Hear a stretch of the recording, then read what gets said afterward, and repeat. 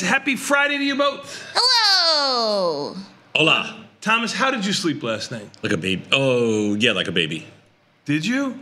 Yeah. I must be getting older, man. I didn't sleep well last night, and I could sleep on a picket fence. Why were you worried about the market, or you? Yeah, I was worried about the war. I was worried about the market. Even the S&Ps were down on 80, 70, 80, 60. Yeah, but you've seen that I mean, before. It's not your first time. I know. He was a little scared last night. He texted me like all the way, like really late, and I'm like, oh, he's scared. I did. Yeah. I did. Yeah. Yeah. yeah, but what are the S and P's doing right now? They're unchanged. Like Yeah, nothing happened. right. That's what I. that's- Why am I here? I should be at. Um, I'm actually shocked to see the should both be of at you. Denny's.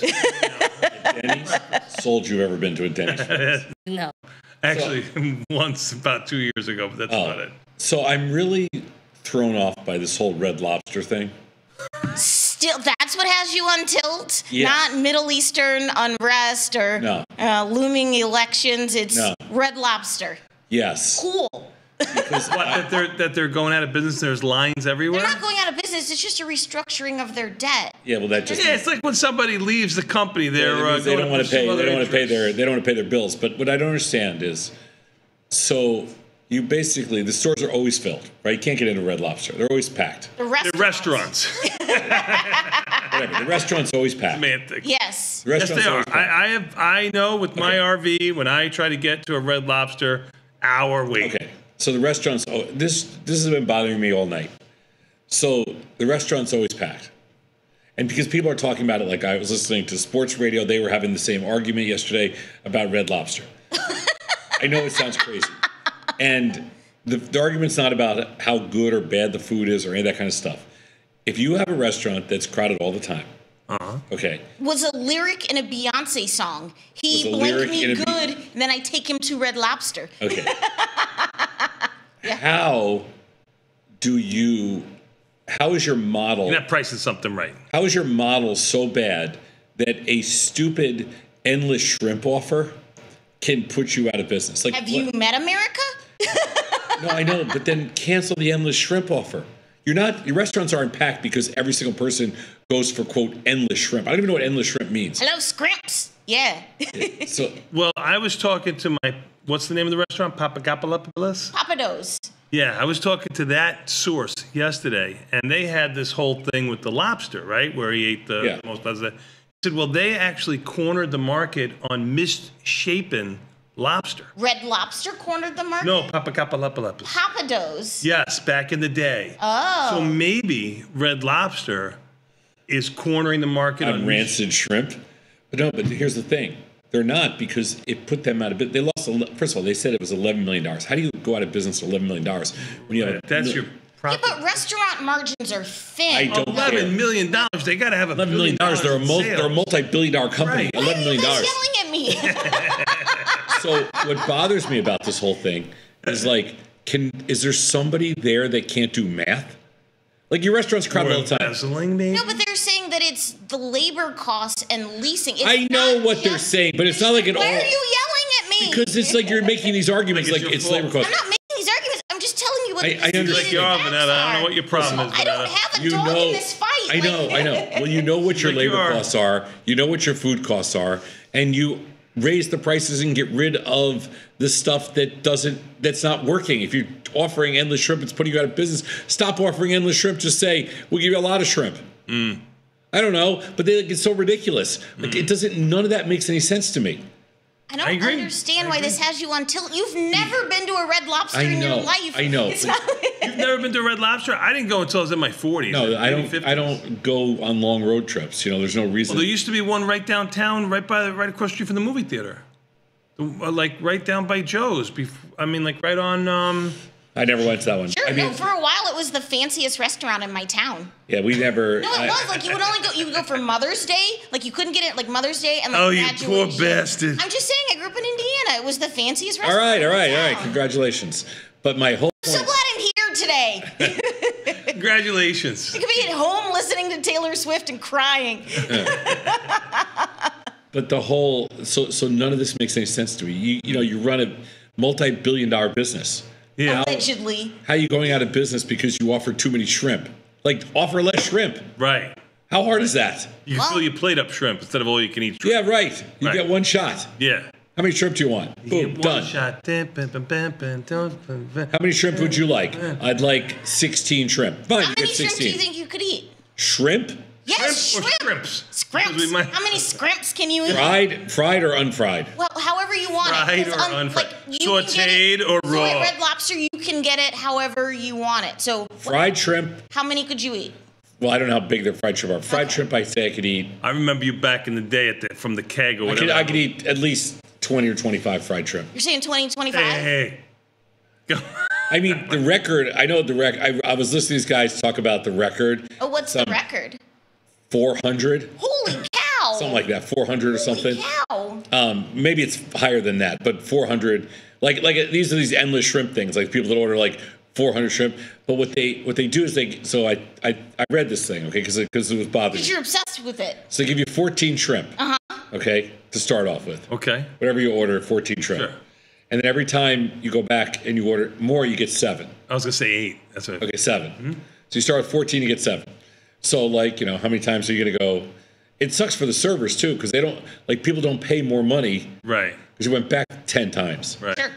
But then if you're eating That server had to go back to that person who was getting 400 about 175 times or something like that. at least Something, at something least like 60 that. Yeah. You for- again. for eleven dollar tip. Right. You know, maybe. you know, and then but but then if you order but then if you're eating shrimp that's not that's not Just grilled. breaded, Just grilled. yeah, whatever. I mean, probably more. But I see. Here's the thing with me and shrimp. I don't even like shrimp. Here's shrimp. the thing with me and shrimp. I don't even like. I really don't even like shrimp. Yeah, I'm not a big shrimp. I love How- lobster How's the though. business model going to be for a toast store? That's what I want to know. Like Shrimp toast. Shrimp toast. Oh, there Will you, you go. offer unlimited toast? you like shrimp toast. You had to have liked shrimp Okay, toast. the you truth. can't find shrimp the toast. truth is, I don't really like shrimp. But shrimp toast isn't really shrimp. It's like kind of fried bread with shrimp you had to have liked that. Like how crab rangoon isn't really right, crab. right. You had to have loved it. I much prefer crab rangoon over fruit. Growing up in New York, all mostly Cantonese restaurants, there's no way Cantonese didn't- restaurants in New York. you York didn't like shrimp toast. would offer shrimp toast. I was not. I would much rather have crab rangoon or egg rolls. like if it came down to my first choice, it was always an egg roll or crab rangoon, not shrimp toast. I can't believe we've been talking about shrimp for eight Now minutes. my favorite. So I, I should have told you I did. So I'm out shopping one day, and I've, I'm I'm at some store, and I'm sorry, what year is this? it's recently. Oh, and they- recently. Okay, good. So far, we know he's out and he's at some store. okay, great. Wonderful details. Go ahead. Mm-hmm. but they're selling. What are you afraid I'm going to wait outside for you? The No. next time you go to the store, I'm ahead. just. I don't remember. I. I some You have to remember what store it Okay, was. say it's getting say it's Mariano's, and they Is sell. it, or are we saying it's Mariana? they they're selling um, Chinese barbecued pork, like the old days. Uncooked, Oh, un- Uncooked. uncooked. You cook it yourself, but it's it's marinated in that red stuff, so how it's do you all, cook it? you bake it. you bake Really? it? You don't Yeah. grill it? No, you bake it. So anyway, so I buy it. Because that was the barbecue pork back in Yeah, the it's day. barbecued pork. Same thing with all. Bake it. It's like a red dye number five, all the Right. monosodium glutamate, Right, right, everything, right, right, right. everything that tastes, everything that tastes great. Right. Yeah. Duck sauce on top. duck sauce on Yeah, yeah, top. it's yeah. a great barbecue pork. So I bought this thing. About a pound or two of it, you know, whatever it was. It's not it's not expensive. It's dirt cheap. Mm-hmm. And so I buy it and I'm like, cooked it. I'm like, this is delicious. It's enough sodium to choke a monkey. Yeah, yeah, yeah, yeah, yeah, yeah, yeah. I only took I only ate like a little piece of it and then threw the rest out. But it was, You lie. Oh, You sure. lie. I only Sure. He I only had- a little nibble. he only had a little piece. He only had, like, a one or two pieces. I'm on a diet, girl. Yeah, I just only had a one or two little pieces. I bought like a pound or two. Threw it away. I only had one or two pieces. I only just had a like a tiny little baby. Mhm, tiny taste. little piece, tiny. You put it little in your baby eye, Little so nibble. I'm just a dainty lady. Right. it was it was delicious. Mm-hmm. The now two pieces that you had. Oh yeah. the the barely the Barely the two Barely, pieces. yeah. barely the two pieces. Mm-hmm. No, I ate it for. I it was good. You ate it for how many days Days, now? Yeah. Now you're now the truth comes out. Yeah, it was really good. You ate it all day long. That's what he's trying to tell you. No way it lasts. It's a great. It's a great like. Because he'll eat it for breakfast too. Sure. Yeah. Oh, barbecue pork for sure. Yeah, right. And it's You're way like better- My son, my son will do that. It's way better than you get it at like a Chinese restaurant that's been sitting around for a week. This is like fresh, beautiful. It's beautiful. Mm, mm. Not as good as Sun Wah barbecue pork because they come out daily, but still good. But with fewer cockroaches? Yeah, my house doesn't have any cockroaches. For now. Yeah. In October, I got ants. Has ants. I was gonna say has ants. No you had cockroach. ants. You In had October, ants. only in October, and only for a week in October when they all breed. I don't know what the hell it is. I can't get rid of them. Yeah. One week in October. So what happened last night? What were you doing when everything started to go south, started to go sideways? So I was just watching. I had to wake him up. Are you kidding me? He wasn't watching. No, I was, I was, I was. I'd already made about five trades by the time. So I, I'm watching kind of the market, and they're and they're You were able to make five trades. only because I position. Only because I had this position. I mean, So- like, I. No, no, I would have never made a single trade if I didn't have anything else on. How do you step in front of that? I mean, No, you couldn't, you obviously a couldn't. great call with even the S and P down You could. So so so all I, I wasn't going to trade. I thought about trading SPs. I'm like, no, I'm not touching these things here. I was going to sell them. I'm like, no. And then and I was going to adjust my crude oil position because crude was up like three dollars, and I'm like, Mm-hmm. nope, I'm staying away from that too. By adjusting, you mean like rolling up the untested? Yeah, I was. I was going to be rolling up puts. right. And um, so I didn't do any of that, which is good. But I'm long a lot of bonds and long, long a lot of notes. Yes, you are. And the bonds exploded and the notes exploded. So I just layered them out all the way up. And Like, uh, like, uh, like in um, uh, trading places, you get one. yeah, I laddered them out. one. They kept they were they were in, they were in absolute panic mode. It was a flight to quality. one.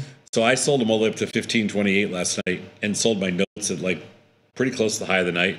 So I got out of a I think nine or ten or eleven different tranches of bonds and notes yesterday. okay. So it was good.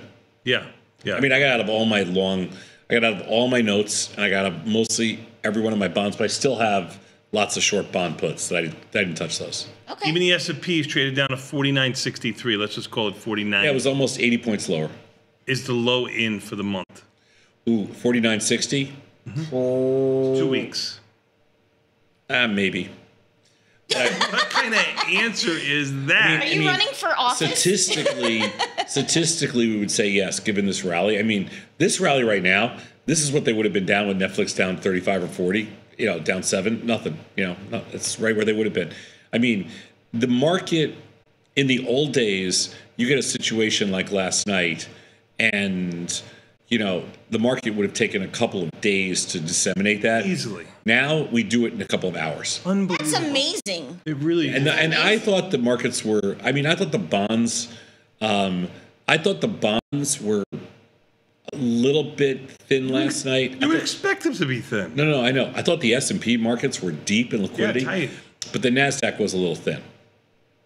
At one point, it was, it's down 40 right now. It's down 300 last night. Mm-hmm. Well, we got a lot to talk about today. We're going to keep everything going, everything moving. You cried your wolf tears. We're here in the office on a Friday. Although Bob's Pizza, I am not mad about that. So Listen, I uh, I, am, I'm excited about a little Bob's Pizza Bob's sucks. Pizza. Bob's Pizza mm, is. Mm, mm, matter of fact, if Tom had any pull, he would call an audible for its talent that's here today.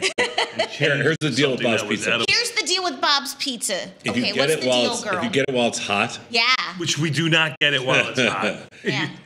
We don't even get it when it's made this day. anything's better than we had yesterday. Okay, I'll put that. Yeah, yeah. Anything's better than we had yesterday. What was yesterday? Uh, Our, oh, the corned beef beef factory. place. Yeah. Yeah, Yeah, place- it was a dry ass sandwich. place is gross. There was like no mustard either, and I was like, Place- Yeah, shut place- this thing down. Uh, two people, two people choked out.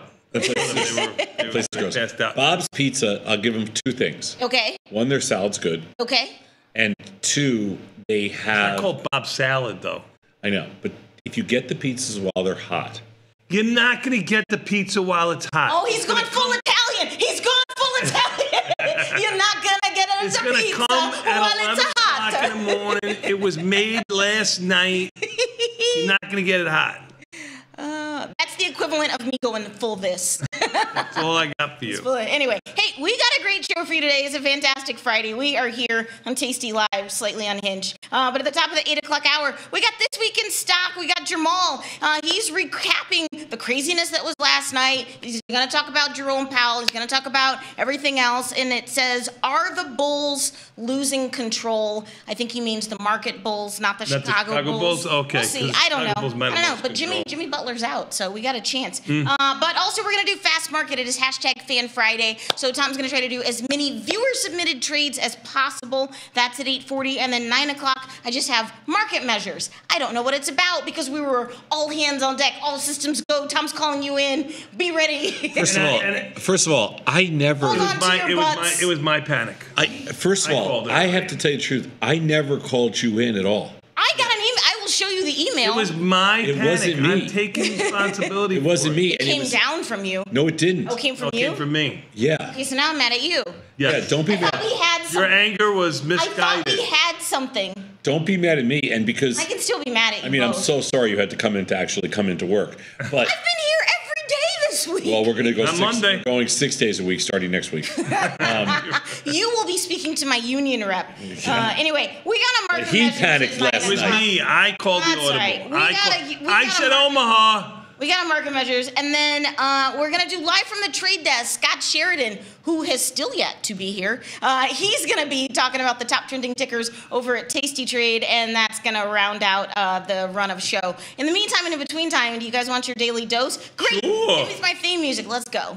Our leading story, today's breaking news, Today's news from the wire. Our leading story, top story, just in. Today's headline. Our leading stories. Breaking news. All right, all right, everybody. Today is a fantastic Friday. It is April the 19th. First of all, I am Vonetta Logan, and I am Tasty Live's Taylor Swift reporter. The Tortured Poets Department, it came out last night at 11 o'clock here Central oh, Time. God. so I stayed up and I listened to it, and then she dropped the second part of the album at 2 a.m., so it is now an anthology. This bitch, while she was on tour, wrote 30 songs? What? It is really good. Five out of five stars from the New York Times. It's sonically a little bit different than what she's been doing. It's really just, it's really good. I'm still working my way through both of the albums, but Oh, happy, give me something to do all Tortured weekend. Poets Day. Also, check out the Tasty Live uh, Instagram if you are a tortured trader. Uh, Tom posed for a photo shoot for that, so you're welcome.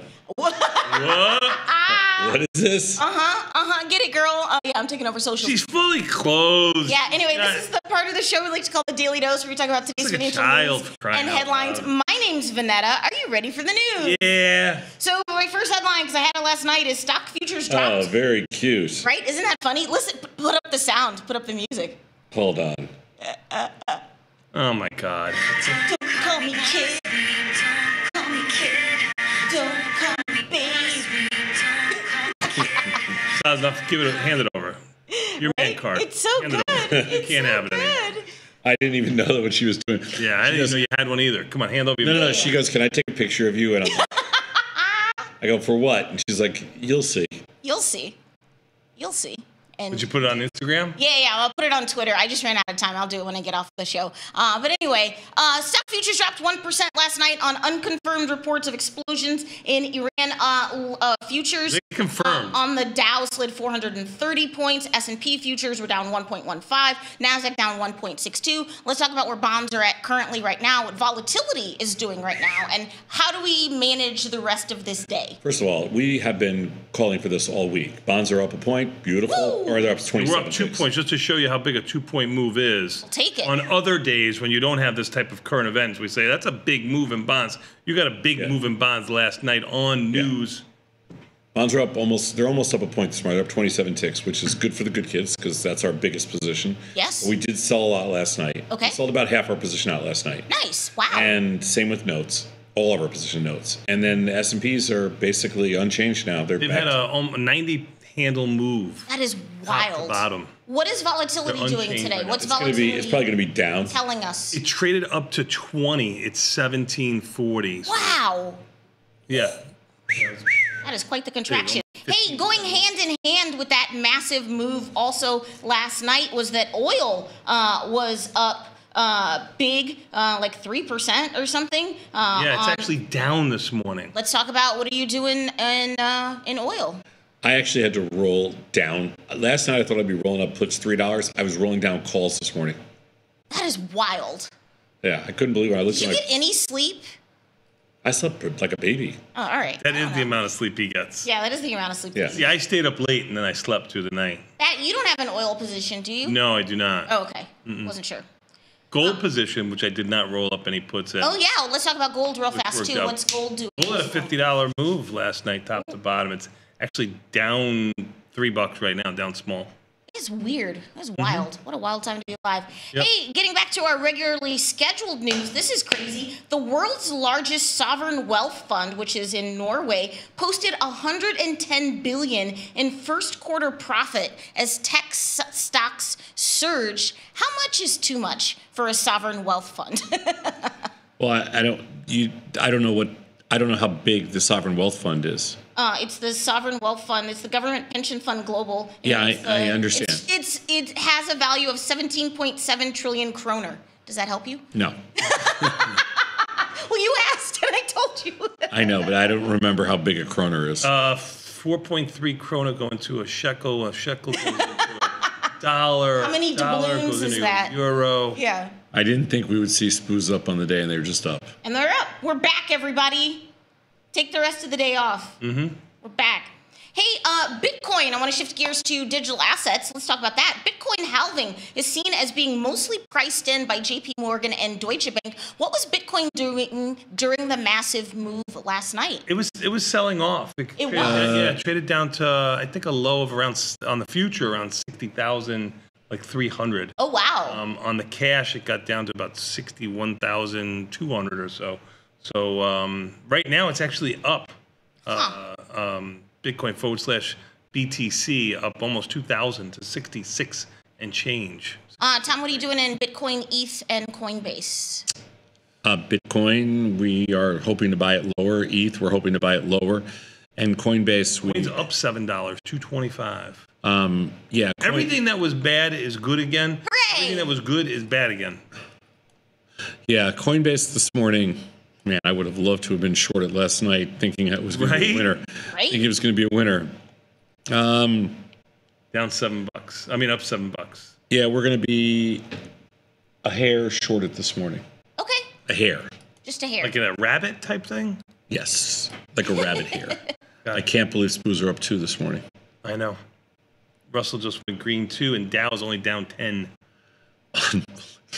Why are Cray, we cray. here? They, they, It's another day. they, they got some people last night. Oh, they It's had. crash. But they were also saying that the like Israeli ministry had like sent a note, and then that you could see in like a minute chart yesterday, like when the news came out, because the market like downticked pretty big, like in the afternoon. I don't know. Like They, that's they, um, but they hurt some people last night. Mm-hmm.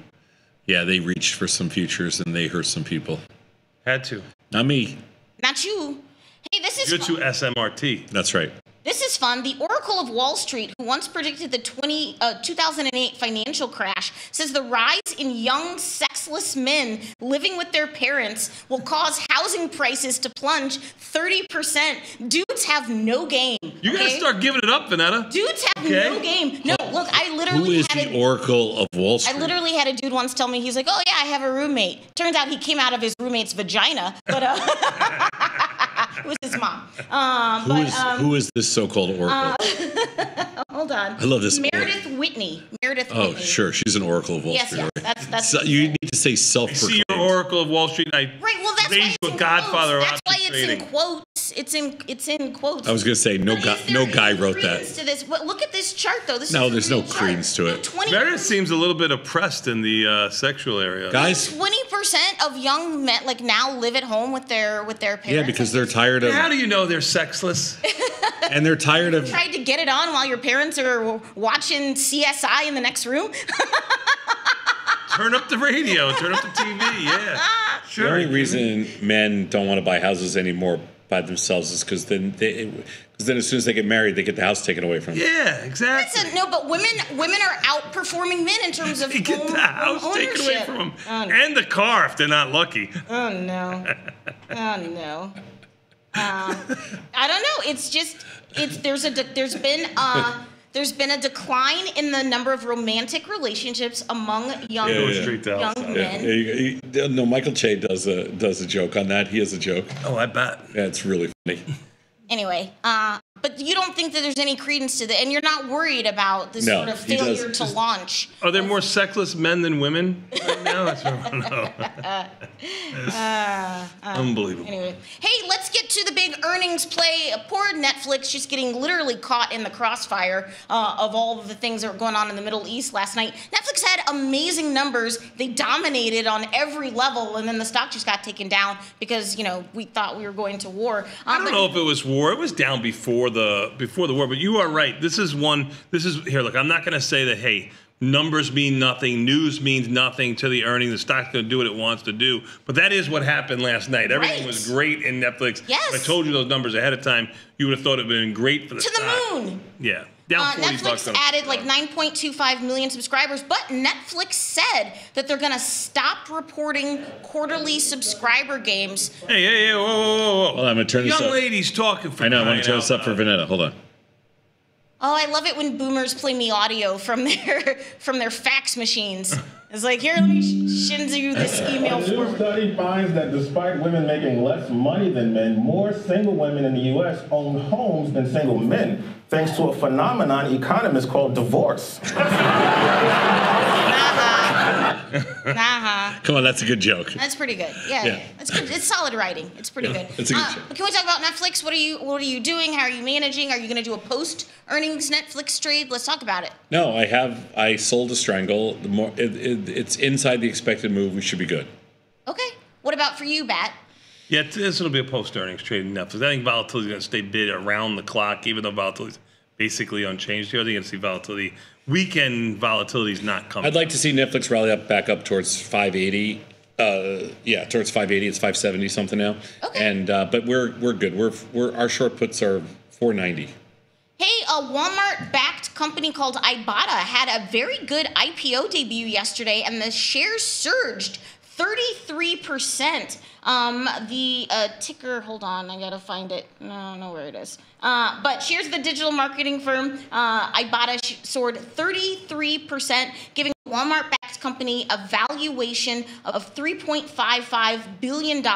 They sold 6.6 million shares at $88 a piece. Their Wow. earlier price range was 76 to 84. Is the IPO market back?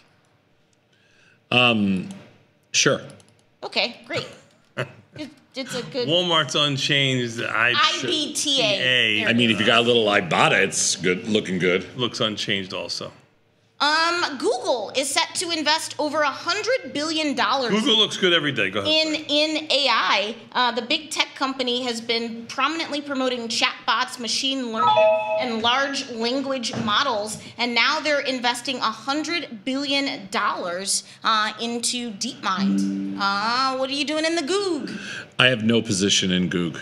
the Goog looks uh, unchanged this morning right now, but it is on a tear from around 130 to 155. In the funniest thing I probably saw yesterday, uh, Mark Zuckerberg went on uh, Instagram and he's talking about how Meta is going to be integrating its uh, AI chatbot powered by its Llama 3 into all of its apps. But for some reason, Zuck was wearing this like swaggy gold chain, and so someone then added like facial hair to him. So then all the memes were coming out that he's going from Mr. Steal Your Data to Mr. Steal Your Girl. Look at this photo. I'm here for it. I would smash. Looking like he belongs in Color Me Badd. I'm not mad at you, Zuck. Okay. Um, but yeah, Meta's just gonna Meta add this up around two and a half bucks. Yeah, AI bucks. chatbot to everything. But Zuck is doing MMA. Like that's quite the glow up for him. I'm just saying you compare him to like Elon Musk, and it's it's a wild, you know, shift. Everybody's poo pooing. no, no, it's just a wild shift in No, public he doesn't. The, the difference for for Zuckerberg, which the one thing I like about him is he doesn't talk. no, not not a He ton. just does his thing. Right? Yeah, yeah. He keeps his head down. It's a grind set. Uh, do you have a meta position? I do, but it never makes any money because Meta just goes up every day. April 24th earnings, 82 IV rank. Perfect. Thank you, Bat. Uh, hey, in other news, Microsoft's OpenAI partnership could face an EU antitrust probe. What wouldn't face an EU antitrust probe? That's right. Uh, but Microsoft's $13 billion investment in OpenAI could face some scrutiny from the EU as regulators are building the case. Uh, Microsoft's OpenAI partnership, together with those between Alphabet, Amazon, and Anthropic, have triggered scrutiny on both sides of the Atlantic. I think I read a headline too to get back to Zuckerberg from. I think he's richer than Elon Musk now too. Yes, he is. He is because just Tesla got downgraded and then it just keeps going down. Yeah, yeah, yeah. And then- Microsoft 404 and change, basically unchanged. April 25th, um, our earnings. Now Microsoft's had a little bit of a dip here from around uh, I don't know 430 to about 400. Do you think he sends Elon an email? Because they definitely exactly Hundred percent. a text message. I hope No, it's an. I AI thing. It goes I hope he's trash talking. I hope so. He just sends him like his JP Morgan. probably shows him like a rear view mirror with Elon in it. Yeah. you know what I mean? Exactly. Hundred percent. There's no, I there's no way those guys don't do that. Oh, 100 percent. I would for sure. I mean, I totally would lure. And plus, Zuck is shredded. So Mm-hmm. Elon, mm, not so much. So I'm, I'm here for I'm here Mm. Zaddy. Mm. for the billionaire drama. Uh, hey, Tom, TikTok once again is in the hot seat in Washington. House Republicans added a hot button bill that could lead to a nationwide TikTok ban to the wide ranging foreign aid package. I don't know if you heard that, but the bill that would help uh, Israel, Ukraine, uh, and other entities now also has a component about banning TikTok that got all bundled up in it. So it's it's back it's back on Is the table. TikTok- It's on the clock. TikTok would have longer to divest. Is TikTok responsible for all the Middle East tensions now? Uh, no, I believe just- so. I, I believe so. Yes. A thousand years of battling, and it's all Don't be fault. correct. That petulant. I'm just That is correct. reporting the news. I'm just correct, yep. reporting what is happening. Yep. TikTok. That's it. Yeah. Knew it. Yeah. Freaking knew it. Hey, but speaking of media, Trump media shares closed nearly 26% higher, capping a second day of gains for the meme stock. Let's talk DJT. Nothing to do in there. It- There's nothing to trade in there. It's a hard to borrow. Yeah. But it was up for two days. Wide Big markets. It is up another two and a half bucks. This Oh! hard to say. Went from 70 down to about 22 without stopping back up to 35. Yeah. Okay. Uh, all right. You gotta have a, an opinion. Yeah. it's- Are you doing anything in Reddit? Just because that's no. the other. We have we have a couple short puts in there, but that's it. Okay. Hey, here's something interesting. Apple AirPlay was now available at select IHG hotels and resort properties. If you never want to touch a gross TV remote in a hotel again, you can now stream your favorite TV shows, music, and movie from your own personal iPhone to your hotel TV. I think that that's cool. It's not enough for you to be doing this from now on. No. He doesn't know how to do AirPlay. I don't even care. You're not getting any kind of play. I don't even watch TV in hotels. Um, what are you? You pay for the movies. What? I was told that the title would not appear on my bill. You know how many times I've had to say You know they that? don't they don't offer that anymore. I'm just kidding. I don't. I don't know. I don't even. I'm how just do saying. you know? How do you know? What were you How do doing? you know? They That don't- they 80 There's no foot there's no pay per view anymore on on RAP pay per view. in hotel rooms. Yeah, there is. there isn't. Go find me a hotel that has. I mean, less places the motels used. I don't want the people that would Womack know. Motorin, Yeah, I'm- Long Island. that's possible. Still has. Yeah, I don't want the people 100%. that would know the answer to this to write in. what are you guys doing in Apple? Um, we're long. Okay. Apple be Smapple. We're long Apple. Long Apple. What are you doing in Apple, Bat? I don't have a position in Apple. Oh, maybe Uh, now's the time. When are their earnings? Yeah, Apple has earnings coming because Good IV rank 88 uh, May 2nd. May 2nd. I am Okay. long Apple and and locked and loaded for a little bounce before earnings. Bounce, baby, bounce. Uh, hey, Uber is launching a new rider verification program in Chicago and 11 other cities. Uh, the new initiative aims to give drivers additional peace of mind when picking up riders. Verified riders will receive a blue checkmark badge that drivers can see to make them aware that the rider has gone additional verification steps. Most uh, riders, consumers won't have to do anything. You will already be verified, but you might have to upload like that. a government ID. Although, to be fair, the other side of this, I would say How do they, eighty how do they get of the this extra time. verifications? Like a TikTok account they take? Sort of. You, that you information say- yeah, from? I would say though, eighty percent of the time, the driver photo that shows up in my app, the person that actually picks me up, never looks like that. so I understand that they want It's like Tinder. rider verification, but I need to know that the dude driving the Nissan Altima. That's, That's the best picture that that driver had. It's just like Tinder or anything else. That NASDAQ. Look, it's just like a McDonald's ad. It's like anything NASDAQ up else. on the day. What's that? NASDAQ No, up see on the day. They You know, all four indices. I have an idea for Uber. Might not go over that big with the masses, but You get you get a coffee, tea, or uh, your choice of coffee or tea, and a piece of toast. You get a chip. You get a microchip. no, they do Uber for accredited investors only. Oh, yeah, cool. Yeah, yeah, because Yes, we don't have enough yes, segregation. Yeah, cool. Yes. I love it. Those sexless men who Another like another winning idea, boss. I only pick up accredited investors. Mm-hmm. Hey, this is in your backyard, Bat. I drove past this the other day, and it's gonna open soon. The nation's first Wayship brick uh, Wayfair uh, flagship Yeah. store. It already It's opened. Its doors in Wilmette. No, they're not already. I, I drove by it the other day. On the, They're it's off, you can see it from the opening highway. May can see it from the 23rd. The building is there, but Yeah. they are not open, sweetie. It used to be a Lord and Taylor. I used to be a Carson Pirie Scott. You guys Same are just thing. wrong and wrong and wrong. Literally have the information here. So Carson again, Pirie Scott, Lord and again, Taylor. You made a mistake if you went to either one. It didn't The make nation's first Wayfair. So Wayfair is W. Uh, they're going to open May 23rd. Uh, and yeah, what do you think of a Son, Wayfair? I'm going to be able to pick up all of your lawn furniture for you. Ooh, you should I- get some patio furniture. I mean, with all due respect, the Wayfair, they don't sell anything that's not crap. No, I've got stuff from Wayfair. I agree with you, but I like Wayfair it. is You good. gotta just read the reviews. Oh, God. Um, would you trade Wayfair? Can you trade Wayfair? W. No. It's really No, really you hard. can trade it. Has earnings May 2nd. Really, really, really hard. You got to trade it directionally. Okay. Markets are good in there. 10 cents wide. There's plenty of I, room. I'm just telling you, I've traded it many times in the past. You got to trade it directionally. You're wrong. Hey, look who's back. Beyond Meat is debuting a fourth generation burger at grocery stores with a new formula that improves on taste, nutrition, and health. The new patties now contain avocado oil, so that's just two grams of saturated fat. The beef is richer and juicier than ever and now has 21 grams of plant based protein. We're on version four now. Beyond Yes. Meat is not back. It's a $6 stock. It is Back, going- baby. I traded it when it was like I have not 110, like 90 something. Not going I think anywhere. I sold like the 90 now. puts in there once. I had the last Beyond Meat sausage in my freezer. Oh my God. This has to be three years old. No, it's probably, I don't know how old. Probably from the You're going to say two. times. You don't know how old it is. It could be the five. pandemic, You have no idea. I threw everything that was everything that was Beyond Meat in the garbage. Oh, you didn't eat it. No, I don't eat that stuff. Smart. That's What's smart. the IV rank in there? Can you trade it or no? Is it? It's 77. You could trade it, but you'd have to be directional. You'd Sure. probably almost, I mean, on a $6 stock like this, I'd rather almost just buy the stock if you're bullish. Sure, If I'm okay. bearish, I'd probably find another. What's the market cap? Should Tom just buy the company?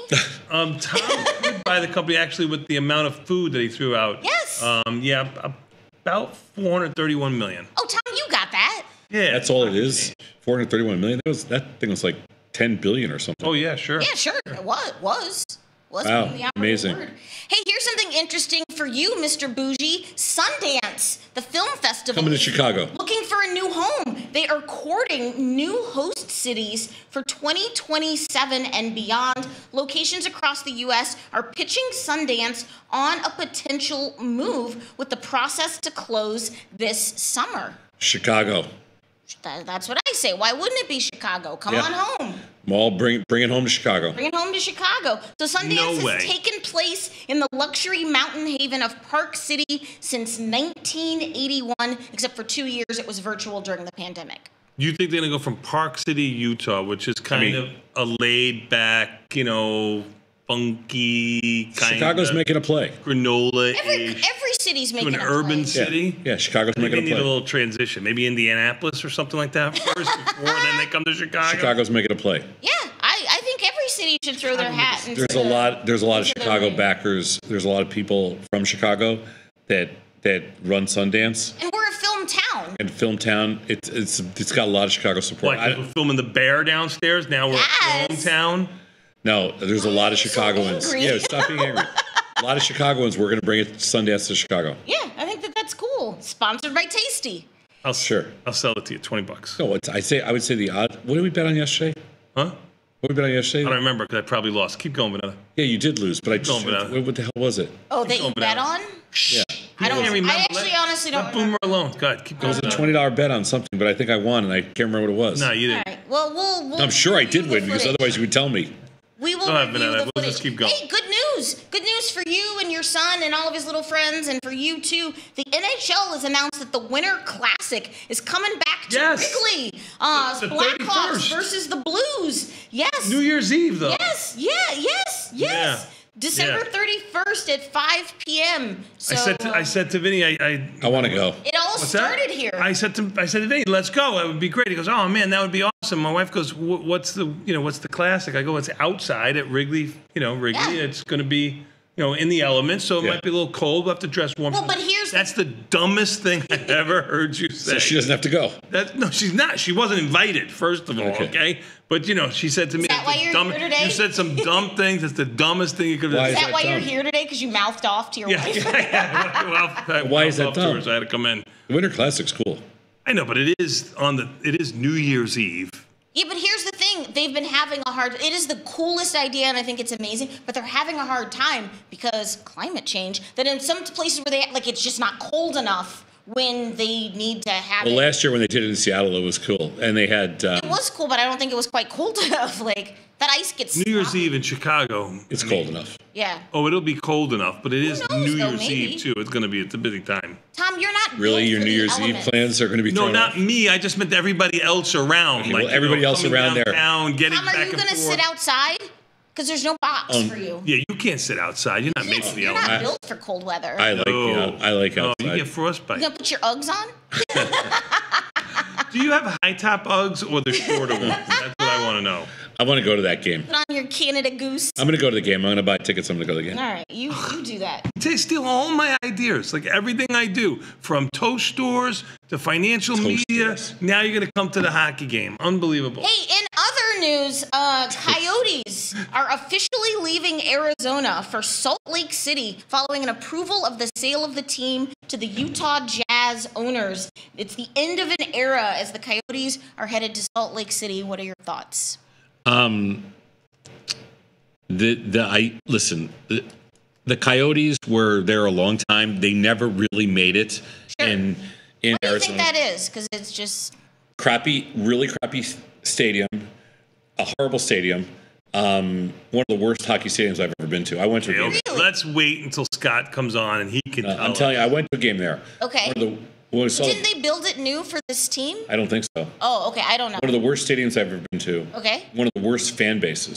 Oh, horrible logo. Har- I like the wolf when they howl. Ooh, the- when the, the- you know, the, How does the wolf? how's it do? Do it again. there's a lot of howling go? going on there. How's it go? There's a lot of howling, but but one of the worst fan bases, one of the worst. It, it'll be so much better in Utah.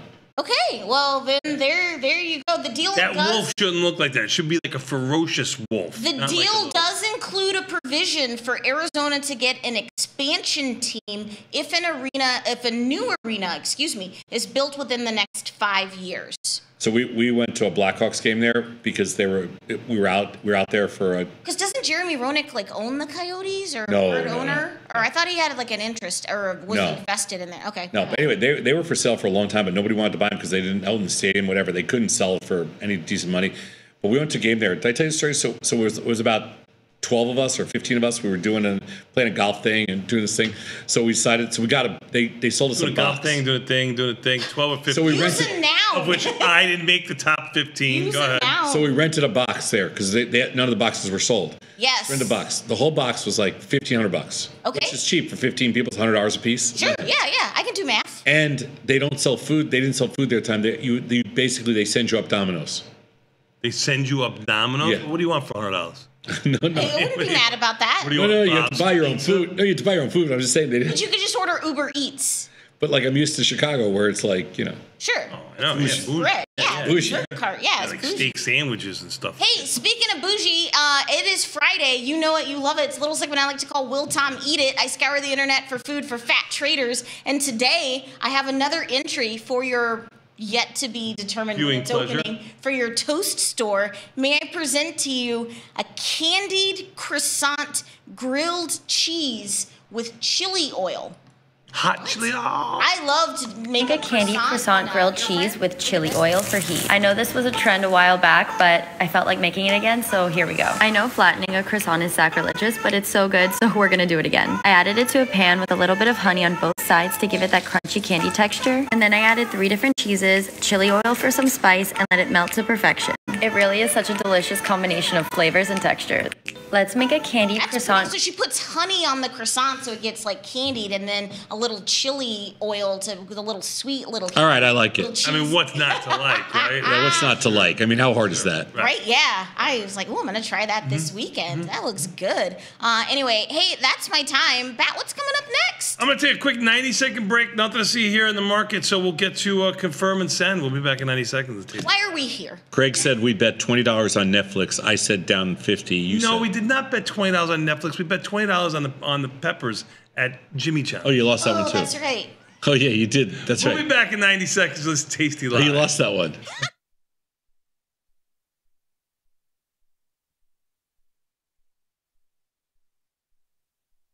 Dear Chad, thank you for trusting me with the workload of five people this week. It was an invaluable learning experience. All 97 hours. Sometimes it feels good to get smart. Get even smarter with live trading insights and some live taunting. You made me print out something for you in 40 point font. from the smart mouths at Tasty Live. Looking for a better broker and a bonus? Sweet.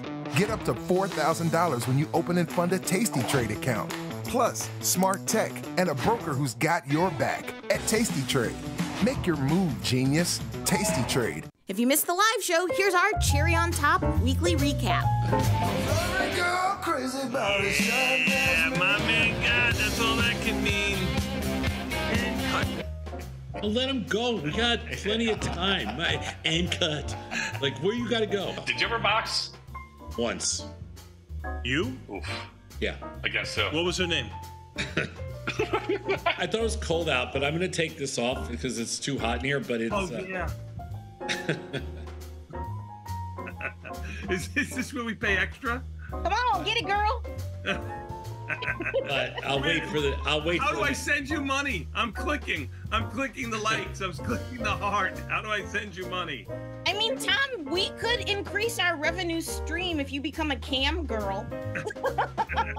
Ah, you were a khaki wearing, I was special. white Jordan gym shoe throwing. Oh, I wore a lot of white polo shirt, ratty tie, long haired hippie freak with sunglasses on the top of your head. That was your look. Did you have a members only jacket? No, I'm not. Yes, he did. He, I could. Yes, he did. yes, you did. Yes, you Never did. in my life. Never.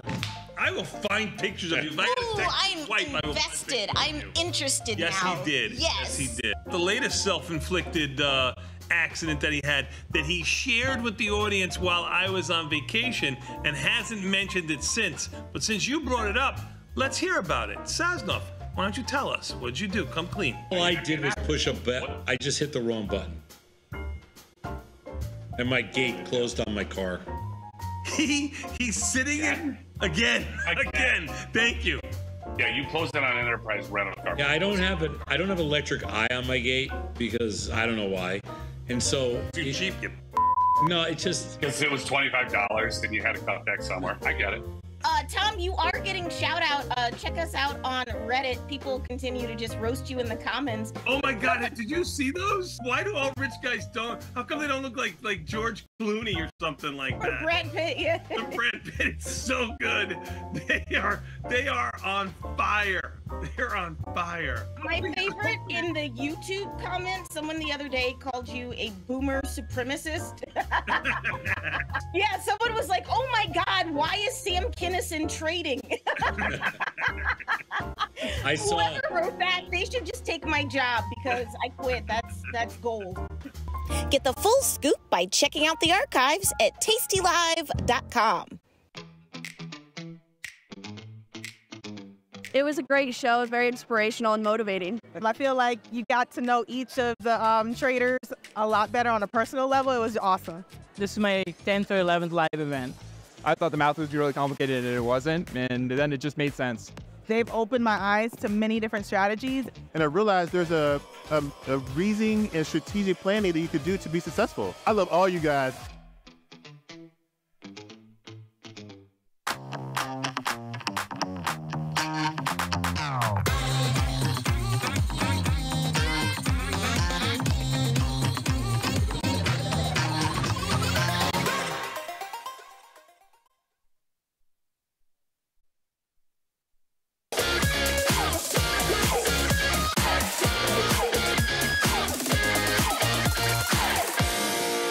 Tomas, we are back, my friend. You know what that means? Time for a little bit more tasty live with uh, confirm and send. Before we do, let's take a quick look at the market. Even the S&Ps, they're basically unchanged, sad enough, but you'll notice this big green tail down at the bottom here. They traded all the way down to 49.63. They're almost 5,050. They're almost 90 handles above where they were uh, last night. Nasdaq down 19. Russell down two, and the Dow down 14 or 15. Volatility uh, up by eight cents, odd enough, but you'll notice that big tail to the upside there. Volatility traded just under $20, 1970 on the high. It's 1745 unchanged right now. Bonds are up 21. They traded they're trading 114.25, traded all the way up to 116.05. Again, a lot of these indices have had that kind of capitulation moment. Big move up in volatility, big spike down. Like I said, I traded bonds all night, and I never saw them trade higher than 115.28. And I was offering them at 115.28. You got filled at 115. I know I sold some there, but I was offering more there, so they, they must have been one spike for one second the, over 116. I literally You didn't see it, it didn't happen. That's right. Basically. Because I was watching the whole time. Understood, understood. So that was not like they traded up there, traded up there. But um, Gold was higher, oil was up big. You had a lot of fear on last night. Fear on. That's all I want to say. All right, All right, we got a Netflix packed- down around 40. Yeah, we got a packed show today. Um, we got uh, Jamal coming on next uh, to talk about kind of, well, now he's probably changed his talk a little bit based on what happened last night. Um, then we got uh, Fast Markets, and it should be fun because it's Expiration Friday. Then we've got um, a really good research piece by uh, Jacob and the team, and then we've got Scott coming on, and he's going to ans- answer some questions if you want to call in. It's a call-in day, so uh, you can queue it up starting around 9.15, 9.20, and we'll get Scott on there.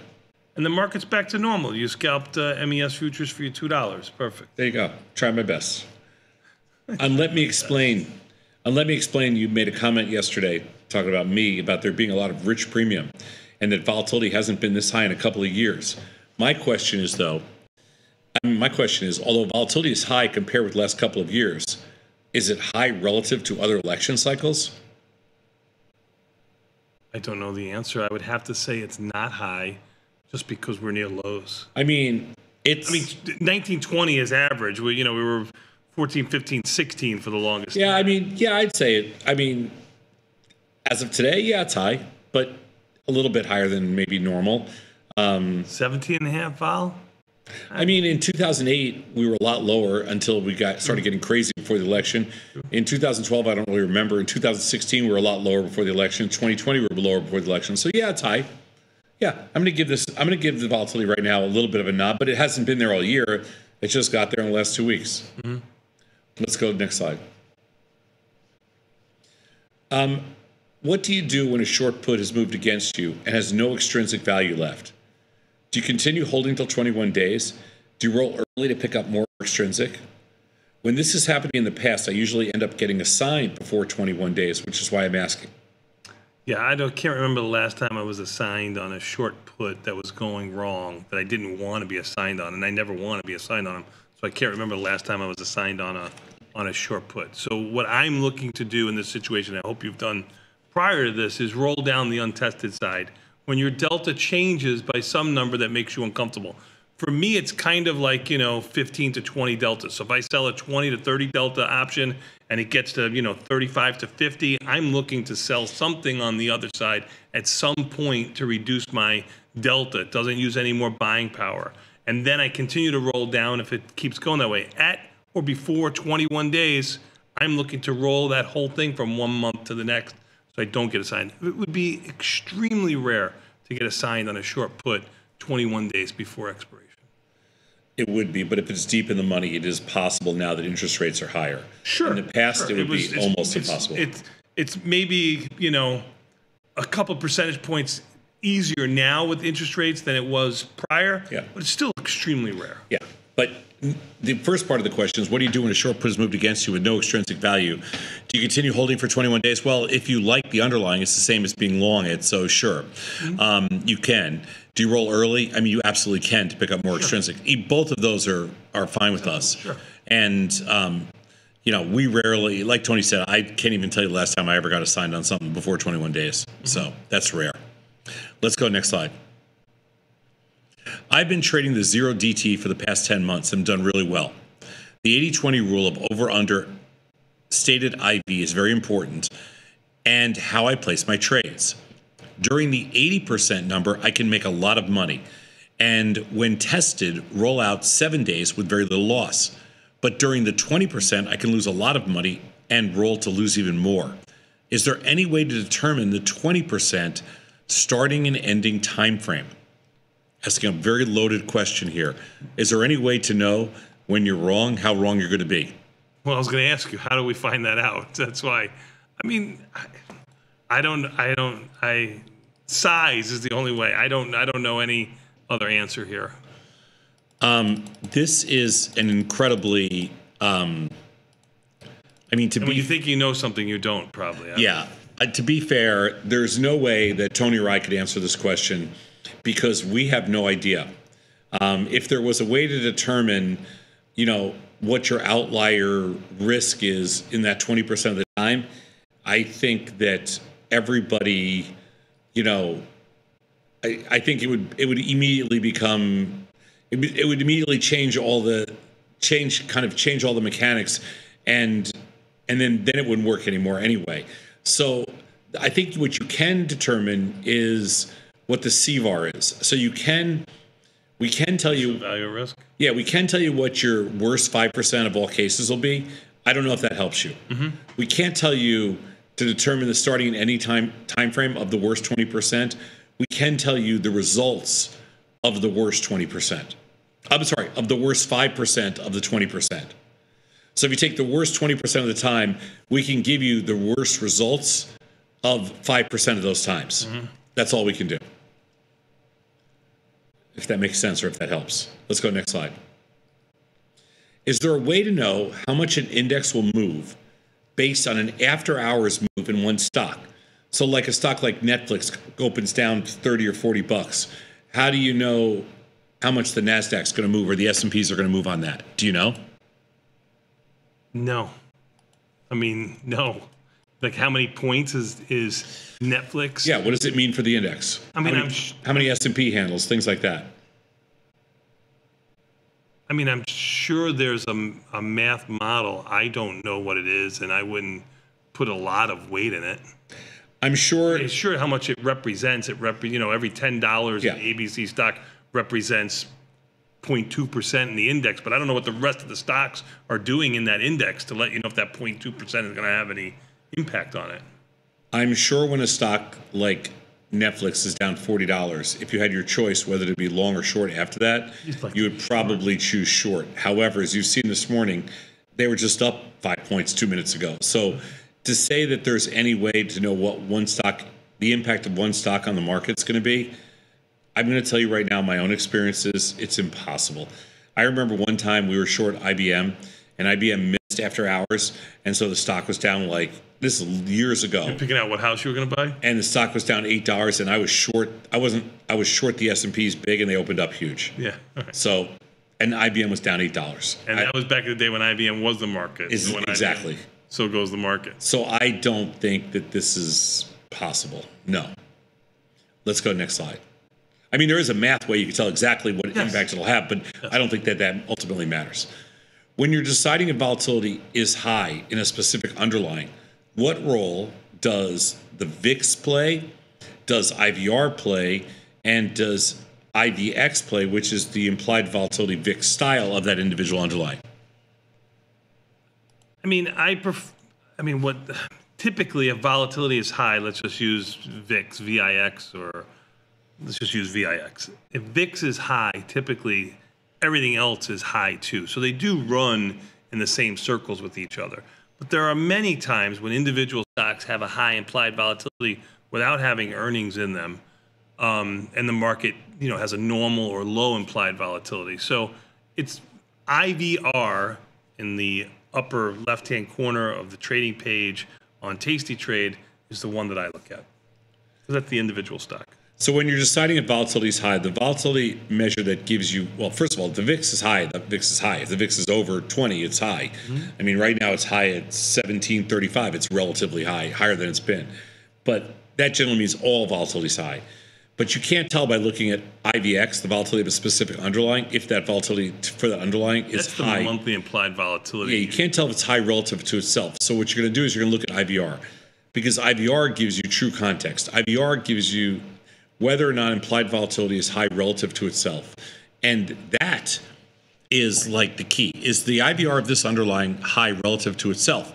And that's what um, and that's what we do. So that's why if you look on the Tasty platform, right next to the the symbol for the underlying, the first thing we show you is implied volatility rank. Right. Because we want you to know if IVR is high relative to itself. Like I'm looking at SPX right now, and the implied volatility rank in SPX is 60 is 65. Yeah, that's high. Mm-hmm. From zero to 100. Okay, let's go to the next slide and the last one. Is there any value in the various commitment of traders, commitment of traders reports? Does it offer any insight or direction? This is a commodity report, by the way, Yes. that shows the known position sizes of large traders. That's correct, and it depends on who you ask. I know Pete Mulmat would uh, would reference this all the time. I had never heard about it until me Pete. I mean, I had heard about it, but I never gave it any credence or or would look to or for it, and I still don't. But Pete liked it, so it all depends on what you like. Whatever floats your boat. Um, you know, for years, traders from the CME, they would always like lean on this report. You know, if you were if you were a floor trader at the CME, you probably knew everything there was to know about the commitment of traders report because that would sometimes it would move markets and you know a lot of the traders would you know would lean on that for insight. Maybe even it wasn't even insight for themselves but it was insight for customers that moved the market so they wanted to know what the customer was going to be trading off of.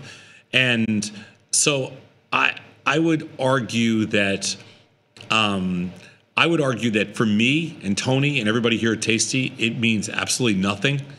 But i think for older commodity traders I mean, they, they use it as an engagement tool to think about what customers are doing. I, I, I've never seen anybody make a dime off it.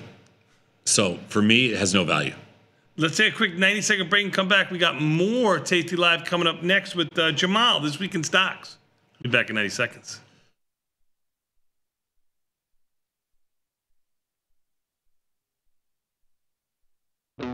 Looking for a better broker and a bonus? Sweet. We got you. Right now, you can get a bonus of up to $4,000 when you open and fund a Tasty Trade account. Plus, low rates, smart tech with the analysis tools you need, and award winning support. So, get a broker who's actually got your back.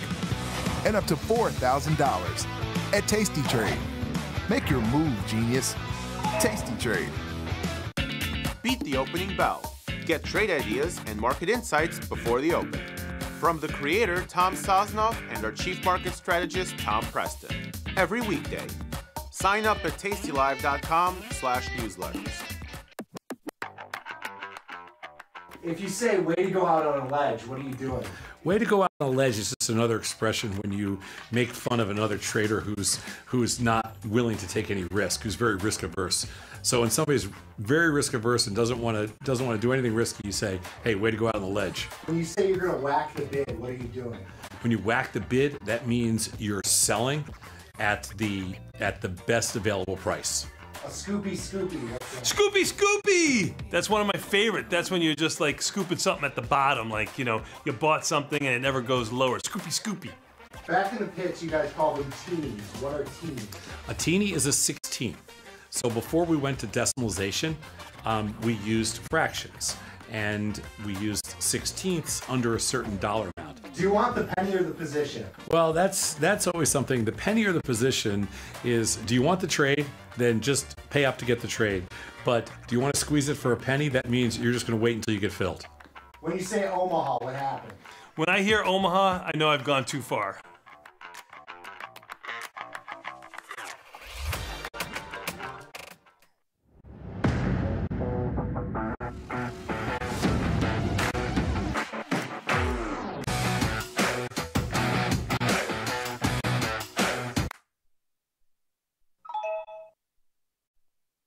Don't come from money, working with money sounds like the quickest place to get to money. So this idea of allowing money to work for you was fascinating with me. And then the more I get into it, the more I realize it was just a big competition. You know, it's like a big poker game with really smart people who know game theory, and nobody knows tomorrow, but they're all just taking calculated risk. And when I figured out that's what it was, like it wasn't this weird world of like somebody knows exactly what's gonna happen and this guy's got great stock picks, it's all just calculated risk, that, that gave me inspiration that like, well, I can do that. So I think spending a lot of time when I was young to learn different option strategies and to learn stocks, options, futures, forex, crypto, to be able to go where the opportunity is, I think is the most important. Getting hooked in a strategy, it's cool, I respect it, but I, I tend to think I like to go wherever the opportunity is.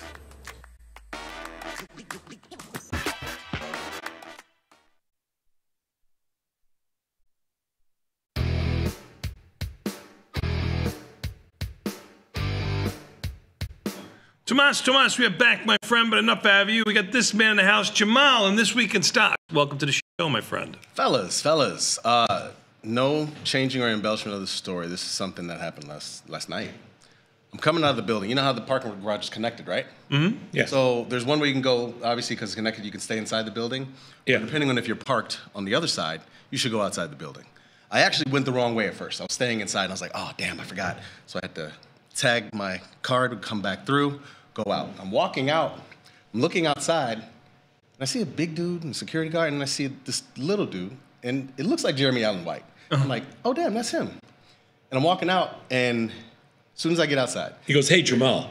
I I mean, he should have. Security's right here. He's right here. He, he's looking the other way. The black chick on the show, Ayo, she turns and looks at me like she knows me. It was funny. She goes, she turns and goes, and I'm like, You're a didn't handsome man, so she was just I mean, who out. could- Is that what it was? who I couldn't don't thought you were an actor You know, I'm or just, I'm just, I'm no embellishment. I'm just telling you what I saw. Who couldn't take their eyes off you? I, I turned right, and Jeremy Allen White's there. The dude with the mustache. Do you, you don't watch the show, do you? I do not even know who he is. I watch The it. dude with the mustache. Yeah, him yeah. and Jeremy Allen White are talking. Yeah, yeah. She's at the foot. It must have been the last scene because I see all the trucks are gone. Yeah, it was. They came back. They were in here the day before, and then they came back yesterday to film. Yeah, Right. yeah. So it must have been it. But yeah, That's the bear. They're filming the bear here. Yeah. A good show. Yeah. Did you tell them who you were? No, you know, I, famous people don't do that to each other. Yeah. I just walked. Famous just kept people moving. don't do that. I just kept it to moving. Each other. You know what I'm saying? I mean, yeah, yeah. You know, He's one Yeah, of the just famous kept people. He knows. yeah. Well, you know, she saw me. She clearly recognized. Right. I think she watches the show. Of course she does. Yeah. So Yeah. Um, you should have brought him down some swag. Yeah. I should have. I should. I was. I was just. I was moving, man. I was on the move. You know, No, life doesn't stop. See, well, you got to be thinking on your feet. You got to. You got to say, hey, we got a studio upstairs. carrying that stuff in your backpack. You got it. You got to. We got a studio upstairs. You're a popular guy. A lot of people want to know what you're thinking. I know. I should have. Get I up. should Let's have. get up here. We'll interview. you. I wasn't. I wasn't thinking about it. I was still so distraught about something I had done earlier in the day. How does that take money from Tom? I, you know, I, you were there. Why don't you just give an account? It's, it's it's a little bit sad because I had a dress shirt on, so I couldn't really lift Oh my my arms. God, the excuses. Is that why you're wearing? Is that why you're wearing a blouse today? So you'll be a little Yes. easier to. I'm wearing a blouse today, and I'll be able to shoot baskets with Jamal. And I'll be fine. First one to swish. I hope. Let me you tell you something. It could have been the first one to make a shot. I mean, it was really. I hope you brought your I mean- money. That's all. I hope you brought some cash. I mean, you did beat him, and you and you beat him well. And if it was a fight, they I, I'm telling you, stopped I just I had a dress shirt on. He didn't make a shot. He didn't make a I mean, shot. Yeah, it was it rough. I had wasn't a like dress shirt on. I, well, today we'll we'll see if it that, wasn't like he was missing the swoosh. Excuse me. He was just he, he would miss the rim. We'll see today. Big big talk. He made one of 30 shots, and it was a bank shot, and he did not go bank. It was a best right. He did make a bank shot. No, I don't at lie. I, I would have felt bad if he didn't make anything. Um, let's let's uh, talk about. Let's pull up the slides. Let's talk about what's going on this week and uh, this week in stocks. Are the Bulls losing control? Let's uh, let's move to the next slide. Seems like it a little bit. I mean, look, I for a second there, like about nine o'clock last night, I'm thinking, well, just forget about everything that I wrote up because we're gonna have a different conversation. Um, I mean, but things have recovered, right? I mean, obviously the s- stocks have recovered. Oil is back down. Gold, it didn't move as big as I thought it was going to, honestly. Um, Bitcoin obviously was under 60 60k. That's back. So and bonds obviously. I mean that's that's the difference, right? Like we've seen oil move up, we've seen stocks move down, but uh, bonds can go either way. Obviously last night was real fear. So really interesting and fascinating end of the week. A combination of hawkish Fed and strong economic data is putting this rate cut situation into question now. And uh, I didn't change this line from, from last night. Crude oil falls to three-week low after de-escalation of tensions in the Middle East. So all of this together, S&P's down for the fifth day in a row, third week in a row, biggest decline since October. What, what, before we even mention Netflix, what, what do you think about all this stuff? Well, last night, I mean, it sure, you know, last night, I felt the first day they opened down big is the day that they're probably going to bottom. And this was going to be the first day that they opened down big. But now I don't even know. Yeah, because we basically look like you're going to open unchanged. Yeah, we're going to probably open up. Right. Right. I mean, usually when we see overnight moves like this and the fear happens overnight, right? I mean, this is usually kind of I I don't want to I don't want to call it done because it's it's not done. As It's far as- usually an event. It's usually it's usually like that's your the bottom puke. tick. It's the puke, right? Yeah. Um, Usually, and that whole big nice. I mean, there was some puking last night. Absolutely. There was some puking, and let's let's let's put it into into perspective here. Mostly quote unquote professional traders, right? Mm-hmm. Future trader who has access to the market, wants to trade all the time. And then by professional trader, I'm not Oh saying yeah, yeah. They weren't. Those weren't retail. it's not retail. Mm-hmm. So when you say, you know, the professional trader or the trader in the know has, you know, all the information and knows what's going to happen ahead of time, you're seeing here a humongous move to the wrong side. And yes, for every seller there has to be a buyer, but that was capitulation last night. Oh, yeah. That wasn't scoopy scoopy people shooting from strength going, "Oh, this is a great opportunity. I'm brilliant." Yeah, yeah. Those are that people who were massive short puts that were selling futures to kind That's of cover correct. their That's position. correct. That's correct. Yeah. It was people taking losses, hedging positions. That was not initiating new positions, in my opinion. Yeah, I, I actually. I'm sure you're going to get the person on Twitter or TikTok or or wherever who's going to say, you know, what a genius. I they- thought about they selling them last night when when they were down. I couldn't figure out what was going on, but I mean, I figured it was something like that, but I didn't really care. But when they they were down, I was watching. Only they- humanity. Why would you care? Go ahead. They, they were down 20 and then they were down 30 and then 35 and they were and they were it was a big somebody was pounding them so when they were down 40 I almost pulled the trigger and next thing you know they're like down 60, and I'm like I missed that trade Yeah, so yeah. the height I saw down 82. That's what I Yeah, saw. I did too. yeah I saw them down 80 they were down 87 at one point yeah but I was trading bonds then I was just liquidating bonds Yeah, yeah. Um, Because you had a position. You had a good position. if you didn't have a position I would have never sold one bond Right. right, right. but if I had position I mean I was I I never they didn't look like they were getting back to 116 yesterday I'll tell you that no, much No, not at all. It looked like they're going to 113. So Amidst all of this, Netflix reports earnings that beat um, and uh, did well. Password crackdown, they said, has delivered millions of new customers, but uh, stock's not doing too well today. So it is what it is. Let's move to the next slide. Um, bond yields. Well, you know, if you'd ignored last night's move, they returned to five months highs. They've exploded over the last several weeks. April 18th, as of yesterday, you can see where the curve is. That's at the top there compared to the last six weeks. So obviously, bonds being up has, I mean, I'm sorry, bond yields being up has uh, freaked out the market. We all know because, well, people think that rates might just stay where they are for a while. Um, let's move to the next slide. You know what's weird? If I was Netflix, I would just say new subscribers are way up. Are way up, and we think it's mostly due to password. You know, Right. Yeah, right, yeah. right, right. Like, what is that? Like that? That New subscribers are up. It was probably just lucky because our programming wasn't right? good. but, that but that's like you kill your own. Right. Like you kill your own buzz. Like that's why Right. the stock's down because like nobody. Okay, so you found a you killed you you, you closed up a You loophole. closed a loophole that was Yeah. Like just say, hey, new accounts are up.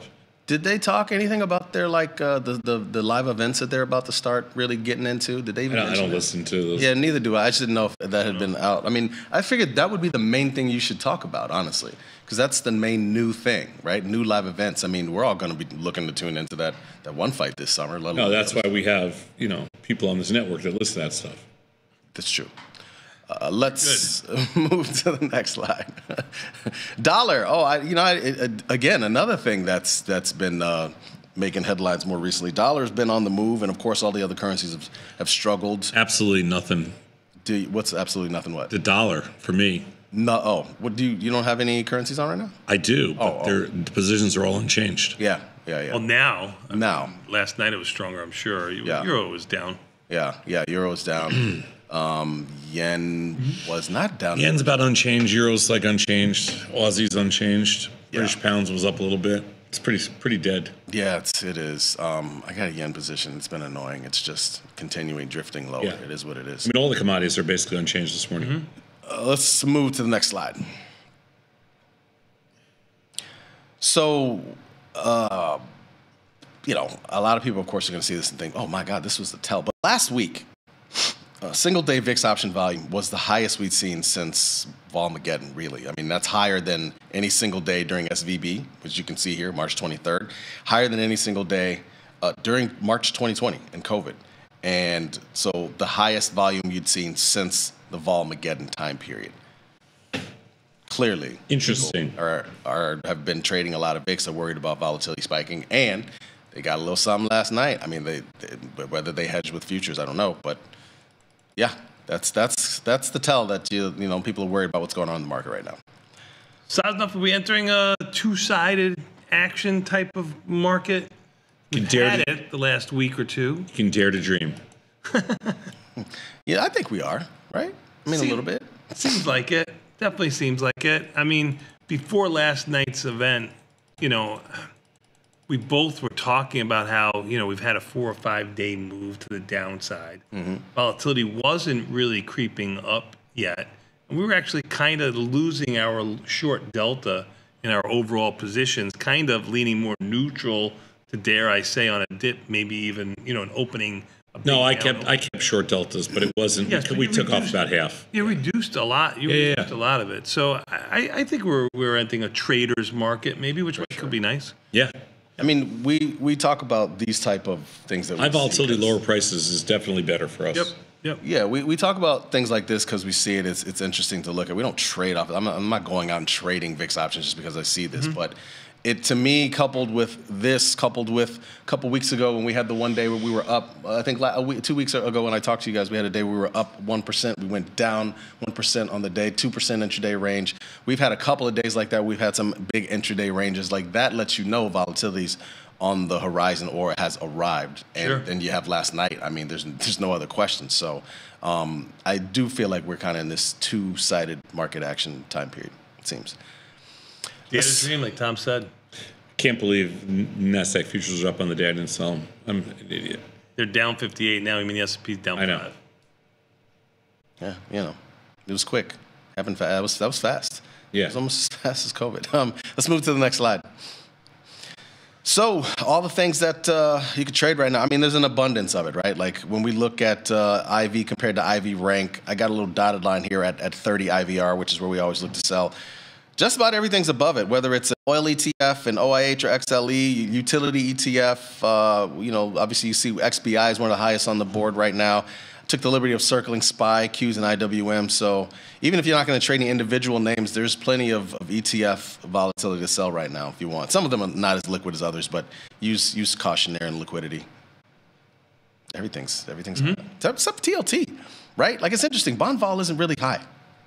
Yeah, you'll Maybe notice it's today a, lot of, a lot of ETFs in there too, right? Or is this just It's all ETFs. It's all Got ETFs. it, yeah. it. So SLV, SMH. Because everything else has earnings that, that has high IV rank if you really look in there. Mm-hmm, hmm I know you you go through that process. You think about that a lot when you're doing your your podcast every day. Mhm. Typically, try to stay away from earnings, right? Every Tuesday and Thursday.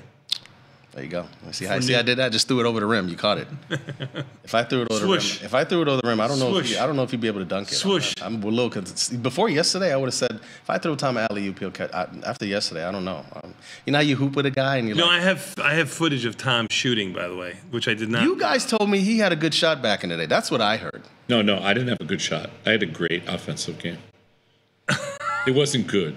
Notice how he said great offensive game because all he did was stand underneath the basket and wait for somebody to pass it to him from the other end of the of the of the court. Uh, I'm only going to go on Like, record. oh, like I'm only gonna cherry tell you pick? this. I'm only going to tell you this once because I think it's important that you know this about my history. But I was a product of reverse integration, right? Yeah. And And you think your basketball skills rubbed off from a, from a No, no, hey, let him, no, let him, let him, let him that you finish. Let him finish. I want to see. What- I mean, no. seriously. No. seventh grade, Okay. I was the best white kid in our school. Really? Yeah, seventh. You were the only white You were- kid in school. No. I I uh, I always, I went to this. Seventh I, grader. I so you went to- peaked in seventh grade. Maybe I mean, six. at least Maybe try to six. get like Be fair, Maybe six. six- Because by seventh, six. the girls were bigger than us. I went to a bunch of different schools, private Catholic. Uh, so there was one Catholic school in eighth grade. I was on the basketball team. I had just started playing. Dude, I was I was in, in an opposite way. I was. Well, we had uh, reverse integration too, and I was not the, the best white No, basketball. that doesn't count when you reverse integrate like Italian kids with like Irish kids, Irish kids. and Jewish kids. Well, uh, the team in eighth grade, all white dudes and me. I forget worst black. I was the worst dude on the team. it was it was funny too. We'd go to other places, and as soon as we'd come, they'd see me, and they're like, "Oh my god," they'd be getting nervous. I was the worst dude. I barely played. I Believe me, they used to do the same thing with Sosnoff, and he would go to you know to a to a, a s- new school. Oh, here comes Sosnoff, the alleged best Oh, the- sixth we've grade. heard about him. White chocolate. white dude, white chocolate, school. right? okay. Well, well, well. So th- as a result, anytime I play anybody one on one, I completely destroy. 'em. I black out. So I don't know what really happened yesterday. Things might have happened. I don't remember, you know. But uh, I'm just saying. He Uh, needs glasses. His body doesn't move. There's a lot of things wrong. wearing a shirt, I get it. Uh, let's move to the let's move to the last slide. A dress shirt. Uh, believe it or not, once again, gold is up. gold is working on the fifth positive week, eight up eight out of nine weeks as well. Bitcoin, uh, well, it's po- still positive. Uh, I've uh, recovered from last night, and the halving event is approaching sometime this weekend. Uh, either Friday or Saturday. Look, don't let me lie about it. Just uh, look up what Ryan Grace has talked about. Ryan Fred Grace, ladies and gentlemen. Ryan Fred Grace. that's his, that's his middle name. That's his dad's name, yeah. Yeah. Um, founding family of Nordstrom is considering taking it private. Tesla recalling 3,900 Like all of them, trucks. right? Yeah, I mean, yeah. how many- how many- Even the one that you didn't even get You're the one I didn't get recalling yet. That's right, that that's Cybertruck over defective accelerator pedal pad. Uh, stock's up though, actually, from what I saw a little bit ago. It was Yeah, it's went to been lows. getting hammered. You're talking Tesla, about it's right? down about a buck. Yeah. 147 and change. Yeah, you're down around a buck, buck and a half. Sounds right. I put these two on the calendar because honestly, it underscores the fact that really nothing is going on next week. Although the core PCE should probably get some interest because it's the Fed's way of looking at it. In, inflation, and then of course, every, every, we talk about what's going on with yields and inflation. So those are the only two things going on next week. And then uh, research this week, April 17th, and OJ, an in-depth analysis on large losses. Take a look at that. Very good, sir. Good job of you. Even the S&P down seven, Nasdaq down 61, Russell down eight, the Dow down two. They're all basically unchanged, slightly lower. Uh, we had the market all up, all four indices up about 25 minutes ago or so. We'll take a quick 90 second break. We'll see how the market's really going to open right after this short message. Thank you, Jamal.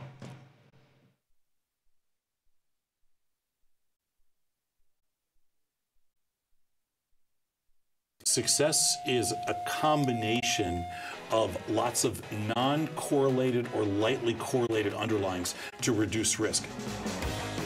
It's better for your investments to trade volatility than it is to own S&P index funds at Vanguard. That's what you're saying. I can't sleep at night as a passive investor. Why not? Because I think the risk is too great. Here I am, I'm a derivatives trader. I have hundreds, if not thousands, of positions on, and I sleep fine because I know what I've done. What we do, it's a mathematical equation. What asset other than fear is mean reverting? And it requires no additional capital to play both sides of the market, then why would you even be directional in the first place? The problem with what you're saying is it makes a little too much sense. Yeah, it's logical. And so It's it, it raises a lot of scares the crap out of you. skepticism because it makes a little too much sense.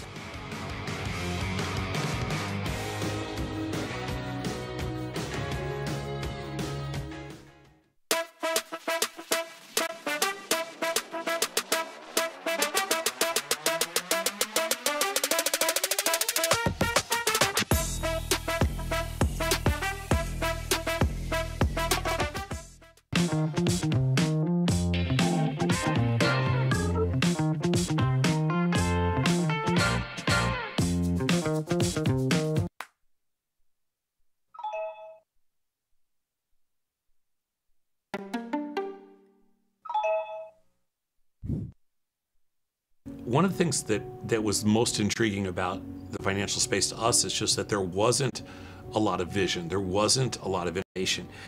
After almost 20 years of open outcry standing in the pit trading, I felt like all the markets were moving to uh, electronic trading. I saw the writing on the wall, and I wanted to be first. Building the best technology in the world for traders was one of the coolest things anybody could ever do. I loved every second of it. Thinkorswim will always be my baby, but this one, it's different. We built ours literally from scratch. It's a much thinner, it's a faster, it's a slicker application. Everything's on one page. So you're always looking at the core page and then bouncing around from there to get to whatever you want to get to. We're here to support whatever you're looking to do. We have the tools that you need to be a successful trader.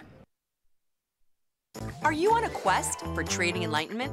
Driven by an unquenchable need to find the twin flame to your chosen strategy? Our Where's Bat live event is the search for trading's ultimate holy grail. Do you have what it takes to find the elusive bat as we visit three cities? Join six tasty live speakers as they present six unique strategies and six unique clues using games and probability to lead to the ultimate prize. Sign up for this free event today at tastylive.com slash events.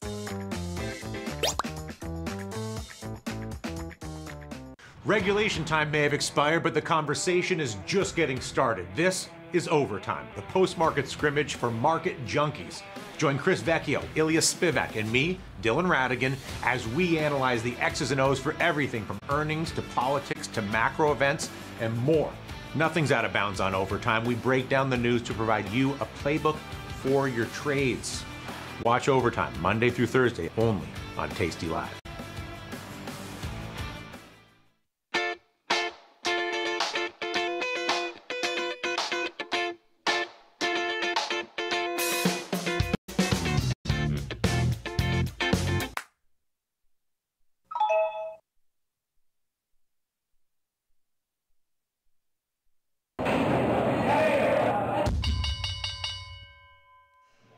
Tomas, Tomas, we are back, my friend. You know what that means? Time for a little bit more tasty live with the opening bell imminent. Even the S&Ps are down $8.50.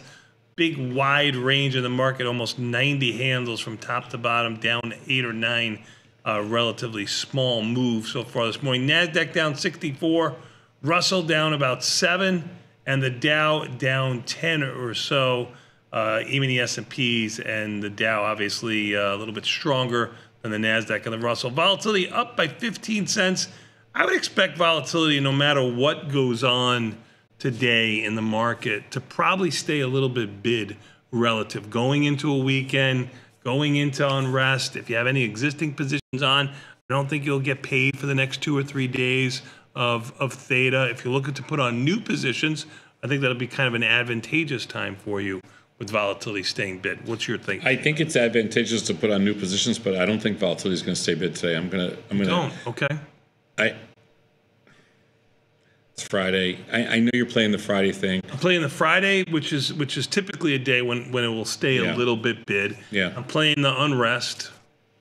Yeah. Yeah. Maybe I'm not playing it. It's the public, as you like to call uh, most of your co-hosts. It's the public view. Yeah.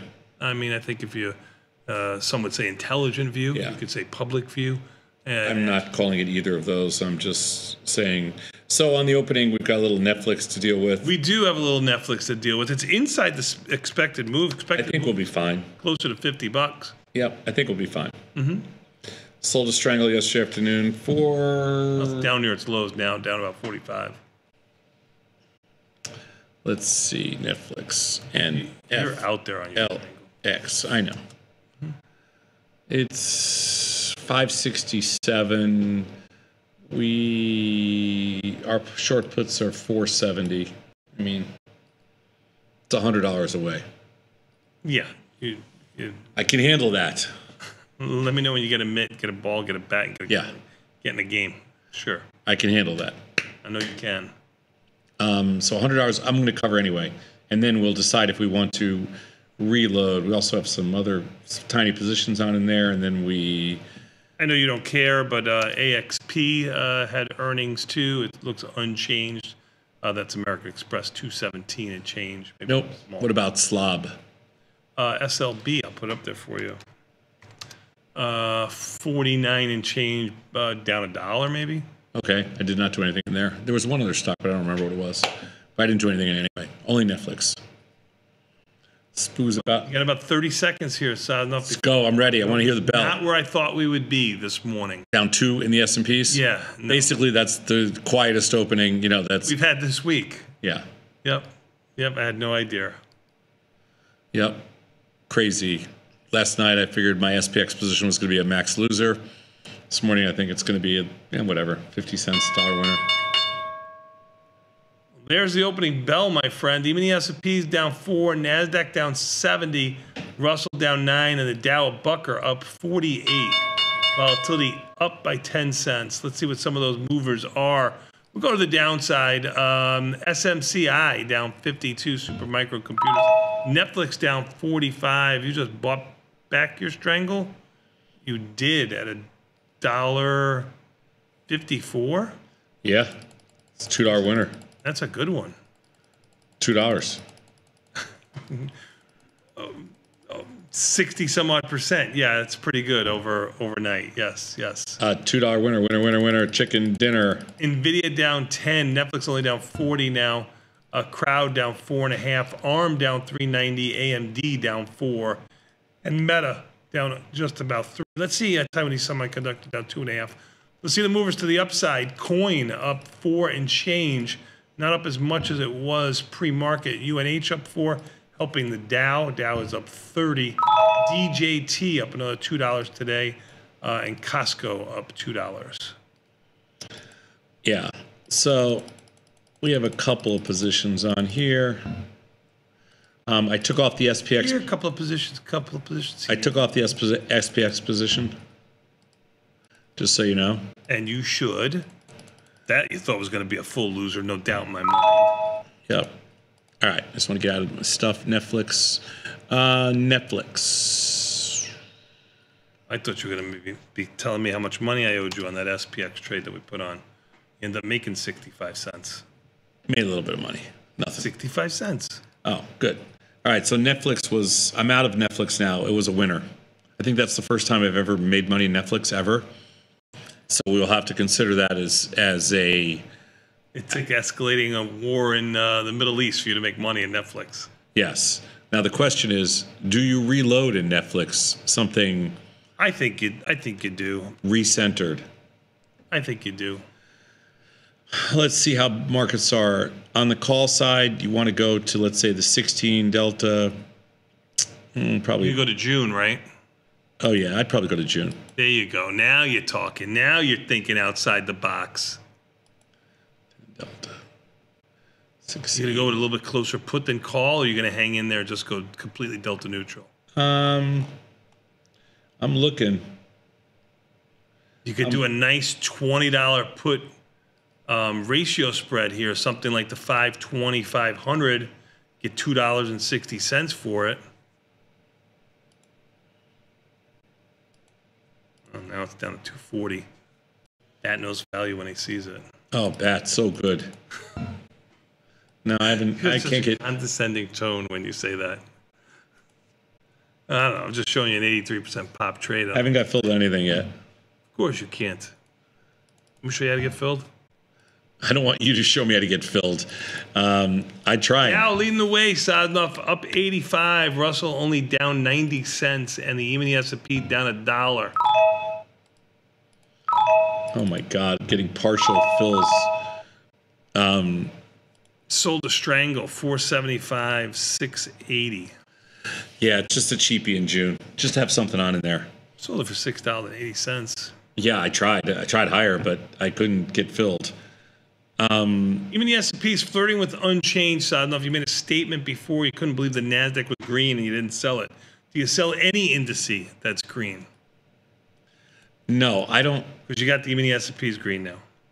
Yeah, no, I am not um, just blind. Oh, wow, S and P's are green.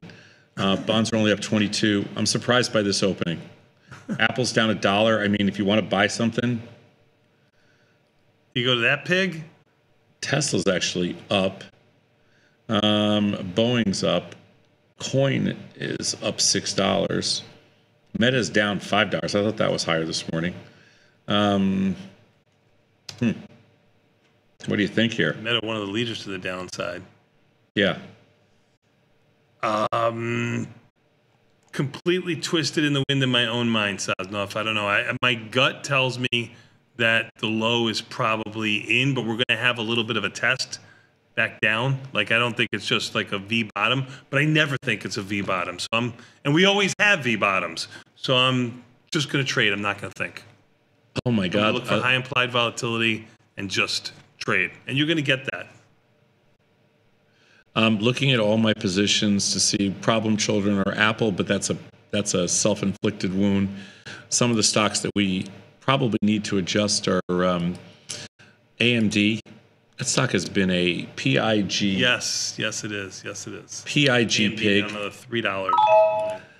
AMD down another three dollars. Uh, Coinbase is strong like bull. And that AMD is up down three dollars off of its lows, which were another buck and a half lower than that. Yep. Coinbase um, very strong. AMD is a problem child for me too. And what else do we have that's a problem child? Meta. and Meta. Ah, Meta. Uh, Meta is the Meta is like ENPH to me. It is so hard to trade. I can I can see that for a guy like you. What the hell did I do here? Mhm. Oh, I'm way off on my. Um, are the markets crazy wide in Coinbase right now? Um, they'll tighten up. Yeah, they must be. They're very wide. Done. Okay. So I made the necessary adjustments. Coinbase were flat, Meta were flattish, and AMD were flat-ish. I don't want to get too flat here because I think they they could rally them up a little bit later today. Mm-hmm. Um, what do you think here? Well, you've got some you've got some stocks if you're looking to to, to buy something. Netflix down 46, Nvidia down nine, Meta, which you mentioned. Well, I'm not looking to buy Nvidia. That's for damn sure. yeah, that wouldn't be my first go-to either. Yeah. Agreed. Agreed. Yeah. I'm- Arm down almost three. Taiwanese semiconductor. I'm going to tell you something about ARM. ARM is ARM is been in an absolute free fall, and it It's is down about 20 bucks without an uptick. It is not a healthy stock. Um, ARM has just been a- not able to buy an uptick. Mm-hmm. Even the S&P down seven. Could have been a hero, but no. Uh, it could have been, but I didn't really. Russell just turned green. You got the Russell and the Dow up, even the S&Ps and the Nasdaq lower. Yeah, I could have been a hero, but I guess I didn't really want to be because why I have I like why be a hero again? I like to leave the hero stuff for other people. Okay. All right. Well, I I did what I had to do. I did the dirty work. Um, Beautiful. I need China to rally here.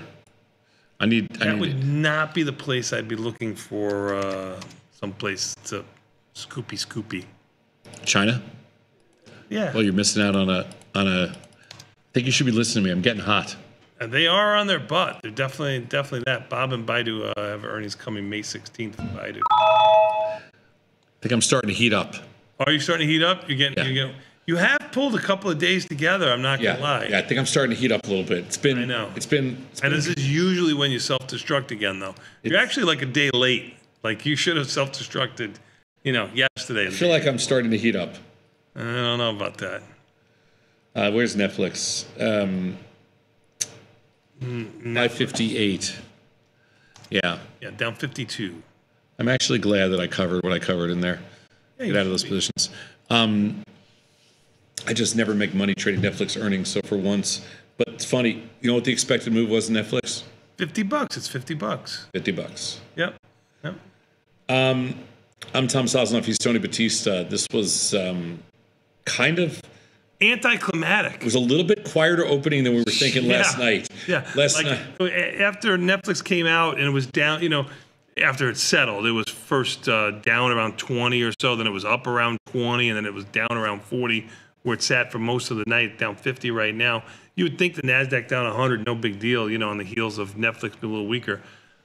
No way that I think the Dow was going to be higher. No way that I think the Russell was going to be higher, and in no way that I think volatility would basically be unchanged with all the unrest that we've had uh, and the news we had last night. So, surprising market, a little anticlimactic, and Bitcoin really came back too. There was a lot of people putting the fork in cryptocurrency. It doesn't go up when the you know uh, when there's when there's market turmoil. It doesn't go up when the market is good. Not taking into consideration that it's just about uh, you know a couple of percentage points off of its all-time high. So, I mean, kind of crazy to even talk about Bitcoin like that. Anyway, oil unchanged. Uh, oil was up three bucks. A lot of the oil stocks um, uh, have sold back off a little bit. Um, My commodity positions are fine today. yeah, yeah. Um, I but need- you would have thought your commodity positions were going to be a problem. You would have thought your Nasdaq positions were going to be a problem. I actually just want I just want bonds to rally more. They're only up 20 ticks. They were up, you know, a point higher last night. yeah, they're they're tw- they're about 15 ticks off of their. I have not lows. reloaded in the bonds. Like I haven't buying re- buying some back. You mean? Yeah. I haven't reloaded in the notes, and we sold them out last night, almost a point higher in the notes and a point higher in the bonds. I have not reloaded yet, but I'm going to.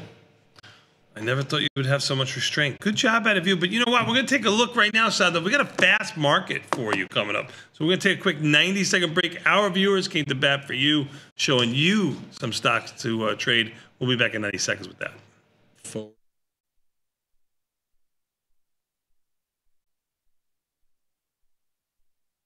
Know someone who needs a better broker? Earn $250 for each qualified person you refer to Tasty Trade. Because friends don't let friends trade on a bad platform. Terms and conditions apply. Join the club, genius. Tasty Trade. 90% goes to S&P index funds. You gotta double 10% straight to Is 20th Century Advice driving your 21st century portfolio? Tasty Live has joined forces with the CME and Cboe to offer the industry's first multi exchange trading collaboration. Our new live event, Building a Complex Portfolio, puts active traders on the path to modern portfolio creation. Tom Sosnoff and other Tasty Live personalities will cover strategies that'll help you integrate futures and options in your portfolio. Sign up at tastylive.com slash events and see where we're headed next.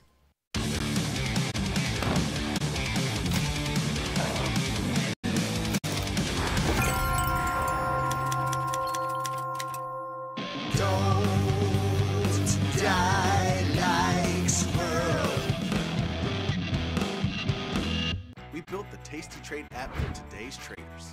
See it, tap it, trade it. Deposit and withdraw money right in the app. View company financials, forecasts, news, and more. Set custom alerts to stay up to date. See things bigger in landscape mode. Get the customizable trading experience you want. The tools, the data, the knowledge. See it, tap it, trade it. Join the club, genius. Tasty Trade. Need a little more luck in your life? I'm Vonetta, and this is your first look at the spring issue of Luckbox. The latest Luckbox is all about the auto industry, and once again, your free digital subscription is available at getluckbox.com. In 2022, the U.S. auto industry sold 13.75 million vehicles, and it feels like I got stuck behind all of them this morning in traffic.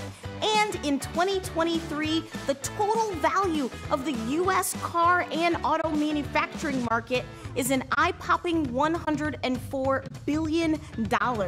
This issue of Luckbox looks at what's ahead for the auto industry and who are the winners and the losers. EVs have hit a speed bump the last six months, dealing with slowing demand, more competition, and lagging infrastructure. What lies ahead? We also take a look at two EV titans battling for supremacy in Asia Tesla versus BYD, and US versus China. On the American side of things, baby, you can drive my car. We also take a look at GM versus Ford.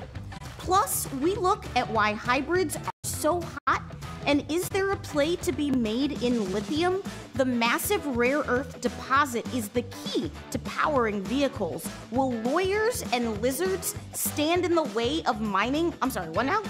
We also show you the 12 hottest new cars of 2024. I hope they're bringing back the El Camino, business in the front, party in the back. And I went to the Chicago Auto Show, and I want to know why there were adventure vehicles everywhere when people are only driving to Starbucks. And AM radio is back and more relevant than ever. Finally, for all you investors, we have 50 auto sector trade ideas.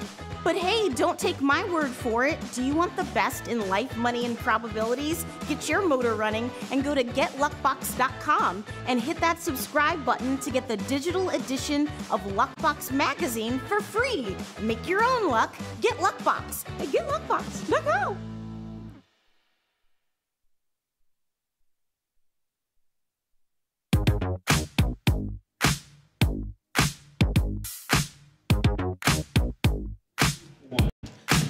Tomas, Tomas, we are back, my friend. Even the S&P is up two and a half. The up four a moment ago. Nasdaq down 58. Russell up seven, and the Dow up 150. Nasdaq the only one red.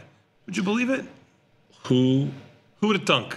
who would have thunk last night that we'd be talking at 8:45 this morning with the S&Ps? I thought they had a better chance of being down 130 than up 350. Agreed. Agreed. That's why for the 199th time, nobody knows anything. Nobody knows nothing. For the 1,199th time, nobody knows anything. Um, yeah, well, be lucky that uh, maybe those people are lucky that uh, some platform shut down last night. Mhm. Um, all right.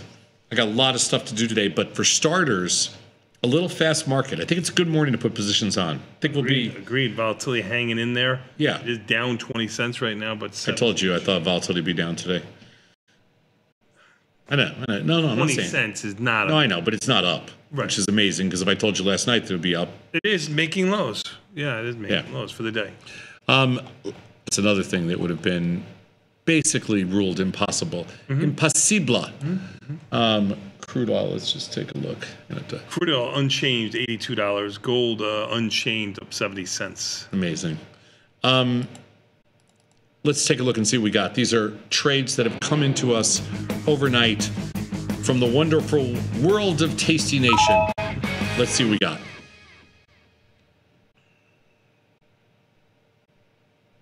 Ready. From all over. Harumph harumph. Uh, I can't see it. Is it I know I can't see the John. You got the yep. Yeah, hang on, Tom. Even the S and P's up seven. Good no sale. I did not sell them. I pulled back. I had an offer in and I pulled it back. We got a lot of trades today, so we're going to see what we can do. Uh, this one is from Cena from Atherton, California. And the NVIDIA double bottom. Oh, Cena, there's no chance NVIDIA is a double bottom. But NVIDIA double bottom on the 50 day. 970 1000 target for our for our guy Cena here. May expiration 900 calls. I scooped Thursday. Well, you can scoop them better today. Um, you could. I have a bunch. I don't have any June positions on um, in Nvidia. I am not uh, at all bullish in Nvidia. Cena, just I mean, I know you are, but I'm not, um, and I'm not going to buy this stock. But the IV rank is super high. When are earnings in here? They're not till after May expiration. Nvidia May 22nd. I'm cool with selling a June strangle. I am not cool with buying anything long in in nothing long in in this stock. I the the only thing this the only way the stock I think goes sharply higher here because I think AI is grossly overpriced is if the stock was to split and maybe they get a little pop or something. Mm-hmm, But I think this is a 10 delta sale. 10 delta calls, there's a lot of calls skewing here, are the 1180s. And the 10 delta putties here, putty, putty, putty, putty. Uh, let's see. He's more bullish than you, right? I mean, I'm not, but I'm not bullish. I understand. I'm going to sell the 640. t- You can go wide in here. You can go wide, young man. And filled at mid price. Um, so I did put a position on Nvidia. It's not what you wanted. I sold a strangle, the 640 1180 for $16.92. Seems rich. Maybe I'm Maybe I'm crazy. So you did a strangle more delta neutral than anything. I did a totally delta neutral strangle with the 10 deltas on each side. I went a little further out of the money only because it's, um, you know, only because it's uh, um, NVIDIA and it could, you know, there could be a split, there could be a lot of other a few things. times before. Yeah. Um, let's take a look at the next slide. I mean, SP's unchanged. Could have been somebody's size, but no. Could have made seven quick dollars, right? right. Tesla earnings 422 after the market closes. Could have been me with that real fine check. Um, John from Naples. I can read. John from Naples. Earnings trade Tesla after the market closed. Honestly, you really can't read. To be honest, you don't read well. It is a must. What is he playing basketball? What's going on with everybody here? It's a must buy at the 150 level. I don't see that one either, John. Um, You're leaning a little longer in Tesla. I'm already long Tesla by, and I hate it. Um, Tesla's down a 148 down a dollar 20 right now. It's Yeah. April 23rd. Tesla's down a buck today. I do not like my long position in Tesla at all. Um, I have a bunch of longs. I have to do something in here. What day is today? Today is the 19th. So I'm going to have to scramble. Be doing something Tuesday, Wednesday of next week. Yeah, I'm going to be scrambling. Um, first thing I'm going to do in Tesla today is I'm going to roll down some calls just to from I'm short some 70 calls. Oops, what do I have here? I Must close the order. Um, oh, okay. So I am going to. You know, I watch you every day trade for four hours, and it never ceases to amaze me. It never stops. Oh my God. Hold on. I'm going to adjust my Tesla position before I. Perfect. Done. And just. And now we are going to. Amazing. What does our boy want to do here? He wants to sell a put spread. Ugh. Ugh. Okay, let's do this. Work with me here. Say something. I'm going. I'm going. I'm going. I'm working I'm Working I'm Working it. Working it, boss. Um, 135. I'm gonna go to June. You gotta go to June. You should. 130. One odd. I'm gonna do something that's. I'm gonna do a 10 point wide put spread. The 130, 120. Never before seen. Go ahead. Sub never before seen in the wild. The 130, 120. And on the call side, I'm going to do the 175, 180. 10 point wide put spread, 5 point wide call spread for in June. It's going to trade at 320, 325 ish maybe. Johnny, showing you a little love. I don't know what you did today, but he like you. Well, I went out to June and I can adjust before earnings if the stock looks like Well, if you think it's gonna trade 325, if you put in a 328 offer, it's probably not gonna get filled. what price did I get filled at? 326. Okay, I was just working for the penny. Okay, I want the penny. Working for the man. I want the penny. John, I, I don't did mind it. wanting the penny. I sold a ten dollar wide I don't puts. want to watch the penny, but going five cents out from where you think it's going to trade is, you know, futile. It's June. It's you know the market's a little wider. Um, John, I sold a ten point wide put spread, a five point wide call spread. Uh, it's a little bit of a bullish position in June in Tesla. Let's go next slide. Um, and this is Luis from Troy, Michigan. Attempt to catch a falling knife by selling. Man, everybody's bullish today. Oof. Tasty Public's bullish. Boeing down 44 cents. Boeing is one of my longs, Luis, and I have been choking on this stock. Although we are making some money in the day because the stock is still a PIG pig. What does he want to do here? He wants to sell the 60 puts in June. Okay, here's what we're going to do. We're going to roll down some of our calls because we have perfect. So now we're short the 70 puts and the 75 calls. That's a that's essentially still a pretty bullish position. And then we're going to go out to June. Say I take this opportunity to adjust positions, go out to June. Take this opportunity to thank our sponsors. Um, and we are we what does he want to sell? The 60 put in June? Well, we like to do it by deltas. So we're gonna sell I like to sell the 16 to the 22 put. There isn't one, so I'm gonna sell the 150 puts because those are 18 deltas. And those are in my wheelhouse. Um, That major wheelhouse? yeah, but I don't know what price. I'm gonna try. I think they trade around 256, but I don't. I'm not sure. All right. I wanted to try a little bit above it. 256, nothing done. All right. Well, we're working it, boss. There you go. 254. I had to give up a couple pennies for you, Luis, just to get along. 254. Let's go next Luis, slide. Luis is nice. Yeah. Everybody's been bullish so far. Let's go next slide. What do we got here? Who are these? Bat's disciple, Pet Paw, from Orange County. You're, you have a disciple? My wife tried using DoorDash for the first time yesterday. Such a ripoff. I want my money back. I agree with you. That's he's your disciple. That's right. That's right. Um, I have never used uh, DoorDash ever.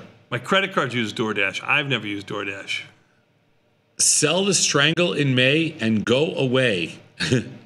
Sell the 150 call and the 110 put earnings on May 1st. What is the symbol? DAS? DASH? Usually it's in black where it says symbol. Do you know I've never traded DoorDash? Stock is trading for one, let's call it one, just under 130. He wants to sell the 150. 129, which is what it's trading. Yeah, 129.05. Uh, he wants to do May. We got 28 days to go. Yeah, let's try this 150. 110. It doesn't trade a hell of a lot of volume in here. Um, so I'm gonna reduce my size a little bit, and I think it trades around 425, 426. We're testing the waters right now. I'm gonna leave it in for a couple seconds and see if we get filled. Let's go to the next slide. I'm working it. Beautiful. Fred from Pittsburgh, Pennsylvania. Interest rates must stop rising at this point. The Fed is expected. Oh, you got filled in. No, I got filled in the 10 year notes. So funny. Fred, I just got filled. I've been offering puts in the 10 year notes. I just got filled. The Fed is expected to cut interest rates the first time in either June or July. Well, it's not. So he wants to sell one contract. I think you have this backwards, Fred. Tony, read this slide. I, I'm, I'm reading it too. Um, interest rates must stop rising at this point. Well, he's doing the yield product. He's he's got it. Oh, 10Y. You're doing 10Y. Right. I've got it. The Fed is expected to cut. I'm sorry, sorry, sorry. I didn't see the 10Y. You made was a 10 year note. Apologize to Fred. Forward slash 10Y. Fred, you're right. It's two times this this week. Take a fill, Fred. Wow. Four, uh, 4.620. I didn't work it. That's the bid. Okay? I agree with you. Well, it's one tick wide. I mean, you either could put it on the offer and not get filled, or you could hit the bid. It was one tick wide. I hit the bid, Fred. Um, and I just also, so you know, I just sold puts in the 10 year note. I sold the 10 year note puts. Um, So that's an opening trade in the same It's direction. an opening trade too, same underlying, a little bit bigger product. I just sold the 10 year note puts at um, the six and a half, the 106 and a half puts at 28. I've been working it all morning. Mm-hmm. DoorDash, still working that order. Nothing done in DoorDash yet. I lowered my price to 425. I don't know. I don't know how hard it is to get filled in DoorDash. Let's go next slide. Filled, Fred.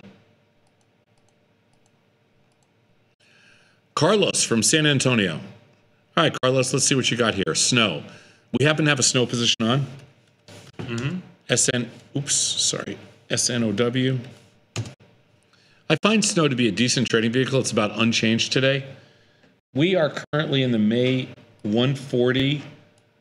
Uh, we're in the 140, 165 in May. Let me just check my position real fast. That's our current position, 140, 165. Our deltas are minuscule long. Um, he wants to go out to June, sell the 135, 190. I like to go a little further out of the money. I like like closer to the 16 delta or 20 delta. The the 125 puts are 20 19 deltas. And then what does he want to do on the call side? The 190. I'll do the 125, 190. That's a little bit bullish. Um,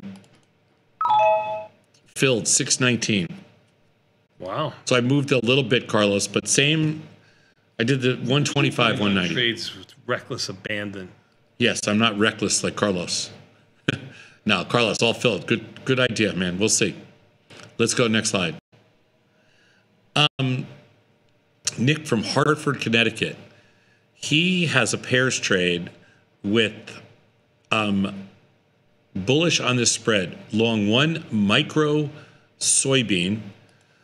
That's forward slash XK. I am long soybeans now, but not the micros. I have the regular. Let's do the micros. Uh, there's six. What am I buying? One micro? Yeah. Yeah, it's on its butt. Filled. So I bought it um, 135, 87, 50, and selling two corn. What's the micro corn? X C on the screen. C. Thank you, Nick V from Hartford, Connecticut, putting all those symbols Okay. up for Tom so we can find them. Yeah. You're selling two of those, and the current market is a couple of ticks wide. Let's see. Filled.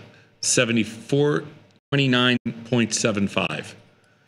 All right, You did Nick. the same ratio, two to one. I did two to one. I did exactly what you wrote down. Um, let's do it. Aaron, Aaron from St. Louis. My short term price target on Rivian is $10. All right, hold on. R I V N. I got a lot of Rivian positions on right now. Stock's uh, unchanged, down 882, down a penny, trading near its lows. I have no bueno in Rivian right now. What does he want to do? He wants to sell slightly in the money. No, that's not slightly in the money. Hold on. Oh, you know what? Rivian stinks because it only has, it only has. Uh, two and a half dollar wide strikes. So you're gonna have to do the, the out of the money strikes are a dollar away from the at the money, which only gives you around forty some odd cents. If you're looking at May, if you go out to June, um, you're gonna have the same problem, two and a half dollar wide strikes, but you get more like seventy cents. May seventh is earnings. I'm going to buy some stock. I don't like your. I like the stock here better. I know it sounds crazy, but I'm already long Rivian, so I just bought some stock here, and it's not that big a difference. Like the put premium in May on the 10 puts, it's only like 50 cents. Fifty-five cents. Something Yeah. Like that, yeah. Mm-hmm. I'd rather be long the stock, and if the stock rallies, I'll sell. Hey, Ron, your trade is is a better trade, a uh, more strategic Here, trade I'm going to do the. I'm going to make it a covered call. Then Sosnoff's trade. Okay, it's a dollar fifty expected move. I sold the 10 calls. I did it as a covered call. basically capturing all of the dollar fifty move. Yours is a much more intelligent trade. Tom realized the error of his ways and made it a covered call. I did it as a covered call. Bought stock, sold the 10 calls. Same thing as selling the 10 puts. But it got filled at a better price if he'd done it one trade. But he will learn about. I doubt it. Trading. Let's go next slide. Trading when he gets. Uh, Pete from Atlanta, Georgia. Cool. Wants to do IWM, high IVR, Iron Condor, good strategy considering selling it in May. Well, IWM. Wow, IWM strong today. Let's just take a quick look at our IWM Strongest position. group. Yeah, we're a little short this morning. Hold on one second. We are going to have to recenter our current IWM position. We're short the 202 calls and the 185 puts. Hold on. We're going to roll our 185 puts up to 187. Perfect. Now we're flat.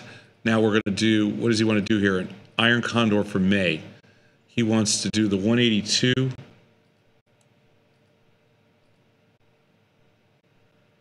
Wants to wants to sell the 187. Easy for you to do. 182. God, this is the same position we have on. 202. 207. Right? Pete, Atlanta, Georgia. Two bucks, Pete. Like you can see your uh, platform. Two bucks on the nose. Or 199. Oh, did it was it one? That did I go down to 199? Or 199. Okay, 199. Sorry about that. 199 on the nose. I could have sworn. Did you change my price? 199 on the nose. Even the SP's unchanged. Yeah, sharply unched. Oh, Yeah, I covered that SPX trade from last night. That was a gift. I thought it was going to be a total loser this morning. I, I hated that trade, by the way. Uh, let's go next slide. You don't like money. Uh, Joshua from South Bend, Indiana, Vonetta's home, kind of Vonetta's hometown. Uh, You could you could have made a buck fifty if you just waited a minute. Yeah. Your SPX trade that you hated. XBI. Anybody that can make money in XBI, I give them all the credit in the world. I agree with you. So I have a position on here. Hold on, let's do our first XBI position. IV rank is really high. I'm in the middle. I'm in freaking no man's land here. I'm gonna roll this position to June. But like, here's the weirdest thing about XBI. This one's a tough one for me. That's all I can tell you. Yeah, it's a tough one for me. It's not one of my go-tos. Okay. So now I just moved my existing position to June so I can do whatever you want to do here. What do you want to do? XBI is a great candidate for Jade Lizard. High VR, low underlying price. Is this a low underlying price? Do you remember what a Jade Lizard is? Yeah, it is kind of low. They really have sold the stock off. So let's see. He wants. The, the stock hasn't had an, an uptick since 100. Yeah. It's 80 All right, Joshua, we're going out to June. He wants to sell the 79 put and the 88 91 call spread. Gets three dollars for it, a little bit over. Classic Jade Lizard. No risk to the upside. It's typically not the trade size would make. He usually does not know how to do a Jade Lizard Oh my or set it up not to have any risk in one direction. I'm practically like if the Jade Lizard if the Jade Lizard was to have a stepfather, I would be it. A new daddy? Yeah. I finance These markets aren't that great. These markets stink. I'm working it right now. Nothing done, Josh. Um, let's. Oh man, is it my price way off or something? No, you're there. Three. I mean, I mean, Looks like they're. three ten or something like that. I thought it looked higher than that before. I'm working it. We're working it, Josh. We're gonna see what we get filled. Let's go next slide. Was that the last one? Yes. Hold on, hold on, hold on, hold on, hold on. Let's. We got to give throw Josh a bone here. I can't. Oh, you're trying. I am trying, but I can't get filled. If you go down to three ten, you get filled. Three ten, it is, my friend. The only one we're not filled in is DoorDash, and I'm okay with passing on that one because that is probably the least interesting of all the trades, only because it's the least liquid, not the least interesting, least Right. So you so you reduce your size if you do anything. Yeah. So we did nine out of ten. DoorDash is out, John. I canceled it. I, I couldn't get filled. It dropped Off with its head. Off said. It's just the least liquid. Nvidia, um, Nvidia, we did a uh, a strangle, not a call. We did a strangle. In uh, Tesla, we did a uh, skewed iron condor. In Boeing, we sold a naked put. In yeah, let's change some of these. In in in Nvidia, John, we sold a strangle in June. Sold a strangle. In Tesla, Look at this. You get to see it take place in real time. In Tesla, we sold a um, skewed iron condor. amazed at what amazes you. A skewed iron condor in Tesla. Childlike wonder. Skewed iron condor, yes. Childlike. Boeing short, yes. Perfect. 10, 10 year um, notes, we sold them. Um, in snow, we sold a strangle. We did a pairs trade in corn and soybeans. We did the effectively a covered call in Rivian, not a put covered call. Yeah, John. Covered Come call. on, John. Fix that Uh, in real time. IWM, we sold an iron condor and XP. Although it's essentially the same trade, you know. It is, Na- but let's- naked put let's- at the same strike as a covered call. And the this- same trade. So technically, John was right. and this is now correct. So And- be it. Nine out of 10 opening trades today. We've actually been quite active. We've already made, because I traded a lot last night, we've already made 45 trades today. Yep, yep, yep. A lot more than yesterday at this time of day for sure. Yeah, Even the so- S&P is unchanged. Nasdaq down a hustle, hustle, hundred. Russell down thirteen, and the Dow down two. So I'm looking right now at some of the stocks that we trade um, and that we have some some positions on. Um, Apple has not had an uptick all day. No. Nvidia has not had an uptick all day. No. Netflix is hanging in there, 373. It's kind of it's higher. It's a way off its lows. AMD, Tesla, no upticks. Coin, no downticks, and Meta, no upticks. That's why the Nasdaq is so weak today. Because the big boys are not carrying it. They're not playing. No, They're not fooling around. no, not at all. Beautiful. You want to take a quick 90 second break? Of course. Let's take a quick 90 second break. We'll come back. We got more Tasty Live after this with a market measure.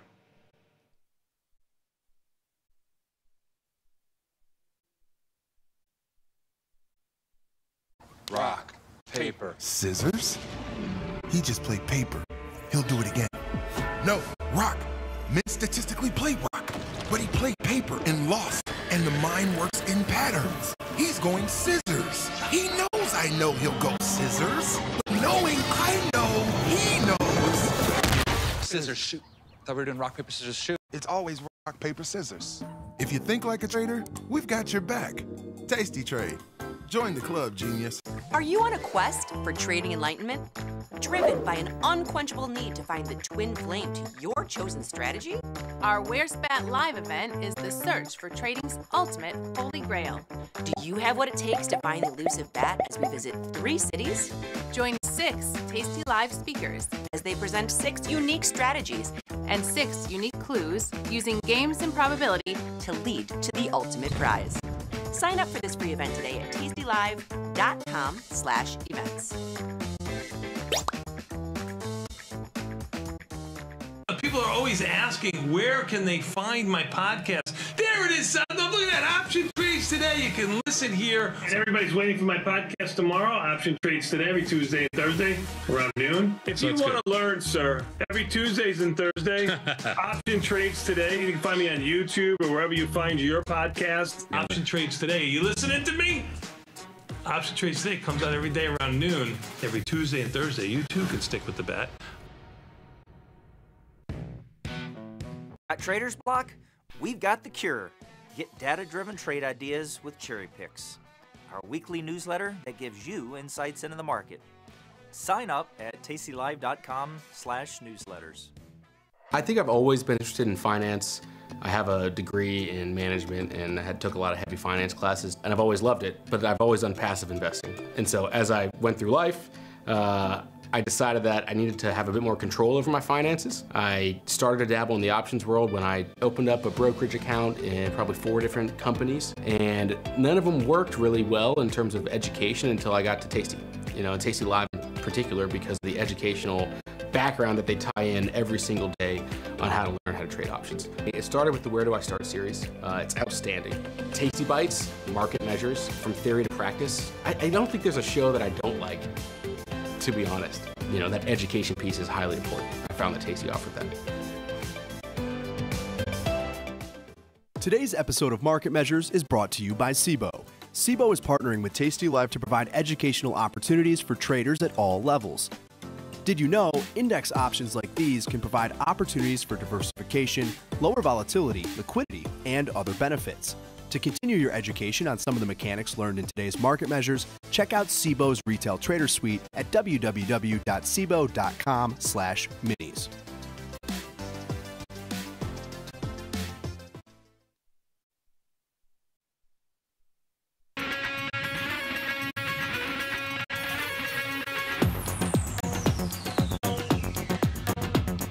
Tomas, Tomas, we're back, my friend. You know what that means? Time for a little bit more tasty live with this uh, market measure. Even the S&P is down six, Nasdaq down 115. Other side of the coin, Russell up almost eight, seven and a half. Dow up 169.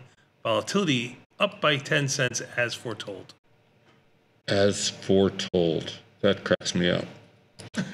um, as foretold. Bonds up 13. I hate that. We had them. I had them. Oil unchanged. I mean, I'm out of I'm out of my bond positions um, and the no positions, but I wanted them to continue to go higher. I wanted more. I did. I wanted more. You didn't want the chance to reload today. That's right.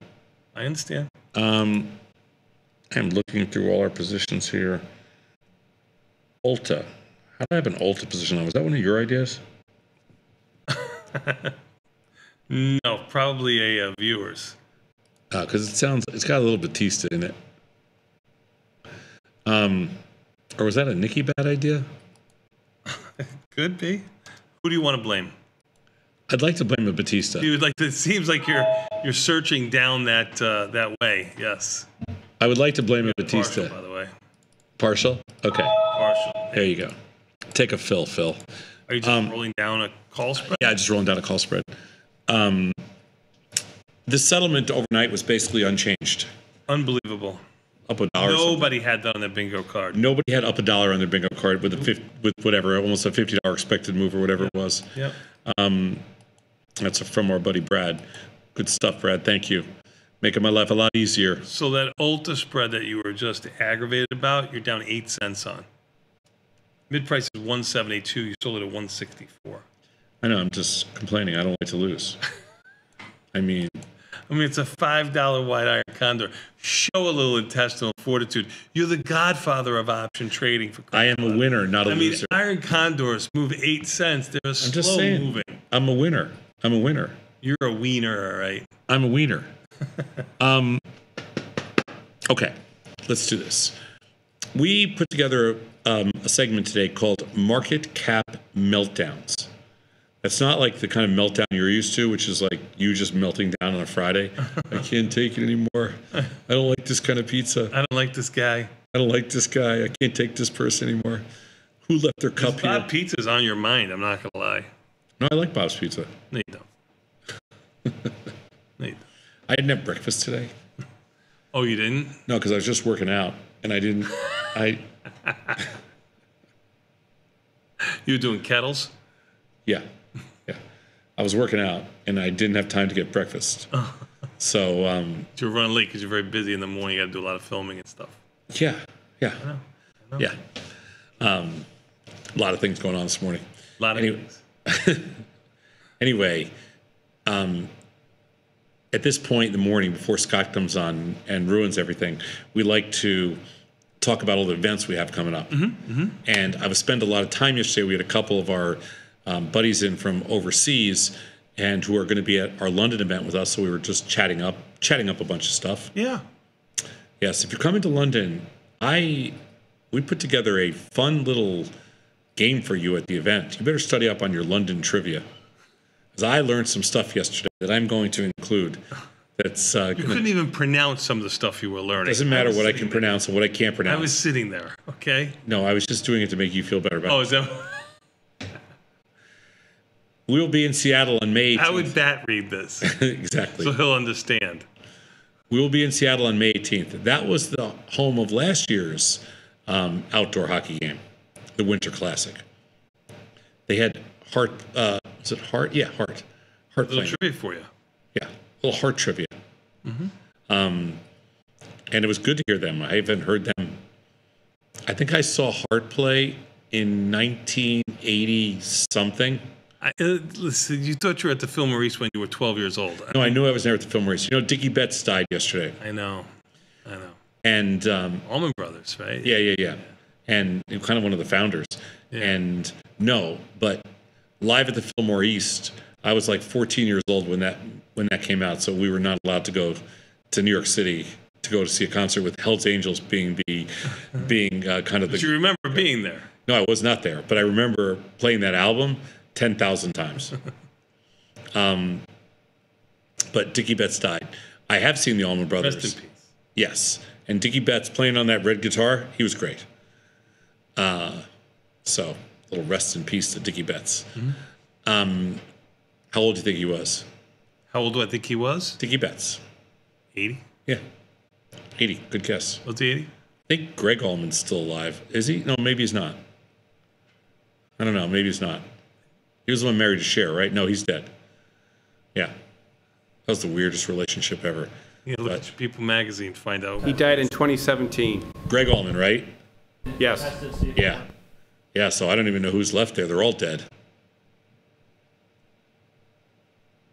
Are they? I thought there was one of them. No. Duane died in a motorcycle accident. And then, He was in his 20s, wasn't he? Yeah. And then Butch Trucks, I think he was the drummer. I think he died a long time ago, too. I don't know. Hmm. But crazy. Anyway, and we move on. We move on. Next step.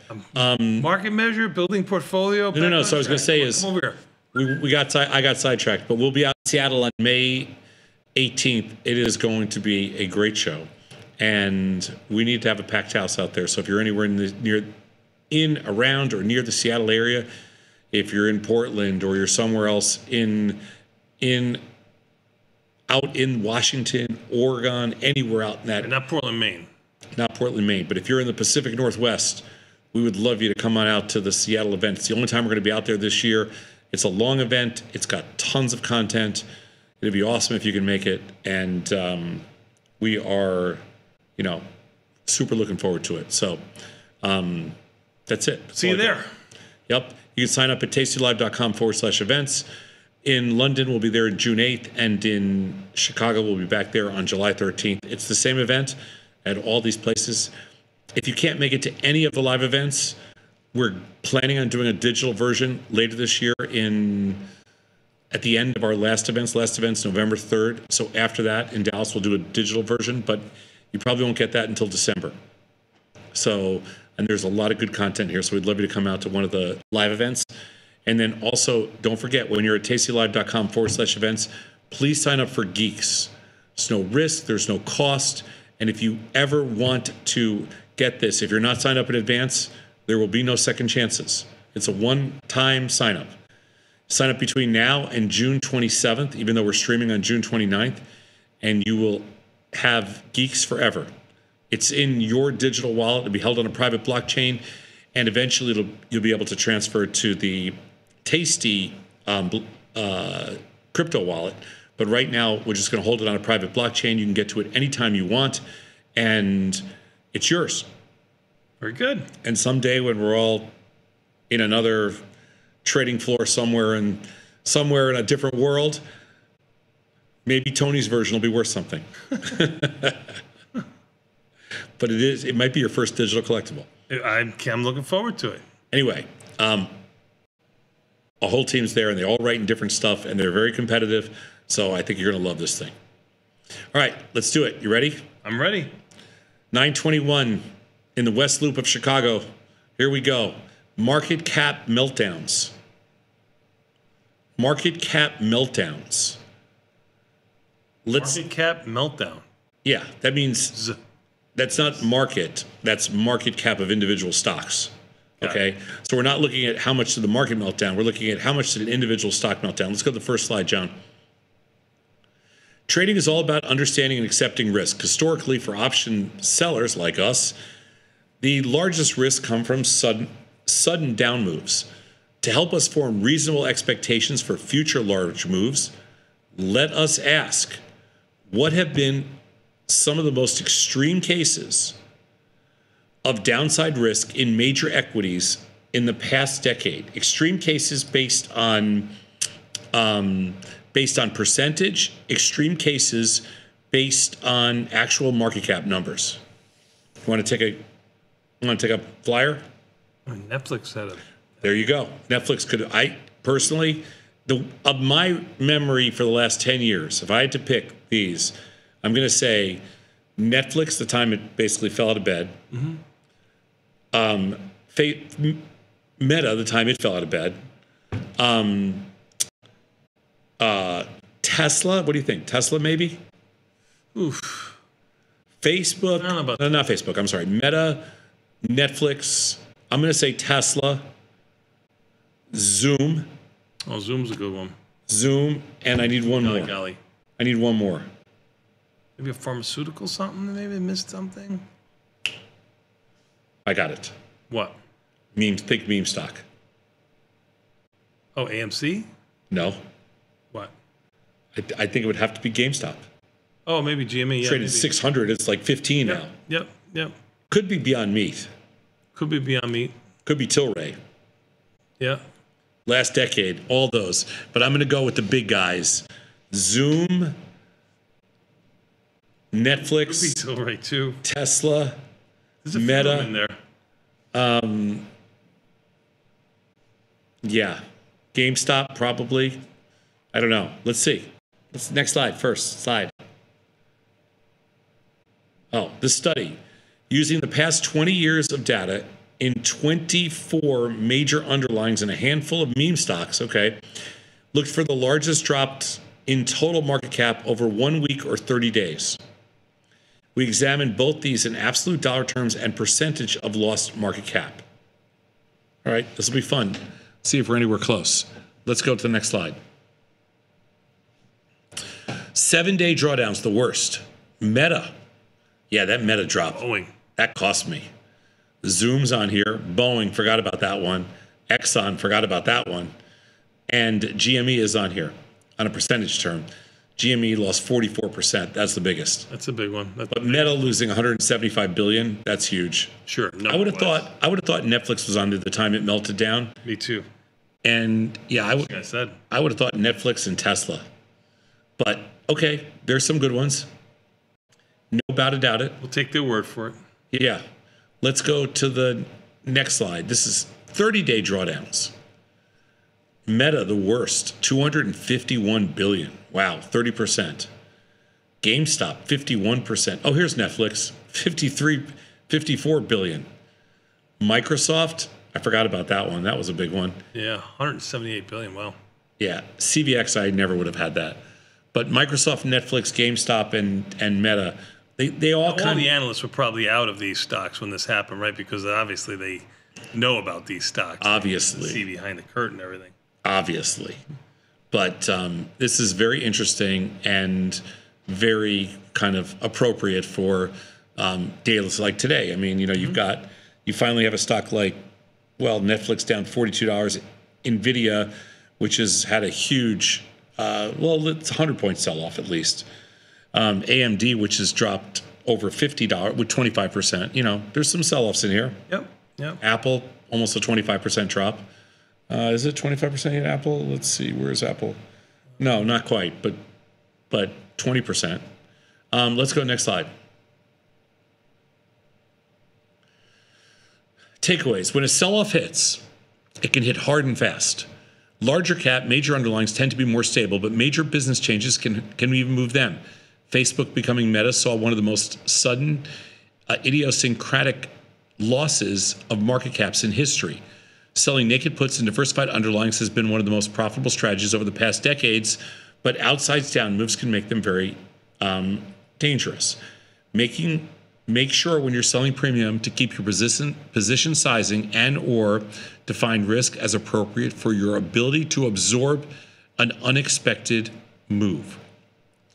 That is correct, Mr. Battista. Yes, yes, sir. Good little uh, study. But you know what? I gotta get let you go, Sadam. You know why? Because it's Friday, and every Friday we go to Mr. Scott Sheridan, as we do every day.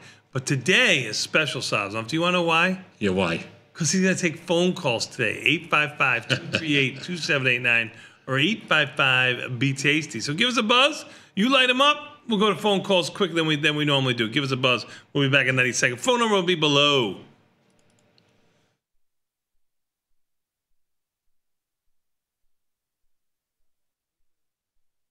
Dear Braden, big thanks to you and the nerds for the wonderful tech support. Of course, I back everything up to cloud because I'm 60 years old and I know what a cloud is. Yours truly, Larry. Sometimes it feels good to get smart. Get even smarter with live trading insights and some live taunting. No, your office is right near the near a, a different. You're like closer to the near what? This is, this is English. You should watch him read. From the smart mouths at Tasty Live. Looking for a better broker and a bonus? Sweet. We got you. Right now, you can get a bonus of up to $4,000 when you open and fund a Tasty Trade account. Plus, low rates, smart tech with the analysis tools you need, and award winning support. So, get a broker who's actually got your back. And up to $4,000 at Tasty Trade. Make your move, genius. Tasty Trade.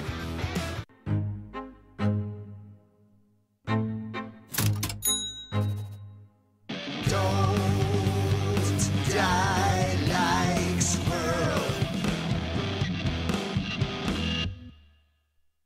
Hi, I'm Ryan Grace with Tasty Crypto, and today we're going to talk about the Bitcoin halving. The halving refers to a reduction in the reward Bitcoin miners receive for mining Bitcoin. When a miner successfully adds a new block to the blockchain, the miner is rewarded in Bitcoin. And today, this reward is six and a quarter Bitcoin per block. After the halving, the mining reward will be cut in half, and miners will only receive three and an eighth Bitcoin per block. This is not the first halving. The halving is programmed into the Bitcoin source code and automatically occurs after every 210,000 block period. As new blocks are added to the chain every 10 minutes, halvings occur roughly every four years. And this is all by design. The halving process is a feature of Bitcoin, intended to control inflation of the cryptocurrency and ensure long-term security of the network.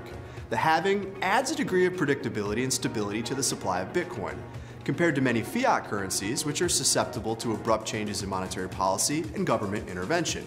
There is no central authority that can manipulate the supply of Bitcoin. It's pre-programmed over time. This matters to investors as prior halving events have marked the start of significant price increases for the cryptocurrency. Think about it this way. If the rate at which the supply of Bitcoin is growing gets cut in half, and demand stays the same or increases, it can be quite positive for prices.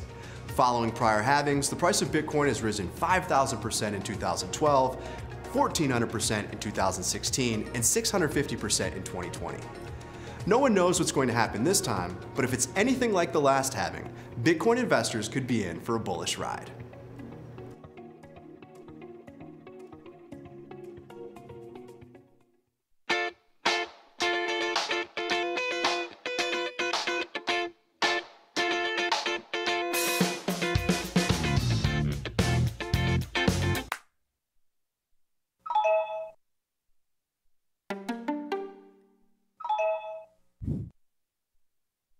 Thinkorswim will always be my baby, but this one, it's different. We built ours literally from scratch. It's a much thinner, it's a faster, it's a slicker application. Everything's on one page. So you're always looking at the core page and then bouncing around from there to get to whatever you want to get to. We're here to support whatever you're looking to do. We have the tools that you need to be a successful trader. The delta of paper is equal to the partial derivative of rock with respect to scissors. Rock, paper, scissors. If you think like a trader, we've got your back. Tasty Trade. Join the club, genius.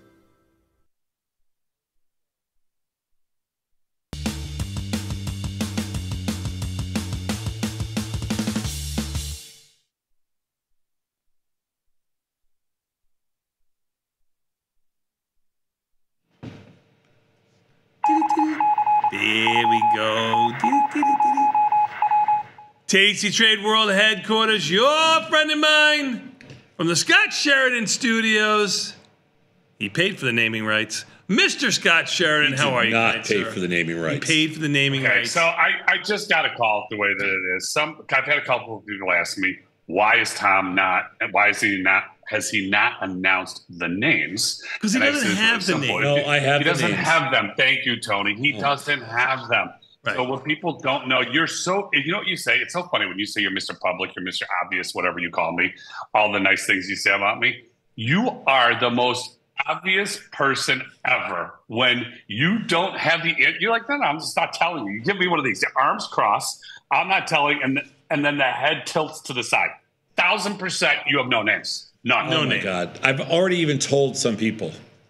sure who yourself I'm not telling you who. oh here it comes you told people which people I told people that are able no to offense keep Joel. a secret.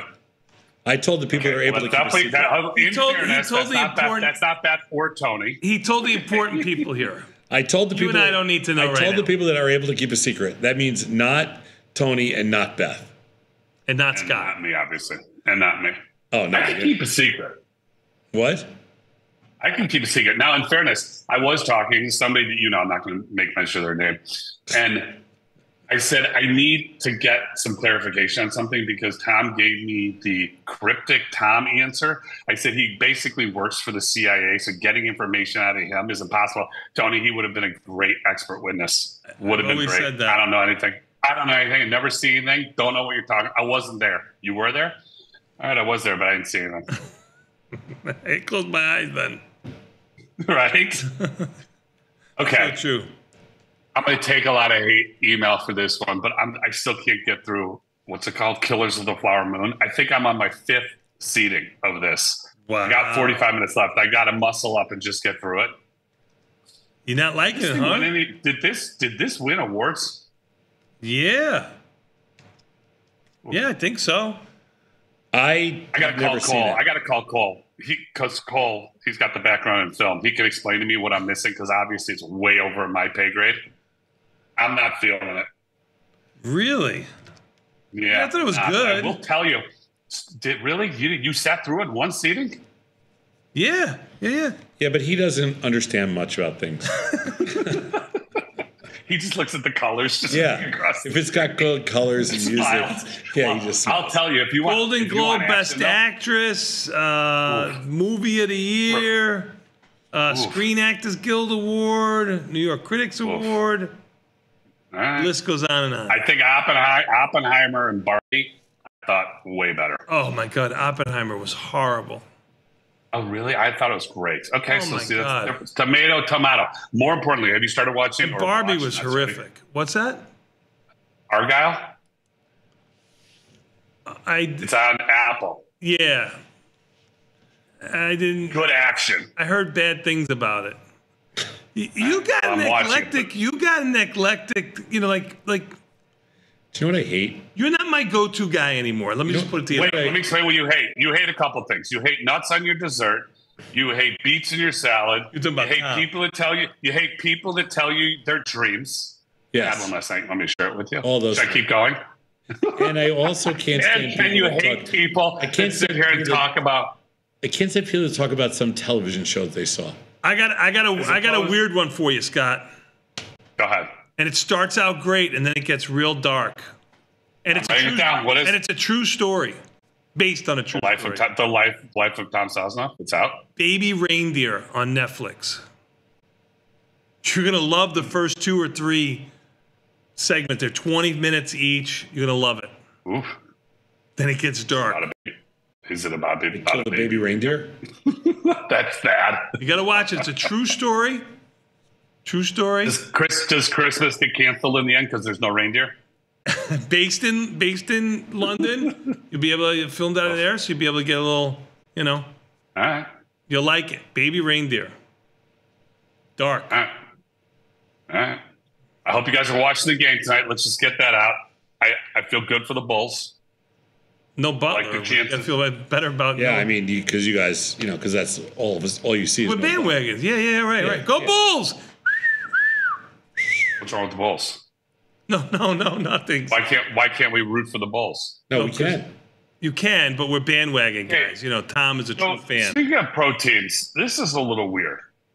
So the Coyotes, you know, they're moving to Utah, Yeah. but they didn't get the name.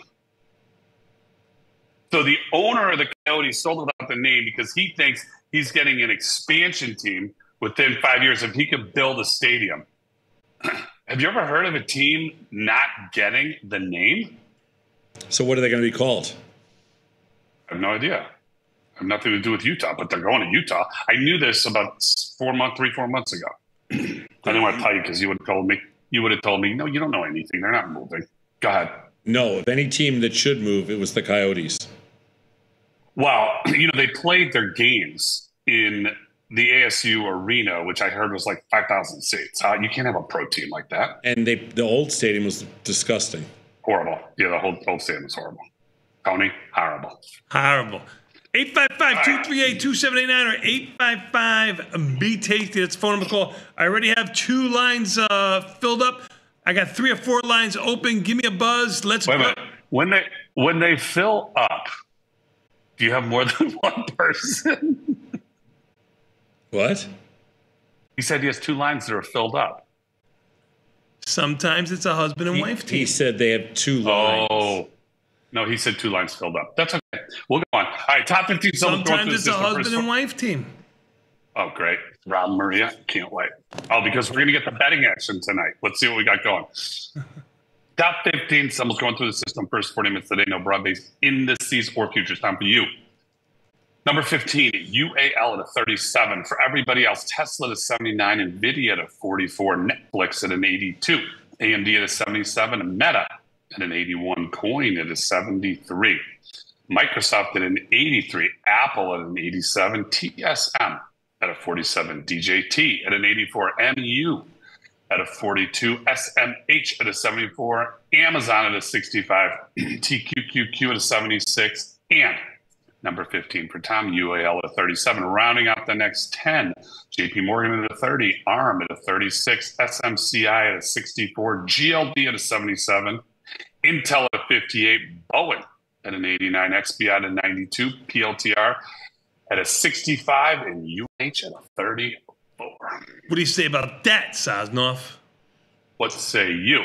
Um, I really don't have much to say here. I mean, I'm, I'm not, I'm not hating what's, I'm not hating what's going on. What do you mean? I hate what's going on? I mean, I'm not hating this market today. Okay. Not sure what that means, but okay. That means I'm not hating the market. okay. Okay. All right. Good. Good. Then if you're not hating it, I'm not hating it. Sound good to you? Yeah. Sounds sounds good to me too. Um, Tony, Tony, Yes, sir. Like this. you want another one? I have one question to ask you, Sosnoff. Yeah. Did you tell Josh the studio names? No, he's he's in the same league as you and uh, and Beth. He's not. He's, he's, he's on Team You Yenta. keep, you keep excluding you keep excluding my friend Mr. Sheridan. No. Yeah. Oh, Sheridan has he's he's tell Scott tell the, world. No, there's only I only have one I only have one friend here that that that I mean Just so you know, he doesn't think you're a friend. no, I have one friend here that that I know can keep can keep uh, secret. One person. What? Steve. Steve. Steve. You can get anything you want out of Steve. Just give him a cigarette and a, and a just give him. Wow. No, you can't, Steve. No. This is tough today. He is. He is. Could we make? Could we have? I need a new firm policy. Steve. Oh my God. Tom needs. Tom needs breakfast before we start this show. No, the only guy, the only one I can count on for sure is Jules. Jules doesn't. Jules doesn't give up anything. Jules I'm- knows. I- I'm not- you told I didn't him. say. not- I didn't I'm say he knows. I just said I can trust him. And you want to know why you can trust Jules, him? No, Jules will forget. No, no, it's not that. It's not that. It's the other reason that I don't want to say in case he's listening, he's going to get upset. Oh, so you don't want to speak the the town. truth because he might get upset. He's, he's never he's never around to tell anybody. That's the issue. No, now he- you're in he can't- trouble. He can't Now you're in tell anybody. All right, can I go to my phone lines? Do it. Let's do it. We're going to go to uh, Carlos in Miami. Carlos, what's up? Thank you so much for calling. Good morning, gentlemen, from uh, sunny Miami Beach. How are y'all? Doing well. Thank you so much for asking. In sunny Chicago. Sold. Looking forward to you guys coming down in, uh, to Miami Beach uh, sometime in September, I think. And Yeah, I'm yeah, yeah. Signed up. Yeah, we're gonna have a big show in Miami. We haven't been there in a couple of years. It's gonna be great. Where do you do it, Listen, first things first. I don't know where. Where's our show in Miami, Carlos? I'm not sure offhand. It's it, it's at the um, it's at the theater that you guys did, did it uh, pre-COVID. I forget the name of the theater right now, but it's uh, in the heart of uh, South Beach, uh, Lincoln Road Mall area. Oh, nice. Oh, I'm trying to First remember. things first, guys, I want to thank you for everything you guys do for retail investors. I've learned so much from you guys, and, and I'm a proud Tasty trader. Been so since 2018, I believe, and I'm really happy that I I, I, I happened to find you uh, in, in you, on YouTube and, and through friends. Uh, even more impressed was is this web-based upgrade to the trading platform simply in a word, fantastic. I know that you know the uh, it looks slick, uh, it looks it's very fast, and the charting package. I know Tom, you're not into charts, I get that, but the level of engagement, at least for me, is so much better than it was before, and I think even better than it is on the native app that we download. So kudos to you guys for putting that out. I appreciate it very much. I do have one request though, Scott.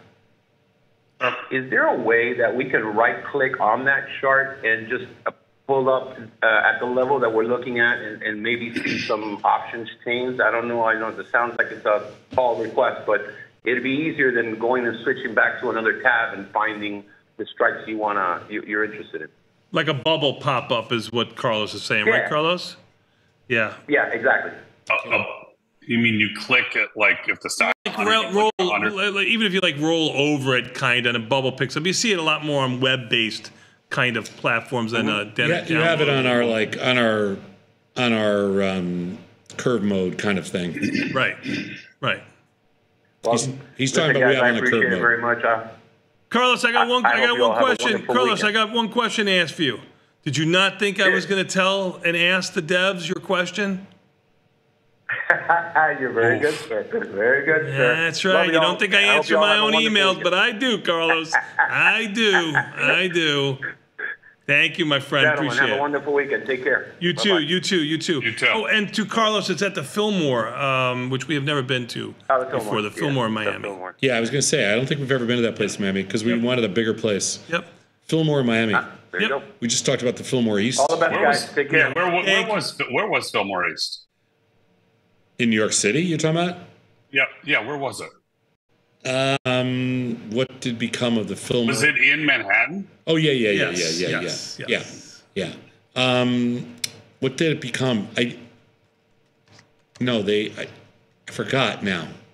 Somebody will know. Uh, mm, Lower East Side, now called the East Village. Um, I don't know, 105 Second Avenue. Yeah, it's not. I don't know what it is now. It's not. It's not. But it's it's nothing. It nothing. was now. open. it was only open from March 8th, 68 to June 27, 71. Yeah, after the after the whole Hell's Angels thing, they shut it down. Yeah. Remember when they? When Tom was there when he was 14 years old and his mom let him go. Yeah, they, the Hell's Angels with the baseball bats. They beat this kid's heads in, and then they shut the whole thing down. That was the end of that. Um, we're going to go to That's- Giuseppe in New That's Orleans. why we weren't allowed to go. Hey guys, how you doing? Good, sir. How are you? Good. Hey Tom, listen, your your secret's safe with me on the name of those studios. Yeah, I Don't know, I know, you guys. I know, I know, I, I know.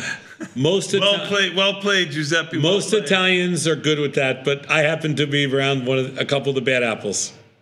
Well played, Giuseppe. Especially that one with that blue shirt on. I don't think he's Italian myself. No, he's he's Real, real quick, um, Scott, since I have you on, what's the difference between the platform, the web-based program, and the platform app that we're using now? And the reason I'm asking is because I'm having difficulty with charting on the app program. What's the difference between you're saying the download and the web based? Right, I, I'm using the platform application. Yeah. You're, using, downloaded you're the using you're using the downloadable. They're they're very similar. They're very similar, but the downloadable's faster. Faster. Gotcha. But And we have, as the last caller just said, we made some huge changes to our web. So to make it look and feel much more similar to the download. So check it out. There are a couple differences. Um, we have some good videos out that we'll show you on the on the help section, or you call the desk, and you know they'll be happy to go through and just explain to you what some of the differences are. They're minor, um, but it's we're trying to get them to be basically a parody. so whatever, Yes, sir. whatever and you one more prefer. question, Scott. And one more question, Scott. On the charting on the download app, um, the futures. If you put like a futures trade on, even if you have put, you have position or or buy or sell, it shows up on the chart. But if you have a futures um, option, a put or a call, it doesn't show up. Is there a button I'm missing, or do you want me to call the apps? I mean, the the help desk. we I don't know the answer why we don't have it. You're correct. We do have outrights, not options. I believe I believe that's coming. Um, but if you send me an email, scott at tastytrade.com, I will get you confirmation on that. You are there is no button to push. You're not missing it. At least that, I, that I am aware. of. I, I will get I will get I will get you the answer. Shoot me an email. Okay, and um, go Bulls and go Pelicans without Zion. I heard we trade y'all go trade Zion to the Bulls after the season. over. Oh yeah, Zion's not playing tonight either. Yeah, that's right. Why? What Pure happened? garbage. Hamstring. Um, he hurt himself in the last game, but Hamstring. yeah, Well, if he wants to come to the Bulls, I'd be I'd be happy to take him. We'll give you Zach LaVine. We'll give you Zach LaVine right. and a couple dollars for He's sure. hurt too. I know not exactly. Um, Caruso. Yeah. The problem is he don't play. He don't even get on the damn court. Yep. Yep. Well, y'all have a good what I'm weekend. being, hey, what I'm And, being uh, told, what I'm being told on the pro, from our products team is that you can chart the actual option for futures, but that's the only way that you'll see the your Yeah. order, your year position. But that's if you, gotta chart. That's if you chart the actual I- option. yeah, correct. We'll see about getting. I'll I'll talk to them about getting the, putting the addition, putting the options on as well as the outrights. So again, you're not missing anything in its current form. But again, you we'll be happy to take to take Zion. That guy's a monster. Thanks again, my man. Yeah, he's a monster. All right, see you later, Tony. I still love you, even though you might be half Italian. I love you too, man. Be well. I'm gonna go to the Bronx. I got Jocelyn. Jocelyn in the Bronx. Hey guys, how are you? Good. How are you? Hey, Jocelyn. Listen, no, listen. The Fillmore East now is NYU dorms. Oh, Uh, of course Yeah, it is. yeah, yeah, Everything yeah, in the that Lower whole East thing Side was is an up. NYU dorm. oh, No, the- good call. Good call. Yep. The whole thing was bought up. The whole thing. Look, it's different, but Webster Hall was awesome. It was so good. I haven't been there since like 1990. Okay, it was totally different, but it was it was good. It was great. It, I felt like it was back in the day. So it was a good. Hopefully, I see you guys in another city. Maybe it'll be London. Maybe it'll be Miami. I got to go down to Florida at some point. But okay, here's a question. This is Scott question. Yep. Ready? I'm ready. those, you know, uh, Bat and Tom, have you ever, you know, through your work relationship over the years, This is had an apology? Hey, guy, I'm sorry, from Tom or Beth, like genuinely. Tom, no. 100% no. Okay, let's just say this. Never an apology. Tom once did admit that he did something wrong. Okay, but that was baby steps. It wasn't his fault. He did something wrong, but it wasn't his Wasn't fault. his fault. Somebody gave him bad Correct. information. Actually, the way the phone call went was he's like, I need your opinion on something because I think I may have done something wrong. To which I responded, I don't even need to know what you did. You were wrong. If you're calling to ask me, you were 100% wrong. So I said, What'd you do? He told me, I said, Yep, you were wrong. Tony will apologize. See, he's got a heart. If Tony makes a mistake, he's going to say, You know what, Scott, I apologize. I made a mistake. Oh my Thought God! this way, Have you that way. never met him? Tony, am I, am, he doesn't. Tony, am I right or Tony? You're 100 percent right correct, wrong? Scott. He I will go I to the bitter truth and I end. admit when I'm wrong. He'll go to the bitter end before he admits he's wrong. No, I'm a, No. I have an opinion, but I, I mean, you know, if I He will wrong. say, I was wrong. I, was wrong." thought it was this, but you know, I was wrong. As opposed to the other person who Okay, will guys, remain guys, guys, guys, guys, guys. Love is never having to say I'm sorry. That's right. That's Okay, right. I that's all remember I that from. say. I remember that That's from the I little, gotta say. That's all the little naked, the little naked great. cartoon. I remember that one. Everything guys with are you has to go. Everything You has guys to go are back to making naked it- with you. It's Thank all you. quiet here in New York. So you guys are great. I gotta go. Have Thank a good you. one. Thank you. Thank you, thank you, All right. thank you. Um, we're gonna go to uh, Cocoa Beach. Mark the trainer. Da-da-da. What's up, Mark? Guys, um, I was thinking, I was calling for the A team of Mike, Nikki, and Katie, but I'll deal with you guys. You're okay. Um, That hurts. Tom, I got to tell you, excellent show, and Brittany put everything together. The food was great, the venue was great, the content was amazing. Um, that I tell you, I was looking to play some millennials. This big strapping lad, take him. He looks at me, he goes, "Mark the trainer." Gives me a handshake, man hug. Let's take a picture. Boom, you raise the price. Name the price. Nah, he was in college. You did a great. We're losing you, Um, Mark. show Yeah, I can, Yeah, you break it. You break Mark, it. we can only we only hear every other word. Oh, I'm sorry. Um, I have um, uh, the show was great, and um, I guess we have a guy and Just, fin- just finish phone. with saying Tom's the Tom's were great, and then you can leave. Thanks, Mark, but we can only hear every other word. It's weird. Thanks, buddy. I'm sorry. Don't worry, don't worry. All good. No worries, no worries, no worries. All good. We're gonna go to uh, Missouri. We'll finish up with Stan. Stan in Missouri. What's up? Good morning, guys. Good morning. I've opened. Hold on, let me close the computer. Okay, I opened a three lot iron condor, and when it fills, it only shows two of the long foot. It'll show three of the short foot and call. It'll show three of the long call. About the only way to close it is just close the two lot. No. And then it shows the one lot correctly. You must have had an existing position on that canceled out one because you've got three by three by three by three, but you have different strikes on one side, correct? I, I don't believe so, but I'll watch it from now All on. right, so so this would be hard. This is hard for us to do with, without obviously seeing it. Without it. seeing it. And you really should, you know, give the, the trade desk a call. Obviously, they Scott, correct me if I'm wrong. They can see all your your past trades We, that um, you've Oh, we, we can see everything. right. So we can see what what you did and what you had Okay. on prior to that. And they'll, you know they'll be able to walk it through you and, and Yeah. actually explain what you really have on. I think what happened Okay. was you had an existing position on, and it just canceled one out. and Overlapped. you're- Yeah, yeah. Yeah, you had an overlapping position on, but it's going to be Okay. y- you're. I think your risk hasn't changed from what you Exactly. thought you had. Yeah. It is what it is there. Just give them a call. They'll be able to explain it to you a lot easier. Yeah. Okay, I appreciate it. Thanks, guys. Have a nice day. You got it, Thanks, man. Dan. Anytime. You too. You too. Thank you. Um, thank you, Scott. Appreciate your time. Uh, we're gonna take a quick 90 second break. We're gonna come back, Scott. Uh, enjoy yourself. Uh, I, I, I got Oh, you. go ahead. Go ahead. Take the dig. Go ahead. I got What do you yourself out. I got you out in time to make your tea time. I told you it is the member guest tournament. Oh, that's right. I forgot. I forgot. Everything's closed. How I silly can't of me. Do anything. How silly of me. I apologize. I apologize. I will for. I Don't will you have a forward you the tanning session or a massage or something today?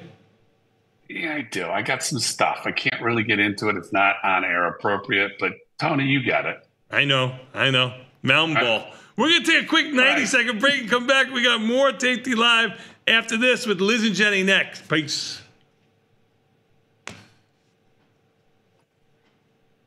You're out, everybody. Thank you. If you missed the live show, here's our cherry on top weekly recap. Yeah, my man God, that's all that can mean. And cut. Let him go. We got plenty of time. My- And cut. Like, where you got to go? Did you ever box? Once. You? Oof. Yeah. I guess so. What was her name? I thought it was cold out, but I'm going to take this off because it's too hot in here, but it's. Oh, uh, yeah. is, is this where we pay extra? Come on, get it, girl. But I'll wait for the. I'll wait How for do I send you money? I'm clicking. I'm clicking the likes. I'm clicking the heart. How do I send you money? I mean, Tom, we could increase our revenue stream if you become a cam girl. Ah, you were a khaki wearing, I was special. white Jordan gym shoe throwing. Oh, I wore a out, lot of white polo shirt, ratty tie, long haired hippie freak with sunglasses on the top of your head. That was your look. Did you have a members only jacket? No, I'm not. Yes, he did. He, I could. Yes, he did. yes, you did. Oh, yes, you Never did. in my life. Never. I will find pictures of you. If I Ooh, text I'm wipe, I will find invested. I'm interested Yes, now. Yes, he did. Yes. he did. The latest self-inflicted uh, accident that he had that he shared with the audience while I was on vacation and hasn't mentioned it since. But since you brought it up, let's hear about it. Sosnoff, why don't you tell us? What'd you do? Come clean. All I did was push a button. I just hit the wrong button. And my gate closed on my car. He he's sitting in again. Again. Thank you. Yeah, you closed it on Enterprise rental car. Yeah, I don't have an I don't have electric eye on my gate because I don't know why. And so Too cheap. You. no, it just Because it was $25 and you had to cut back somewhere. I get it. Uh, Tom, you are getting shout out. Uh, check us out on Reddit. People continue to just roast you in the comments. Oh my God! Did you see those? Why do all rich guys don't? How come they don't look like like George Clooney or something like that? Brad Pitt, yeah. The Brad Pitt, it's so good. They are they are on fire. They're on fire. My favorite in the YouTube comments, someone the other day called you a boomer supremacist. yeah, someone was like, "Oh my God, why is Sam Kinison trading?" I saw. Whoever wrote that, they should just take my job because I quit. That's that's gold. Get the full scoop by checking out the archives at tastylive.com. Golf putt, normal distribution, Reduce speed, increase standard deviation for a wider angular strike. If you think like a trader, we've got your back. Tasty Trade. Join the club, genius.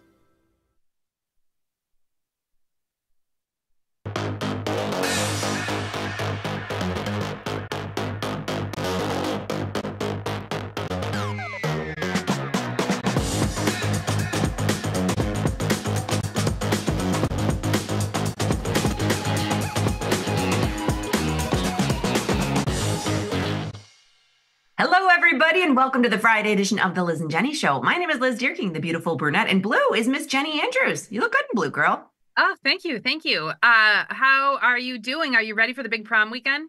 I am, but we've got a big basketball weekend first. I'm leaving for Indianapolis all weekend to watch six basketball games before prom. So we got to go through this to get to the other side.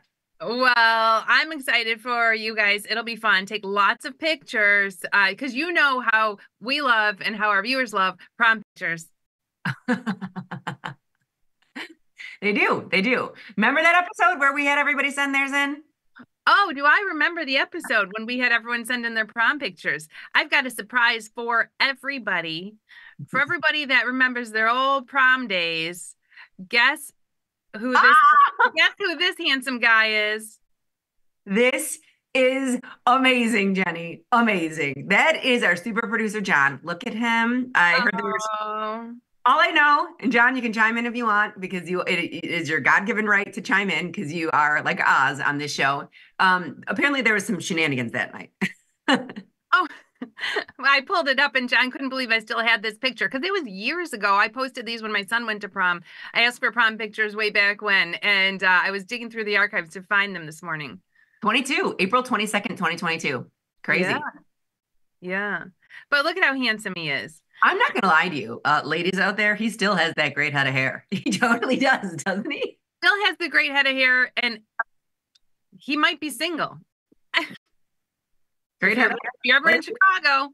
Ladies. um, okay, so that this is this this uh here we were on our prom. This is my prom. This is my dress. I wore something like this. This is, I think I posted this because this is as close as I could get to the dress. I was like, everybody had it. I couldn't find your prom picture. I tried everything I Sure, I'm pretty sure you wore this for my wedding too. I did. I did. Okay, and you you know him and you love him, and he'll be on the second half of the show today. There is Anton, and no, this is not his date. This is his mother. Look how sweet they are. I love this. This is fantastic, Jenny. I'm so glad you did this. I know, I know. I was I was lucky I could find these. I, lucky our our feed went back this far. Oh, Uh, so you scrolled for these? That's who's that? That's Julia. Julia. yes. Oh my goodness. Look at that guy. Look at I we need somebody find someone who looks at you like Julia's prom date looks at her. That's Julia. Um, and then oh, the, here I am. Here I am. Oh, Jenny. You know it is hysterical. Hmm. I'm going to give you a picture of your prom date's replica. Oh, Because his nephew's in your your son's friend group, and they'll all be at prom together. yes, his nephew, who is also a twin, is in the friend group. Uh, He's not identical twins. One looks exactly like this. So we could recreate this photo if you'd like to, Jenny. I think that's all. I think that ends the prom pictures. I Oh, there was that- one of Mike Butler, wasn't there? Oh, do you think so? Yes, I thought we had Mike Butler too. We didn't have Nikki Bad. Cam, here's our viewer, our beautiful Tasty Trader. Oh, that's Cam. This is awesome. So I just went to this was just from my, what we posted, the pictures we had that we posted. So anything that was posted by another viewer, I couldn't like there were way I couldn't go back years of the hashtag LIZJNY. I could just go through our feed and our post. I see what you're saying. Yeah, yeah, yeah, yeah. We'll take all prom pictures. If you want to post your prom picture in honor of Liz's son going to his first prom, eh, just include the hashtag LIZJNY. I bet you Frank Walsh has one. Oh, I'm sure Frank Walsh has one. Yeah. Do you know what I think is so crazy about this prom and actually this prom season? Like this, I, I've talked to a bunch of moms that are saying the same thing. People are going solo. There's uh. everybody's going as groups of friends instead of with a date. That's kind of nice. I've heard that like throughout a lot of schools. It's not just our school. There's lots of people that are doing this. Like Trunks girls are doing the same thing. Like lots of that is happening, which is nice. I think like I think kids are better off leaving high school and going to college without any boyfriends or girlfriends. They have a much better college experience. So if you could make it through high school and leave for college without a boyfriend or girlfriend, I think you've made it. I think you're going to be just fine in college. I kind of agree too. I kind of agree too. But it is pretty interesting. It's just a weird shift because I mean, I've I've heard homecomings people will go as groups, but usually prom, you it's usually date centered. But these kids are having a blast. Like it's a lot easier to not. Oh yeah, you do what you want. You go where you want. You don't have to worry about taking your date to an after party. Yeah, yeah. You don't have to buy any flowers because nowadays the flowers are expensive. I now I think the flowers when I- my son went to prom, the flowers that I got his date because I think she had specific things she wanted, and a specific florist as well. I mm. think the flowers were like two hundred and forty dollars. Do you, they were? Yeah. Wow. Do you know the ticket? That's what I found found shocking too. And so that's what some of the moms that of the boys that are bringing dates are like. Well, they shouldn't have brought a date because it's uh, I think it's three hundred dollars for a prom ticket. So that's six hundred dollars to go to prom because you have to buy standard dates. It's expensive. It's expensive. And and I do remember this too. This is a new thing. Didn't happen back in our day. Not only does the boys family buy the flowers for their girl, they buy the boys flower too because they want it all from the same florist to match. Oh, they boys buy their own flowers, which means their moms are buying them. Like boys shouldn't even wear flowers. That's that's actually kind of dumb. I don't know. I don't know. Um, but uh, that was nice. Go I walked down memory lane. I'll have to pull up Anton's picture. We'll surprise him with it when he comes on second half. A hundred percent. We are for sure doing this. Uh-huh. Comes on. I'm gonna pop into the platform real quick just to kind of take a look around. Jenny, I I know we were talking about this briefly before the show. I couldn't believe it when I saw this this morning. I wish there was a timestamp on it, um, but there's not. Here, let me show you this. I'm gonna move us over. Oh, there you can see how low it got. If you click on it, uh, let me read. Forty-nine sixty-three. Uh huh. I mean, that's a lot lower. What time was that? Go to. Oh, you can do it. Okay, go to. You know, where's one day? Yes, I'm gonna go to minutes, right? Yeah. Oh, that's month. That's month, not minutes. Are you sure it's not minutes? Oh yeah, that is month. yeah. Go go up, go up, and go to like, and then you go to that and make it a day. One day. So this is today, the minutes. Okay. Go back to early in the morning. What time did it happen? It must have been. It was right here. No. Mm, oh no. It's not on here. Go to two days. Oh, Do you see that? It's oh, there you go. It, we're getting into it. It's right yeah, here. yeah. So it was at nine thirty last night. Last night. Last night. Crazy. Yeah. So it was last night. Wow. I'm gonna go back to our daily. Hold, please. I'm kind of glad I didn't see it because I might not have slept well. That's what Tony Battista was saying. He said he was um he's like, I didn't sleep well last night. He's like, I was a little bit worried about everything. Yeah, I, I I did not see that last night. I'm glad I wasn't watching. I we had we were driving back and forth. You know, This has been um but the the spoos have been all over today. They've been up, they've been down, they've been around and around. Um, let's take a look at what Netflix did because they had earnings last night. Did we do any earnings plays? I don't think we did. No, we remember we were looking at Netflix and then we got filled on our silver and I said Saved by the Bell. Well, let's not trade Netflix. And it, the expected move was fifty dollars. It's down almost fifty dollars. It's fine. It Uh, was- yeah, everything, every premium selling would have worked because I think it was only down 30 on the open. yeah, yeah, right. So, um, Did you hear their their segment today talking about big moves in the past, big movers in the past, like a huge Netflix move and a big Meta Facebook Meta move, and uh, some of the big movers in the past where it really, really some of these products had huge, huge moves. I no, I didn't hear the segment. What was it? Was it Options Drive? It was um, hmm, I don't know. I maybe John remembers.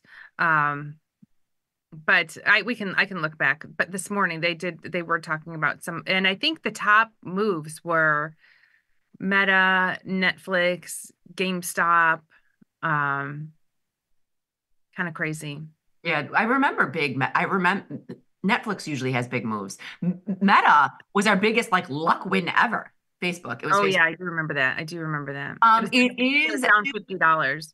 This is the one thing we have to take a look at today. This was something we put on for what's your assumption? They saw support at 52. It's now trading 150. Um, I mean, by the end of the day, it could be there. yeah, we can close this at the end of the day. I'm just gonna leave it. The only thing I, I it just brought my attention because it's got the big red bar on it or the big red in the money sign.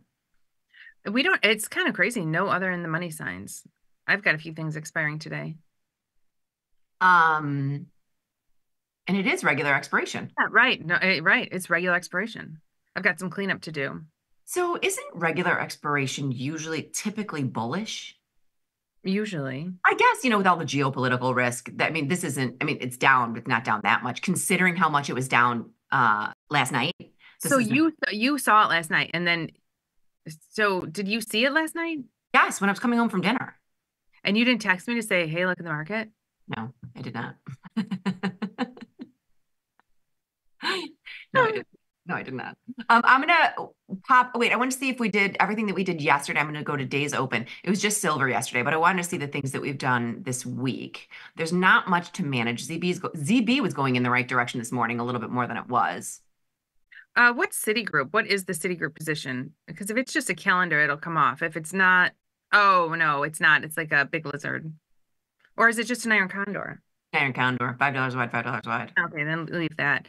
And you know what? We did get hit on the AAGTC. Oh, oh, never thought we get fifty-five dollars on it. Jenny, th- I never thought we didn't get fifty-five dollars. We got like twenty. We made, we paid. We'll go 30 back. Go in Citigroup. Go in Citigroup. This, We paid thirty dollars. Wait, hold on. Let's go seven days. We paid. and just go to Citigroup. Oh, AA. Oh yeah, AA, AA. Sorry. We, paid paid 37 for fifty. 47 50 so we made almost $20 on it Yeah, you said we made fifty-five. I was like, we didn't make no we sold it for 55 when i put in it in when i put it in yesterday for 55 you didn't think that would ever hit It's fifty percent. uh yeah Yeah, we Yeah. put in for fifty percent. 50% we made 50% on a calendar that's a calendar home run Yep. Yeah. um so what's the other calendar that we had we had aa and we had lvs oh and lvs went went so far down it's fine And we have twenty-one days. That's just gonna sit there. yeah Um, so I did see that get hit this morning. What else? I think that's about it. There's not much to manage. No, we don't really have anything to manage. When are Rivian's earnings? Because I know they're coming. Um, let's take a look. It's interesting. uh, Someone put for Fast Market sent in uh, a trade in Rivian and wanting to sell puts in Rivian, and Tom was like, you know, what, at this price, I'm just going to buy the stock. Right. When it gets so low, the the the stock becomes the option. I mean, if you buy the stock, it's using four hundred dollars to buy the stock. If you sell a put, it's using two. It's but may, what's the risk reward? I guess if you think if you think it's going to go up more than seventy cents, and I get it, sixty three days is a long time to wait for seventy cents. Yeah, I get it too. For sure. For sure. Um, okay, I'm gonna pop into Twitter. We're gonna we are taking tweets, put the hashtag LIZJNY on there. Oh, look at Mikey. They're on uh, TGIF, made it to Alabama. Nice dinner with my daughter Isabella and her BF Evan, who got to meet Liz last summer at the Chicago show. I did meet them. They were wonderful. Well, I did I actually didn't meet Isabella. I only met Evan. Really? I don't believe Isabella was there. I think Mikey came with uh with him. So fun. Oh. I'm glad they made it and are enjoying themselves. It is a long drive from here to Alabama. It is. How long is that drive? Do you know? I don't know, but it's long. Yeah. So, because we were just at our girlfriend's house who's going to Alabama. Her son's going to Alabama. And I don't know if it's seven hours or 10 hours, somewhere in that range. Mm. What is it to Miami of Ohio? Six? No, he's just like, it's like um four and a half. So when you, you when you're going to Indianapolis today, if you would just keep going east an hour, you're there. Oh, okay. So it's not too bad. Well, what I say four and a half, like if you plug it in on a good day, it's four and a half. The problem is construction and traffic. And Indianapolis. Drive through Indianapolis. So that's the problem. You have to drive through Indianapolis. So if it's like rush hour, that's what ta- can tack on another hour. Yeah. So an hour drive could be five and a half. That yeah, because that's what we're gonna hit tonight too. Or when we leave, we have to worry about just the traffic of a Friday. Yeah, the last couple times he's uh he flew, which was way easier, and we all prefer it now. Oh, good. Yeah. Well, that's got to be a quick flight. Oh yeah, just up you go up and you go down. Um, I love this. We were texting back and forth with Fazia yesterday. What do you think about that? I mean, sorry, I have to let in on our conversation. The three of us were texting about N- Nordstrom going uh, private. I have I didn't read the article. Um, I, I, as soon as the article popped into my phone, I was like, oh, I gotta send this to Fazia and Jenny. Because she didn't- loves Nordstrom, and I love, love, love. She got us those beautiful candles from there. They were amazing. now it doesn't mean that Nordstrom's going away. It's still here. No, yeah, I don't, I don't. I mean, Yeah. I, like I don't. I'm not sad. Like oh my gosh, Nordstrom's going private, but I can still go there and shop there. no, I kind of like the whole taking it private. I, you know, it makes sense sometimes. It's So- just the only thing that's sad is then you won't be able to. Then you don't get to trade it. That's the only thing from a trader's perspective. Hey, you know what? We've been doing this show for it's going to be 13 years or you know over 12 years. If we added up our history of P&L and Nordstrom's, I don't think we're going to miss out on that much. Oh, I don't either. It's just kind of fun to talk about with Fazia. Now, Yeah. do you think does that does that have? I don't have a lot of experience with with you know companies being taken taken back private. How does that affect the stock? I don't I don't know. I don't I don't know. So I here's probably when the news came out. I'm gonna guess because that was last night, right? So it uh, popped up to 20. I mean, it went from 17 to 20 on that news, is my guess. Right? Like everyone, they have to buy back everyone's shares. They have to buy back everyone's shares at a certain price. I would think there would be a set price, and then it would just, you know, how when a company is being bought, whatever that price is, then it kind of just stays at that price. Yeah. Like remember BlackBerry for years, just always stayed at the same price. Oh yeah. yeah, three it says uh Nordstrom to evaluate funding families interest in pursuing take take deal private. That's what I sent you guys. Um, so we'll see. I don't know. I, I, I we'll have to watch it and see what happens. Yes, we will. It's not Um, that you don't hear of it that often. It's not that common that a public company goes private, but it does happen. Well, the last time it happened was CDW, and then they came back. Um, then they came back. Uh, so they got taken. They were public, then they got taken private. Or I'm Uh-huh. sorry, they were private, got taken, whatever. But you know what I mean. And then they went back to back to being public again. Right, and that does happen. And you, I mean, I think that would be more common a, com- company going private and then going public again. And so I know Josh was worked for CDW when that happened. Josh, our Josh, our Josh, because I remember him saying that. So he and one of my neighbors, Brooke, she's been with CDW since she graduated college, but um, so she was, and so John O'Neill too. Yeah, One of right, right. But so they were all part of it when it was public, then got taken private, and then got taken back public again, and it wound up being good for the employees. I do know that Yeah, that was a windfall for them, but I don't know. Um, I don't know much about that. we never really trade CDW. Uh, but if you look at it, only 111,000 shares have traded. Yeah, I don't think it's a very liquid product at all. Yeah. Hmm.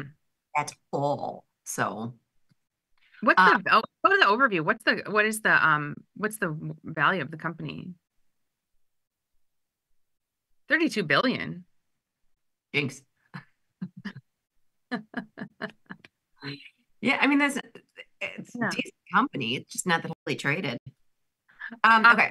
All right. So as far as I don't think there's anything we need to clean up. If anything, we'd be looking for new trades. What is VIX doing on a day like today where you had the crazy moves last night? I want to look at the VIX chart too. It's, on- I mean, it sounds crazy when I say it's up 50 cents. It's only up 50 cents. Wouldn't you have thought, given everything that was happening with the spoos yesterday, that it was up 50 cents? Yeah, but then you the op you have the open. It's kind of like, and I don't want to. I, I, it's kind of it's kind of like. Do you remember when when Trump won and the market was crashing that night, crashing, right?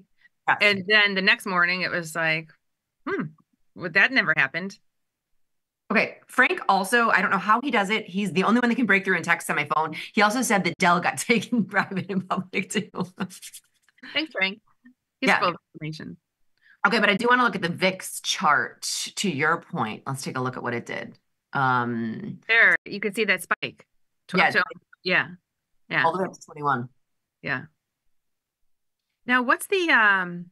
So we've got ES down 15, 16, and Russell up two. So hmm.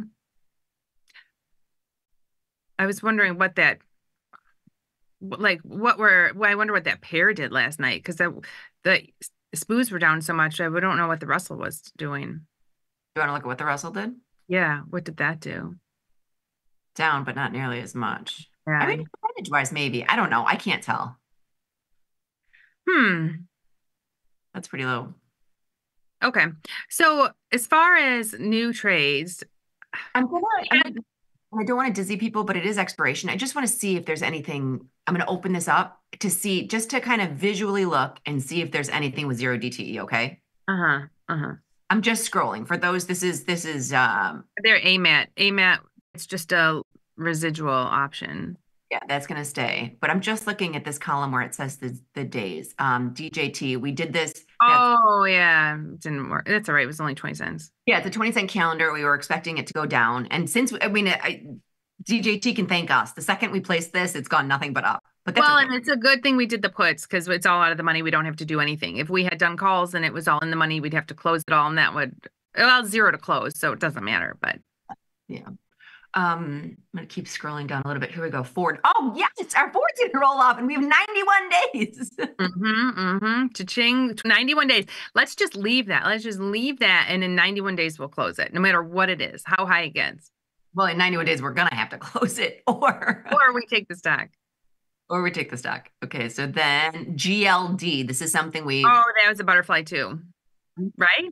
Right, it's There's all a out of the- butterfly. There's a butterfly. The 190, 195, 200. That's a butterfly. And And then what- the 185 is a put left over from something.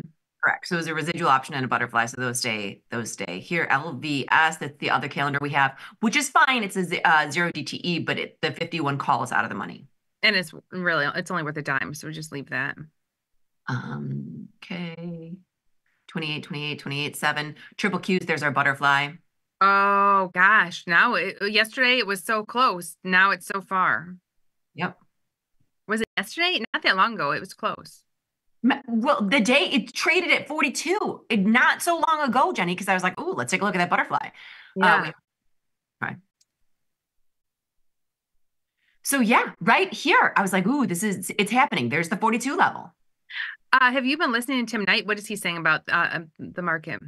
I've not been listening to him, unfortunately. I try to when I can, but I sorry, Tim. We love your show, but uh, we, I've, it's tough. I've been going to school pickup and school. I'm, we have to leave for school pickup uh, in the middle of it. Yeah, it is. I mean, sometimes I when I can catch. I like to catch all the shows. When if I'm if I'm not doing anything, I actually turn most of the shows on. Um, Tesla, we'll take a look at that. It's going away from us. No, no, we already did. It just we'll have to close it at the end of the day if it's in the money. Uh, that's it. Good. Nothing to do. If you were to put something new on, it's hard because if oh, go to go back to the chart of triple Qs. It's like it's down. It's hard to say like, oh, I'm going to put a bearish position on now. If I were to to do anything, it would just be maybe a neutral. After this fall, it's not. It's not the Jade Lizard's not bad. Now I know in the triple Qs, the Jade Lizard would hold up way too much capital. So we'd have to do, we could do it where it's like two put spreads to one short, two put spreads to one call spread. Yeah, you can do that, Jade. You can do Uh-huh. it like that with the Jade Lizard. With it with a triple Qs having a 71% implied volatility, that's pretty good. Mm-hmm.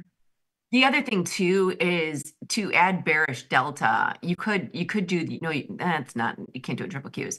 But to Jenny's point, if you're going to do two call spreads, let me put the Well, see, we do one. The tricky, the weird thing is, is the strikes are.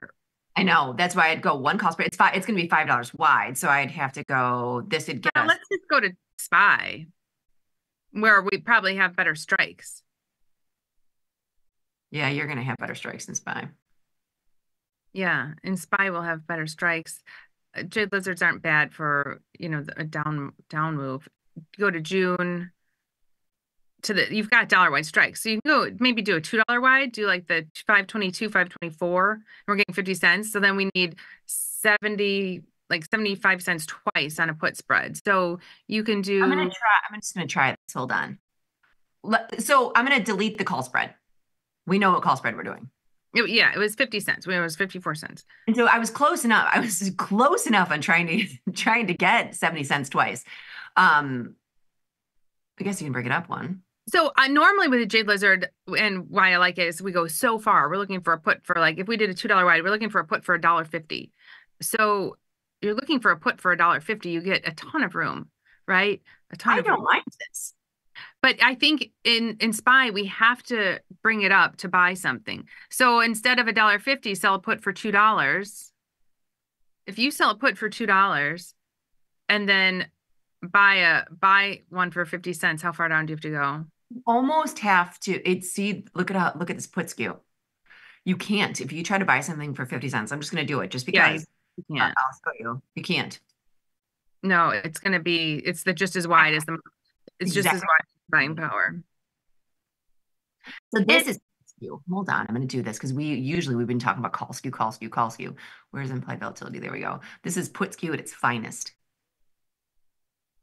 Yeah. At this point, then maybe for a smaller account, what I would do would be just skew it. Like maybe I do a ten dollar wide put spread and a five dollar wide call spread in case we get that bounce back up, and you know narrow call spread, wider put spread. I mean, you can do a jade lizard. You just got to pull it up. You have to pull the put up so high and take so much risk, and when you're not collecting enough, where if you go to the twenty delta, say you go to the twenty delta and you do a ten dollar wide put spread, four sixty eight, four fifty eight. Wait, did I do that right? No, it's th- just go to the 458. Then it's $10 wide. So there's a $10 wide put spread at the 20 delta and go to the 20 delta call and do like a $5 wide call spread. 20 delta call, which is right out of the expected move. 525, 530. So there you're getting 219, 220 and a skewed iron condor. I just wonder at what point in time are the are iron condors like wider iron condors in the general market gonna be gonna be a like a good play again? I don't know. I don't know. But you know, just just kind of th- thinking about this, if you were going to do a regular jade lizard, I know you were looking for 150. If you're going to do this, I just want to show something. If you're going to do a regular jade lizard with 70 cents, Well, yeah, you go so far, so mm-hmm. far. far down, I'm It's just going to like the three, yeah, the 395. I just went I just went to 400 just to keep it simple. So you're using $4,000 to make a 100. Now, let's do something because I think I've never done this in here before, but I use it for downside ratio spreads and you have to leg Oh, into go to ES. Yeah, if you want to talk about capital efficiency, it's the same concept. I'm not afraid of that put. It's just holding up too much capital. So I'm gonna go to the 40 day. Um, and I'm just gonna do, I'll go 525, 530. So that's I need to get 175 or 185 on a put, right? We don't have to cover the full to- top. I just want to I mean, our max loss is only 187. It's not bad at all. I don't. We don't have to cover it. just want to see how far down we're going. One, I'm gonna go 200. There we go. No, Yeah. Well, No, I need to get more than that. I need to get 375. right. But again, you don't have to cover the full. There. So here's like a $2 wide because you have to cut everything in half. So a $5 wide is 250. So this will make 250 anywhere between there and you're only putting up $1700 to do it. This looks pretty good. What's interesting is that you're at the 4,000 level, and if we go back to, do you remember? Off the charts. Well, no, what I was going to say is, do you remember December, or the beginning of the year, when everyone had to put in the predictions of where the SPOO is going to be first quarter, second quarter, third quarter, fourth quarter? I bet there were a lot of 4,000 guesses. I bet you're right. Mm-hmm. Yeah. You're right. It's the same thing. I'm just gonna look at the spy chart just because it's easier for me on the chart from the charting perspective. To Jenny's point, they're saying um right here. It's been it's been there. When's the last time we were at 4,000? November. No, like, Here. right? Yeah, right there. Mark. But how low did we get in November? Wait a minute. So th- last month we were at four thousand. Yeah, we were. At, In November. I mean, now we're so yeah, no, in November.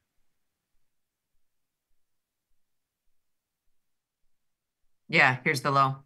No, I yeah, but that's then now you're back to 2022. I'm just saying in November of 2023, right here, right there, we were we were right at right around there. Yeah.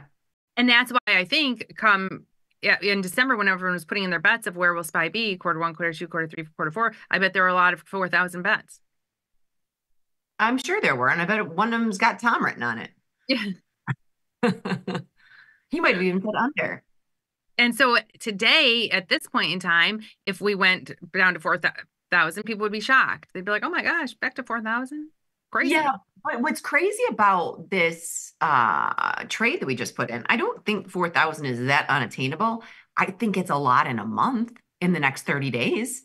Like I think that's a astronomically large move if it happens in, in a in a in a short amount of time. Yeah, so that's that's just it. Is as options traders, it's a very unique situation because I'm not saying it's never going to get there. I'm just saying I'm comfortable with it for the next 42 days. And you know what's funny? You t- you brought this up yesterday. Like you talk about so you look at the move we've had in SPY and from January on it had a big up move. But if you look at and you brought up looking at the equal weighted product, um, the equal weighted SPY where you're not you don't have this handful of stocks moving it, it really isn't it it didn't what it's not up anymore. It's not even up anymore. It isn't. Uh, what was the symbol for it? I can't remember. I just looked it up yesterday. Is it in our history? No. Why would it be in our history? Your recent symbols or what we were maybe we I wasn't in this account. Oh, okay. Just Google it real quick because you're in front of your computer, right? Equal weighted, equal weighted SPY. Um, weighted SPY. RSP. Yeah. Yes. Yes. Yes. Yes. Yes. Yeah. RSP. So, and, and this is, and look at this. This is up on the day. So that's what I wanted to say. So people like would look at the SPY and think like, "Oh my gosh, terror! What if we do go back down to four thousand? Um, my portfolio is full of things that are not not at highs; they're more at lows. And so if you look at this, it was it's a handful of stocks that created that rally. And if you look at like this equal weighted SPY uh, from January till now, yeah, it's not really. It's not. It hasn't gone very yeah. far. It's up a dollar, equal mm-hmm. and it's, it's and it's crazy that it's it's up today. Yeah, yeah. All right, so I'm gonna if Twitter real quick. starts falling, it could be a handful of products that are dragging it down. It's not necessarily like people don't have to panic. Like, oh my gosh, my whole portfolio. It could just be a oh, handful of products. I know, but if you're in this, but yeah, true, true, true, true. All right, we I just kept an eye on the time, and I'm freezing in here today. Um, so it is 10:31. We are going to take a quick break and invite young Anton in. Bring put. We got to come in with the picture. I got to pull up the picture. Stay tuned.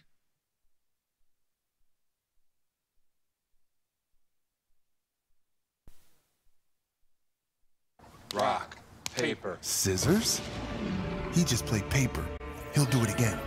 No, rock. Men statistically play rock, but he played paper and lost. And the mind works in patterns. He's going scissors. He knows I know he'll go scissors, but knowing I know he knows. Scissors, shoot. I thought we were doing rock, paper, scissors, shoot. It's always rock, paper, scissors. If you think like a trader, we've got your back. Tasty Trade. Join the club, genius. 90% goes to S&P index funds. You got a double 10% straight to Is 20th Century Advice driving your 21st century portfolio?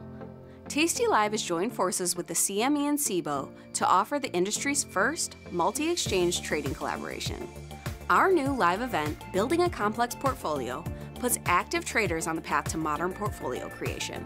Tom Sosnoff and other Tasty Live personalities will cover strategies that'll help you integrate futures and options in your portfolio. Sign up at tastylive.com slash events and see where we're headed next.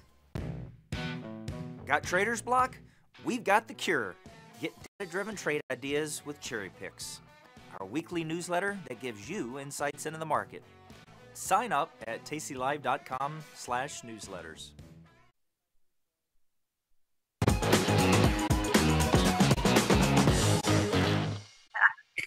Hello, everybody, and welcome back. We it is a Friday, so we get to bring on our favorite researcher. You know him, you love him. It's Young Anton.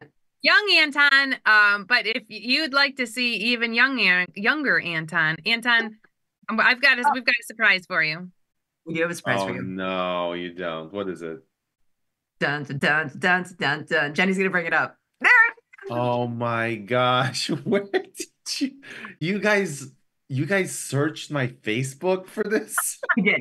We did. No. So my son is actually going to prom on Sunday. And so Jenny went back and pulled up all the prom pictures that we asked for years ago in 2022. Yeah. Yes. And we have this one of you and your beautiful mother. And remember, did you remember seeing this one? Do you know who that is? That one is one of your sons, right? No. That's Julia. Oh no way! That's right. This is what this is what I said, Anton. I go, everybody should find somebody that looks at him the way that Julia's prom date is looking at her. I can't even see how he's looking. At. I mean, he looks like he's like hungry or something. I don't know. All right. Can I show you one more good one? You have to guess who it is. that? Um. Okay. Okay. Okay. Super producer John. Yes. Wow. You needed to read. Did you need to read the tag before you knew who it was? Yeah, I did. I did. hey, I'm not. Dang, John, look at you. I know. Yeah. Good looking man. That's great. Uh, Oh. so I thought that would be fun. Uh, that was years ago. Crazy Yeah, how time flies. What about you guys? Jenny's is oh. in there. I couldn't find when we did this years ago. I, I, and you know what's so funny? I probably have it now, Jenny, because I have all my mom's pictures from my mom's house. Oh yeah. I, I probably think have it now, but tell me if I look find the, yours. Oh, how Yeah. convenient. tell me if I look the same. identical. Oh, identical. That's crazy. You know what I love, Jenny? 30 I'm only years saying this. I'm sure I was the same way. I love Chef's Kiss, the black nylons. The black nylon. Crazy. That's 30 years ago. I- I- this was in the 1994, and now we're 2024. So yeah. You Years look ago. literally the same. I mean, in a good way. Like, Thank you, Yeah. Anton. I wouldn't have realized, you know what I'm saying? it's pretty good. Um, yeah, so that was fun. So I hope JD has a wonderful prom this weekend. Yeah, he, he'll have fun. I'll bring some pictures out on Monday. Not too many, just a That'd be couple. awesome. No, wait. One of your sons went to prom last last year too, right? No, her son is. It's been two years, so he's a sophomore in college. Oh, So okay. yeah, that was from 2022. That's when we had the prom pictures. He had, and he was ready, ready to go to prom, and then he got COVID, so he couldn't go to prom. Um, Yeah, so we no- know, I've never, I've never been to a prom, Liz. I'll, I tell you, I'll have to live vicariously through you. Can I come over and take pictures too? Your son didn't go junior year? No, no, our our school's only seniors. Oh, it is. Huh. Oh, I didn't know that actually. Okay, we're juniors and seniors. No, we're just senior prom. really? Ours was everybody. The Everybody. whole school? Yeah, the whole school if you wanted to. No, well, no. The, the, the there was a uh, uh, the cultural norm was of course seniors and some juniors, but there was no restriction. Like there were some freshmen that went to prom. Now you had to be invited by I think it was you had to be invited by a junior, Junior or a senior, senior, but yes. you could go if you were a freshman. Yeah, you, go, if you go to a different school, you can go to prom if you're invited, if you're somebody's date. Oh, Yeah. okay, okay, got it, got it. Right, like the senior for us, Yeah. only seniors can buy the tickets. Wait, Jenny, hold on. Rewind. Now I have to give you, now I have to let the viewers into something that we talked about the other day. So only seniors at your school are prom, right? And you went to the same school as your son, and you went to three proms. You went as a sophomore with a senior. Yeah. Jenny. Yeah, I could see that. I, I I could see that. Uh, and like now, she- and now look- he's uh, now he's that senior. When I was a sophomore, I went with the senior, and that senior now he's in LA making movies. And then You know, would you go with, who'd you go with junior year? Because you must have been another senior. Yeah.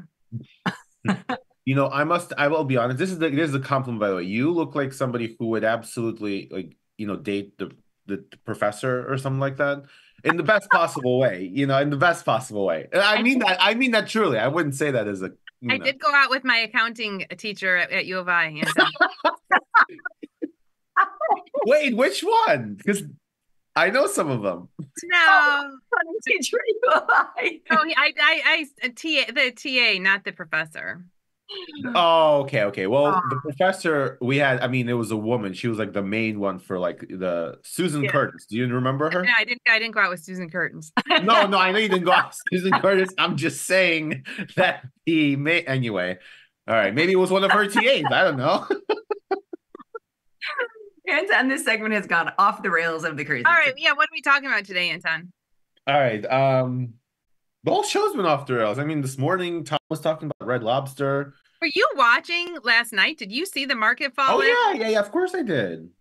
I got. I'm the only one who missed it. You didn't text Jenny? She goes, Why didn't you text me? What? Yeah, I didn't text. it. Well, I was actually texting Chris. Chris, uh, I was Chris was watching Iranian television in order to be able to get an insight, some insight on the market. You know.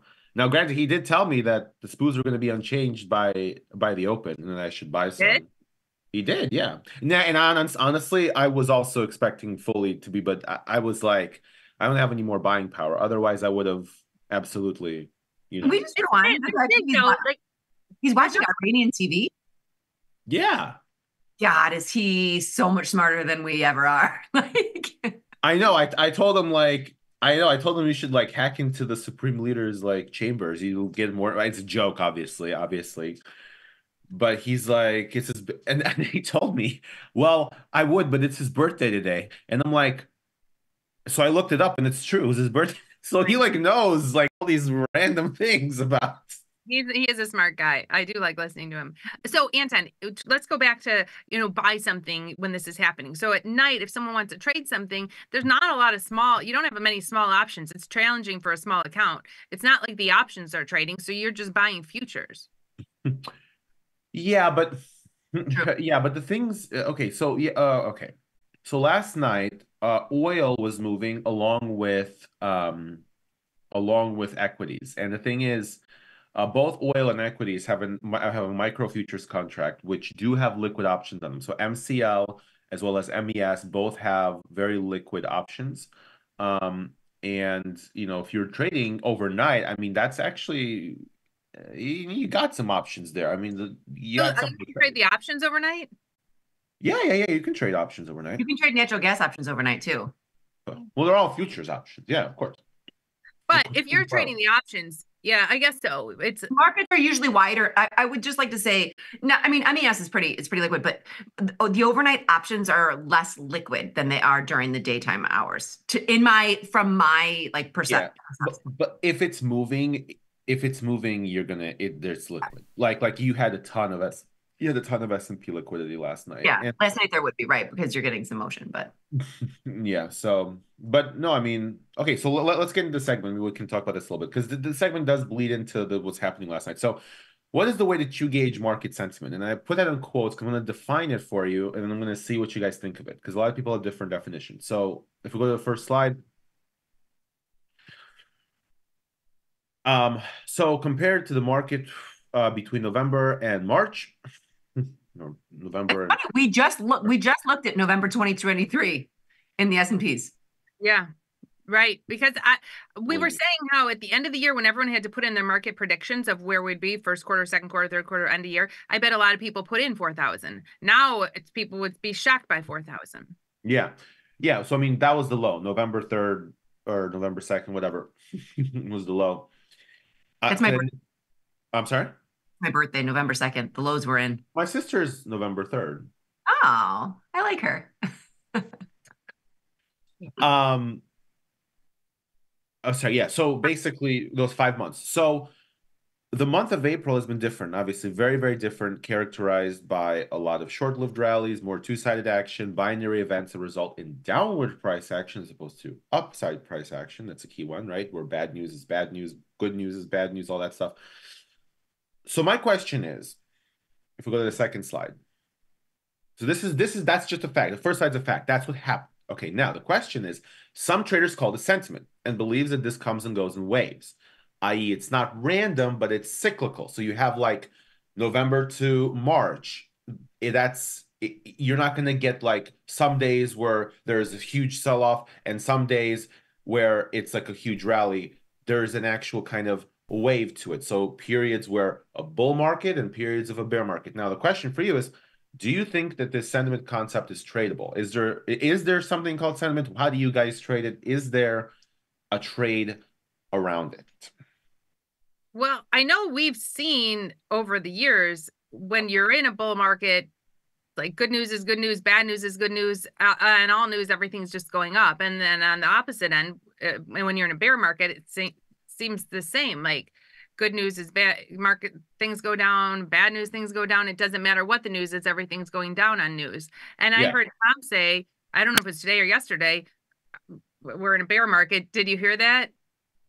Did I? You- I didn't. I didn't hear that. Oh, and Tony's like, oh, you said it. Now we're in a bear market. Oh. And, and um, is it going to be that way where now it doesn't matter what the news is, we're we're just always going down, slowly grinding down. Yeah, I, I- I mean, and, and I think the the key point here I'm trying to make is, I think somebody like Tom would say that no matter what you're in, you don't know it until it changes, which means Right. after the fact, which means that there is no real, no, there's nothing you can do about it. You just you you you kind of live in it without knowing you're in it, and the only way you can discern a bull in the bear market is after there's a change because then you obviously see okay november to april was the bull market well how do we know it's november to april well because on april 2nd we had the start of a of a down move right but that's only after the fact so my question some people think that some people think okay if there is a certain amount of price action that is different than what we had i can trade that and adjust my positions to anticipate more of the same right? So do you guys subscribe to that? Or are you kind of more like Tom's in Tom's camp where it's like you just you have to live through it. The strategy doesn't change. The only thing that changes is implied volatility, and that's the only thing I can trade. Um, I do think Tom's strategy changes in a different environment. Don't- Wouldn't you say so? I mean, my strategy changes. I went and adjusted honestly in almost all my positions. Anything I had stock in, I sold out the stock and switched to puts because Hmm. the puts are juicy because the vol is high. Yeah, I think Tom's the same way too. When you've got such a low implied volatility, no one can really sell strangles in low implied volatility. The strategy Right. always changes based on volatility. So I think that, and it, it's kind of, I, I think things are forever moving. It's kind of like the ocean. You know what I mean? Nothing is ever really standing still because everything's kind of moving, and you just kind of adjust with what you with what you. Right. using. You know what I mean? And we've got this high higher implied volatility right now and maybe it, it's higher today compared to what it was a few weeks ago but maybe a few weeks from now it'll be even higher who knows? But uh, you do have more capital at use uh, more premium selling strategies you get more aggressive when you have this boost in vol. As Yeah, far so- as sentiment I, Anton, every time I think, oh my gosh, we're going to keep falling, we're going to keep falling, and I need to add some bearish positions, that's when we turn around and all those bearish positions lose. So I don't do that anymore. I'm not adding bearish positions now. Uh, I'm just taking advantage of the higher premium. Right. I, I think that's a good point, and it, I think it took a long time to get there. Hmm. That's interesting. Because you used to be able to be, I mean, honestly, when we first started doing the show, don't you think Jenny would be like, okay, this is day one, it's going to crash. You're trying to make it big on one move or another. And instead of that, you are just really trying to take advantage of the implied volatility when it presents itself. Like when it pops its heads up, you whack them all. Right. So at the end of the day, it is just implied volatility, even though that tends to correlate with what's happening. It's you can't look at it based on the price direction because that is unfortunately or fortunately, depending on how you look at it, Yeah. random. And you'll see too, Anton, a lot of times, like we've been referencing the VIX a lot more because you're watching that. And I think that is, I- think you can change the term sentiment to, you know, the VIX or Mm-hmm. because it with, with it being when it's very very low is when it's it's it kind of gets a little dangerous but the tasty traders are so good at when the volatility is low defining our risk having the capital out. I mean it's just kind of all part of this it's all part of the narrative that we all do on a daily basis without actually really thinking that they're all moving parts together right? When the implied Right. volatility is low it's cheaper to define your risk. The capital is on the sidelines. Not really thinking like okay check this box then check check this box. It just Right. kind of happens because of the environment you're in. So the volatility does dictate the sentiment. And I'm glad we're talking about this because our account, Liz. So m- a month ago, we were putting on earning setup calendars or defined risk trades mostly very very few naked options now with this boost in vol and the move we should start adding in more puts um we should and we ha- we haven't we've done what's your assumption but we haven't gone through and just a- added puts in certain products and I, I, that's what i've been doing and i think we should do that otherwise things can slow down vix can come in and we missed out on a lot of opportunity Yeah. And I mean, it can go in the opposite direction too. We're not saying that the, that it's over, and there is a lot of geopolitical risk right now. If I'm, I, and I, I know Chris can speak more educatedly about that. So that does put some volatility in the market. Right. Yeah, it, it's it's interesting because whenever you have a move like you had last night, it does draw a lot more people, you know, into looking at the markets, even if you don't look at them on a daily basis. Like like let's say the people who look at it on a daily basis, they don't change. They always look. Like like Tom's always looking at the futures at 4 a.m. regardless of what they're doing, regardless if it's an 11 VIX or a 50 VIX. Right. But somebody that doesn't normally look at the markets as much, I think yesterday would be more inclined or ha- has a higher propensity to pay attention. And I think with more people paying attention, it kind of changes the whole sentiment around the market because it kind of is a self-fulfilling loop, right? In my opinion. Now, it could change. We could just forget about this, dust it off, and move higher. But I think like when you get to this like crux, right? It's kind of like crossroads, I guess. Either we're going to continue to go higher or we're going to see a huge capitulation lower. I think sometimes you can make a case to trade off of this moment. Like, for example, sell puts because vol is higher. But from a directional, purely directional perspective, would a move like last night encourage you to do something directionally different? Or is it solely implied volatility regardless of what the market does? I think it's solely implied. I think that I think the right answer. Everybody's got an emotional based answer to this as well, but I think the logical answer is it's implied volatility based. I think that's what it should be, right? It should all be based on implied volatility. Don't get me wrong. There is always some emotional attachment to some type of move that you think that you think everybody's got an opinion on what direction things are, and everybody should have an opinion on what direction things are moving. But they Right. get their they get their opinions from somewhere else. But I guess the oh, go oh. ahead, Liz. Sorry, No, I I thought was you were- just gonna say, I wanted to know. I know you were talking about Chris earlier, and how you said eh, during the move when you were texting him, he said it's going to be unchanged by by the open. Yeah. Why did he say that? So so he said that because the U.S.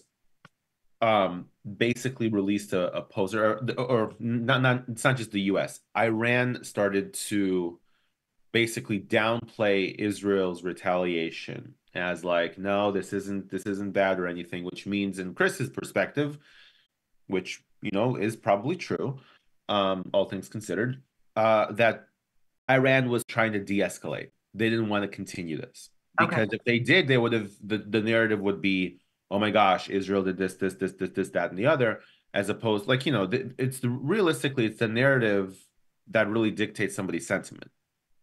Right? No matter what actually happened right? Like you can have the same you can have the same event two different narratives mean two different things realistically speaking right? But because the narrative was the passive approach uh, there was in chris's perspective well we're de-escalating and therefore the market this is an overreaction. We would get back to even. Now personally speaking i would have agreed with that. And in fact if i had you know if, if i was if i had like my bias was still bullish. I i was i i never i didn't get more long but i was long like you know i was long going into it. So i guess you can say i was you know i was i was agreeing with it but i think sometimes i get the sense that and this is maybe the you know the ultra hyper market efficiency part of my brain that may not be you know sometimes fires off at the right moment sometimes fires off the wrong moments.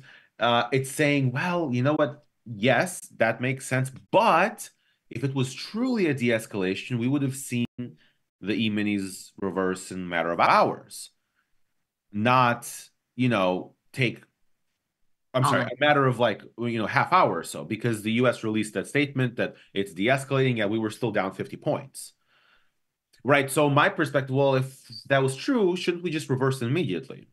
And maybe it doesn't. Maybe it's not the case. Maybe there is still some overreaction that's built into the market that you can take advantage of. You know, like Tony was saying earlier today, I found this really interesting. He said, "Tom, do you remember?"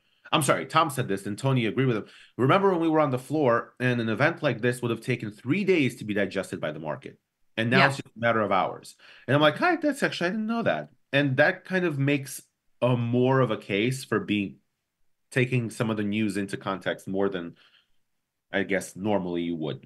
Well, and what and Jenny, I'm going to need your help on this because I'm I'm probably going to butcher what I'm going to say here. But do you remember when we were talking to TP the one time? No, TP's from the trading floor as well, and he was talking the way that information is now disseminated immediately to everybody that we're never going to have. And I don't want to say never, and I you know that's what I'm saying. I need.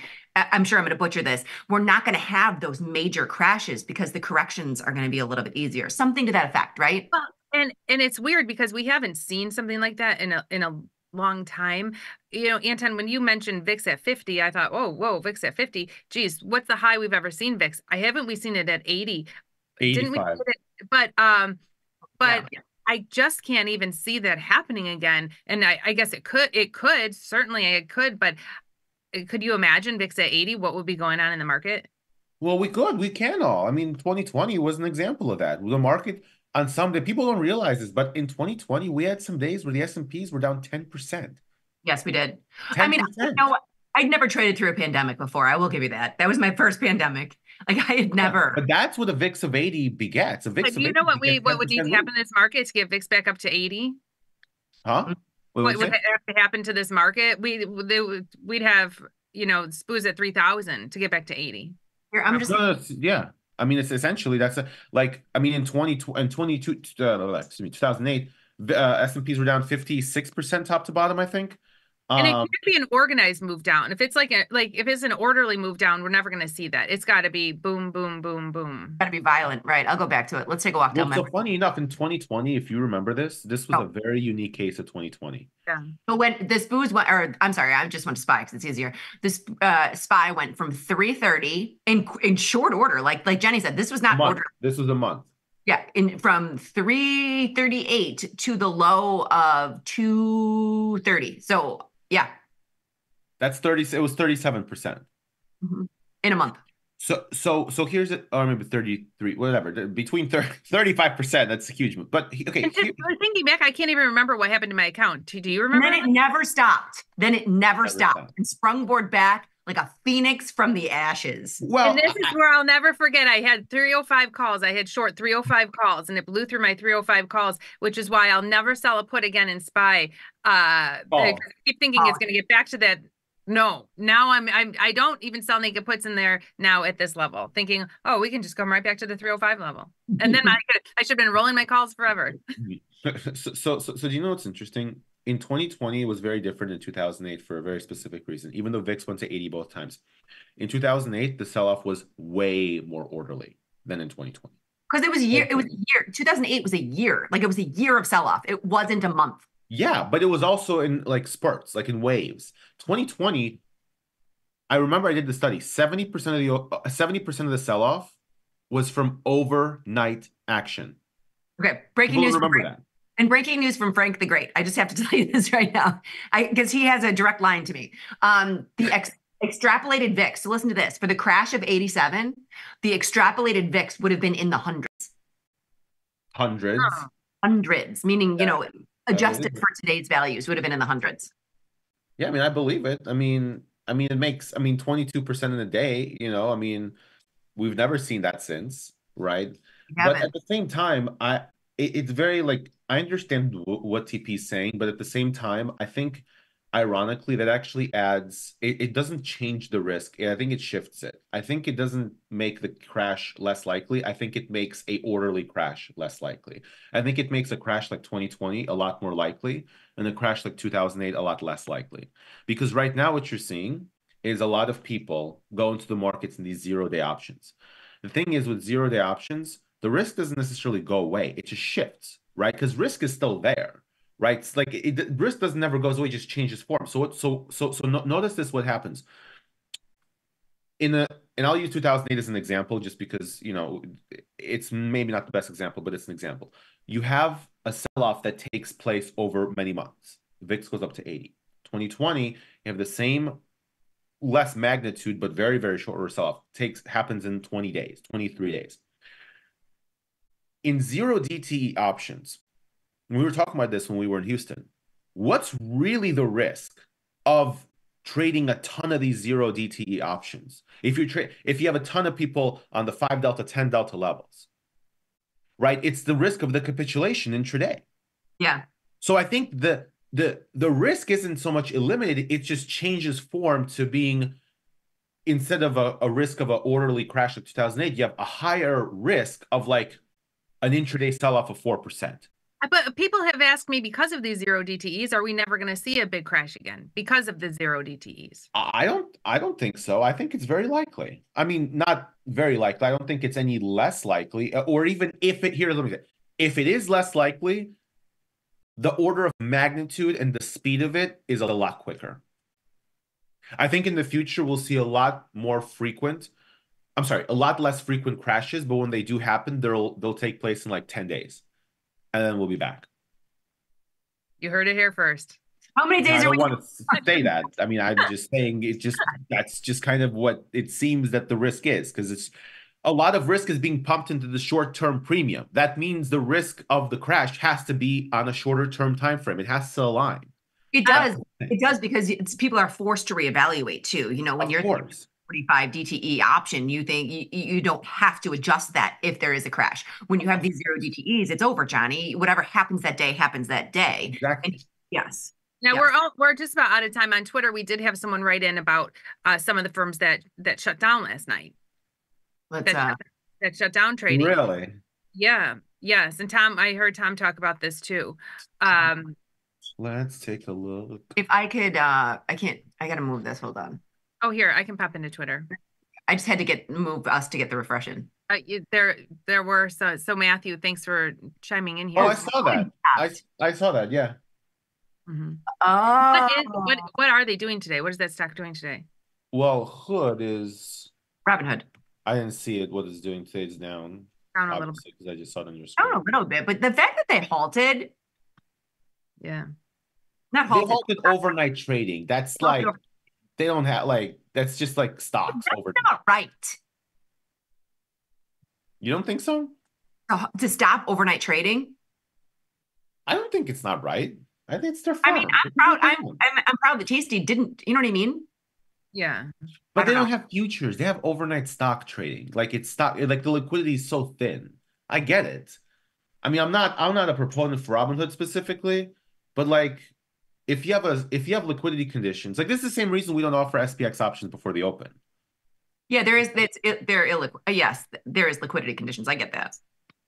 I wasn't sure. I thought it might be down a lot more because of it. Uh, nope, nope. Down 26 cents. All right. Anton, great segment. Thank you very much for joining us today. Um, everybody have a great weekend. Have a great Yes. weekend. Uh, Liz, send post some prom pics. I will. I will. It's not till Sunday night, so we'll get them Monday morning. I'm going to be tired. I'm going to be up all night long. Um, everybody have a wonderful weekend. Remember to trade small, trade often. Laugh with us, learn with us, and watch the Liz and Jenny show. Thank you, Anton. Everyone have a wonderful weekend. Thank you. Everybody.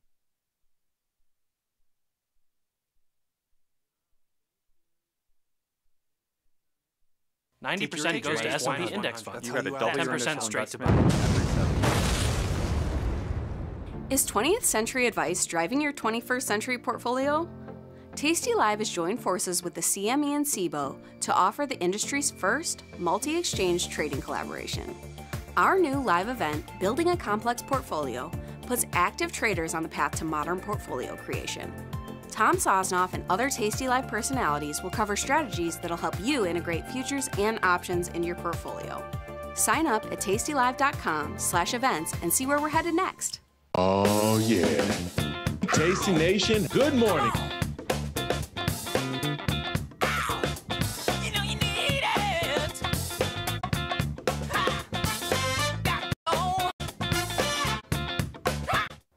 I'm just going to wait for the stock to dip, then I'm a buyer. Buying into weakness is a phrase used to describe the action of getting long a stock into a down move. It's a contrarian trade. Most people want to buy what's hot, the stuff making huge upside moves, the chart line moving up and to the right. Nobody wants the stock at lows. But it's hard to buy high and sell higher, rather than buy low and sell high. There is a phrase for this. When the time comes to buy, you won't want to.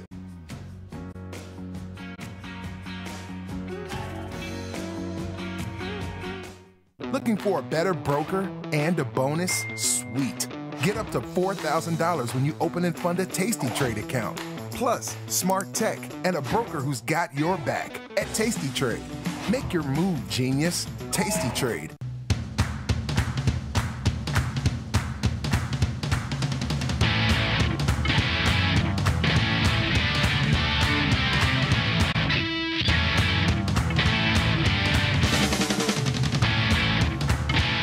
If you have any questions, feel free to toss them in the chat.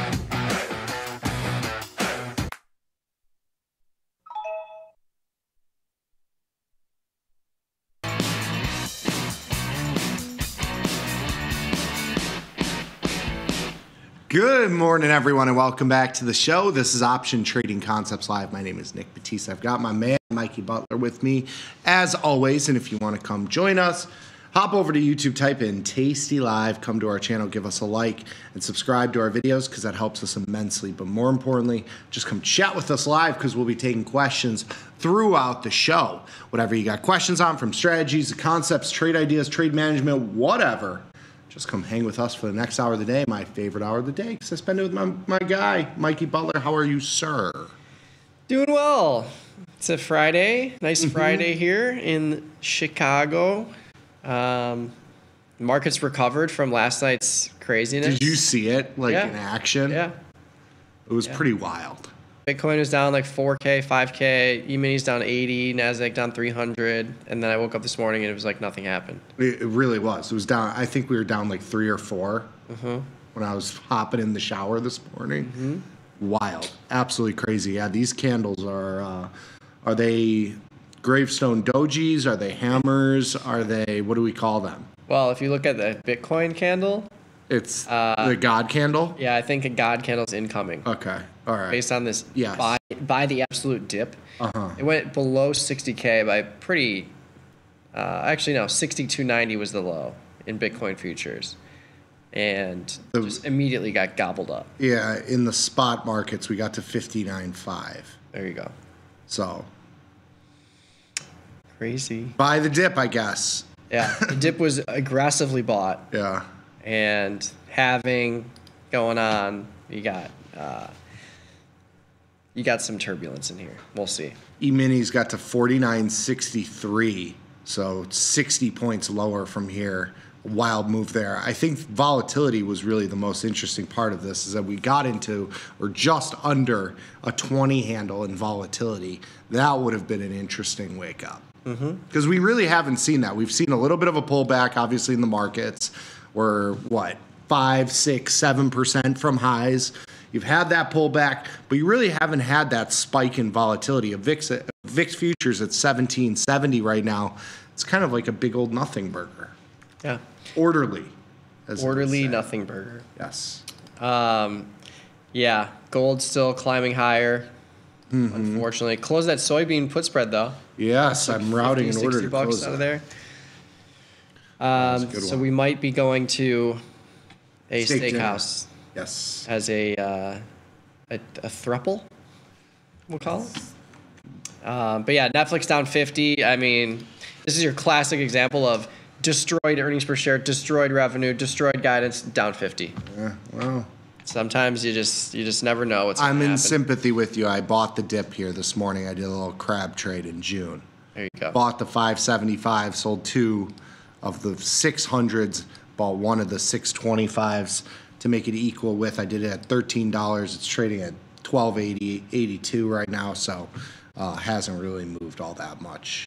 Yeah, the headlines around Netflix say they beat the numbers, but, But they're not reporting or uh, exactly not reporting subscribers in 2025, which is like why? Why? You know? E-mini S&P 500 futures down 30 right now. You got the Nasdaq down 280, the Dow bucking the trend here up 142, and the Russell unchanged Oil catching a little bit of a bid, but it was up at, at 86 yesterday or 85 and change into what looked like uh, doomsday, World War III happening. Uh, volatility futures forward slash VX 1771. Again, they got up almost to 20. Bonds up 17 uh, ticks. You got gold up $8, silver up 28 cents. And then, as Mikey alluded to, Bitcoin has had a nice little rally here. The futures are up 940, spot up 1800 here. Some big moves underneath the surface. I was looking at Nvidia down to almost 800 here. SMCI as well, one one of the um, more recent stonks, so to speak, has had a little bit of a pullback. You've got like your Apple that you know does not go up ever. Tesla as well. Um, you know, even Microsoft and uh, Meta as well taking it on the chin. Meta was down 10, 15 bucks, 17 now, basically low low of the day. So a little bit of a of a move lower across the board. Amazon as well down three and change. Google, yeah, it up a little bit.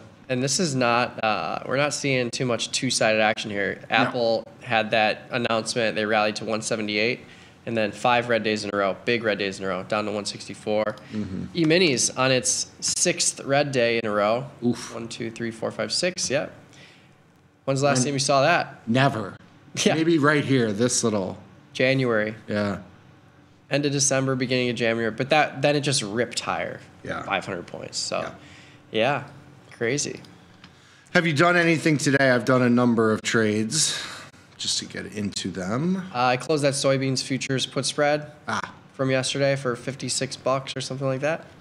But everything else is just wait and see. DraftKings right where we want it at Mm. 41. I've got the 3841 inversion, but we've said uh, that I'm going to hold this through earnings because, at least for now, yeah, we'll see how much extrinsic value holds on here. But I don't want to roll out in time for to 60 days for a dollar credit. I would rather get a two dollar credit if we can do it. I'm with you. I'm holding as well. I have a 43 straddle. Yeah, but Netflix uh, at 557, I sold the 560, 550 put spread in May. So I'm just going to hold that. And you're out 200 bucks? Yeah. Ish. 200 bucks. So just just as we stated, like we're right at the money. It's trading for half the width. That's basically what you should expect with time left to expiration uh, and any kind of substantial reversal here, 20, 30 points. This will be uh, this will be fine. So I did a number of things. I uh, missed the dividend coming up in Caterpillar. So I got assigned overnight in my Johnny Trader account. I wish I held that because it uh, would have been a I would have made back three or four hundred bucks here, more than that, six hundred bucks into this move here. Shame on me for my paper hands. Um, but I got assigned on that, so I had to close that one out. That's a couple hundred buck loser. That was not a good trade, unfortunately. GDXJ, I closed out of the long call spread portion of the ratio that I had. I then sold a put against it, so I've got the 40 straddle. Rolled down a call spread in, in Microsoft, collected dollar and change. That's kind of like my minimum for roll downs. Micron, I bought in the intrinsic value into this move lower and sold out a closer at the money tight strangle, basically a straddle here. So I bought in $15 of intrinsic value. So I bought the 100 strike call and the 115 strike put. That's that minimum value is $15. I then sold the 105, 110 out of the money strangle with the stock at 107 right now. I did it when it was at like 109. Um, but it's an out of the money strangle. So doing that transaction, it would it it's fifteen dollars of intrinsic value. It's only costing me eleven sixty two, and that's because I'm selling that at the money pretty premium, three dollars and thirty eight cents worth of added extrinsic value above the extrinsic value I had in the previous position, the the inverted strangle. So. Um, you know, just rolling and selling more premium. Ideally, we get a little bit of a sideways move, and then I can roll out to uh, June and hopefully turn this into a winning trade. It'd be an- a fun anatomy. I also have a shop trade in my Johnny Trader account that's getting close there, so um, hopefully we'll be able to pull something off there. Mikey's ZS trade. I closed out of my corn position, so I took like a 90 cent loss on on corn. Um, had a nice little rally this morning. It's a little bit higher now, so you know if you held a little bit longer, you can get an even better price now. And then in Netflix, I did a little scoopy scoopy by the dip. We'll see if it works here. It hope it worked in Adobe uh, after earnings when it had its big move lower. I got I kind of caught the uh, day or two bounce back and closed out there. So maybe we'll get that in Netflix. Or maybe we'll just go straight to zero. Who knows? Nas- or E-minis down 36, NASDAQ down 3 hundo. Yeah. Scary. Yeah. Big uh, difference there in the NASDAQ relative to the E-minis. Yeah. Um, but yeah, corn. Nice to see corn coming in a little bit. Oh, the corn man would be proud. If we get the corn, if we get the corn spread to work out, that'll be four, four for four. Well, I closed mine for a small loser, but you'll are you obviously I'm going to hold it. yours is nine days, right, or seven, Seven days? days. So all, all we need here is 440, 430 put spread. Yeah. Yeah. So we need another another move like this. Yep. Not even. And you'll be It could take three points it'll be a scratch. There you go. Three, four points be a scratch. So. I like it. Uh, yeah. And I need gold to stop. Uh, It's got to stop. Mm-hmm. Gold and apple are my most frustrating positions because they were both winners that just turned to absolute losers. Yeah. Over the last couple of days. I hear you. I hear you, man. But yeah, uh, we'll see what next week brings us. We've got plenty of earnings coming out next week. Yes. Uh, let's see here. We've got You can pull them up on the uh, Yeah. earnings watch list here. General Motors, FCX, Got GE in there. UPS, Spotify, Tesla. Tesla, Enphase, Visa. Visa, Boeing. Oh, That's going to be an interesting one. Yeah. Boeing, 24th. UAL, the best performing stock in the S&P 500 this week. Yeah. After earnings, up uh, ten dollars. It's Mhm. wild. hmm Yeah, that was a good one. Mm-hmm. That was a nice one. Um, yeah, what else? There's so many next week. I'm just scrolling. Like anything you want, it's next week. Uh, what other big names are? I think Apple's next week. Apple, I think, is on the second, May second. What am I? My mom's birthday. 25th before the mar. Oh no, that's that's the wrong symbol. May 2nd. Netflix? Or no, not Netflix. We just had that. There's another big name that's next week. Meta, Meta. twenty fourth. Meta. I'm sure you got Amazon in there too. They all kind of report in the same. Google 25th. Yeah. So yeah, Amazon Roku. on the thirtieth. Yeah, next week's gonna be a a, a wild one. right. There's literally 500 reporting next week. Is that when we get the bounce? Maybe. I mean, you never know. I was expecting this to be a bloodbath today, so the fact that it's not Yes. is a surprise. Yes, volatility is upticking a little bit here, though. You got vol futures almost at 18 here, high of the session today, the opening session. So, see if that continues. Mm-hmm. But yeah, it is Friday, and we're doing a Q&A session. So if you want to join us on the YouTube channel, you can pop in your trade ideas, questions along the right-hand side chat. We'll get to them right now. Yes. Um, but yeah, let's kick it off with Andrew. Mikey and Nick got the hookup on the best trades. Uh, sometimes, sometimes we'll, we'll say about fifty percent of the time. Uh, locked in on diagonal spreads for a reason. Small accounts you should give a benefit of the doubt to long premium trades. Yeah, um, I mean, really, it's just defined risk. Like Netflix can't do a debit trade. Yeah. because our it's it's just too expensive. So we had to go with a credit spread trade. Um, but yeah, we typically try and keep our risk defined for earnings, keep it under a thousand dollars. And the reason why we've been doing diagonal spreads is really just to have efficient exposure to implied volatility, where we're selling the weekly cycle that has an earnings announcement, and we're buying a monthly cycle that does not.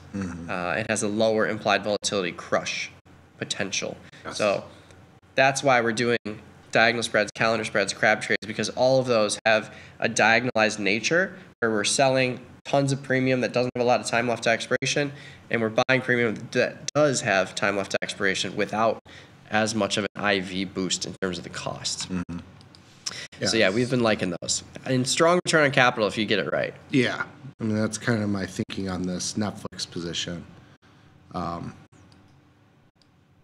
you know, just taking a little bit of a directional stance, but also, you know, having that positive gamma and you know, get a little bit of an offset via the short premium. Mm-hmm.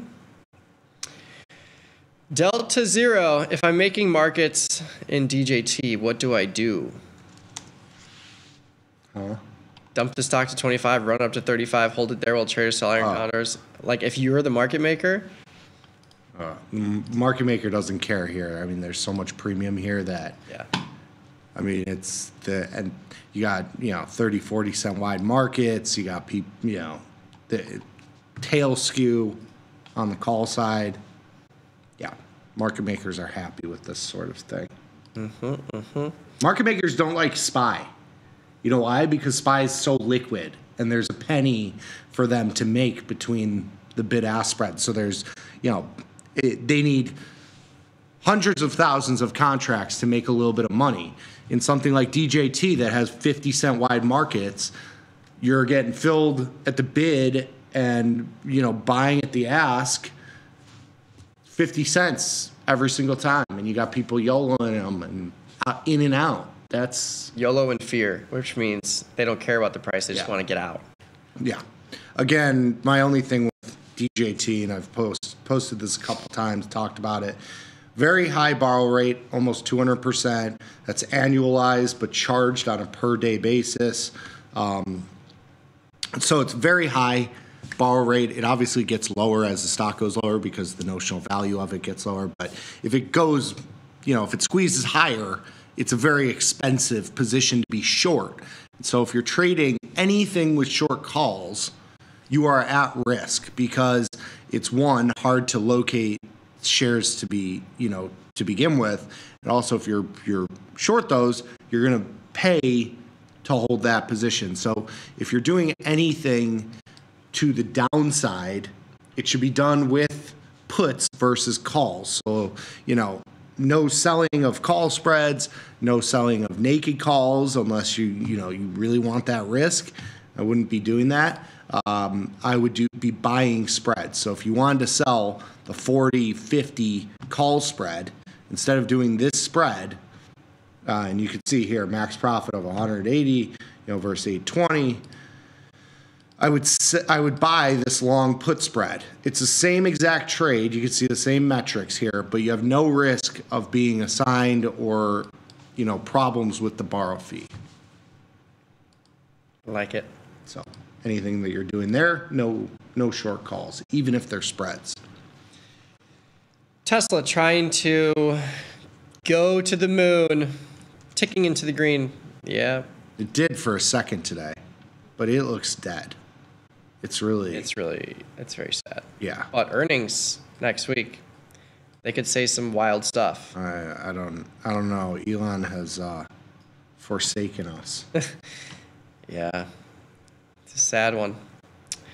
Happy Friday indeed, Zach. Do you have to close the untested side of an iron condor in gold futures and then reestablish to roll up? Yes. Mm-hmm. Yeah. It's just the way that the futures contracts are The- transacted. Yeah, this the they don't allow for custom orders. So when you're rolling a spread, you're closing and then opening a new position, and so they it's one or the other how they restrict it. But there will be changes to that shortly. When does it make sense to sell an option against an already profitable long option? I have a couple of them now. For example, I bought in March the Oracle 115 put in June. Nice. For 256. Nice. Go into May, sell the 110 Mhm. for a dollar. Yeah. You basically take off half your principal risk and allow yourself to still participate in the downside. You know, you have the calendarized nature of it too.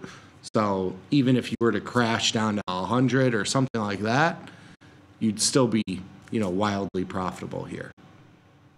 Yeah. Basically, to answer your question, premium's got to be there to sell it, an option against the long. You got to be putting yourself in a scenario where you can still profit if it mm-hmm. moves to the downside in this case. And most importantly, you have to be willing to stay in the trade. Because when Yeah. you sell an option against it, you're staying in the trade. You're Yeah. Not, you're not exiting. Correct. You know. But you're doing it into strength of your position. Yes. Like it's a, uh, you know, advantageous adjustment that you're making. Uh, yoga mat. Can you look at the analysis tab? When I make changes to the IV in time, the P&L shade on the graph moves, but when prices change, there's no change to the shaded area. Yeah, so the price is going to be reflected up here. So when you change the price, you'll see you'll see it moving and the distribution is moving, but you'll see my P&L Theo change here. Yeah. So the and that's because price just moves where you are on this On this theoretical just- risk graph. Yes. Changing time and implied volatility changes the risk graph. Yes. Yes, So, exactly. That's why. So you can see this changes the risk graph. Um, changing time will change the risk graph as well. Spot price just changes where that is, that distribution is. So that would be there. David's got negative 500 SPY beta weight deltas on a 325k account. Also have 530 theta. Is that too bearish? I don't think so. You're kind of in that range, like plus minus one percent. What was it? 500 ish? 500 SPY. Yeah, you're right there. And it, it also depends on how you got it, right? So if you were sh- short shares or, you know, very heavy short delta positions and you got this sort of move, I might say, you know, take some of that off. If it's short delta that you've picked up now, um, you know, via put diagonals or something like that, you're probably getting the benefit of, of the doubt here with some higher extrinsic value in like your short options that'll offset, you know, some of that um, potential upside exposure. Meaning, like, if it's more dynamic delta, I, I am more comfortable holding it. If it's more static delta, you know, you, you you've hit a home run. Mm-hmm. Uh, Andrew asking about Netflix put spread. You're just directional, right? Any theta you get from that will only come in a week or so before expiration, correct? Uh, I mean, you'll still see you'll still see theta decay, but yeah, this is a trade now where I need Netflix to get above 560, and for me to get any sort of substantial profit here, it's going to be much closer to expiration. But that's based on the move now. Like, it, had there been no, you know, if it was, and it looked like it was going to be a big old non-event, then you would have been in the clear. It would have been a nicely profitable trade. You probably would have mm-hmm. closed it. Stock went up, you probably would have closed it. Now with the stock at your spread, now it's a slower moving trade. Yes. And you can just see that by like the difference in theta and the difference in delta. So yeah, the the short option has 33,676 theta. The long option has 33,259. So mm-hmm. they're going to offset each other to a strong degree. Yeah. And you can see it's basically zero theta. Yeah. But delta, 50 delta on the short, 40 delta on the long. So if you get a 10 point move, that's $100 off the spread in theory. So yes, much more directional, but that's that's for everything. Delta is always going to play a larger role than theta. Yes. Uh, I want to be short on RL. First idea is a long put butterfly, but then realize a diagonal make might make more sense. Thoughts on the pros and cons? Yeah, it um no weekly options, so I'm guessing this doesn't trade all that much. Let's look at the volume and open interest. Where's my volume? There it is. Yeah, doesn't trade a ton. Yeah, so with wider bid ask spreads, less strikes is going to make things more easy to get in and out of. So diagonal spread, two contracts versus your butterfly that has four. Yeah. Um, if you're trying to not have risk to one side, your diagonal spread will achieve that. Butterfly will not. So, yeah, I don't mind doing a diagonal instead of a butterfly here. Yeah. It's just not super liquid. So I would be careful with your pricing. The only thing that saves Tesla is a dividend announcement, which could happen if Musk's if Musk's shareholders approve his obscene pay, or I guess reduce it. Mm. Uh, yeah, they need to do something. Yeah. Because whatever they're doing is not working. Yeah. Meta did that and got a nice little bump. Mhm. Not that I'm going to say that it, that was the whole thing, but Yeah. And now Zuck is like swaggy. He's got that. he's drip. Mr. Steal Your Girl. nah. He's got, a nice drip. little beard going. He's got the the for real for real Yeah. going on. for real, for real. God. He's got the chain popping. And you know what it is? It's because he's spending all this time with all these UFC fighters. Yeah. Not instead of like, you know. He's not a freaking dork anymore. Oh man. I just got a Roku and I'm in my late 40s. When the older group starts cutting cable and going to streaming services, you have to be long Roku. I love my Roku, my Roku TVs. It's nice. Yeah. All right, what are we doing? Earnings next week, right? Yeah. I swore off uh, Roku last year, and you know, look at me about to get back in. Sling it. Yeah. Yeah, the nice thing about Roku is there's so much premium here because the market. You say that, but then. But then it drops 20 points when you're long. or it goes from 55 to 105. You know, that you have to keep that in mind. Yeah, I'll probably do a diagonal spread. Pretty cheap, four bucks for long June, short the weekly. Mhm. But I'm gonna wait till next week. Okay. And I was looking at a put here. I didn't. It, the margin requirement is up because it's close. It's getting close to 100% IV. Here you go. It's a tougher one. Is there a VIX future that I can monitor after hours? I believe you're referring to VIX. That's just slash VX. Yes. That's the future. And mm-hmm. yes, you can see that big green bar to the upside got almost to 20, and then they said, just kidding, back down to 18.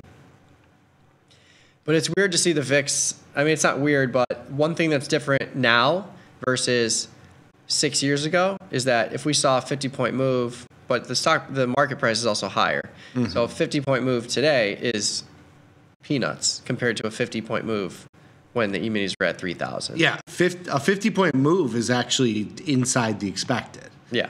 I mean, right now with with volatility futures at 18 and the, the VIX itself at 19 here, it's projecting 19 exactly as 1% move in either direction. So, you know, we are currently inside the expected move, which pe- which seems wild, but that's just how the math works out. Kevin, thinking big, uh, is the question today are they going to want to buy stocks ahead of the weekend that could be volatile given what we saw last night? Great question. Looks like they do they don't want anything today. Yeah, I'm thinking no, but stranger things have happened. Yeah, I mean, this this could easily be chalked up as a risk off. Don't want don't want to hold risk to the weekend because you don't know what's going to happen with uh, the global issues that we have going on right now. 100%. Uh huh. huh. AJ, yesterday you advised what you thought Netflix would be at, as a loss. Today you said it is about what you expected. How did you sort out those numbers from the chain? Hmm.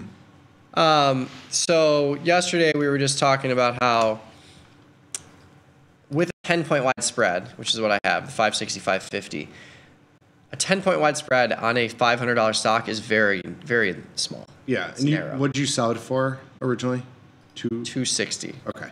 Yep. So yesterday, I believe I said my real-time risk if Netflix drops to 550, 540, 530 is probably 200 bucks, Mhm. 250 bucks. And that's because any spread you look at with 30 days to go that is near the stock price is going to be trading around half the value. Yeah. Because you're within the expected move if you're looking at the expected move here like the expected move for May is 37 points. So if I'm like 10 points in the money on either side, whatever, it's it's within the expected move. It's kind of a 50-50 shot. Mhm. So when you extrapolate that out to a 10 point wide spread, that means you're going to see about half the premium. Yeah. But since I collected 260 and I expect the spread to be trading for five dollars or around there, subtract that and you get your $200 loss. So that's all we were looking at.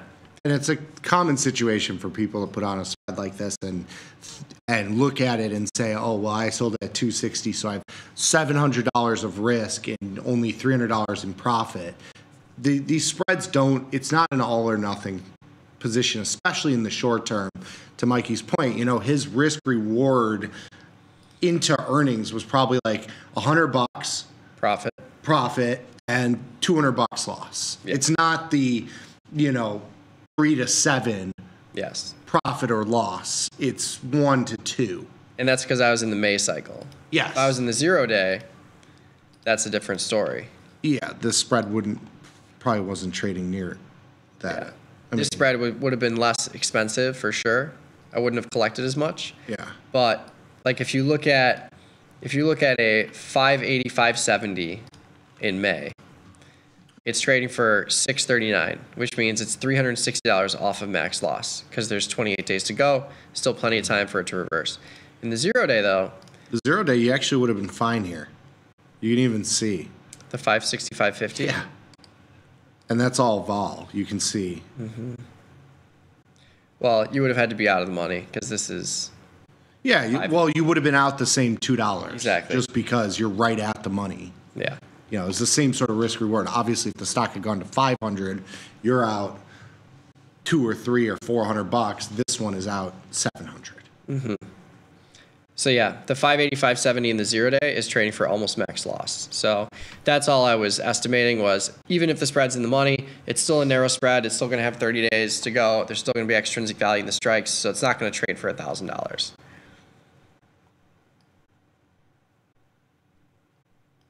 Mm, naked short calls in an IRA? Technically, yes, if you want to. Uh, I have short inverted strangle in XBI, 83 call, 85 put.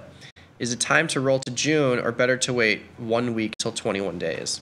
Do we know? Oh, uh, okay. So it's May. Which, what were the strikes again? 83, 85 inversion. 83. Uh, oh, it's puts. Okay. All right. Do we know the cost on that? No. Yeah. I mean, it's not going to matter too much. I mean, you've got seven days passage of time. You're right where you kind of want to be Mm-hmm. in terms of minimal intrinsic value beyond your inversion. Yeah. Being at 83 with the stock at 82.24. Um, so yeah, there's going to be very little difference. If the stock is right here between your strikes or near them, there's going to be very little difference if you roll now versus in seven days. The problem is if XBI sells off five points, now you're looking at a much different scenario because you don't have as much extrinsic value to roll into. Yeah. So if you're trying to buy back May and sell out June, There- There's almost four dollars in change. Like you're, even though you're inverted, it's really a straddle. yeah, Like it's to feel like a straddle. Yeah. I mean, you have a lot of extrinsic value here, so um, it's a tough call. It's a tough call. Uh, but you can roll to the 83 straddle for a dollar fifty and change now. Did we win all the money on Scottie? Uh, didn't you do a bet on Scottie? Yes. All right. Well, DraftKings has been giving the like plus 300 odds boost. Yeah. Like so anytime he starts, you just use it on him. Yeah, I mean, why wouldn't? Why would you use that on like a long shot versus a favorite? I, mean, Yeah. I got all my little sprinkled long shots. Scottie's unstoppable. He's amazing. It's really just insane. It's incredible. Pablo, short 90 SPY shares at 471. Do you have any ideas on how to reduce the loss? Was considering a put call ratio to bring break even closer to 483, but unfortunately my buying power isn't sufficient. Thoughts? What was it? 70? Four, four, 471. Short 90 shares. I mean, you gotta, you got, you got bailed out a little bit in the last. Mm-hmm. couple- I mean, your your loss got cut in half. I think at a certain point, you know, you, you have to either consider it or take off a piece of the position. Um, that's how I look at it. If you have to believe that it's going back down to 470. If you're holding this position. Yeah, I mean, but believe it, you know, that's one thing. But to to get half of it back, you know, maybe take half your position off. Mm-hmm. And then if you still if it goes down to 470, it's not like you miss out. You know, you obviously won't make as much back, but you know, if you bounce back to 4 to 520, you have powder dry to get back into a position there. I, you know, generally speaking, if you want to close out of your position, I think it's more capital efficient to close out of the shares and then do something like a zebra if you want to be short. Mm-hmm. You know, the, those shares were intrinsic static delta, and you got bailed out for 30 points or 25 points in the last two weeks. Maybe you close it out, you, rele- you release that buying power, you'll get, you know, 30 or 35 grand back, whatever the, you know, some quick math here. You get, get your 30 grand back and then do a put zebra. Yeah. And, and then you have the same sort of delta exposure, but you're using a tenth of the capital. Mm-hmm. So that's what I would do. And you can go into June or whatever, whatever your time frame is. How am I managing AMD? Uh, AMD is Full road round trip. Yeah, it's crazy. Um, so when I put this position on, I'm, I went to May because I wanted to be in the earnings cycle for a potential bailout. So this is literally the worst case scenario. AMD's gone from 200 to 150, down 50 points. Yeah. From when I put this on. Let's see when I put this on exactly.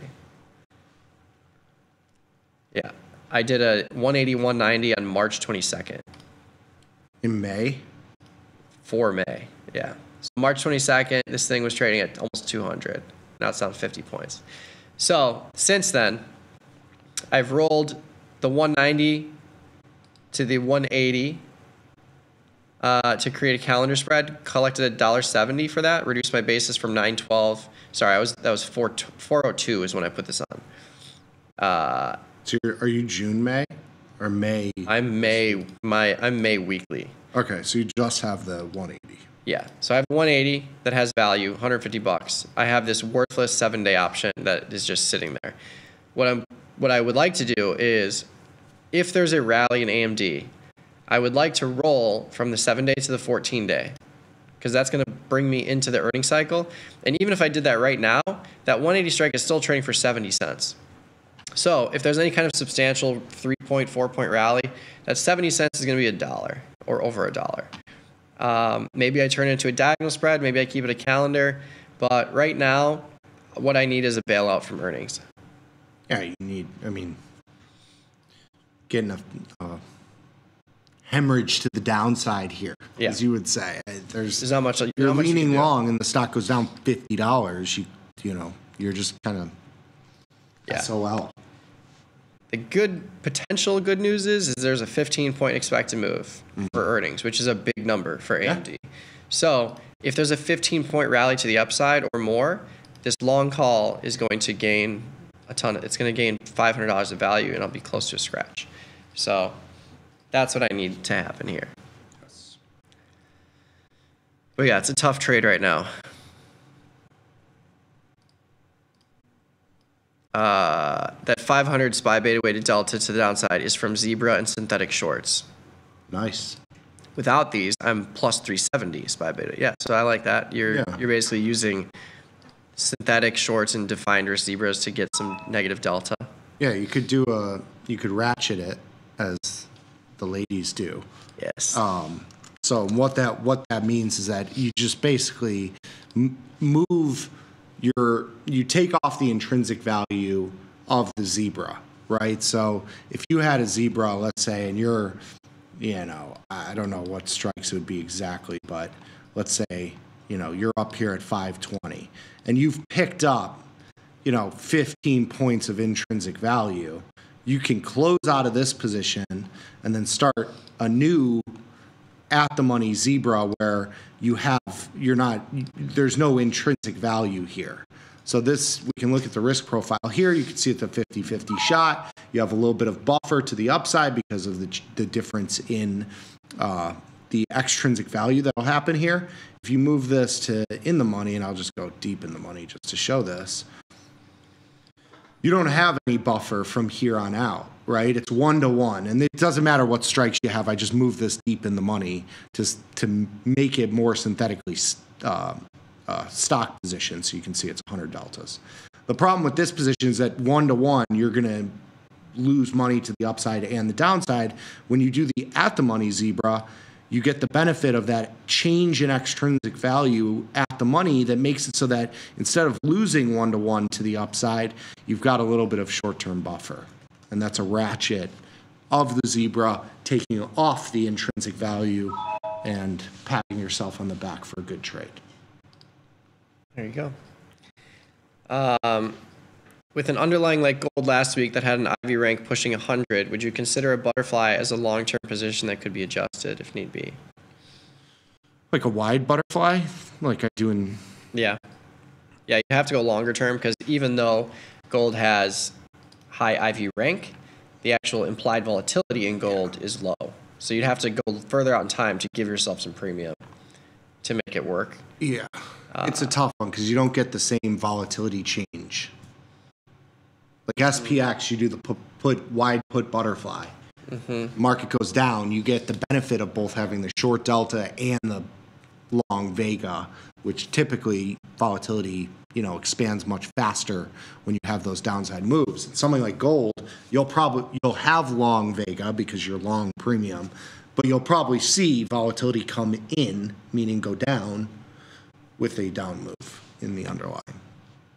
So I, I would prefer getting more static E delta with the diagonal spread. Uh, two for one deal here. How do you calculate expected move? I'm in Canada and don't have Tasty. And is MES M4 cash settled? Yes, MES is all cash settled. One thing to keep in mind though is if you're trading options on MES M4, you can see there's 10, 15 different expirations that roll into the M4 contract. So if I sell a put in MES M4 and it's in the money through expiration, it's going to turn into the contract. So that put is not going to be cash settled. Your contract will be cash settled, but just keep that in mind that you're, if you're selling in the money options or your options in the money and you let it go, it'll turn into the contract, which is cash settled at the end of the day. And expected move, the plus minus numbers that's listed on the right hand side is close to the straddle. Yes. Well, they're at for Canada. I would just look at the straddle. Yeah. Look at the straddle. It's going to be close. That's your expected move 50 50 shot. For uh, one standard deviation, just go to the 16 delta. Easy. Mm-hmm. Because you got to have delta. I'm sure they have delta on the platform. Yeah. Maybe they don't. I don't know. Gotta have delta. Yeah. XSP Iron Condor, 440, 495 shorts, five points wide. 440. Do we know what expiration? Expiring today. So the 440 is worthless. It's going to be worthless. The 495, 500. You can close that spread. You're just going to have to move the price because Mhm. these options are 20 cents wide. They're flying around. So uh, the put spread, maybe you can't close because it's zero bid, Mhm. but I wouldn't worry about that. It's it's going to be worthless. The call spread here in XSP, if you're trying to close it, uh, is what you need to buy back. But XSP is Cash cash settled, so you don't really need to do anything. But there would be an assignment fee if that short option's in the money. So you just need to adjust your price closer to the natural, which means moving it higher, penny by penny. Yes. Uh, SPX Butterfly from a couple days ago. Long put at 46.90. Two shorts, 47.95, and one long at 48.40. It's great. May. Could have jumped out for $80 credit but held. Should I bail or hang on? What were the strikes again? The 46.90, 47.95, and 48.40 Yikes, for May. 4690. Okay. 40 what? 47.95, wide one. Yeah. And 48.40. Oh, so yeah. So this is kind of a funky. 4840 long. Yeah, I don't I don't know. But yeah, you're getting the moves that you need. You've got six down days in a row. Well, this is more like a broken wing butterfly. Unless they did it Long 4690. Short 4795. Above there. Yeah. And then, And one long at 4840. yeah, so you're you're forty five dollars wide on the long spread. You're a hundred and five on the short spread. Yeah. There you go. Uh, so yeah, you're you're getting the move you want for sure. Holding on versus closing is is subjective. If you think it's gonna Yeah, you got a lot of room to Yeah. the downside. I mean, I would hold. break even's 200 points lower. Yeah, pretty much. Yeah. Uh, regarding the tan trade, on the show you said you would wait a couple days more before rolling the short call. Can you explain when would be the time and again your reasoning for it? What do you got there? You got May forty five strike, right? Forty-five. the 45 straddle and then long the 50 long the 35 And you did it at what? 406 so i just i just didn't want to go inverted i don't feel like i need to go inverted yeah that was my only reasoning Yeah, we talked about how you can roll down to the forty strike hmm because it'll make you won't use any additional capital because you'll have a ten dollar by ten dollar wide spread. hmm But you know, the stock has gone down five dollars and you're out a hundred bucks. yeah and if i go to the 40 i'd pick up a dollar 50 which would bring my credit to 550 but i would have a five dollar wide inversion Mhm. so i basically kill any profit potential if i roll it down Yes. So I would rather lean long and just see if we get a rally here, and this trade will be profitable. I'll just close it. Yes. Dell Iron Condor. 28 days, 115, 145 shorts, five points wide. Dividend in three days. Thoughts? Uh, well, your call spread is basically worthless. You said it was five dollars wide. Mm-hmm. Um, you're probably out like 60 cents, 70 cents, something like that. I don't know what you did this at, but I'm guessing somewhere around 150 ish, 160, 70. Um, no risk of assignment on dividends with puts. Yeah. So that's not an issue. But you're right at the money. Yeah. It's like Mikey's Netflix position. Mm-hmm. Yeah, you just need a little rally here, but yeah, no assignment risk on puts, just in the money short calls. Yes.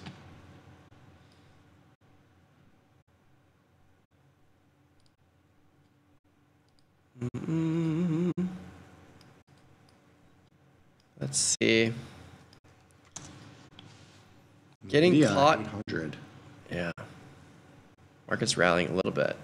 Uh, getting caught in May iron condors with the put spreads underwater and the call spread is diminished. If you can't roll a put spread for credit, would you consider rolling higher or just wait? No. Not really.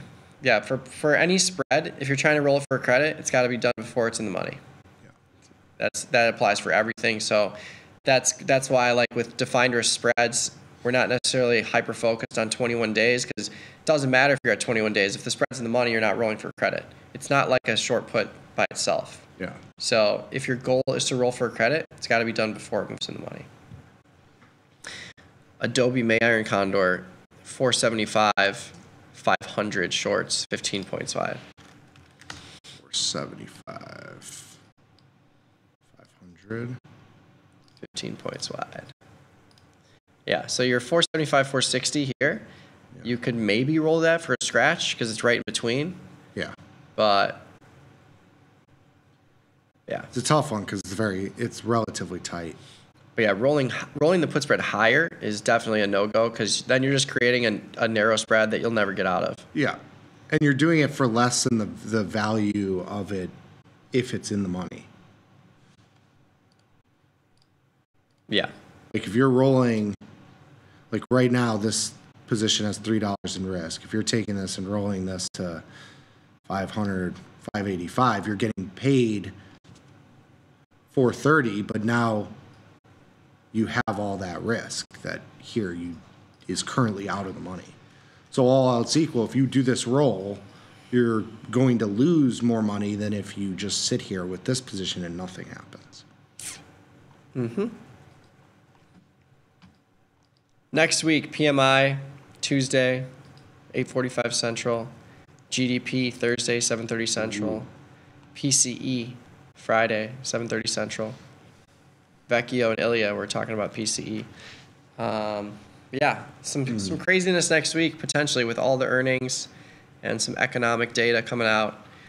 Um, it's gonna be gonna be wild. Yeah. Going to be wild. Let's see here. Daniel, not a trader myself, but love watching your channel because of the content and the passion you guys have as well. We appreciate you, Daniel. We love you. Thank you. Yeah, it's it's a fun time here. Mm-hmm. It's a fun time indeed. Um, anything popping off your uh, screen here, Mikey? Apple down two dollars. Yeah, it never goes up. It's dead. It's done. Apple's gone. No more iPhones. Yeah. Um, I like to use the S&P 100 list. You got all the big names.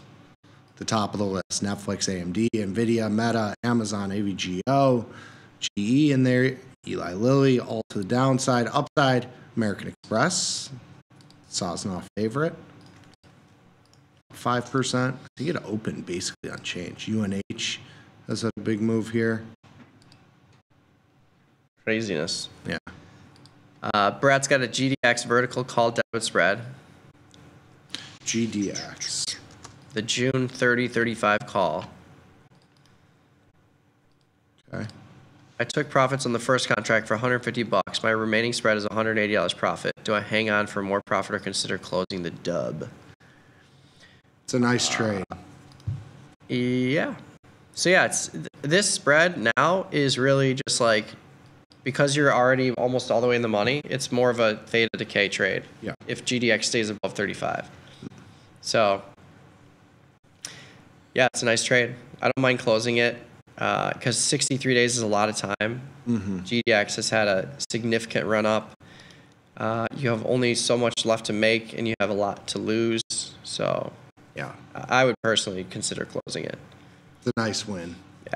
You had a cheapy position. If you're up 180 bucks, you did this at basically a dollar, maybe less. Mhm. It's a nice trade. If you wanted to, and we've talked about this before, if you are long a spread or long an option or whatever you're you're doing with, and you get the directional move correct, this is four dollars of value at expiration. So you can sell something, a call spread, that is four dollars wide without using additional buying power because this this spread if it goes fully in the money it means that your current spread will still be fully in the money. It'll be four and four. So it'd be a, a net wash.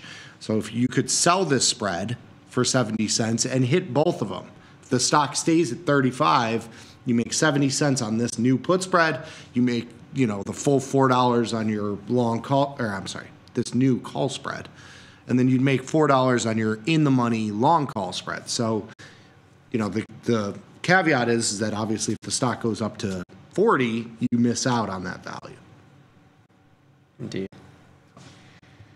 Uh, last one here. Bottom of the chat, Andrew. Walmart IVR is 100. Uh, yes, it is. yeah they kind of nuked it with the split Yeah. I will say though, IV rank of 100 doesn't mean much to me when IV's at 25%. Yeah. There's not that doesn't mean that there's plenty of premium to sell here. It just means that this 20% is the highest that Walmart's been in a year, Mhm. which is kind of staggering. Uh, you look at May, there's really not much premium at all. You look at June, not much premium at all. So like if you're trying to trade this for earnings, I'm I'm gonna go the debit route here, because they're like a zebra even. Like, You can you can get static delta cheap here with 20% IV. Yes. So just just be careful of that IV rank of 100. You got to also look at IV. Yes. Uh, and if IV's low, IV rank of 100 um, isn't as telling. We'll say. That's it. beautiful pizza time pizza party Pizza, pizza. pizza party shirts Yeah. pizza party shirts in pursuit of the perfect pickle. Thank you for that. You're welcome. um, thanks for tuning in. if you have any questions, you can always find us on the Twitters. I'm at Trader Mikey B. Nick's at Trader Nikki Bat. Stay tuned though, we got plenty more content coming your way on the YouTube channel as well as tastylive.com. Yeah, have a great weekend, everyone, and we'll see you same time, same place, 11 a.m. Central on Monday. We'll do it all again. Peace. Peace.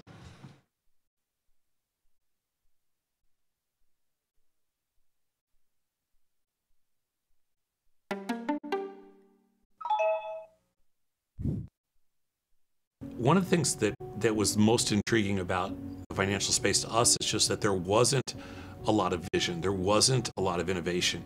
And I think that that, you know, that left a, that left a door open for us, which we really liked. After almost 20 years of open outcry standing in the pit trading, I felt like all the markets were moving from kind of traditional open outcry to uh, electronic trading. I saw the writing on the wall and I wanted to be first. Building the best technology in the world for traders was one of the coolest things anybody could ever do. I loved every second of it.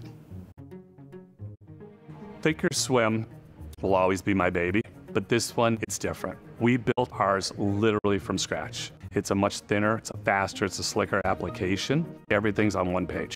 So you're always looking at the core page and then bouncing around from there to get to whatever you want to get to. Most of our competitors have legacy technology, and some of them are multiple firms. Their technology has just been rolled up into a single platform. That's not the best way to build a platform. We built ours literally from scratch. It's from the ground up. So we were able to design it in the way that we wanted to design it with the flexibility that we wanted.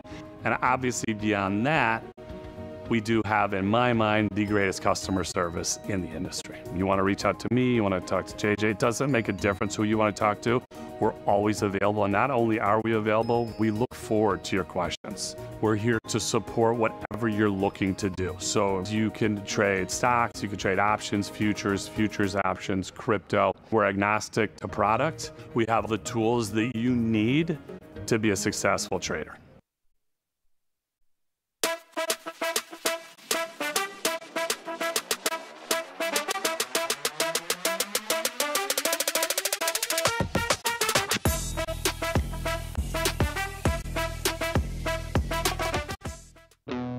Looking for a better broker and a bonus? Sweet. We got you. Right right now, you can get a bonus of up to $4,000 when you open and fund a tastytrade account. Plus, low rates, smart tech with the analysis tools you need, and award-winning support. So, get a broker who's actually got your back. And up to $4,000 at tastytrade. Make your move, genius. tastytrade.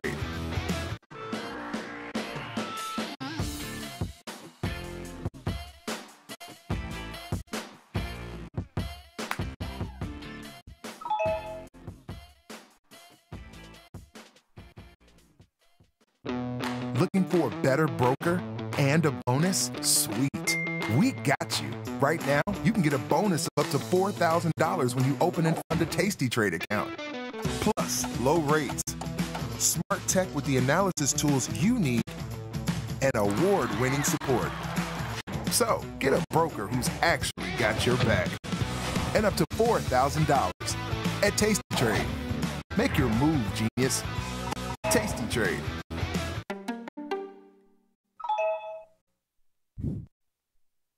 One of the things that, that was most intriguing about the financial space to us is just that there wasn't a lot of vision. There wasn't a lot of innovation.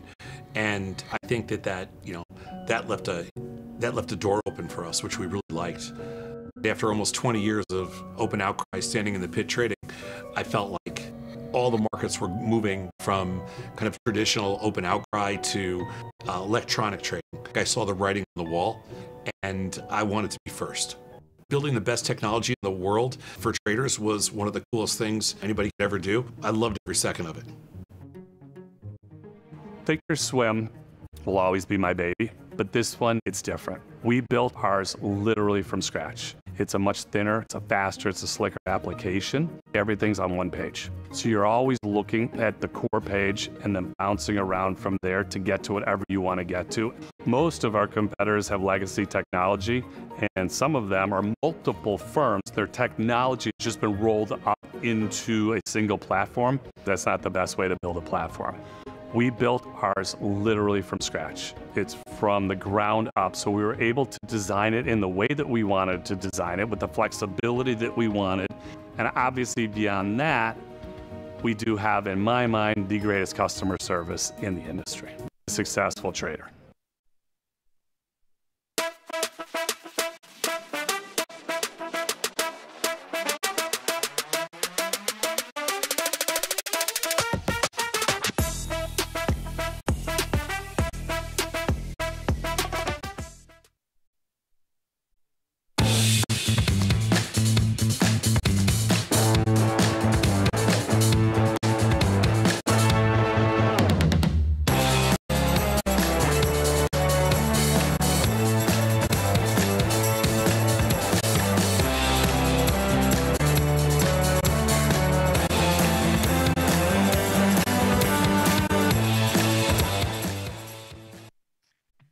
Back. It is Friday, April 19th, 2024. This is Futures Power Hour. I'm your host, Chris Vecchio. He's Ilya Spivak.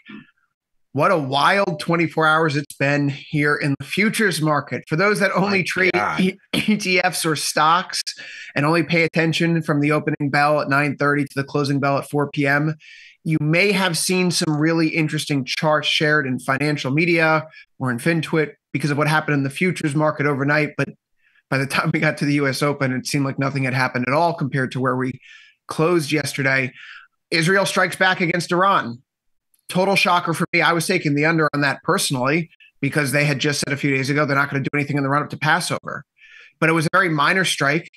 Iran came out and effectively denied it. I know that because I was watching Iranian state television last night at midnight Eastern. And that was a line that they You were me both, actually. There was nothing, no problem. It's the Ayatollah's birthday after all. Israel was just sending him a little bit of a present. How generous of them. And so we find ourselves overnight retracing what were very aggressive losses over the course of the session, uh, in particularly at the start of the Asian hours, from about nine to midnight. And then the markets turn higher, and the S&P goes from near 49.60 up back to about 50.50 or so. But there's a funny thing about markets that are in areas or states of decline, Ilya akin to what happened earlier this year and at the end of last when you saw minor dips that were soon bought up when you couldn't keep a good market down dare i say that it's been very difficult today to keep a bad market up yeah the tape action over the course of today's session is anything but reassuring for bulls who came into the us trading hours today with a gift basket of an opportunity presented to them Every reason. They had every reason. A beautiful exhaustion, perhaps, and a fundamental catalyst of this war tension being geared up. Both sides are saying that this is basically done. Whether or not that won't mean there's future engagement is another story, but this escalation ladder appears to have reached its crescendo apex and is now in that decline phase. When you look at the candlesticks in some of these charts right now, those long wicks in ES, in NQ, in the Russell, in the yen, in gold, in oil would make you think that this is an exhaustion type of day. And so when you come into the session where we've retraced effectively 100 points in ES from high to low, and the market now finds itself 30 handles lower, you can't help but question is this something related to OPEX or is this a continuation of what has already been a weaker market? Sure, the geopolitics may be off the table, but even absent that, this is a market that was destined to be going lower today anyway. Ilya, how is your read on things here and what's a pretty lackadaisical type of OPEX Friday? Well, uh, I think the first thing that uh, catches my mind uh, here is that, at least in the FX markets, there is a sense that maybe we've gone a long way. For example, the euro not really going anywhere, dollar not really making m- much headway there, uh, Aussie dollar dollar not really making much headway there. Big spikes there. Um, the pound can't find a bottom, so that's interesting. I still have that one on. Uh, but when you look at stocks today, it seems like we're getting a view of this was never about geopolitics. This sell off was not a geopolitics sell off. It started before the war of words between Israel and Iran really started to heat up as we were going into the end of last week. It got a little bit of an amplifier, but just as it seemed like the cycle of violence wasn't going to escalate, we closed the loop on it. As you just mentioned, all of the messaging out of uh, Tehran has been very similar to Israel's messaging after the uh, attack from the other side, saying there's been no casualties, this is an outrage, and there's nothing that actually occurred. So it looks like it was very stage managed from every side.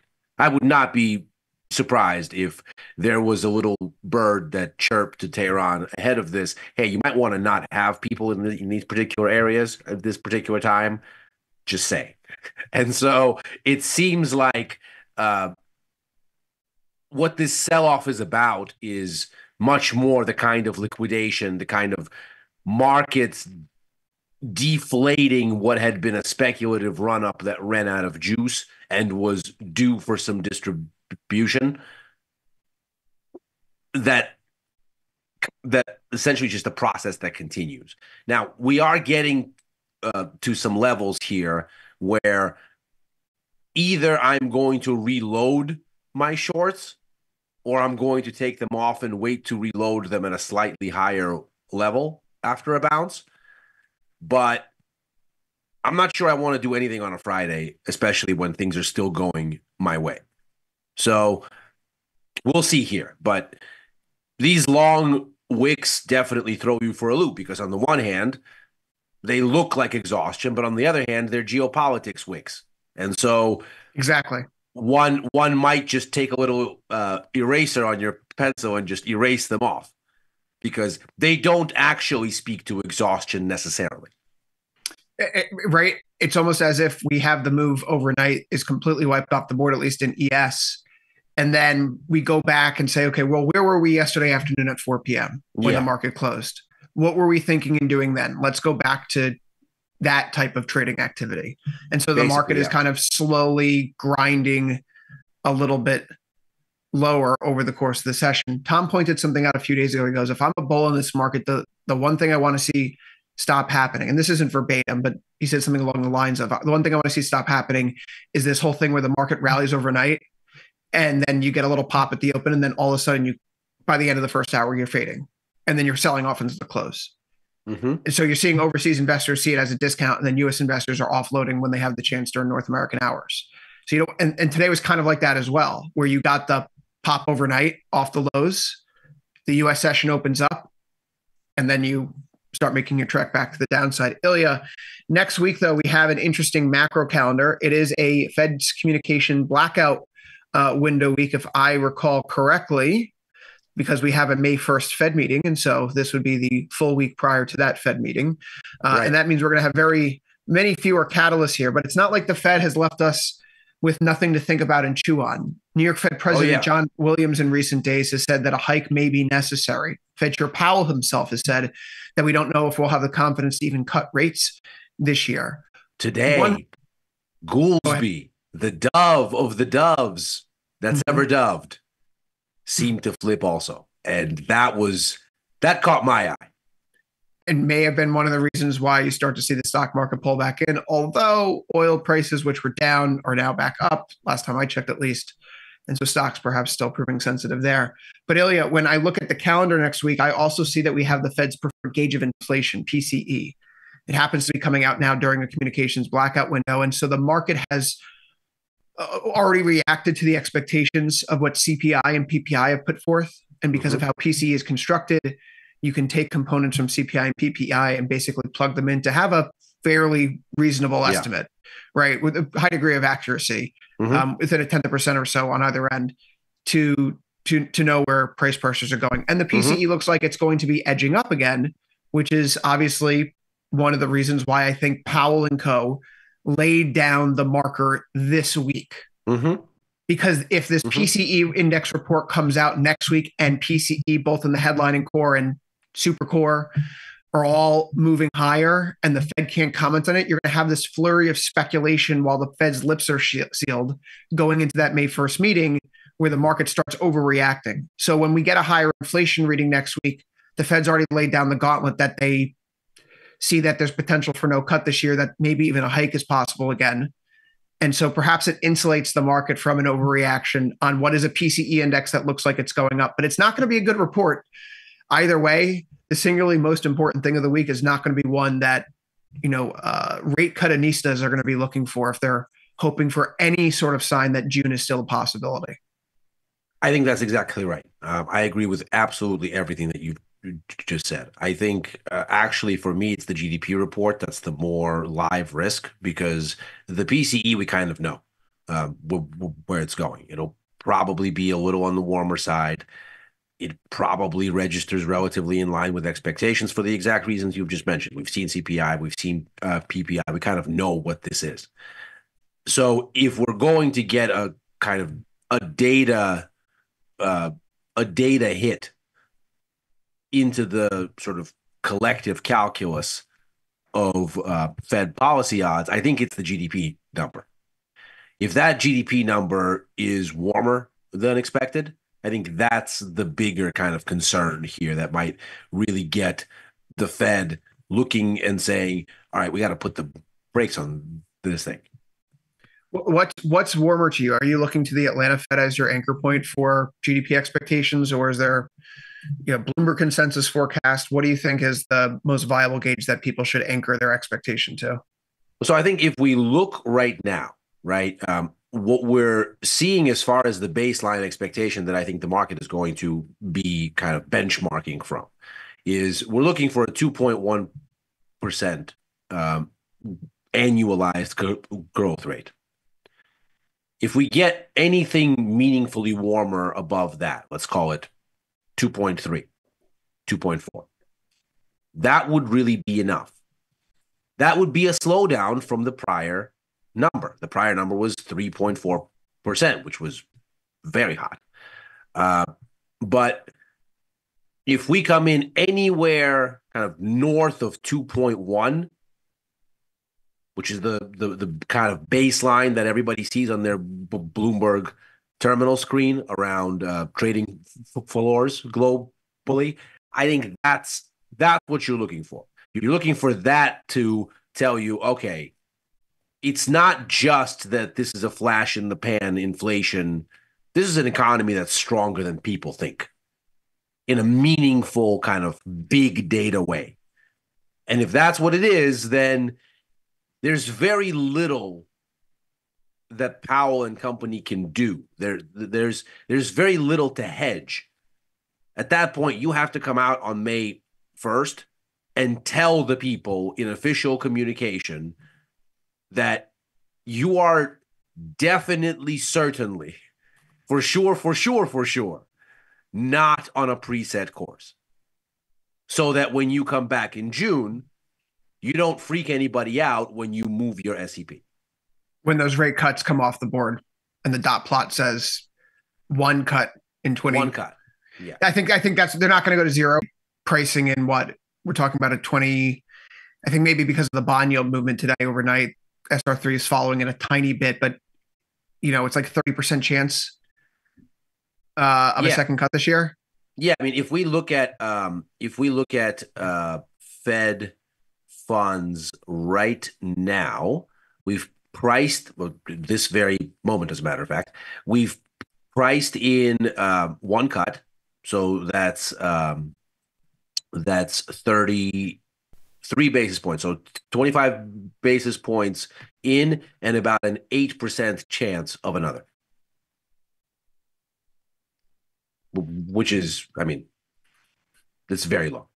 Very, very okay. So even lower than what I described. And yeah, and that's that's kind of the point, right? So the market that puts that you back into an interesting spot then where then one of the effects of the decline that you stipulated. Why did the market stop rallying? It's when we crossed the Rubicon of the market pricing in more cuts than the Fed. And once it matched the Fed and then went beyond the Fed and got more hawkish than the Fed, the market stalled and then started to decline. And so maybe once you get to the reset of those Fed expectations, then that means like, okay, the board's clear. There's nothing excessive priced in still by the market. We can then resume what we were doing and start reacting to the data nor- normally. Where if inflation's better, then we get we go up. If not, then maybe we push back the timing of that first cut. I still think that a first cut this year is is looking like, from my perspective, it's out the window. The opportunity's been missed. I mean, maybe they do something in December. Maybe as a as a as a token. And and let's just clarify for a second. I think um, your percentages were much closer to right. So that's eight basis points or about thirty percent right. probability. Yeah. So, So it's- eight yes, of it's 32. It's eight basis points out of a twenty-five that's been baked in for the second um, the second cut. The bottom line is that it's less than even. The markets think there's a less than 50-50 shot of a second cut, which is, I mean, compared to the Fed's three, a staggering disparity now. Which actually puts you a very in a very interesting place when you look at equity markets today, which is really a kind of choose your own adventure kind of day. I, I know that stocks hold gains again, but let's just run around the horn here real quick. Let's say you are a uh, you're a Bulls bull. You may have wandered over to the Dow Jones today. Look at that beautiful reversal candle. We're sitting close to the session highs. It's a big, long lower wick. It's coming right at that big swing support we had in the middle of January. This is picture perfect. Hey, a little bit higher from here. And this is a bullish outside engulfing bar, a key reversal after a 5% decline. That looks like a bottoming signal. Not, Not too bad. shabby. Not too shabby. Hey, you know what? I could go over to the Russell and okay, uh, that's it's still an up bar and it's not quite as bad as everything else but you know what there was a head and shoulders pattern here and that measured move brought us down to about you know 1969 and that's and, exactly and we're at support. and we're at support swing lows that we had in february Very, very, that's a very, very clean, very kind of Hmm. technically uh, attractive, if, as it were. And the four hour chart here kind of looks like maybe it's a bullish falling wedge that we're Yeah. breaking out of Yeah. that looks really good so if the dow jones which has been you know such a laggard and the russell which has been such a dog these guys are doing you know good or at least great i mean the dow looks great relatively speaking It's not bad at all. surely surely the nasdaq and the s&p are doing well today too This is. Uh, hold on a second here Uh oh. Here's- Wait, wait, no, no. that's not looking so hot all of a sudden. Okay, well, the Nasdaq, you know, it's all the tech stocks, and those are like those. That's those are the leaders in the market. So surely, at least the Nasdaq is holding This up is here. the don't shoot the generals counter counter case Oh, right here. Wait a second. You're getting four very different signals here, depending upon the indexes you're looking at. And ag- again, like choose your own adventure. There's a there's also a point here, technically speaking, where from the Nasdaq and the S and P, Ilya, you, Dylan, and I were chatting last night. uh, where the measured move from this double top, this whatever you want to call equidistant consolidation, is 700 points, and that brings you down to 17,300, and we're getting a little bit of a wick in the market right around these levels. Yeah. For the S&P 500, the head and shoulders target, we've been talking about this all week long. 505, yeah. 5333 and a half less 5167.25 is 167.25 range. You subtract that from the neckline, that brings you 5000.25. Yeah. And now we have a long wiki candle right into that area, right into a former swing level where we had some Mhm. resistance at the end of January and the beginning of February. And that looks like it's a washout kind of low point. And I also think about the fact that less than 10% of stocks right now in the S&P 500 are trading above their 20-day moving average, which over the past several years that's been a real unique occurrence. When that happens, it doesn't happen and stick around for a while, but more importantly, it's coincided with every significant swing low that we've seen in the post-COVID era. Even in 2022, when you were looking at a market that was in decline for effectively 9 months that year from January through October. So the candlestick action today in the Nasdaq is garbage. In the S&P, it's eye raising. In the Dow, it's outright encouraging. In the Russell, you're kind of like mama bear, like not too, it's just not warm enough yet, right? Mm-hmm. It's not Goldilocks. The Dow looks Goldilocks, but this is still an ugly tape, and that's the that's the summary I arrived at, which is why stocks can't hold on to their gains because if you look at the S and P the Nasdaq, the ones that we we really care about, who's trading mm-hmm. the Dow futures, right? honestly, look at the trading volumes. This is the, the prime point of focus for investors. And it's, you need something more still. This is the lacking the kind of conviction. Yeah. Period. End of story. You can see it when you get into, let's say, a four hour uh, chart. So you, you just work us down to a four hour on ES, and what you see is is is much less encouraging than what you see on the daily, where that geopolitics wick uh, makes it look more encouraging, frankly, than it does when you look at the the price action nearer term. Because what you see here is a bounce to retest former support as resistance and then failure. Again, by the way, this has been these stair Again. steps this week. Yeah, you, you, yeah, you get failure again.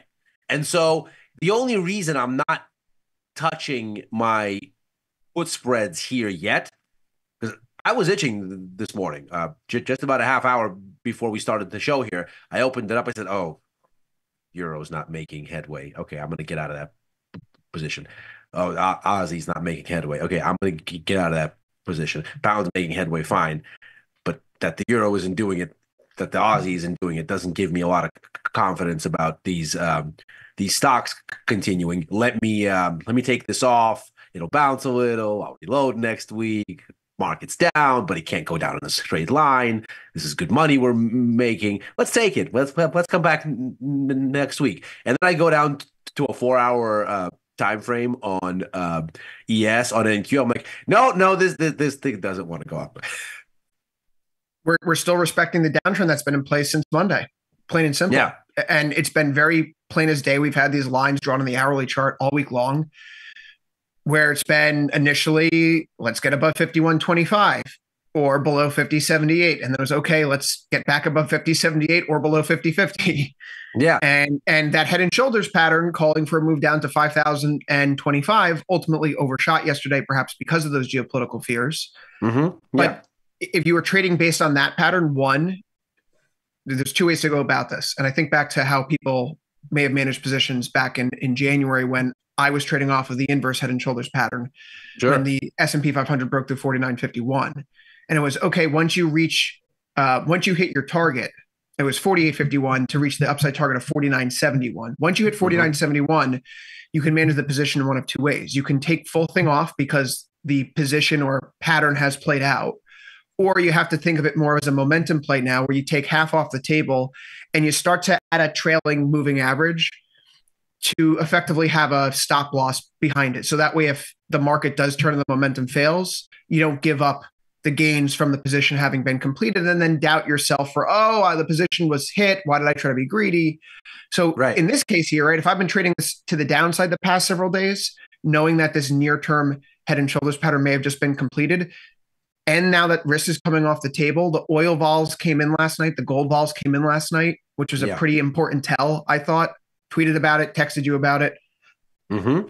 Take some off maybe or roll out. Give yourself more time. Give yourself more time because this is an area where there could be a little bit of an exhaustion. Yeah. The last time that we saw this few of stocks trading above their one month moving average was the last week of October in 2023. That was the week that the stock market bottomed.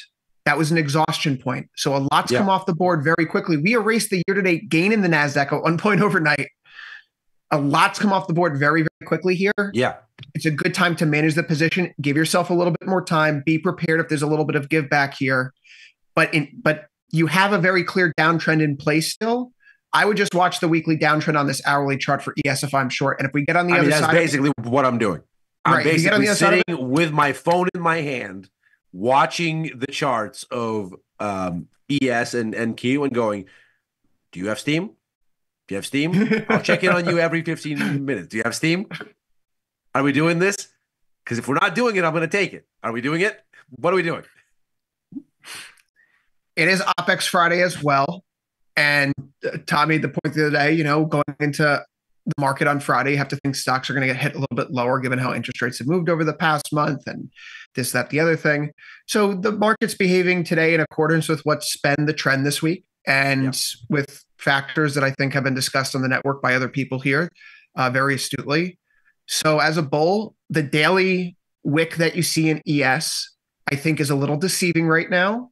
It definitely is. It definitely is. It looks much more exhaustion like than meets the eye because it there decided to be a bunch of fireworks in Isfahan overnight. Just again, a happy birthday present for the Ayatollah. Very generous of uh, the IDF to send those his way. When when you look at the Russell here, one of the indexes that's up on the day, it's difficult to say that this is breaking out as well. I just want to recalibrate the trend line here to this because you could see that the most recent swing high that we had uh, during the Although session. this is a little better. It's a little bit better. It's a little It bit better. It's a it's you know, but is it anything to get really jazzed up about yet? No. Right? No. Uh, No. It's you know, not it- anything that ought to make one bullish, but it is something that if you're already short in this, which I'm not, uh, I don't have exposure here. But if you are looking at this and going, okay, if I thought this was near an exhaustion point, I've still got more of a chance that that in fact, yes, maybe. it's worth keeping an eye on if you're again already short at a validation point you get back through 1970 or so i think today's swing high just for whatever Yeah. reason on the four hour time frame the 21 ema on the four hour time frame since the decline started after cpi on april 10th that has been yeah. It's been a pretty good yeah it's been a pretty good anchoring point for the downtrend every time we've run into it we have sold off. Mhm. so again talking about not any single moving average i just go up the fibonacci ema scale and right now we have 21 and 34 on here. Not any single moving average is going to be particularly important although i like the ones that happen to round out to a week like the 5 or the 21 which is the average trading days in a given month. In this case 21 on a 4 hour means nothing. 21 on a daily means something. 21 on a 4 hour means Right. nothing but it happens to be the the the trend line that the market is respecting for whatever reason during this impulse lower. So a tell that this market is done with the impulse lower here. Yes, we have that long wick on the daily chart. Getting through that 21 EMA on the four hour time frame with a close through it would be something unique that has not happened since April 10th.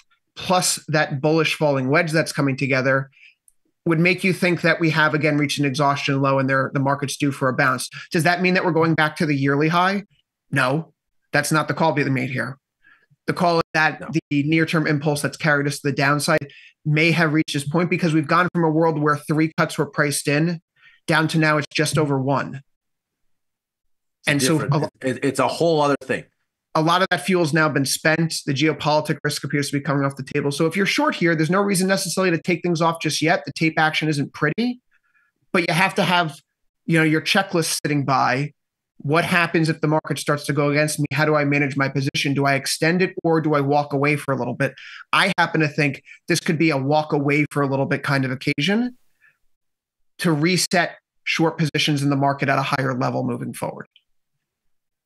Right. I mean, that's exactly um, that's exactly the the thing I'm looking at, and and I couldn't agree more. I mean, I think just as what we were what you were looking at in the first quarter, where you were saying the trend is up. I'm not looking to be a seller.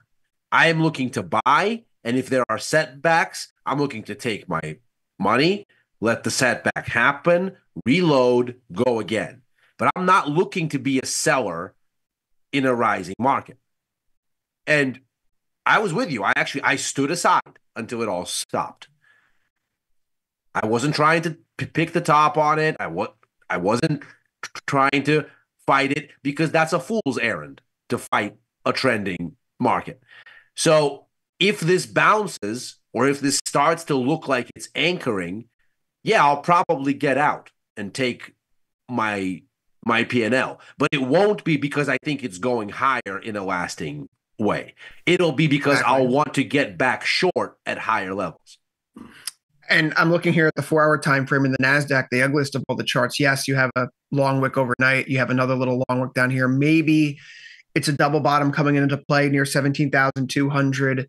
But the last four hour candle here, small little rally. You know, we basically Wiping get back. wiping the previous two, yeah. Not right? great. No, and we talk about resetting, erasing the geopolitics risk. The 4 p.m. candle yesterday, where do we close at? 17,049 and a half. Where do we rally back to at the high today? Just through that 17,553 at a quarter. And then big outside engulfing through like the prior candle high. It, so that stair stepping continues. Now, maybe because we've established a higher swing low here, that's a sign of a bottom forming out. And again, the range move is 17,300, thanks to that range of 18,000 uh, up to 18,700, 700 points from the neckline. And we are currently sitting there. So again, perhaps an exhaustion point, but one of the telltale signs that's happened in this market during the decline when you go to the lower term time frame, do you see us holding below this little EMA envelope? Yeah, yeah. Have we established us on the other side of that? No. Will or even us come in to test it, really. not not even really, right? So momentum is firmly negative. We'd have to scale down to like a 13 and an 8 to see any interaction, but that just goes to show how firm this negative impulse is. And when you look at stochastics bouncing around in oversold territory and look how MACD just plunging here still. Yeah.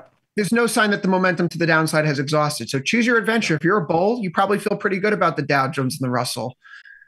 Better than you do Dow if you're in Jones the looks, Dow right now. Jones looks a little better here. I mean, it's almost as if um, you've been saying for a while that um, in bull markets, the generals don't typically get shot first. And this seems like, and and by the way, I agree. That's historically how it's worked. This seems to be not that. This No. seems to be more, more like, which I mean, markets do things and then they don't. So who's to say? You can absolutely have a reasonable expectation looking at the past and, and say, well, every other time it's done, or not every other time, but most times it's done this. Does that mean it necessarily has to do this this time? Of course not. But you do have to have some kind of a baseline, and you can only look at the past. Nobody can tell the future. So your baseline is based on the past. But what it looks like here, just looking at the price action today in the past several days, is where the speculative froth might have thought to be greatest, sort of the AI narrative, et cetera, et cetera. That's in a strange way distributing into other indices to basically say, well, the economy is okay for now. We don't necessarily want to be like bared up to the point of utter liquidation, maybe, though everything is falling. But maybe it's the NASDAQ that falls hardest because if you want it to be less than fully bearish, you might say, okay, well, let me get out of the really concentrated space, but let me have some equity exposure. And so maybe the Dow, oh, as the kind of least rates sensitive of the bunch, maybe that's how it manages this. And again, obviously, nobody can go out and do a poll of every single market participant. So who knows? But it feels like that looking at the tape action here. Uh, yeah, definitely some rotation, and maybe that has to do with the options expiry. Uh, I would point out that the Dow here is trying to churn through its 2134 EMA envelope on the four-hour time frame. IVR is 69.4. You could see this as a broadening wedge down here. There's pretty clear resistance up near 28,300. Very clean resistance. Talk about so- a line getting made by three um, three points here. And the downtrend Very has been this EMA envelope for whatever reason for this month has been fairly well respected as candles come up into it and typically fail right there. The Uh-huh. fact that we haven't thus far, that's why if we find ourselves closing through that 38,300 level, you have a little bit of, hey, bulls actually have a glimmer of hope somewhere in the Yep. market. And given the fact that it's a 69.3 IVR and its behavior that's uncharacteristic of how the markets behave during the downtrend uh, since April 1st, if I'm a bull, the Dow is the place to look first and foremost right now. Is the oh, actually I think the only place you can look with any sort of degree Pretty of much. confidence. Pretty much. Otherwise, you're bottom fishing without a bottom, like with the Nasdaq. It might be a double bottom, but do you really want to try to call that now with that engulfing bar last four hour candle on a Friday? On a Friday, yeah. The S and P just having hit that resistance from the the, the descending trend line from the week's highs, probably not.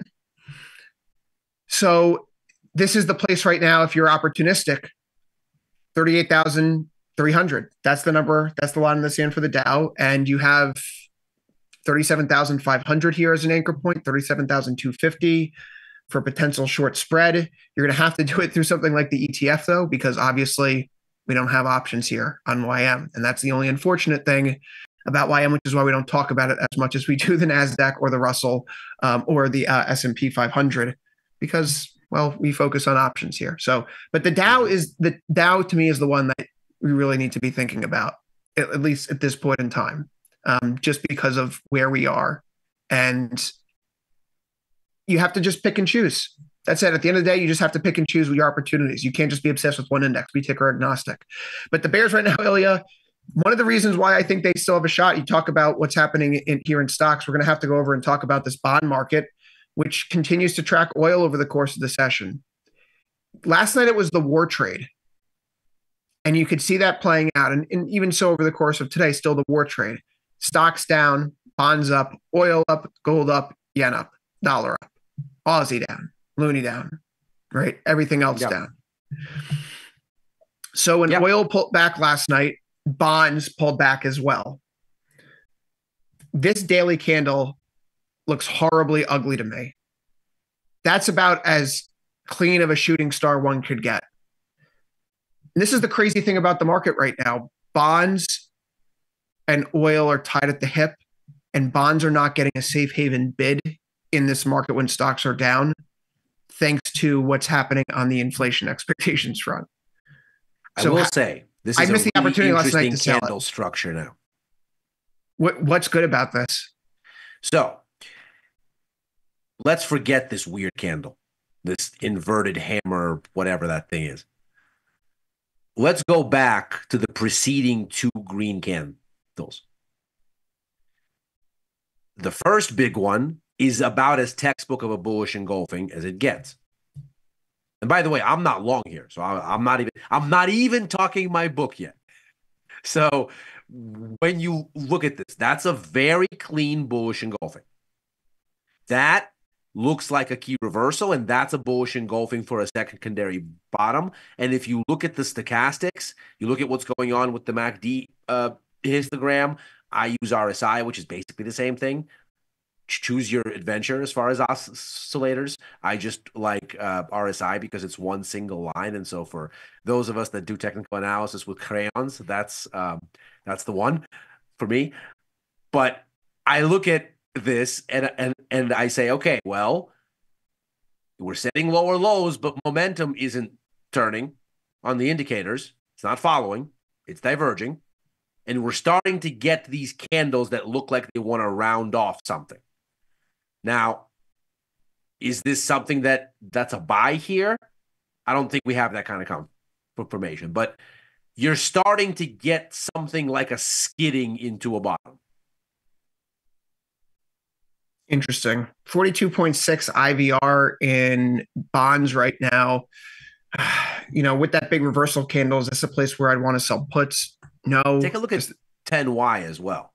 See, look again, back to back bullish engulfing candles here.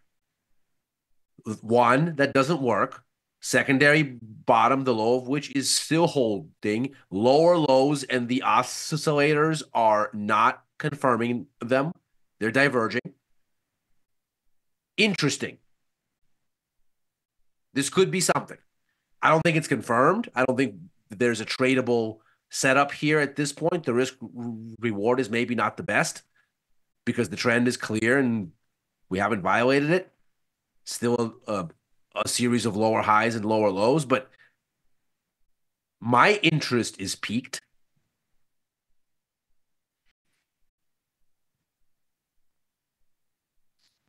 I'm thinking about the relationship between bonds and the rate cuts. Yeah. Especially at the long end, which is not not I mean, at the front end, yes. At the No, front end, front it's is- really it's it's like real one for one there. At the It- it- long end, It's, not, as closely always like that. No, no, no, no. The correlations are still positive, but you know, when you look at like ZT and SR3, they typically hover around like 0.96 to 0.99, which makes sense just conceptually because the SR3 is secured through overnight collateral. And if you think about the futures market, the closest thing that you have is a proxy to overnight collateral is ZT because it's two years. Yeah. So the short end of the curve, and the closer you get in, like if you go to a if you were to go to a one month bill, it's going to have an even tighter correlation to the SR3 Yeah, contract than ZT will, Bill, all of that. Yeah. right? So the closer you get to overnight, the tighter the correlation, basically. So as you go to the long end of the curve, the correlation gets away because you're not using a ten year Treasury note for securing overnight borrowing. And now there's all this other stuff in the yield. There's term premium. There's this. There's Right. that. So, but if we've gone to a world where we now only have one cut priced in for this year, it's only April. To get to get us off of one cut, we would need to see a lot of a lot of evidence. We probably need to see at least three to five more months of bad inflation data, which I think may be coming, quite frankly. It could be. But but as a catalyst in the short term to get the market into a place where it completely removes all of the Fed cuts for this year without the Fed first going there themselves in an official policy statement. Yeah, we heard the talk from Powell. Maybe that catalyst is running out. I still think that June needs to be zeroed out for those cut odds, which they're close. They're getting closer every day. But that's a weight, that's a that's an albatross around their neck right now. So it means just more grind. ZB has a 25.2 IVR. I see a series of lower highs and lower lows. With this price action today, am I truly compelled to say I want to sell a put spread right here, right now? Not exactly. If No, me neither. if bonds are good for as a geopolitical hedge, and we think that geopolitical risk is coming down because of how oil vol and gold vol has evolved over the past several days, where it's closing this week relative to where it started, do we think that bonds may be losing an important catalyst that has helped keep them afloat on some days recently? I mean, it's been bonds only positive catalyst this, this month so far. War headlines. So absent those war headlines, what has gold? What is what has the bond market been doing? It's been trading lower. Absolutely. I'm still not compelled to be long here. I had someone My- tweeted at me. yeah. someone tweeted at me last I night, agree. like, "Is it time to sell?" And I said, "Not yet." And I was thinking about it, and I went to bed, and I woke up this morning, and so I missed it. So I have no trade here now. I I wanted. I, thought it was going to go a little bit higher. I was texting you about this. I was looking at um, uh, putting on an MCL uh, put spread. Basically, once it became clear that that that the Iran thing was theater, and frankly, the risk reward was just not attractive. It was like one to one for just receding nonsense. So basically, back to unched on the day.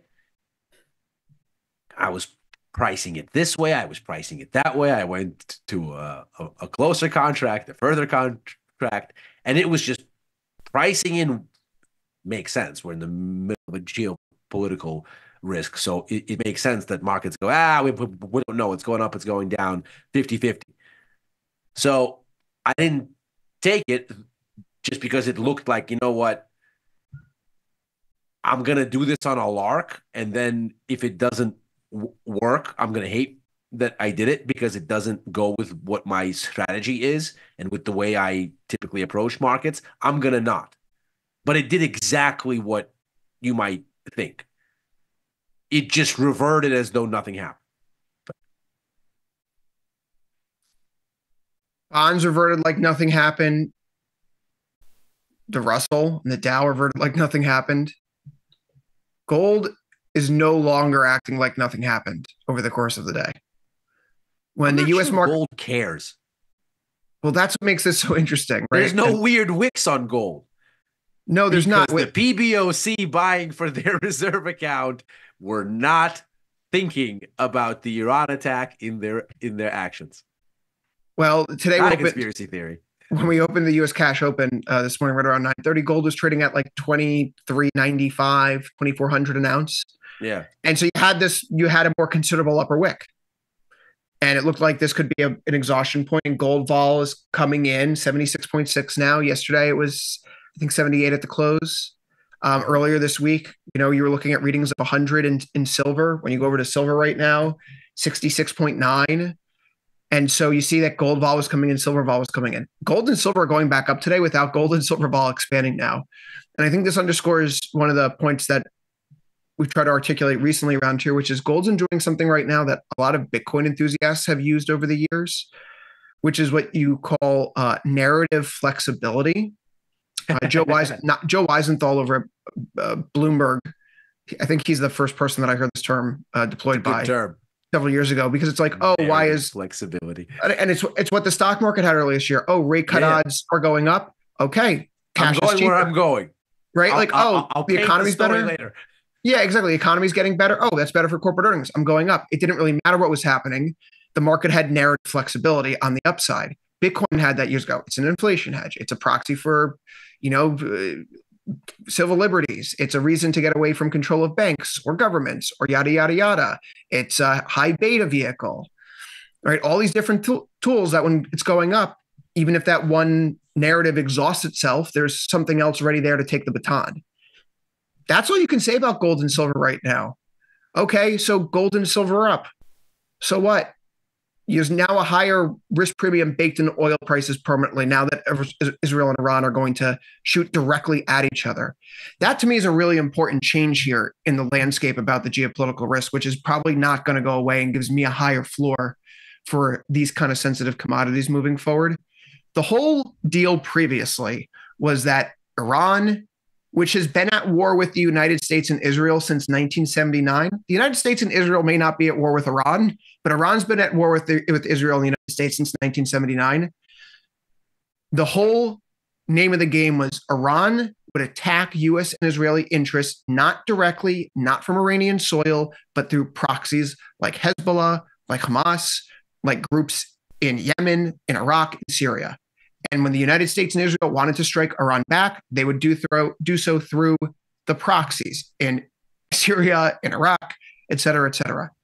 Once Iran jumps into Israel with their missile barrage, the name of the game changes, right? Yeah. This is a different level of engagement than we've ever seen historically. And Israel, in some quarters, which now in hindsight proved to be the prescient line of thinking, they needed to respond not in a significant way, but in a way that showed Iran, listen, we're just not going to sit here and idly let you attack our home soil. We have the capabilities to hit yours too. We're not relying on our friends, the United States, and mutually interested partners in Jordan and Saudi Arabia to just shoot down your rockets every time you guys get bothered by something that we do. So they had to reset. They had to reset the terms of engagement, and in doing so, The deterrent had to get reinstated, as it as it were. And so now you're back to an even playing field where both sides know that we can shoot missiles at each other and no one wants that. And so let's not escalate this further. That, by the way, fact, just said was that what you just said. I think is the most encouraging part of all of this. Right. That that that both that both sides said no, we don't want this. Particularly Let's on the just- let's Ayatollah's just- birthday. Let's just reset here. well, particularly Nobody on the Ayatollah's birthday. No, no one does. But if you would think about like what would be more offensive, how would Kim Jong Un react if South Korea decided to blow something up in North Korea on his birthday? He would probably take that as a very personal slight. Or if Ukraine Grumble, did something, grumble. Yeah. well, what if Ukraine did something in Moscow on Vladimir Putin's birthday? How do you think Putin would respond? The fact that something happened to the Ayatollah on the Ayatollah's birthday and there is a very measured, restrained response to me is a very subtly psychologically encouraging thing. this now, good. that doesn't mean that the premium is going to leave here because this is now a new stage of engagement. The escalation ladder may no longer be climbed up at this point in time, Yeah. but we're no longer going to climb down to where we were a few weeks ago. Yes. And so gold and silver have that going for them still. And the vol may come out of this market like it has today, but have gold and silver prices come in at all? Not really. No, no. And I was talking about this with Vic on um on his show, The Price of Truth, earlier in in the week, and he was asking me like, "What do you do with gold here? What do you do with silver? Do you buy? Do you sell? Do you do do do, you do um, anything?" And the playbook I kind of laid out was. If you look at the price action here, it's very clearly not geopolitics. It's very clearly not the Fed that's at work here. Again, my tinfoil hat whispers into my ear that this is Chinese reserve buying. Okay. And when you look at those numbers, go up to 11% year on year growth for Chinese gold reserves, you kind of understand sort of why the tinfoil hat thinks these things. But when you consider, okay, so the Fed hasn't endorsed the markets in their moving about on rate cut expectations. We have a Fed meeting on May 1st. They're going to have to say something, but it's probably not going to be the big one. It'll be something like, listen, the board is the board is clear. We could do this, we could do that. We're not rushing into either thing. We'll see. They come back in June and the SEP changes. That'll be very difficult for metals to ignore, but it also will not be the thing that changes Chinese reserve buying dynamics, which probably have quite a ways to go yet. I've guesstimated that at a pace of 11% year on year, at least in gold, for them to fully be able to settle their volume of trade with Russia, just to basically say, look, we can backstop all of our Russia trade volumes in gold now. And now you, you, you, can, let's say, turn to an India or an Iran or something else and say, you don't need to c- clear through SWIFT. You don't need to go into a dollar based world at all. In this limited pocket of transacting, will clear you. And look, it's gold backed. It's not just our fiat that says this is okay. So if you wanted to fully backstop just the trade in Russian crude, you would essentially say at a pace of 11% year on year, which maybe is now a little faster, you'd have to keep doing this until the first quarter of next year. And by that math, if the Fed comes out and smacks this thing back down because they revised the SEP, it's not that you're looking to pick a top. It's that you're looking to buy the correction. Couldn't agree more. The technicals here are awesome. Yeah. This is a you saw it in silver up on the screen for a little while. Yeah. You see it here in gold. If you're looking at a weekly chart or daily chart for gold, it's been a two plus year long. Actually, you could say longer than that because you're going back to the highs that you have in August 2020. It's been nearly a four year yeah. long sideways shuffle, which, given the measured move, you're talking about a target initially up towards 2575 or so. Mm-hmm. Yeah. When you think about silver on that monthly chart, it's just breaking just now, this month, breaking the downtrend from the June 2011 high. Yeah. These are markets that are in breakout territory after many years, or in silver's case, more than a decade in what was ultimately a, a triangle consolidation. Yeah. So paint drying, grass growing, and, and very much like with equities, right? Very much like equities, when the market's going up, I only look to buy things, not to sell. When the market's going down, I only look to sell on rallies and not buy until right. there are bottoming signs, right? Right. And in these, because we're in such significant multi-year, multi-decade breakout territory, zero interest except for how and when to get long. The only consideration at play for me. So if the Fed gives us a big setback, thank you very much, Jay Powell. That would be, a, a, as far as I'm concerned, that would be a welcome gift. Yep.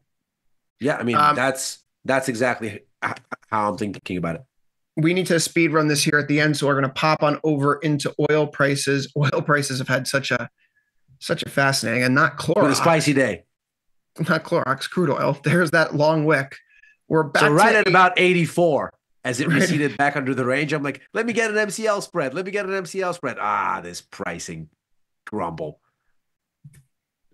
you could see last night that right around 8.45 9 o'clock we begin to take a leg higher. And sure enough we're up over 4% on the day at that point. We come crashing back in. We've been rallying a little bit back over the course of the session although it's been a feeble rally.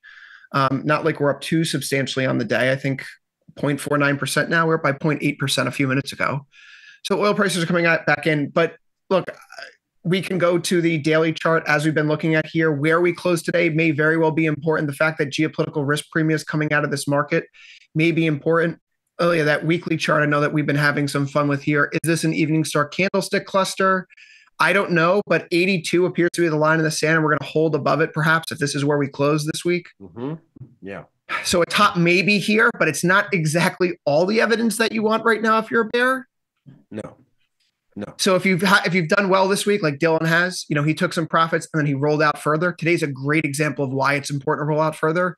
All those gains would have been obliterated overnight, and he would have been looking at a very steep loss with a contract, a position with one day to expiration in the face of a 4% rally. Your short calls in the face of a 4% rally with one day to expiration, that is getting kicked in the face repeatedly.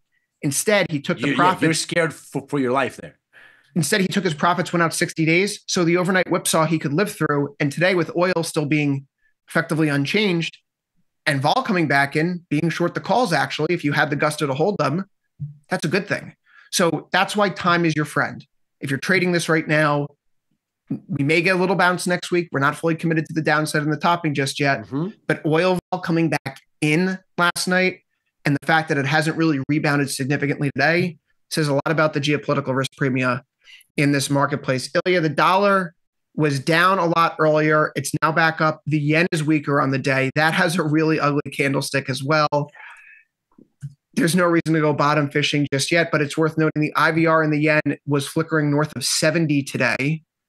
Currency vol is back. What's next on the calendar for Monday? Well, keep in mind it is a Fed communications blackout week. Uh, there's not that many important things. Perhaps ECB President Lagarde's speech is something to keep an eye on if you're trading the euro. Otherwise, you'll have to wait until Tuesday for more action. Uh, as we wind down the show, as we typically do, a brief bit of education. Today, we're talking about trading hours, which what time to talk about trading hours given what happened overnight. Go to tastylive.com top banner learn beginner futures. Here you can find this link to go to this great great coursework put together by the fine folks on the tasty live research team. When we talk about trading hours. Futures markets are open 23 hours a day five days a week. They open up on sunday at 6 p.m eastern. They close the following day at 5 p.m eastern for one hour and they reopen at 6 that continues until friday at 5 and then they close for the weekend. And you know why that's great because last night when cash equity traders were sitting on their hands watching the fireworks in the futures market wondering how big those gaps were going to be in the futures market you can manage those positions because liquidity is there in things like cl or es even during those overnight hours. So you have overnight liquidity all week long. Fantastic vehicle for that geopolitical event risk overseas. Great to watch great to trade uh, quite frankly, Ilya, last night was very exciting. I'm sitting here at midnight. Everyone's asleep in the house, and I'm watching Iranian state TV on Twitter trying to figure out. And we're texting back and forth going, Are you seeing this? Are you seeing this? should we get on the lows? But that's what futures does for you. It gives you the opportunity to operate when the cash equity markets are not open. It's one of the reasons why I lo- love futures myself. TastyLive.com, top banner, learn beginner futures, or click the link here on the bottom of the slide. It will take you there directly. Ilya, we are done this week on Futures Power Hour. What a week it's been in everything gold, oil, bonds, stocks. Hopefully, next week has more excitement in store. For Ilya Spivak, I've been Chris Vecchio. Have a good weekend. Good luck trading the rest of today. After a brief break, Tasty Live will continue, of course. You have more Dr. Jim Schultz with From Theory to Practice. See you soon.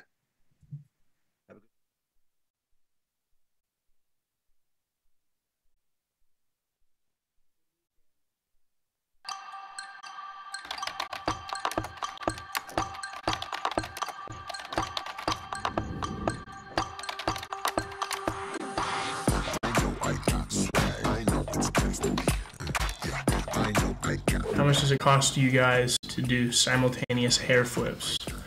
Years of practice.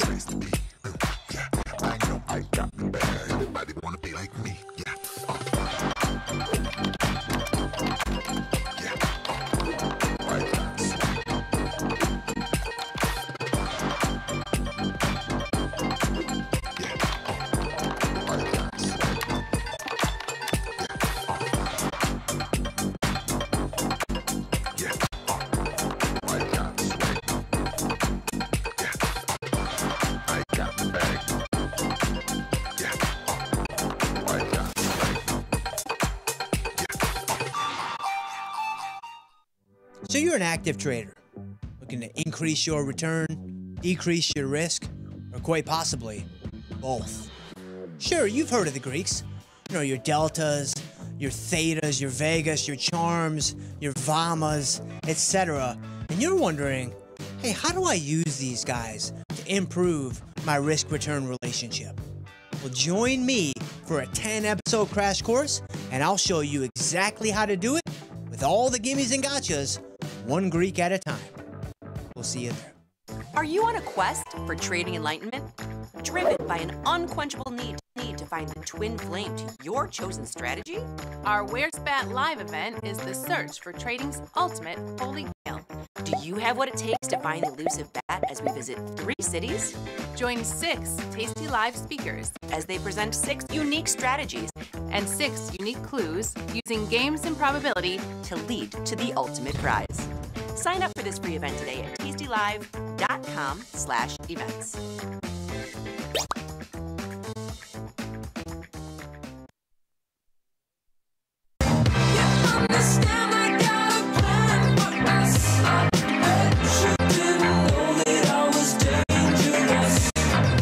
I'm Jim Schultz, and this is From Theory to Practice. Welcome to the show today. Welcome to the broadcast. Welcome to the Friday edition of what it is that we are trying to do. Welcome to the World War III on edition, and then World War III off edition, and then World War III back on edition of what it is that we are trying to do. So, welcome to the show.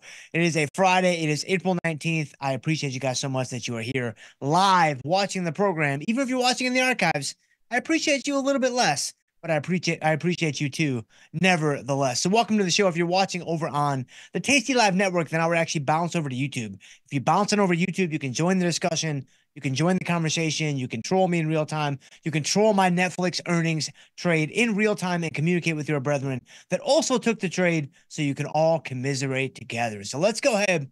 Let's pop in here. Let's have a look and see what's going on. I mean, is World War III back on? Is it still on? Is it back off?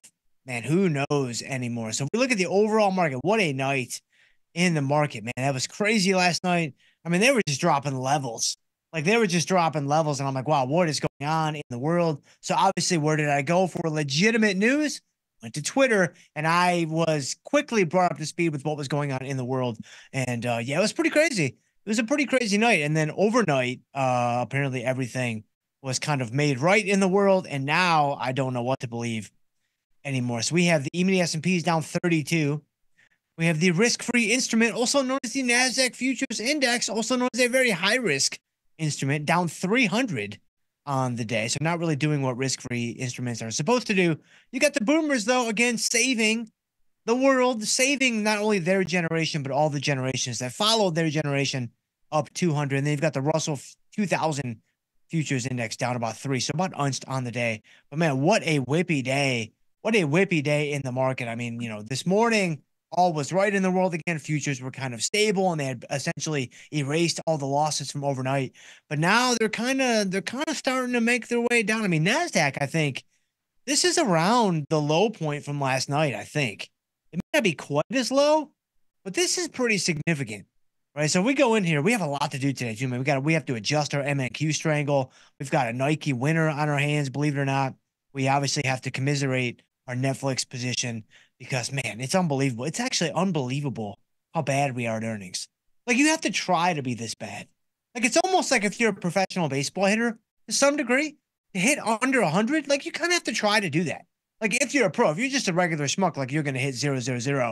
And that's just the way it is. But these pros, I mean, these guys are great. Like these guys are the best of the best of the best. You kind of have to try to not just kind of what you know, wake up with a 180 average or something like that. But man, we are just we are so so consistent with the losers on uh, on earnings. It's pretty it's pretty amazing.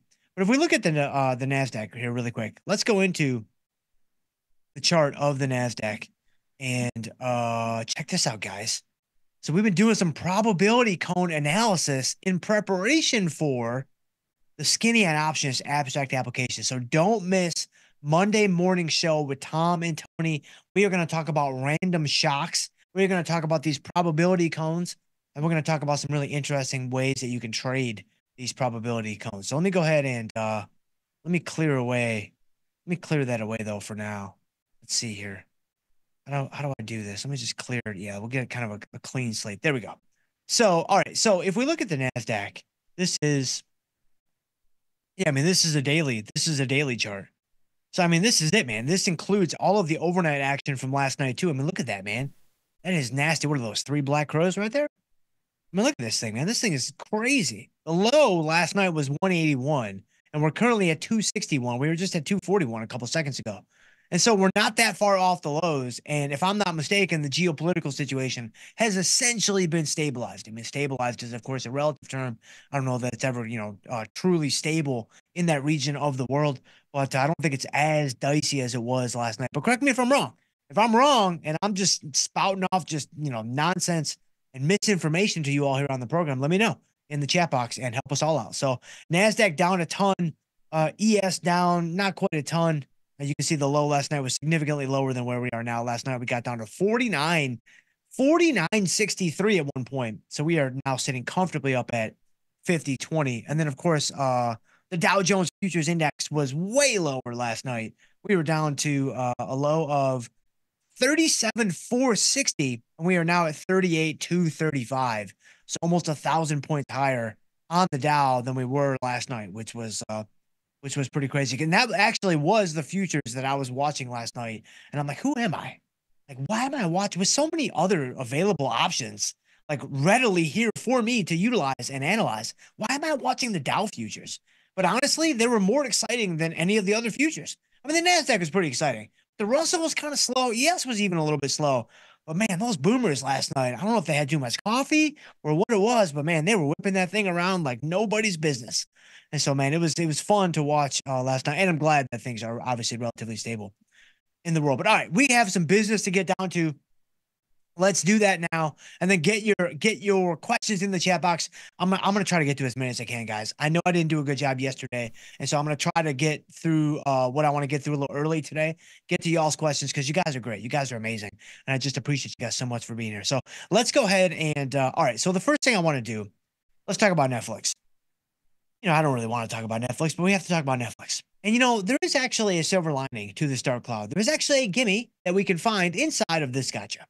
Yes, I'm terrible at earnings. Yes, you should never listen to me for earnings ever. I've tried to tell you guys this before, and I'm going to remind you and reiterate you should do the closest thing to the exact opposite of whatever I say. Don't let my conviction fool you. Don't let my confidence lead you astray. Just do the opposite, and you will retire at least 18 to 24 months earlier than you thought you would do otherwise. So, you know, with Apple next week and Meta next week and, you know, Google next week and all these other guys, man, just do the opposite and you'll be perfectly fine. Although I do feel a hot streak coming on. But nevertheless, if you if you look at Netflix here, you've got Netflix down 50, right? Or down almost 60, I guess. Yeah, 50 to 60, whatever. And so you've got Netflix down 50. Here's what's crazy right? And it opened a little bit uh, higher than where it is right now. In fact, it wasn't even down that much, I think, on the opening bell. This really does highlight the power, though, of the expected move butterfly because obviously we missed the mark. Obviously, we got the direction wrong. But if you, you know, if you posit that earnings are a 50 50 proposition, which I think is reasonably, you know, close to what they actually are, then it's like, man, if you do an expected move butterfly on the cheap, which we did this for like three bucks, and it's like, all right, it's 1% of the account it's gone. Again, we successfully lit that stack of cash on fire and then we move on, right? But if you are able to get the direction move right, it looks like you have a you have a decent chance of getting somewhere in that net to where you can get a nice little payoff that might be, you know, 2x of what you paid or 3x of what you paid or whatever, especially on the Thursday, you know, expected move butterflies walking right into Friday. And so I think what we might do so next week, here's what I want to do. Because right now I don't want to go back in and figure it out because it'll be too hard to figure out. And I don't even know that we'll be able to figure it out. Next week, when we do some more earnings trades, I'm gonna give you all my pick, right? I'm gonna give you all my my genuine pick. I'm not gonna George Costanza you. Like I'm gonna tell you genuinely how I feel and genuinely what Amelia May has done for us and structured for us, so you guys can do the opposite and then make a whole lot of money. But when we do it though, I want to actually jot down like, all right, here's the expected move that we're to play. Here's the butterfly that we're to do. What does the other butterfly look like? Like, if I do essentially the opposite, because I'm just kind of curious to see, you know, not only, you know, my track record and then the, you know, the bizarro world Dr. Jim track record, which I think would be about 80 to 90%, 90% win rate at this point. I want to see the following day, especially on Thursday, like next Thursday is going to be interesting. And then going into Friday, I want to see the following day, or even if we do them on Monday or Tuesday, whatever, what is the payoff after the earnings call for not only our strategy, but if we miss the mark, which we most likely will, what is the payoff for the other strategy? And I think we're going to see that these things can be they can be a nice addition. Now, are they going to replace, you know, the bread and butter, tasty, classic strategies of short strangles and short puts and put ratio spreads and the opposite of whatever Tom's doing. Like, no, like you can't replace those things. Those are timeless classics. Those are evergreen, right? And so we're going to keep those things in place, but I think it's an interesting little addition into the mix. Anyway, that was that's my uh, my Netflix commentary. It's not really going to help you too much, but nevertheless, it's already out there. So Netflix, those are all going to expire out of the money. We don't have to do anything to them uh, right now. So all right, what I want to do now though, let's go into MNQ because so a couple of things. So number one, this is our futures options, you know, one of our futures options positions, and we need to adjust to this. So this is going to be good because this is going to be another example of adjusting a futures options position. We just did MCL, I believe it was just yesterday, and so now we have a strangle that's been tested on the downside. So we're going to do the same thing that we would do with an equity option, Apple, Meta, you know, Netflix, you know, SPY, whatever, where you're rolling the untested side down, maybe rolling out, you know, things like that. Okay. But here's what's interesting. This is an, an interesting little teachable moment that surprised me earlier, and I actually didn't even see it coming. When I was looking at this strategy, because again, remember when we roll the untested side on a strangle because one side has been tested, which is what we have here. We have a you know 17,400 strike on the put side, and you've got MNQ or NQ at you know, 17,250. So we have now successfully, you know, pierced through our put strike by a fairly significant margin. So it's like, all right, we need to roll that call down. Well, how far do you roll the call down? Well, I mean, you know, you can kind of fly by the seat of your pants if you want to, but to have some type of reference point, usually trying to reduce the directional bias that we currently have on the position by 25 to 50%. Reduce it by only 25% if you want to be, you know, as if you want to be closer to the directional bias that you currently have. Like right now, I'm pretty bullish on NASDAQ because I need the stock to rally back up inside of my short strike. So I'm bullish on the NASDAQ index. Well, if I want to maintain most of that bullishness, then I don't adjust down as aggressive, uh, aggressively and I reduce my directional bias by maybe only 25%. Maybe instead, though, I want to be more aggressive with picking up more extrinsic value, not being as directional. I'm still going to be bullish to some degree, but then I would roll down the call such that my directional bias can be reduced by maybe 50%. So that's kind of how you decide between the two. Okay. When I was looking at this, though, I was like, all right, what I typically do is I have this, you know, I have this ETF delta column, which you see right here. That's what I use for me to gauge what my delta currently is on the position. And then that tells me how far I have to trim when I roll the call down. So I look at this first and then I'll go to the option chain and then kind of, you know, do my work from there. So I was looking at this earlier and I'm like, all right, this makes sense, right? Here we go. You know, we're long 44 delta. So we've got to trim by, you know, 10 to 20 delta. All right, easy stuff, no problem. But then I stopped and I was like, that doesn't make any sense. I was like, wait a minute, this doesn't make any sense at all. How can I only be long 44 delta, 44 to 40? It's 44.7 right now. How can I only be long 44 delta when my put at 17,400 is in the money and my call at 19,400 has no delta. You guys see what I'm saying? I looked at this number and I was like, this is a real head scratcher. I'm like, how can I only be long 45 delta net if my put is in the money and my call has no delta? Now it'd be fine. I could be long 45 delta if my put was in the money, but my call still had a couple of delta. Like that would make sense. Like maybe the put delta is like 55 and the call delta is like 10. Like, okay, then my net result will be positive 45 delta. That makes sense. But when I looked at the number and I looked a little bit more closely at the specific deltas, I'm like, this doesn't make any sense at all. It doesn't make sense that the call delta having completely dried up, which is fine. I mean, the market has obviously come down quite a bit. So I expect the call delta to essentially be nothing.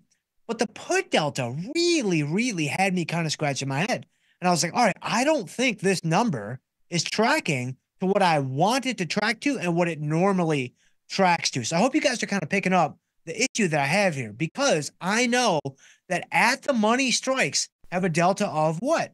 Approximately 50. Sometimes they're exactly 50, sometimes they're like 51 or 53 or 47, whatever. Okay, but 44, that's a little bit low. Like I was like, all right, is this really telling me what it should be telling me? Because telling me because if this is gonna miss, I would expect this to miss above 50 because A, it's in the money by 150 points. And B, there really is no B because A was so strong. It's like, man, this is in the money by 150 points. It can't have a delta of less than 50. That doesn't make any sense. That essentially violates every rule that's ever been written about option moneyness And so I said, all right, we need to investigate this a little bit more and kind of see what's going on. So what I did was let's delete let's delete all these drawings. Let's actually go into the trade page for MNQ. Let's take a closer look at these options. And here's what you're going to see. So, you know, you can see that you can see my strategy is on the screen. Now the call, well, let me actually just scroll down to the call. So you see my call, which is way, way, way out to pasture. Right? It's like, all right, here's my 19,400.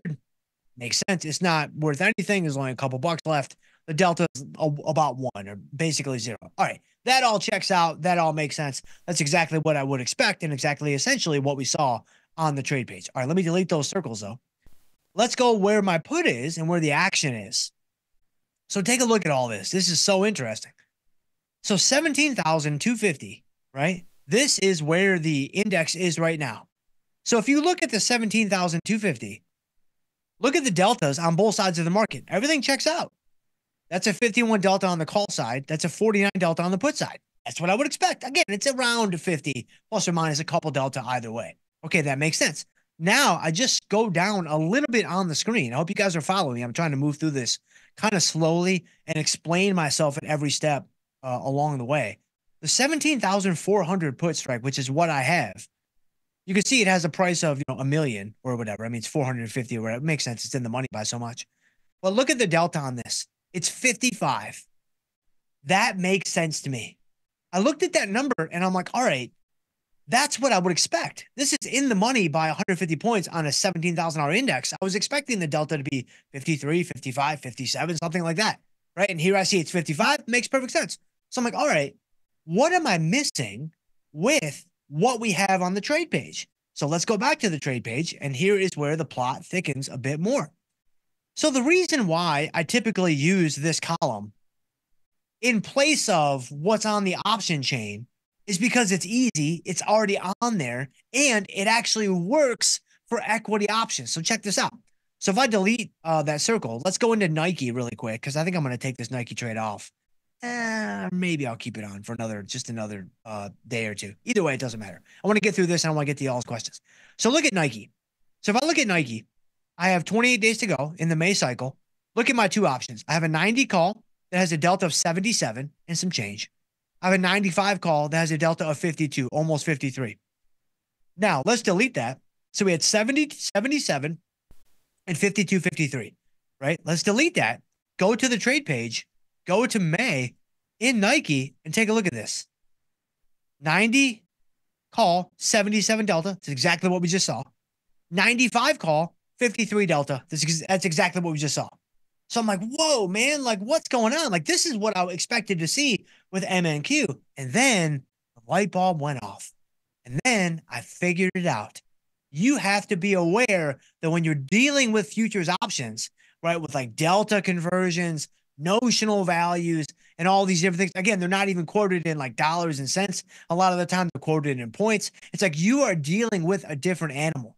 And so, because of that, when you look at like an ETF delta metric, that's going to track right to the option chain to show you what the deltas are on those strikes for equity options. It's not going to work for futures options. You have to go into the actual option chain like I did to see what the actual deltas are at the different strikes. Now, sadly, we don't have like a futures options equivalent that we can put in the drop down menu. Not not not yet, at least. I'm sure the devs are, are working on that amongst you know the million other things that they're working on. But I did want to point this out just because this can be something that can really, really, really be a head scratcher. And you're like, hey, do I not understand what's going on? Like, what am I missing? You know, what do I not understand about in the moneyness, about out of the moneyness? You know, I've seen all of Dr. Jim's videos on moneyness since he's the only one on the Tasty Network talking about moneyness. And so I was like, what, what do I not understand? It's like, well, if you just stop and think, okay, this doesn't make any sense. Look at it from different angles. Whenever this happens with any concept in the world of options, just stop and just pause and say, all right, I'm missing something. What else can I look at that's related to this that might give me a you know fresh perspective on this metric specifically, or give me another piece to the puzzle that maybe I can add to my analysis to give me the answers I'm looking for. So hopefully this makes a little bit of sense to you guys, kind of the issue that I was having. So now let's go back to MNQ though. I do want to make this, uh, man, we're like halfway through the show, man, goes so fast. I, am talking. I'm already at 1.5x. Like y'all on YouTube put me on 2x. Like you're putting me up to 3x because I'm already at 1.5x. Like I'm trying to move through this as quickly as I can. But sometimes there's just too many things to cover. And I don't want to be incomplete because nothing to me is more frustrating than trying to learn something from somebody online on a video podcast, whatever, and they move too quickly. They move too quickly. They skip steps. They just assume that I know things that I do not know. It's like, man, how? Why would you assume that I know to put the sod green side up? You need to explain that to me. Like, I don't know that. To me, it's 50 50. Like, maybe the grass grows better when it's facing down. I don't know. So you have to explain these things to me. So, anyway, let me go in here. Let's roll out. So, we know that if I go to MNQ, I go to 28 days. I'm 54, 55 delta on the put side. So my call again has essentially zero delta. So I want to, eh, I don't want to be super aggressive with this. I don't want to go 50% trimmage. Uh, maybe we trim it by 25% or so. So maybe I'll go to, so that means I'm looking for about 14 or 15 delta. Maybe I go all the way up to this 18 2 strike. This looks pretty good. So I'm going to roll my call from where it is now to maybe this 18 2 strike. That'll pick up, that'll pick up another, looks like another 68 to 70 uh, points of MNQ premium, which will help. That will help uh, help a little bit to kind of soften the blow and neutralize the directional bias. I don't really want to get caught, you know, on this upcoming face ripper that's going to happen. It's any day now, any day between you know Monday and like you know three to thirty six months from now. Like we are going to get our faces absolutely ripped off by some kind of crazy rally. So I'd like to leave at least a little bit of room for the upcoming face ripper. So let me go ahead and uh, let's go to this 18.2. Just make this real quick adjustment in uh, the craptacular markets that are MNQ options. Am I going to get filled on the first go? No. I thought for a second there I might, but uh, definitely not. So 68 and a quarter is no takers. Let's do 67. 75, I think we're going to take her. Wow, no takers. It's unbelievable. I mean, I've never, I've never seen worse markets than this. I mean, Chipotle has unbelievable markets compared to this. And you know, if you know, you know, like Chipotle markets, they're pretty craptacular in their own right. And so 67 and a quarter. Uh, this is bad, man. I kind of just want to not do any of this because it's just so bad. All right, let's try 6650. Oh man, they're just that it's so they're so frustrating. So by the way, you know, this is another teachable moment, kind of inside of the teachable moments at this point. We're kind of, you know, doing an inception show here today. If you yourself have a hard time getting filled on, you know, any trade or MNQ options or whatever, I'm, I want you guys to see you are not alone. Like we don't have like special connections to like you know high frequency traders like waiting to like fill my order and waiting to fill like bats orders and stuff like that. Although i can't speak for batty probably does have some special connections to some high frequency guys and gals out there. But uh, not your lonely little peasants like dr jim. Nah man i'm out there with the rest of y'all trying to get some fills. So 65 75 this is bad i don't know maybe it's not worth the buying power well, MNQ keeps falling, so that's not helping at all. We need a little rally here in MNQ, I think. That would really help uh, the cause. Let me try. Man, I don't even know. Let's try 64. We've put up like five points in MNQ. And we're still not getting filled. All right, hold on a second. Let me cancel this whole order. I got to do something different. So let me go ahead. I got to get to y'all's questions, man. We got to do it. So let me go ahead. Let me buy back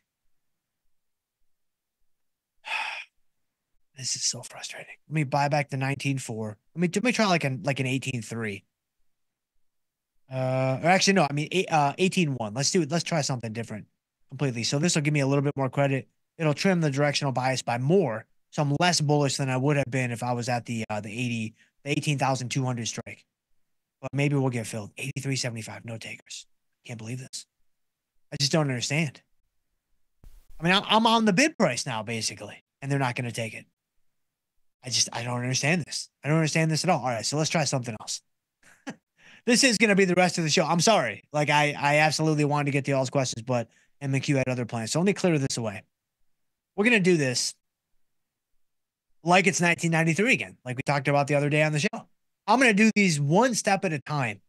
So I'm just going to buy back my little 19,400 and let me see if I pay, you know, 280 for it. Maybe I do this. Uh, I already have a closing order. Oh gosh, look at this. They're just they're getting me. Yeah, let me let me cancel that order. This is a train wreck.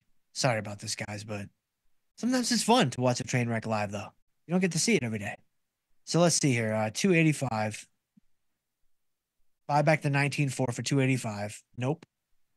All right. Fair enough. Buy back the 19.4 for 305.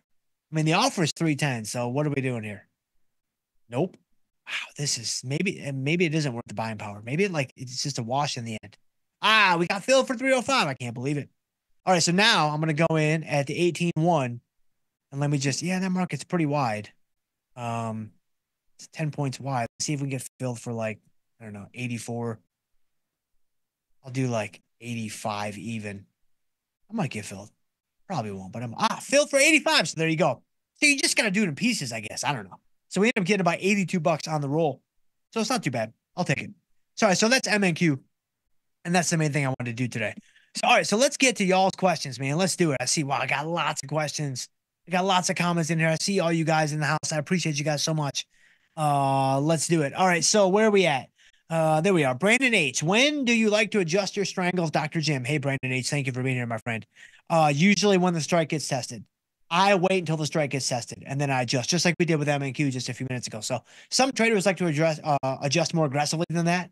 They like to adjust when the delta gets to a certain level, so the strike won't even be tested. But you know, it, you start a strangle out with zero delta usually, plus or minus a couple.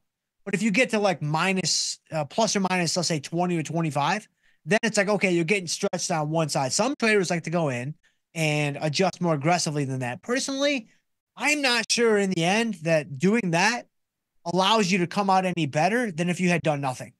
So to me, it's like, all right, I'm saving on commissions. I'm saving on, you know, kind of the need to babysit the positions all the time, all day long, you know, every minute of every day and every hour of every of every week and every day of every quarter, something like that. And so it just it fits a little bit better with my personal approach to the markets. Now I don't think it's I'm not saying it's better. I'm not saying it's worse. I'm just saying it's mine. And so you can kind of take that and you know uh, do what you want with it. Nasdaq down 330 now. Russell down a boomer still green. Oh man, just leave it to the boomers, man. So Jesse Seymour is in the house. What's going on there, Jesse? I appreciate you, my friend. Good afternoon. I've been trying to make it here all week, and I'm finally able to be here, man. Thank you, Jesse. If you're still here as I'm saying this, and I really appreciate you because I know that you dropped that in there like at the very beginning of the show. So thank you, Jesse.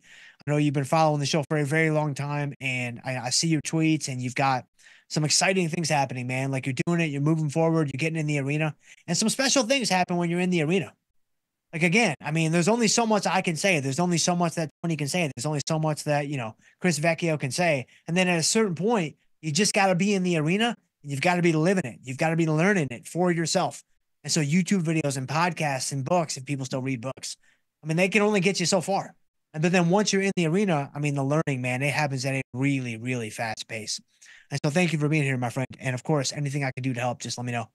Uh, Anka's in the house. What's going on there, Anka? On a day or week when everything goes against you, what do you, man? What do you do to make some money, man? I don't even know. I really, I really don't know. You know, the the only thing that I will say is this, and this is not going to directly answer your question, unfortunately, uh, but I do think it's going to be helpful. I think on days like you know, like right now, if you've if you've been long this market the last week, I mean, there's a lot of pain. There's a lot of pain that you've had to absorb we have the mechanics in place. We have the different things that you can do for adjustments and how to view, like, you know, like we just talked about with MNQ and the strangle and things like that. Still, all that being said, y'all know what I'm about to say right now. Never forget that doing nothing is a strategy.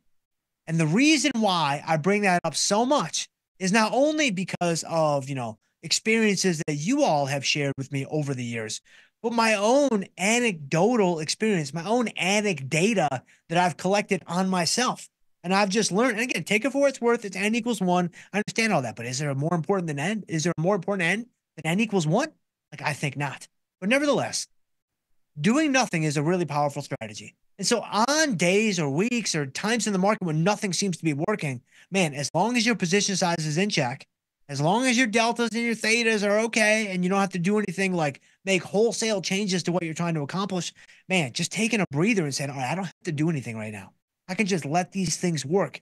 Let me give the marketplace cyclicality a chance to just even this out for me. I've just seen it happen so much with other people. I've experienced it happening for myself personally that I just think it's a really, really powerful thing. Doing nothing and letting the marketplace cyclicality uh, work for you again within the context of what we do as active traders. I mean, MNQ rolling the call side down right now. I think it's I think it's reasonable. I think it's prudent to go ahead and make that adjustment. But uh, there are many, many times when you kind of have a toss up. You're kind of on that in that gray area where you're like, I don't know if I should adjust or not. I don't know. I would give a look. We'll give a look to doing nothing. And so uh, just something to think about there, Anka. So Brandon H, uh, oh, Delta wise, when do you adjust your strangles? Brandon, yes. So for me, it's when they get tested. So that usually means one side is going to have a, you know, you're probably going to be close to about a 40, 45 Delta on the overall position. You know, one side gets to like a 50 Delta, the other side gets to like five or 10. Usually, I would say generally. So a lot of other traders are more aggressive than that. I'm just, I'm just not. And so Dr. Uh, oh, David Gallimore says, Dr. Jim, I have minus 509 beta weighted delta, okay, and 533 theta on a $300,000 portfolio. Okay, that's really helpful because it gives me a lot of context. Portfolio margin, my negative delta are SPY, ES in both zebra and synthetic shorts. Am I too bearish? It's a great question, and the answer is no. The answer is no, you are not. Could you be less bearish? Potentially. Because again, I mean, the, the research that the team has done, they've shown that a really good level, a really good reference point for a delta to theta ratio is 0.5. So looking at your ratio, this is perfect. Like seeing the delta, seeing the theta relative to the account size is extremely helpful. And so for you, you're a little bit over 0.5. You're at about 0.8 or 0.9, but you're not over one to one. And so uh, personally, I mean, don't tell Tom I said this, but I actually think, you know, going outside the bounds of 1.1 is okay. I actually think going outside the bounds of, you know, 1.5 is okay if you want to be a bit more directional and take a shot on one side of the market. Now, if you don't want to do that and you kind of want to be, all right, I want to keep this super buttoned up. Like, I'm not going to listen to Dr. Jim. I'm not going to listen to this dude with t shirts and backward hats. Like, I understand that, right? Kind of got a Brock Purdy thing going on, though. Uh, not today, of course. But uh, yeah, I think 0.5 is a great level to be at. Now, you're really close to that level. You're not at like two or three in terms of, you know, delta to theta ratio.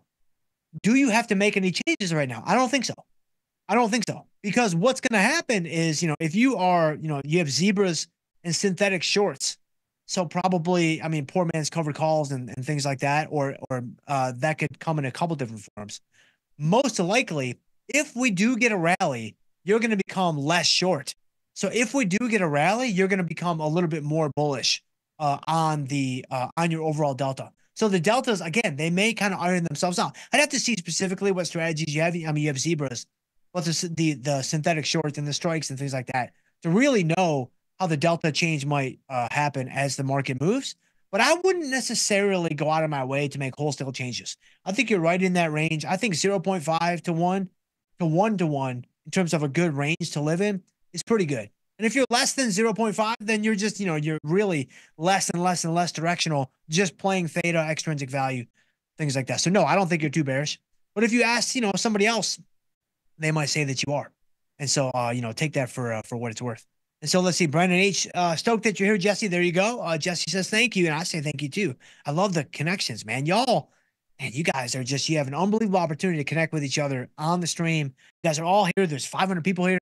I mean, there's so many people that are here right now that are trying to do the exact same thing that you're doing. So definitely, man, make friendships, communicate with each other. I think that's I think that's amazing.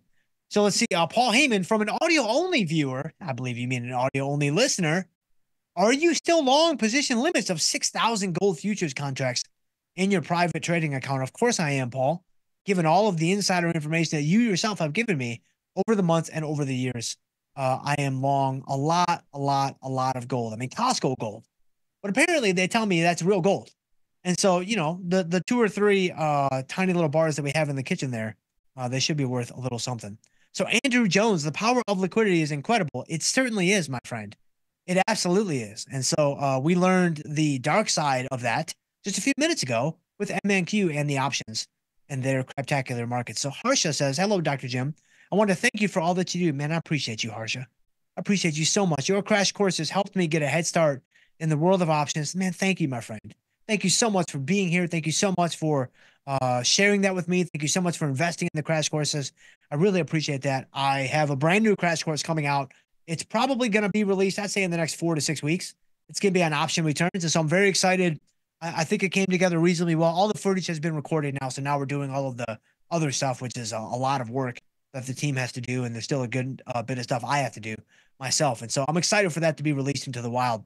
And I'll be curious to see what you guys think about it. So Lano's digging the boomers. Lano himself or herself might be a boomer. And so you just never know, man. They're lurking around every corner. Brandon H. Back to positive on the S&P. Apparently not, Brandon. Now we're down 42. NASDAQ down 350. Ooh, man, it's nasty out there. So Omid, at this point, I have PTSD trading Netflix on earnings. I don't blame you, Omid.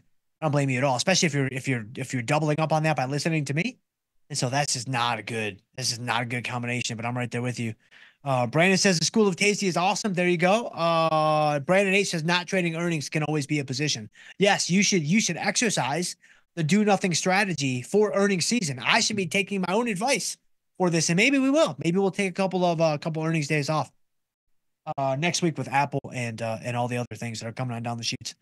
And so Paul also says, from an audio only viewer, again, when are you traveling to Chicago to sign the wall? Yes, in May. I'll be there in late May. So I believe I'm going to the studio on uh Memorial Day. So uh, I mean, Tom, Tom making us travel on holidays, man. Like he doesn't care. No, he's like, all right. He's like, you can pick. You can either come on Saturday, weekend day, Sunday, weekend day, or Monday, holiday. He's like, I'll let you pick. I'm like, oh man, thank you. That's very generous of you and very thoughtful of you. And so I chose Monday night. So I'm going to Chicago on Monday night, and then I'll be in the studio on Tuesday and Wednesday, and then I'll be headed back uh, to St. Petersburg, Florida here on Thursday. So I'm excited. I'm excited to see the new the new digs and kind of get a get a look around at the wall and and and all that all that other stuff. So Andrew Jones, uh, why isn't there an uh oh man anama an, anatomopia ana, anamatopia man I should know what that is but I haven't seen that word in a very long time and I am absolutely butchering him. like spoos for Nasdaq when that index has all the volatility seems like if it has the most action, it would have a, a neat moniker. Um, Ana, Ana Monotopia. Ana Monotopia? I don't think that's right. That doesn't feel right at all. And it sounds even worse. Ana Monopatipia. Ana Monopatia. Yeah, sure. I mean, it's whatever it, it's whatever it needs to be at this point. So I, you know, what? Well, first of all, since I don't know what that is, and I should know what that is, just given my, you know, travels in the world and all those things. Uh, I can't answer your question, Andrew, but I hope you enjoyed the last minute or so of those attempts at whatever that word is. But I'm gonna keep moving on. So Farm D Eric, Dr. Jim has taught me that butterflies are not worth the risk. Ah, rinse and repeat. You know what, man? It's fair. It's absolutely fair. But again, I think that, you know, yeah, are they net positive? If they are, probably not by a lot. Right. But if you want to play earnings, they seem like a good move to me to play earnings right? I kind of like them better than something like undefined risk, like you know, Selinsgrove triangles, all those kinds of things. Now, you know, I, I, actually let me walk back what I just said. When it comes to the S and P 100 stocks, like big, big, big stocks, like even Netflix today, if you sold like a one standard deviation strangle last night, you're probably okay today. You're probably not up money, but you're not getting like completely crushed, right? You get really crushed on, I think, the lower flow, lower cap stocks that double on earnings, or you know, your Viking Therapeutics and things like that. But I think, you know, selling undefined risk premium and kind of the, the main stocks is is perfectly fine. But I like the butterflies because I think the payoff is is a little bit more favorable. But I totally respect for those of you that say, "Hey, I'm not going to mess with it because I don't I don't I don't see I don't think it's worth it. I don't think there's an edge there. I don't think that this is going to have a positive effect on my P&L." Man, I'm I'm I totally respect you. And I absolutely 100% see where you're coming from. And I probably should be doing some of that myself here on the show. But uh, but I'm just not. And so, uh, so Farm D Eric, I appreciate you. I still appreciate you very much. Robert C's in the house. Good morning, Dr. Jim. We appreciate you, man. I appreciate you. And I appreciate you appreciate me. Did you hear about the asymmetrical iron condor? Can you give an example? Did I hear about it? Uh, I mean, I know what it is. I mean, an asymmetrical iron condor would essentially be like if I went into Netflix, let's say, I'm just going to pick it because it's on the screen. I'd like to get to at least one or two more questions.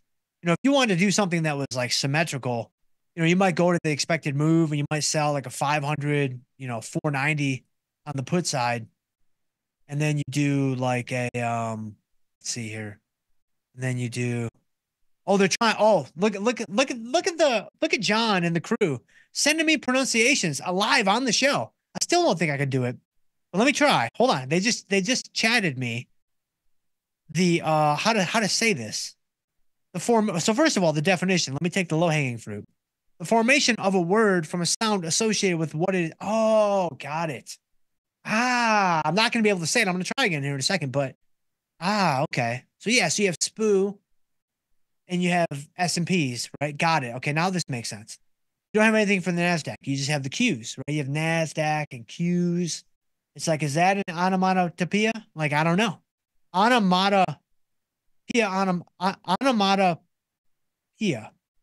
onomatopoeia. I got it. It's an onomatopoeia. Come on, this is easy stuff. It's onomatopoeia. Got it. Nailed it, man. Just absolutely crushing this show. And it's almost over. So it's good that we finally figured it out 42 minutes ago. But thank you, John and James and the crew back there and Paul. Appreciate you guys very much for helping me out. Let me get back to this uh, this Netflix that may not be an onomatopoeia, but but hopefully it can be helpful nonetheless. So if I do a $10 wide iron condor, you can see right here, this is fairly symmetric, right? I mean, in fact, it's almost perfectly symmetric. The delta is zero. If I wanted to be asym, uh, uh, asymmetric, I would just move one of the sides to create an asymmetry. So one of the ways you could do that, there's a number of different ways that you could do this there, uh, Robert C. So, I mean, I'll give you one example. If I pull, if I pull the calls in to like a 580, 590, you see now I'm bringing in a little bit of negative delta because the call side is closer right? So that makes sense, but I'm, you know, increasing the credit that I've collected on the strategy for doing this. And so this is one way to look at it. This is one way to do it. Uh, but yes, asymmetrical iron condor is it's just an unbalanced iron condor to where you kind of introduce a directional bias into a strategy that would otherwise be uh, be neutral. So let me try to get to one more. Man, I appreciate you guys so much. Uh, Michelle, here we go. Michelle says, Dr. Jim, thank you for yesterday. You did say Nvidia is guaranteed to go down after your trade. I did. And look at that. It, it went down. So how about that? You guys are welcome. So I bought a one day 530, 560, 590 put butterfly. Sold it this morning for a $10 win. Oh, are you? T- no, you're talking about Netflix. You're not talking about NVIDIA because NVIDIA is $800 or whatever. You're talking about Netflix. And so uh, you are welcome. You are welcome, my friend. You are welcome there, Michelle. And so, uh, yeah, I mean, I'm only one man with a, you know, four year old trading uh, intern and trading assistant, but we're doing what we can. And so you are very welcome there, Michelle. Uh, thank you so much for being here. But guys, I got to run. I got to get you guys to Jermal. I appreciate you guys so much. Thank you for being a part of the show. Thank you for tuning in today live or watching in the archives or whatever. I just appreciate you guys so much. If I can help you guys in any way, please reach out to me. You can email me. I am jschultz at tastylive.com or we can connect on Twitter, X. I am at jschultzf3 and I would love to hear from you guys on there as well. But stay tuned because we've got Jermal coming up next with engineering the trade. In the meantime, guys, trade them small, trade them heavy, and stay generous. see you guys on Monday.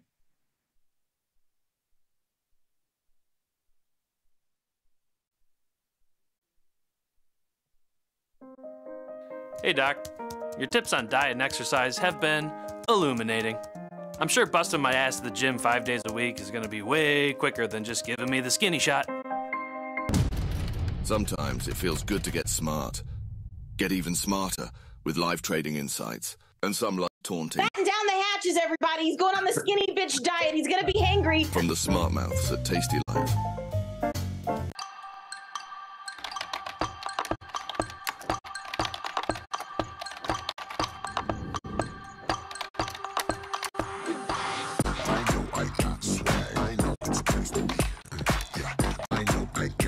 It cost you guys to do simultaneous hair flips?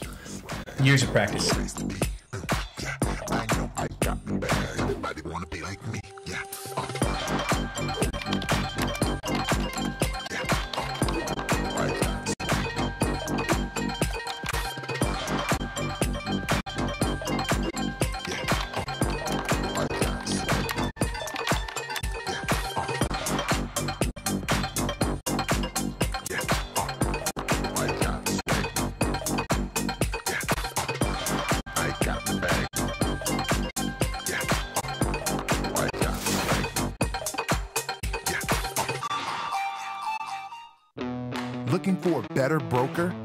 A bonus? Sweet. We got you. Right now, you can get a bonus of up to $4,000 when you open and fund a Tasty Trade account. Plus, low rates, smart tech with the analysis tools you need, and award winning support. So, get a broker who's actually got your back. And up to $4,000 at Tasty Trade. Make your move, genius. Tasty Trade. 90% goes to S&P index funds. You got a 10% straight to Is 20th Century Advice driving your 21st century portfolio? Tasty Live has joined forces with the CME and Cboe to offer the industry's first multi exchange trading collaboration. Our new live event, Building a Complex Portfolio, puts active traders on the path to modern portfolio creation. Tom Sosnoff and other Tasty Live personalities will cover strategies that'll help you integrate futures and options in your portfolio. Sign up at tastylive.com slash events and see where we're headed next. Looking for a better broker and a bonus? Sweet. We got you. Right now, you can get a bonus of up to $4,000 when you open and fund a Tasty Trade account. Plus, low rates, smart tech with the analysis tools you need, and award winning support. So, get a broker who's actually got your back. And up to $4,000 at Tasty Trade. Make your move, genius. Tasty Trade.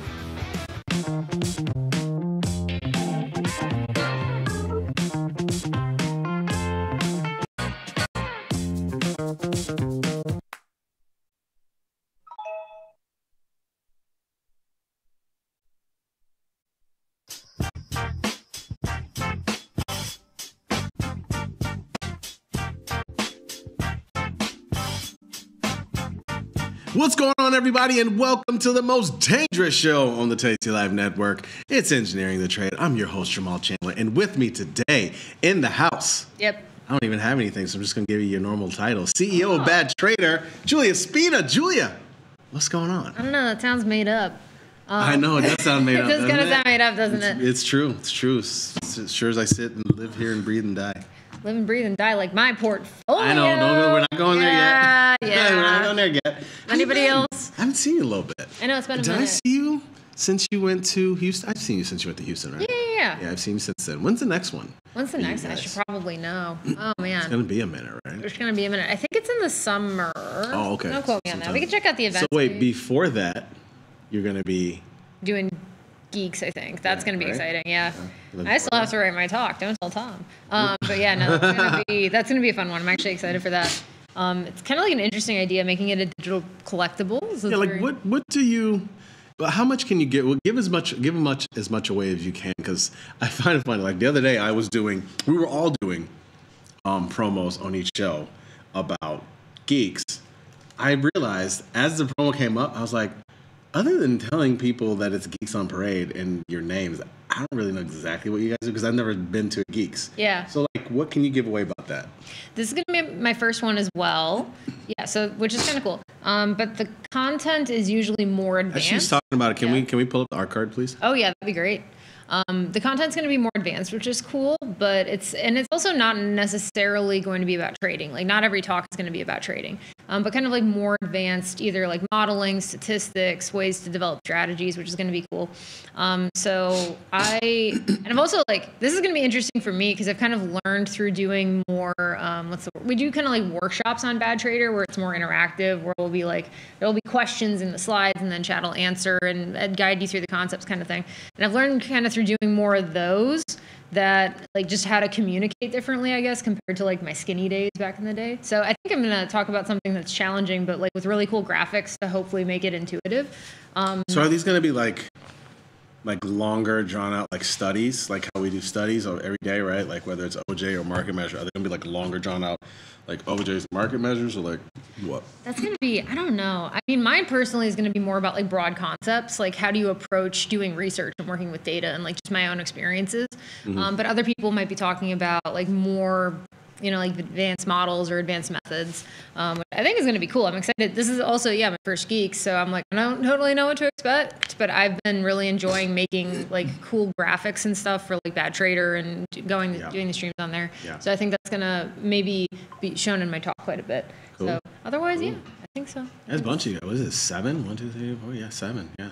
Seven. Yeah, seven. It's gonna be a long talk, yeah. Yeah, yeah. That's gonna be cool. It's gonna be good stuff. Um, how was your? Dare I say? Dare I ask? How's your week been? Boo. yeah. It's gonna be. Oh, it's gonna. Oof, man. I know it's a wild one. It's a wild one. Um, well, before I go to markets, I don't know. Do you watch The Bear? Oh yeah. No, I lo- I've been loving that show so much. So yesterday, uh, you know, it's been filming around here, hmm and yesterday, you know how you can go to the lobby, you Mhm. come out of the elevator, and you can go one way, and like if your car is parked in the parking ramp, Yeah. and basically go stay inside the building and go in the ramp. Yeah. And if it's parked on the other side, then Yeah. you probably are better going out the other side. Mhm. Well, I actually parked on the other side, Mhm. so I'm coming out of the building, and sure enough, it was. Um, I mean, the dude's recognizable. Jeremy Allen White, the, the dude with the hair, the chef. They're filming here. Oh yeah, yeah. Been Oh, I didn't know that. at, at Ever downstairs. I didn't know that. Okay, that makes a lot more sense. I They filmed there last year too. Yeah. When they were well, for season two, um, when they were going all over um, the different restaurants. Matter of fact, I went to one of the restaurants they went to in the show, Kasama. Uh, really good. Yeah. But um, Ooh, hype that up. I gotta go. yeah, it's a really good spot actually. Yeah. So uh, I'm coming out of the building. Jeremy Allen White's right there. I, I could see him as soon as I was looking at the, the spinning whatever. What do you call that? Those doors spin. Rotating doors. There's a word for it. I just Is don't. Mm. I really don't even know. Huh. Rotary Anyway, door. I don't know. coming out of those doors, and he was right there, and there was like a security guard dude in front of him, and it was funny how the whole thing went down because, you know, how the security guards they're like they're they're, they're there, right? And so he's like looking at me to see like. I don't know. I'm gonna like do anything weird or fan wise, or you know what I mean? Like Yeah. they're probably used to people coming. Oh my god! Oh oh no, dude, that's not me. I'm not gonna do that. Was there Uh, awkward sustained eye contact? Only from Oh. from uh, Ayo, the actress the Okay. one who plays. I don't even know her name on the show. Black. Yeah, yeah. yeah. His his partner now Mhm. this season, I think of the. But she literally is eating food. She turns out she looks me in the face, like that, literally like that. See That's how a you cool just did? moment. See how yeah, you that's just a cool moment. Yeah. I didn't laugh, but she did that. She goes, she looks and she. See what I mean? That's exactly what happened. I'm like, wait, am I? And I, I didn't look at her long because I didn't want to create a weird moment. Make her really But I'm thinking, like, why is she looking at me? Does she think she knows me, or does she think that I was gonna like fan out? Right? Okay. Like, I think they've gotten you. That, that's clearly what happens at this point. Uh, but I just didn't. I didn't look at. it. I just kept going, kept walking down the street. I was gone. But yeah, it was Jeremy Allen White, the the big guy with all the tats and the mustache. Yeah. And I also her. don't know any of the characters' names. Yeah, I know, right? Isn't that kind of funny? I bet they thought about Isn't that kinda funny that You're like we- that guy. Yeah. You made eye contact. That's kind of a cool moment. I don't know. It's funny you mention that though. Isn't it funny that nobody seems to know their names on the show? Well, they don't. I don't know if they use them a lot. I, I need to rewatch it. I'm like the worst when it comes to this. This is the same with like Star Wars, Dune, where there's like names for everyone, everything, every planet, every object. But you and I just know the principal characters. I do, yeah. Right. By name now. It's also because like a lot of those franchises have gotten memed. You ever watch. Friends? No. Do you know any character's name on the show? See? Okay, no one. See what I'm saying? You name because everybody watches Friends. Okay, but I'm just Everybody saying. Everybody's watching The Bear, especially here. How, how do we not know their names? It's kind of weird, right? That's fair. I've only seen each season once, the two seasons uh, that are out right now. I've only seen those once. I usually need to see them like a couple times for names to. Kind of bad with that kind of stuff. I mean, it just seems like we should know a name. Everybody knows The Bear and everybody knows Chef, but nobody knows anybody's name. It's kind of funny. Yeah. Um, maybe that's, I don't know. I don't think they do it on purpose. I don't think they I watched, we just watched the Christmas scene again from season two. That's a Dude. wild episode. Dude, that took me back. Oh, God. it is so wild. That took me back. Everybody's just couple all over the yeah. place. It is, it is nuts. It is nuts. It's really nuts. I think like the funniest part of the show is like they kind of maybe that was just me, but the first time that I watched it, it's almost like they framed River North as like kind of a rough neighborhood. Mhm. And I'm like, if anybody who's not from Chicago watched that show, they'd also think that River North is a rough neighborhood, not where like all the skyscrapers are. Mhm. Um, I, that's I think like the part that I thought was funny. But I yeah, no, I've been loving that show so far. I'm really excited for season it's, three. It's fantastic. It's Yeah. fantastic. It's cool, and you get like the cool shots of Chicago and the Season two was L. the It's super cool. Yeah, I, loved thought it was that. great. I mean, I always love that. You know, obviously Chicago's a beautiful city, so it's, it's great when they do that. Yeah. Now that I got you all happy, uh, can we pull up the platform? it's been a wild Bleeding. trading day to say the least. every day folks. this week. is so. Ugh. Is anyone else in chat suffering right now? How are we doing? Do we need a, a distraction? We've been uh, look. I know you ad nauseum. Everybody's talking about it. There's really not much else to talk about. We debated on what we were going to go through. I mean, we're, we're going to go over this. We're going to talk about what's happening. But uh, geez, how far? Let's go back, way back. Um, last night, I. Oh geez, I only got one minute. I guess I got to go two minutes. Uh, last night, I. Um. Oh my God. You know what? Oh, sorry, not today. Let's go. Sorry, two days. Today's days. Satan. Last night, for me, what what did it was I was just out hanging at home doing nothing. I um. let me finish. Um. God, our chart. uh, I uh I started seeing tweets about um about airstrikes. I started seeing Mhm. it, which you know you, you see that stuff, but like the I've always done a good job of vetting all the people that I follow on Twitter. Yeah. and I have everything that I follow on Twitter doesn't necessarily come directly to my phone if that makes any Yeah. sense like for notifications Mhm. only a few things do so when those people started doing it trade the news is one of them a couple of other things it was like oh this is real and so i opened up the old platform and yeah that's when we were down 82 handles. It's Mhm. around here 917 916 921 p.m last night.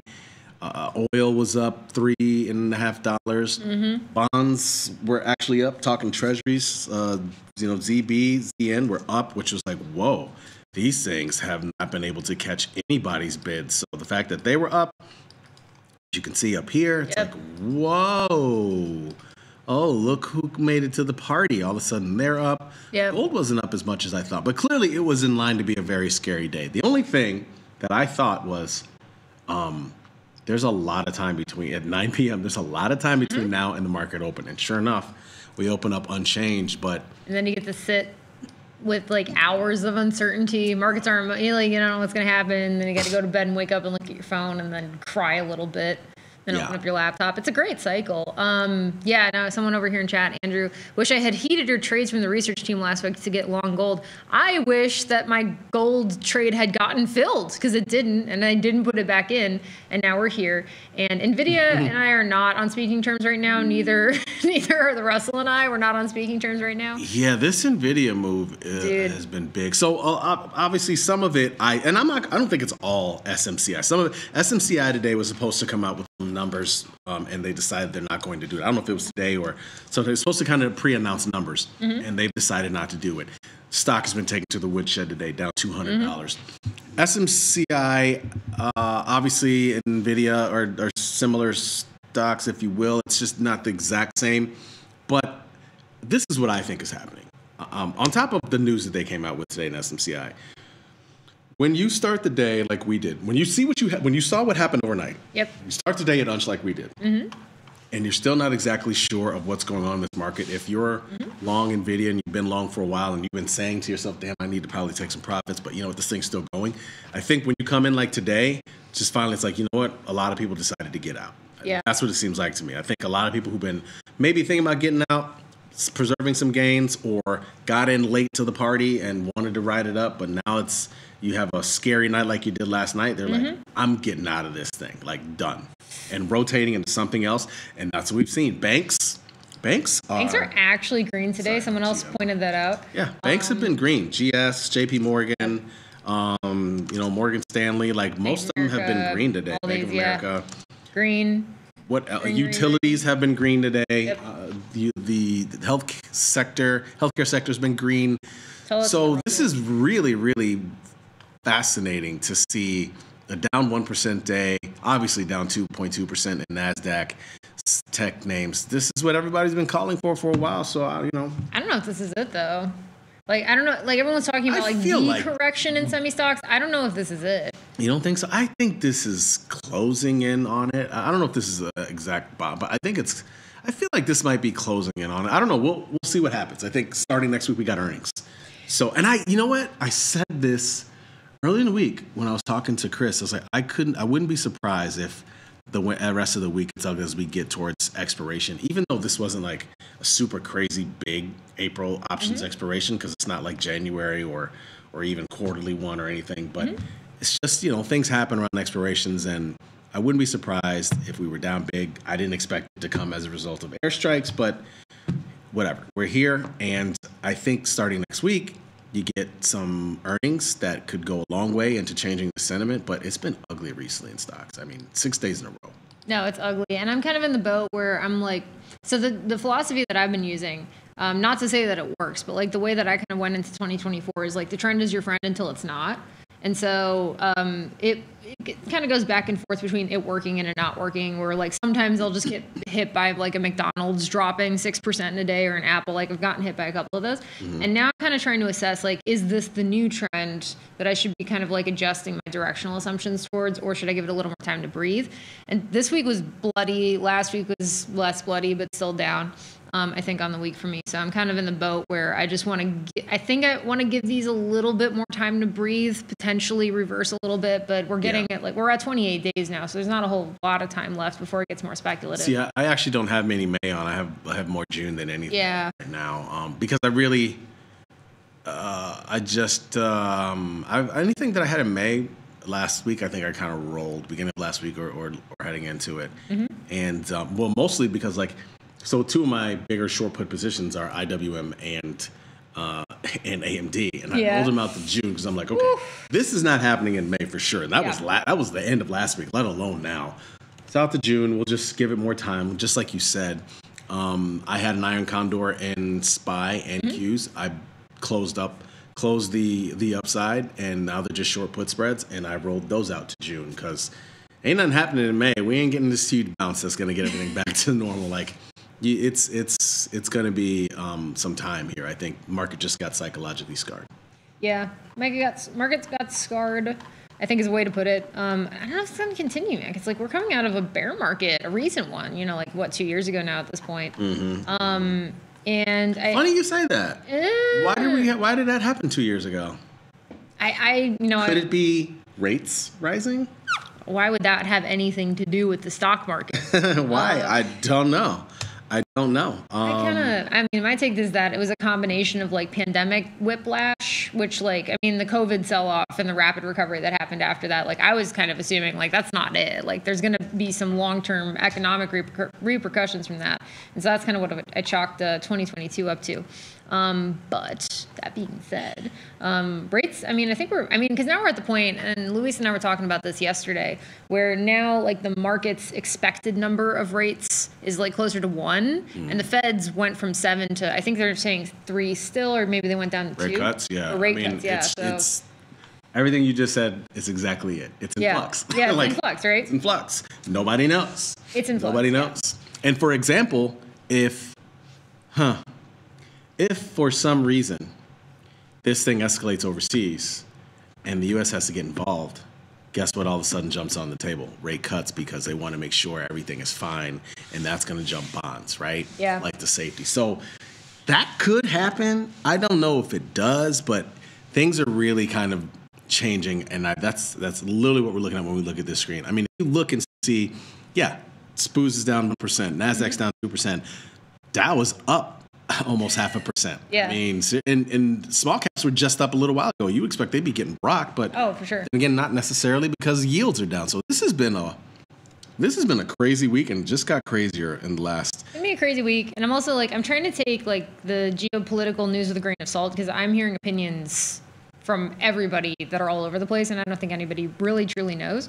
Um, so, but I think like the sectors for me to watch are energy, obviously, like are the big ones, some commodities, and then I think like banking is gonna become part of the conversation again. Yeah. Um, I would not be surprised. And like banks are doing well today, right? But Yeah, like I know that like I I think mm, I don't know. You you heard about like the federal emergency banking package that after that happened uh, or was it um, created after SVB went down last year, Yeah. and then they expired in March. Yeah. Yeah, so I'm like, I haven't. No, I mean, people have tabled a lot of those conversations, but I would not be surprised if that kind of becomes part of the picture again, um, as the market kind of goes into more fearful territory.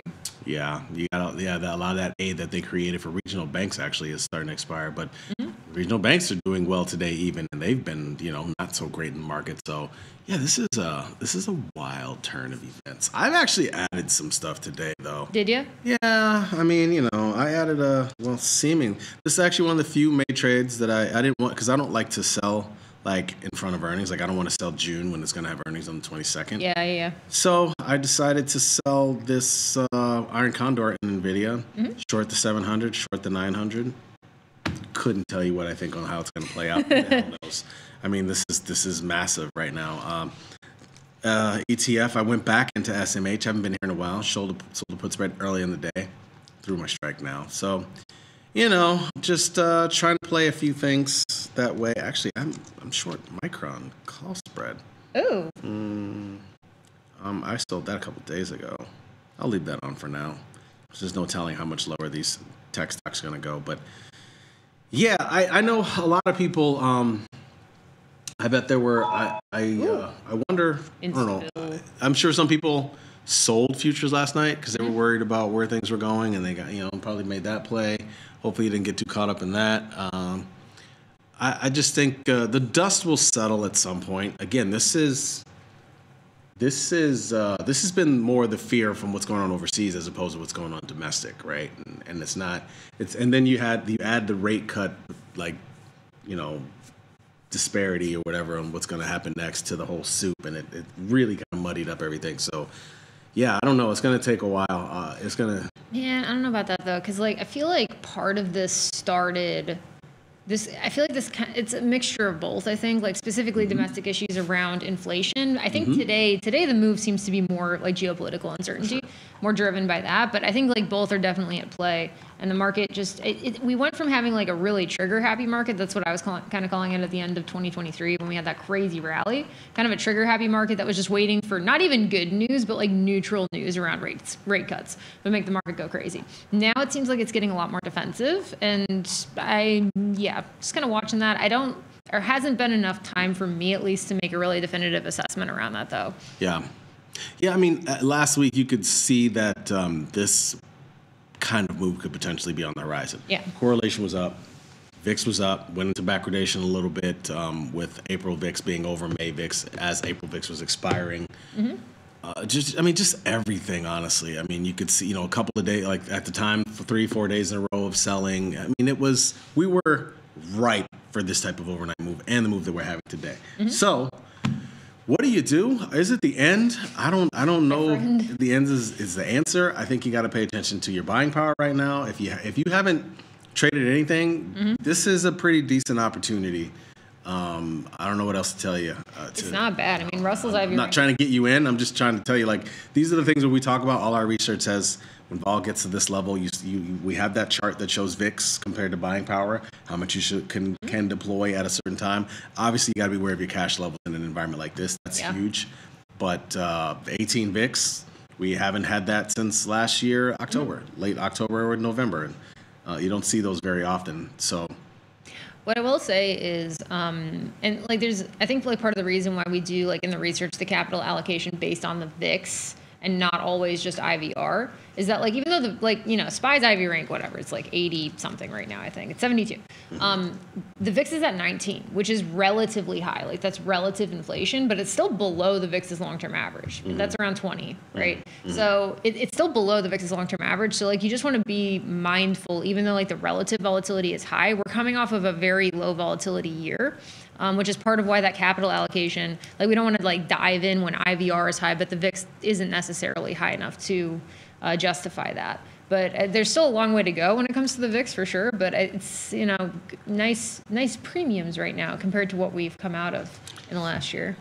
I did a uh, zero day iron fly. Ooh. Yeah, that did not work though. Did it, I did it like maybe two hours ago, must have been. Uh, yeah, 5,000, 15 strikes wide. Yeah, no. Unless we get some big pop at the um, 40 handle pop um, by the close and uh, pop in in the index, don't think that's going to work. It's a tough time to do these though. Um, I mean, honestly, because nothing is really sitting at any given levels. It's just, you know, Yeah, what a gross day. yeah, I mean, you know, these happen, these come, right? I mean, yeah, it's uh, it's the way the market goes. Yeah, it's low red, low red. But again, being further out, I'm not too worried about it. Um, and again, I mean, like you said, roll week is pretty much next week. Probably just as good to roll today than any other time, honestly.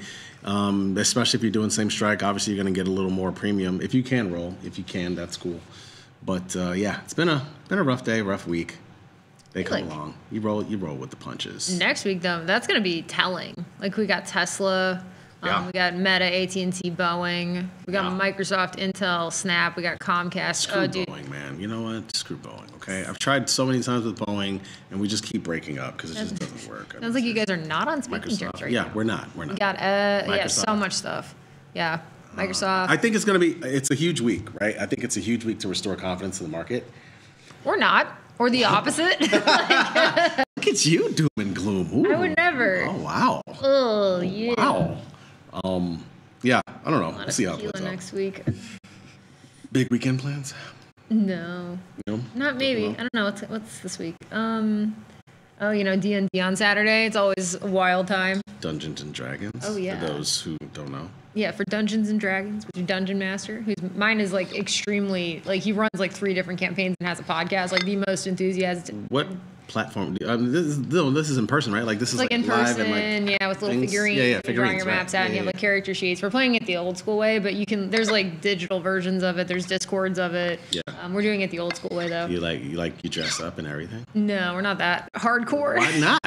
Why would you good. not be? I have gear like for the Renaissance fair, so I could just whip it out. Oh yeah, the Ren Um, Fair. Yeah, yeah, yeah. yeah, the Ren Fair is fun. yeah. I went to the Ren Fair the first time two years ago. I didn't go this past summer, but yeah. It's rough, but it's fun because it's like all outside. It's like in the middle of July. It's humid. There's Yeah. dust everywhere. Yeah, yeah, yeah, But it's yeah. a great. Oh, my Baidu position's out of the money again. That's nice. Oh, I'm a little happier now. That's Oh, good. see, look at Yeah, that. See, all it takes is one little Yeah, thing. just take one little, One little thing. one little tick in Baidu. All right, I'll Yeah, and take all of a sudden you feel good about yourself. You know what I mean? But yeah, no, D and D is gonna be Saturday. I'm excited for that. We're probably all gonna die. Like there's a big dragon we pissed off, and we're noobs. So, you know. Yeah, I got nothing going on. Um, kids got a baseball game. I help coach. I- I'm not a baseball person, but I mean, I like helping coach.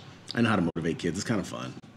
I'm pretty good at it. I like drinking beer in the park. I like doing that too. Yeah, or like you know, hanging out. Or I mean, I can't drink when I'm like first base coach. No, of course not. Yeah. Conflict of interest. But afterwards, maybe I don't know. Yeah, it's that's like what, like frowned hot dogs and like you know, you bring your foldable chairs. Yeah. it's nice out. Yeah, it's good stuff. So. Yep, it's fun. Yeah, other than that, no plans. Not doing anything.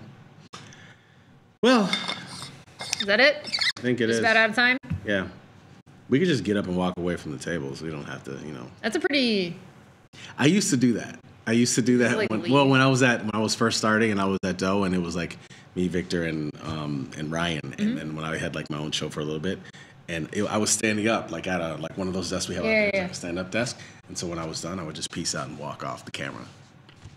Everybody used to call it the dopest sign out in business. Yeah, but you know I can't exactly get up and walk. Me the walk off music. You can't do it when you're sitting down. So No, it doesn't have the same effect. no, it's not the same. So Like we just do it differently. Like I you know what I mean? squatted yesterday, so like I would make a complete ass of myself if Yeah, I you would. get up right now on camera. Yeah. No, we got to do it the traditional way. For Julia Spina, I'm Jermal Chandler. Thanks for watching. And as always, be smart, be patient, trade small, trade often. Peace.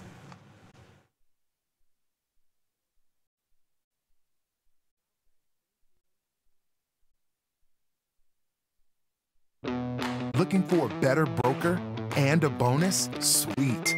We got you. Right now, you can get a bonus of up to $4,000 when you open and fund a tastytrade account. Plus, low rates, smart tech with the analysis tools you need, and award winning support. So, get a broker who's actually got your back. And up to $4,000 at tastytrade. Make your move, genius. tastytrade. We built the tastytrade app for today's traders. See it, tap it, trade it. Deposit and withdraw money right in the app. View company company financials, forecasts, news, and more. Set custom alerts to stay up to date. See things bigger in landscape mode. Get the customizable trading experience you want. The tools, the data, the knowledge. See it, tap it, trade it. Join the club, genius. tastytrade.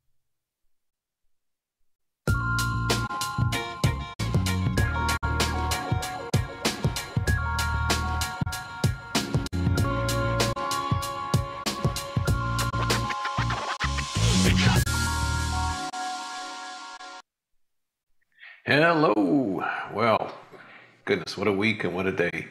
Uh, this is Tim Knight. We're going to look at some charts together. Um, the market's completely turned. Um, now that we've got a little bit of perspective, we can see that the, the change of quarters changed everything. Everything that was terrific is now horrible, like, say, semiconductors. And uh, the AI mania is seems gone already, largely. Um, and we've had like I mean, it used to be there was a we, we were like you know, the past eleven week, like eleven out of the past thirteen weeks have been up or something like that. There was some like incredible run for the bulls, and now you know every day is red, just red after red after red after red after red, and uh, a lot more volatility. you know, we were down slobbering around like at 11 or 12 on the VIX, and we've had times we've got around 20 or so, which these days is like maniacal. And last night was a crazy show in itself because everything plunged like mad, except for gold and oil, which exploded higher.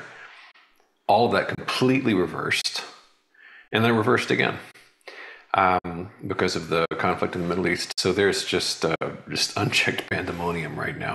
Quite a week. I've got a lot of charts, and I'm going to go swiftly because I'd like to go through them all, and we will say goodbye to this week. Um, the spider is red, just like just about everything else. On the one hand, we have sealed the gap. This gap that you and I have been looking at for weeks is closed. It's done. The intermediate term, or really short term target has been met, but we're still falling. Maybe it's just kind of overdoing it. Maybe this is the bottom.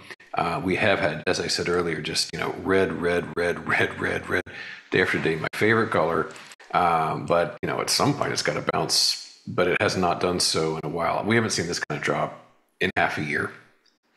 Um, was really something.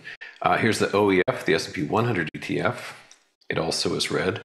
And uh, once we broke this wedge, which you and I have been following for months now, um, that was it. Down we go. Um, as I said, gold is continuing to do great. Um, we're we're kind of in the neighborhood of twenty five hundred dollars an ounce now. Really something. Um, it's been you know pretty wiggly, especially last night. But on the whole, no, nobody can doubt that this is kind of the new AI. You know, just goes up every day. Really something terrific here. Um, crude oil uh, is up somewhat, but it's been a crazy very powerfully last night. It actually was down this morning. Um, you know, it, gold looks a lot stronger than oil does in terms of its pattern. I mean, this is just a big fat mess right now. Uh, gold looks really, really solid. Um, you'll have to forgive the pace. There's just so much to talk about. Uh, EFA, weirdly, barely changed. Uh, it's had a down hard two or three weeks, but just kind of lingering right now. It is pretty much red on a daily basis here, uh, but it's it's um, kind of had the stuffing knocked out of it, so it's just sort of lingering there right now. It's not particularly nasty. IEFA, same deal, like so. Um, EEM, which was uh, my own puts, uh, down about 0.4%, nothing too dramatic. I had a little sine wave friend still doing okay. Gap held nicely. Yesterday was the worst threat we've had so far, did not pierce it. And we're pretty much at the lowest levels now that we've had since, um, well, like Valentine's Day. So that's going all right. Uh, and the EMB, which is the ETF for the emerging market bonds, um, is um, up a little, but so long as it doesn't cross above this uh, 87.9 level, this should be okay as a wingman for this um, position. Now, we're getting into the thick of earnings season, and next week will be one of the biggest weeks of the whole earnings cycle. Um, but it's, it's heating up, and a household name we had yesterday was Netflix. And I said yesterday, just offhandedly, I didn't even show the chart yesterday, I just sort of tossed out that, oh, I think it'll go down based on nothing. And that's not really true. It wasn't based on nothing. It was based on the fact that um, we had spent some quite some time above this um, dashed line here. This is the midline of this ascending channel. And just my spidey sense was that it would fall. Didn't make a dime off of it. I mean, I had no position, as I said repeatedly yesterday. I just felt that way. And that worked out. If anybody's basing things on my feelings, which I hope not, but we're down about $55 on this. Netflix down about 9%. It has unwound weeks of price gains with this one move. Um, and as I say, we are down in the lower half of this ascending channel, basically anything below this dashed line. And that's probably kind of the range we're going to be in, you know, probably for months at this point. So yeah, Netflix down um, pretty hard there. Um, ADM, which I've been mentioning from time to time here, still long term looks like a great bearish setup. Uh, we are seeing some strength here. Um, as long as it doesn't exceed its recent high, I still think this is a very interesting setup based on its tremendous distance between present price levels and that green supporting trend line miles beneath it, like so. Um, Dollar Tree, another good one, down a little bit, and it's actually been slipping below this horizontal uh, by a skosh. And so back down to prices seen um, really last November. Uh, MRCY, which looks like Mercy, but it's from Mercury Systems, down almost 2%. This is a slow mover, but it's a gargantuan top going back a full seven years. Um, and this is breaking down nicely as well. And one doozy here, which a lot more people know Supermicro, SMCI. Um, I've got to say that um, there's a fella, I won't say his full name, but his surname is Altucher, uh, who has kind of a knack for like latching on. He's very good at this. He latches on to certain sectors and like makes a whole business out of it. Newsletters and seminars and paid for this, paid for that. But from what I've seen, you know, he always shows up kind of at the peak. And historically, whenever I see he's like latched onto the latest fad, uh, it's like, well, that's toast. You know, one time it was crypto, whose ads were preposterous. One time it was marijuana stocks. And the latest, a few months back, of course, was AI. And there was really nothing I saw no charts, no articles, no nothing that gave me more confidence that this AI thing is going to blow over than the fact that he had latched onto this as his latest venture. Whether you're talking about NVIDIA or SMCI or anything that was like rode the coattails of the AI revolution. Um, and that is transpiring clearly because as we look at SMCI, zoom in here, this peaked um, back on March 8, like a lot of things peaked, including NVIDIA, got up to 1229. It is currently at 724. So not quite half, but getting there. And this is like last month. So we've lost like 40%, maybe more. And today alone, down over $200. Uh, this dashed line has been in place since here, and it breached that today. And once it breached it, that was it. It was like game over, man. So it's been falling really hard. And uh, I'm highly confident that it's far from being done falling. Um, to my mind, it could easily fall down to like 350, thereabouts. So yeah, AI, the wheels are coming off. Um, okay. ARKG, this is the uh, this is Cathie Wood's uh, genetics, is biotech uh, firm, and I, I only show this one just my eyes popped out when I saw this. Uh, I just want to point out this is remarkable to me. If you dial it back to April 2015, nine years ago, uh, the price was 23.10. At this very moment, the price is 23.13.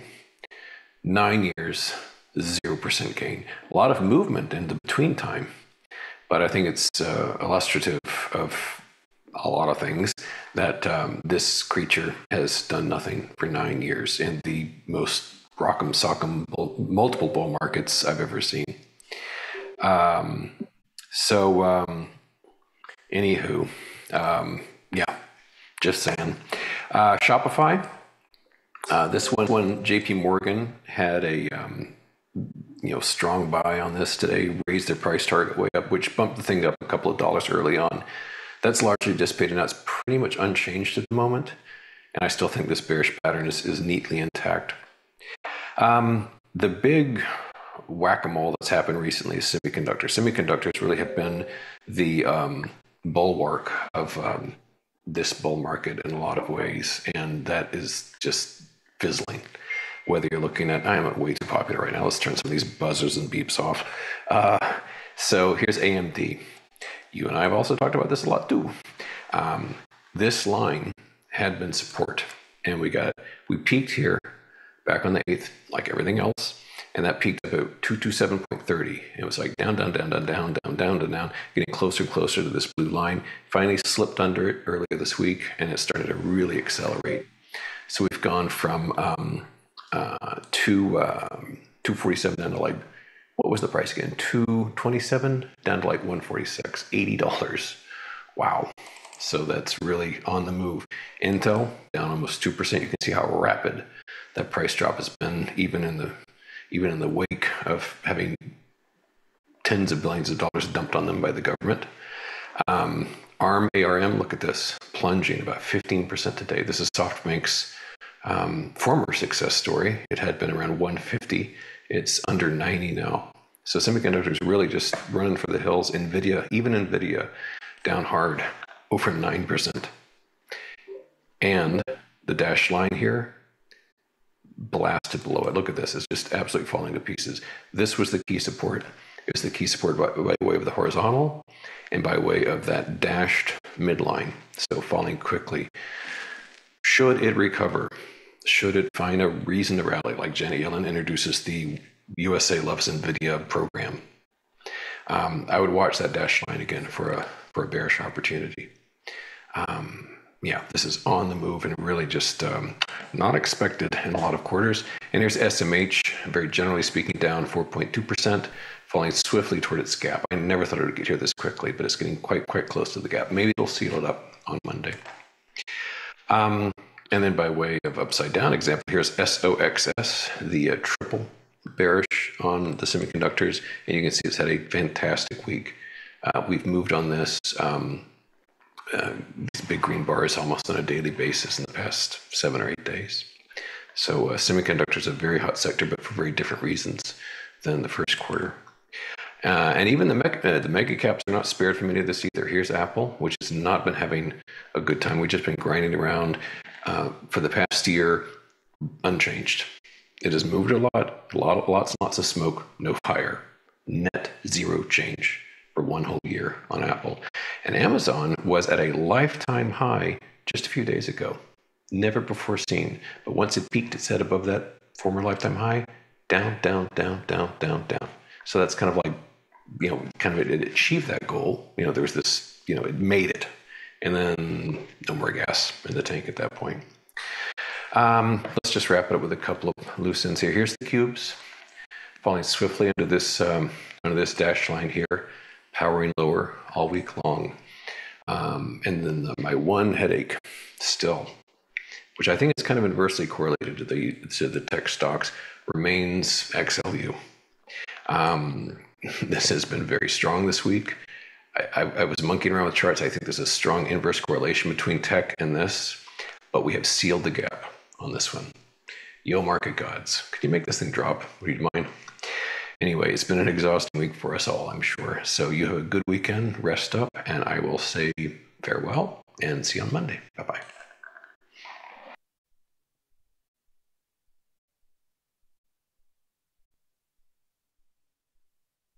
If you missed the live show, here's our cherry on top weekly recap.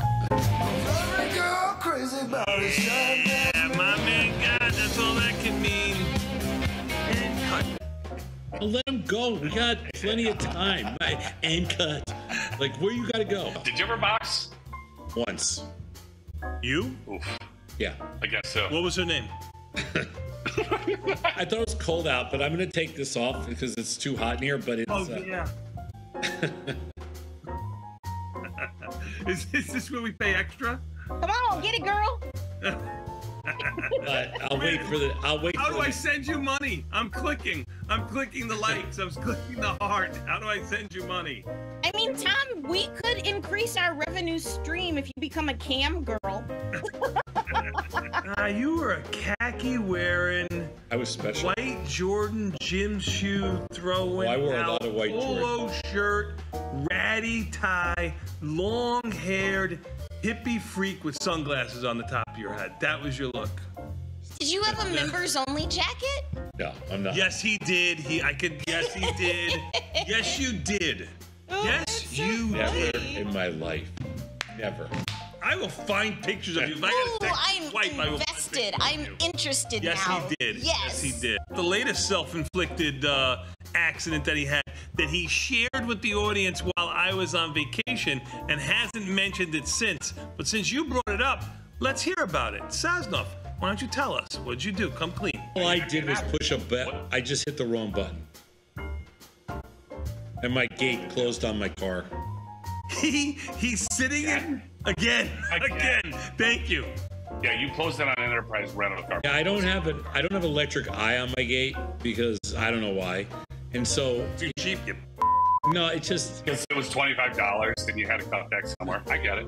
Uh, Tom, you are getting shout out. Uh, check us out on Reddit. People continue to just roast you in the comments. Oh my God! Did you see those? Why do all rich guys don't? How come they don't look like like George Clooney or something like Or that? Brad Pitt, yeah. The Brad Pitt is so good.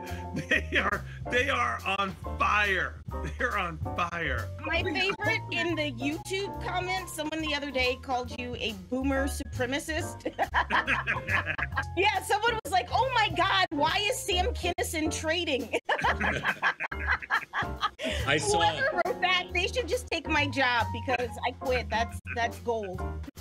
Get the full scoop by checking out the archives at tastylive.com.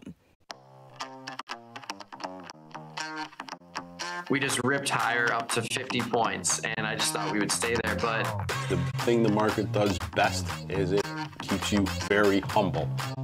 You get paid a lot for being right, and you lose a lot for being wrong. So give me, I don't know, a couple hours, and I will give you everything that you need to start trading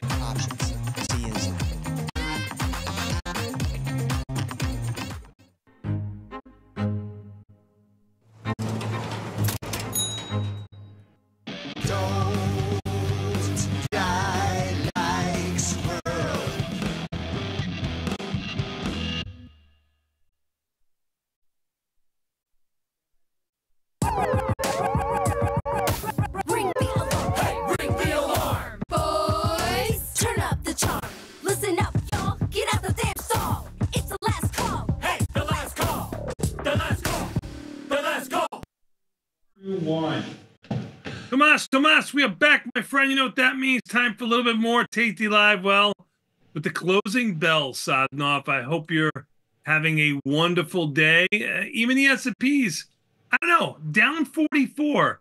Is that a bad day after thinking about last night? Um, That was a question. uh, you know what's weird? This morning I thought they were going to rally back and be up on the day, and then the reality is that they've been looking like kind of heavy, heavy, heavy, heavy all day, and then there's no way they're rallying back once once Nvidia lost it the way it did. No way. Oh, I mean, I think the market. everything everything you want. When you went away, you asked for you know the, the spoos to be down 100. They were down almost 100. You wanted Nvidia down 100. You got Nvidia down 80. You get everything you want. Everything you want. Yeah, only Nvidia's about um, six weeks too late. But I think that the market could have survived easily today if it was just Netflix. But the market could not survive um, Nvidia down 80. And I there's a part of me that really wants to sell Nvidia short here on the close because I think it's going to open up ten dollars lower after the market today. Mm-hmm. Part of me. Remember, we're not going to open till Monday, so you have all weekend. Russell's been the strongest of the group. I mean, like you look at this, you got Nasdaq down two percent, Russell down nothing. You got the Dow up actually 182 points. I know. I know. It's really I know. If you saw the Dow today and the Russell, you'd be like, well, the Russell's unchanged. The Dow's up 180. The market must be doing good. And the NASDAQ's getting whacked. Um, you know, NVIDIA, obviously, SMCI is down like 200 or something. I don't have a position on in there, but it's down like 200. Um, it is down two 209. You are correct. yeah. I mean, Netflix is Meta down 23, ARM down 17. ARM. ARM, I think, is worth talking about for a second because ARM, um, ARM has been a death trade. ARM has dropped what, like fifty dollars? From one, from 130 to, to 87 where it sits right now, really in a heartbeat in a week. Higher than one thirty, I thought it was, but what? Yeah, okay, say one thirty. Um, Sure, 130. but it's been, yeah, In a week. In a week. Yeah. Well, today was the today was the official end of the AI, you know, stock revolution. Is this it's over now? It's over, it's done? I mean, no, it's not over and done. I mean, you're going to need, you know, you're going to need these stocks, but but they today Blues they, off the roads. today they they crushed them. Today they, you know, today they hurt. Today they did a little internal damage. There's internal bleeding. Karate Man bleed on the inside, and hmm. Karate Man's bleeding right now. On the inside, yeah. Yeah, I mean, off its high. You know, Nvidia is now down. Fine, it's finally dropped 25 percent. That, now that reference is from the movie 48 Hours, right? Yeah, yeah. Eddie Murphy. Yeah, yeah. Just want to make sure. Ah, Karate Man, bleed on the inside. Eddie Murphy, Nick. Clear the, I just want to clear the air. Eddie Murphy, Nick Nolte. That's right. That's right. African American gentleman and a and a and a and a white gentleman. But a karate man bleed on the inside. That's right. That's right. That's right. You're right. For for any for any millennial that hasn't seen that movie, it's a great movie. What do you think of volatility? Seventeen ninety up fifty five cents. I think it's um, priced to perfection. After flirting with twenty last night with even the S and P's down sixty. I know. I know. Well, I mean, look at the risk. Look at the risk on assets. Gold hasn't moved the entire day. It's been up ten dollars from nine Oh, thirty it's tra- trading places, not 48 hours. They're correct. Sorry. Um, Karate Man bleed on the inside. But Eddie Murphy's in jail, right?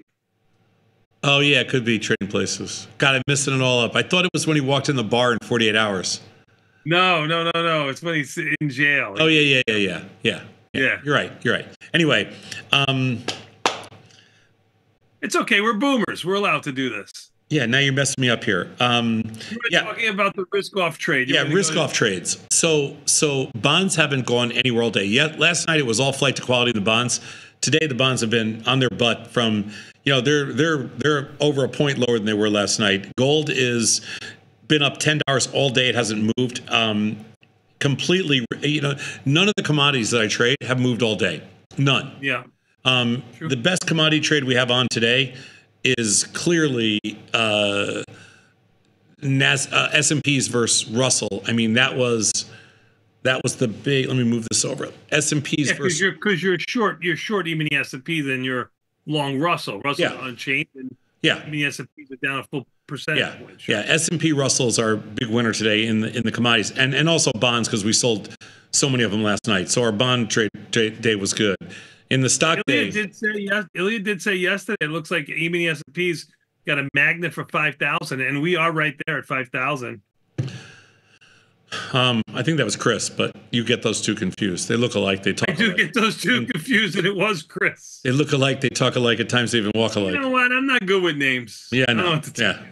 You're better off saying those guys in the afternoon. You're just better off like, Those guys in the afternoon from Yeah. overtime. We're talking about five thousand being a magnet, and there it is. stocks I got hurt on today, which does not make me happy. I lost money in ARM and I have a tiny position in there.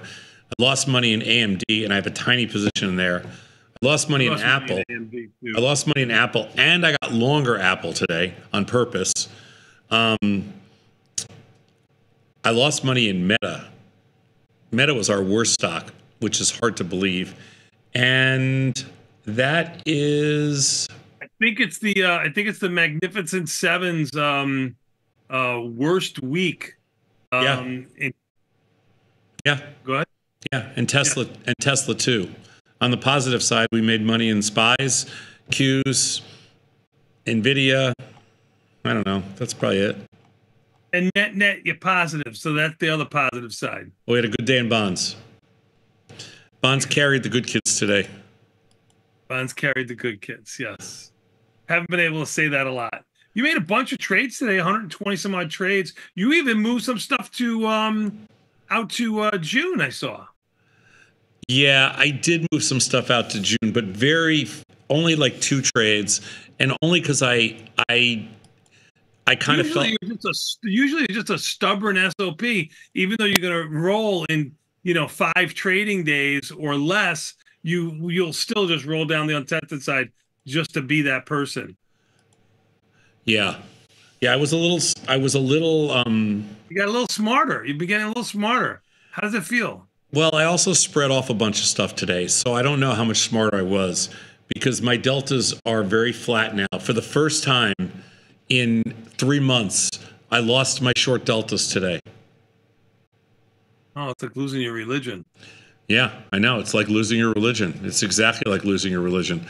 I lost my short deltas after three months of of making sure that I had, um, you know, some quality deltas, they, I lost them.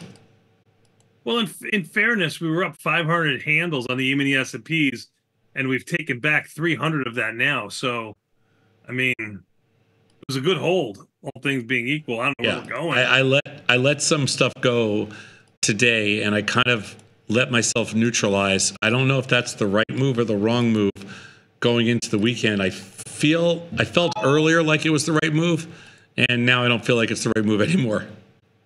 Well, when they were rallying back, I'm like, man, I'm smart, and then when like 30 handles higher. oh, 30 handles. Oh, I was just going the last 10 about 15 minutes ago before we came on the show. Yeah. No, no, I was going about 30 handles higher. So, um, anyway, uh, anywho, anywho, yeah. So I'm gonna kind of get short a couple deltas here on the close. Not a lot, just a few little, make a few little tweaks to my position here, just so I go home flat. And I don't know. What do you think? You nervous about this weekend? I'm not. I don't think so, man. It's uh, it's been, everything's been quiet too. Like I've been trying to read the news, and it really just says, you know, they they hit like a like like a an army base installation outside of the middle of town, pretty much. Like you know, business as usual. Doesn't seem like anything. I think this is really more market based than news based. I think it's more chip based. I think they scared the chip children today. And I think that everybody is over invested in every form of AI and chip. I think they they finally came, you know, they finally, you know, popped the bubble. hmm Well, well. Speaking of speaking of buzzle, bubbles, Buzzles. VZ has, Speaking of buzzles. Yeah. Buzzles. V, VZ has earnings on Monday. Which does? VZ, which is oh, Verizon. Oh, I don't trade that. That's a piece of crap. I don't want to have an account with them. I don't want to trade that. I don't even want to know that they exist. I don't want to have anything to do with that company if I don't have to. IV rank is good at 53. It's mid or lower end of its range. Hey, you got money, you trade it. Just throwing it, not as much as I used to have. Uh, you, you, you. That's that's that's your call. You got money, you trade it. Um, I don't have much interest in in ever trading Verizon. I've been in that stock before. Once I'm in, I can't get out. I there's not much there for me. What I will say is that, and I think this is kind of um, kind of important, is that when you have um, uh, when you have when you have days like today and you have certain sectors that are super weak, like you know, like um, the the semiconductor, the the chip sector, whatever it is, um, I, you don't want to be buying dips here. I agree with you there. I You, you don't you don't want to be you don't want to be buying any dips in the chip sector. You don't want to be like thinking, hey, you know what? They they blew their brains out on expiration Friday. I've made that mistake many times in my career. No, no, no. You want to take these take these underlyings and say, hey, you know what? I'm gonna wait and see what happens, and um, uh, I'll come back at you on Monday. Understood. So you're pretty flat. You're basically looking just to trade the market here, right? I am looking to trade the market. I haven't been this flat in about two or three months. Um, I I think that's a good thing. My Taiwanese uh, sources sources from Verizon said um, they want they don't want anything to do with you either. Hey, for the twenty dollars that you owe me, what No, was uh, uh, you what was, lost. uh, you lost the bet. Eddie Just so you- Murphy's, what was Eddie Murphy's character's name sitting in that jail? I have no idea. You're gonna know it as soon as I say it. I don't remember. Billy Ray. Oh, you're talking about. I thought you said. I thought you said his name in the jail, like he had a different. No, Billy Ray Valentine was his name and character in the movie, but I, I thought he had a different character in What jail. do you think I'm talking about? The character that his that his girlfriend called him, like, like his pet name. No, I thought he, you were saying like he had a different character in jail. Um, you know, sometimes you forget about the good trades that you make. And one of the trades that I forgot that I made is I took off that SPY, uh, that SPX um, trade on the opening today. That is that is correct. You made a- Nice little chunk of change. It would have been a loser now for sure. It would have been a full loser if you'd kept on anything, um, anything at all with respect to uh, anything at all with respect to um, uh, zero days. Did not work out today. Not given this move. You're right. Anything for Monday? Um, I like I said, I flattened out. Um, I flattened out a bit here for Monday. Uh, I don't know what. SPX. What do you think? What are you doing? I don't think volatility's really crept up enough. I know we would said it was going to stay bid today, and it did stay bid at 1785, but it really didn't go into that like 18 handle. It never really even spiked. Um, we may have a little bit more weakness on the horizon. I think. I don't know. I'm blown away by the fact that the Russell is basically unchanged. Um, yeah. Dow being up doesn't uh, doesn't impress. I don't. You know what's weird is I don't have any Dow stocks. Yeah, no, I know. And it's a lot of it's UNH up eight dollars and change. Yeah, I don't really have any Dow stocks. And as we as we kind of limp here into the close, Nvidia down, you know, on its on its lows down 85. SMCI. Yeah, I can't even look at Nvidia anymore because I know it pisses me off because I needed this to happen a month ago. Right, it did it did me dirty. It really did. I know, I know. Somebody said to me, "Are you even in Nvidia yet?" And I'm like, "Well, I'm even on the position I have on now. You know, like I'm like that one's actually made money.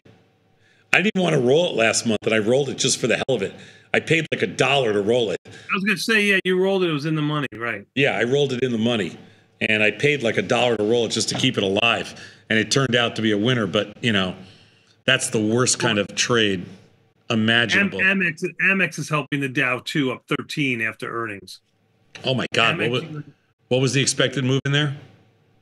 I, I think it was half, about seven bucks or something, if I remember correctly. It's what I hate so much about that stuff. Um, yeah, crazy. Anyway, um, well, this is the end. This is the end of the most volatile week we've had pretty much in this year, and Oh yeah, um, for sure. I think we've finally successfully scared the children into th- remembering that there's two sides to every market. Um, at the end of the quarter in March, I thought we closed at 53.65 or something because that's the person that won the the tournament, the uh, guess the market we had, wasn't it? Like around 53.65, right? Something like that. Just about yeah, yeah, right, yeah, right there, yeah, right. hmm Okay, so Yes, yeah, yeah. and now we're down under 5,000. So Right, 49.50, 49.60 if you want to round. So we basically dropped, you know, six percent or seven percent, whatever we want to, whatever number we want to look at, which means we've actually had an official partial correction, and we're probably, and if you And base we it, probably may or may not do what?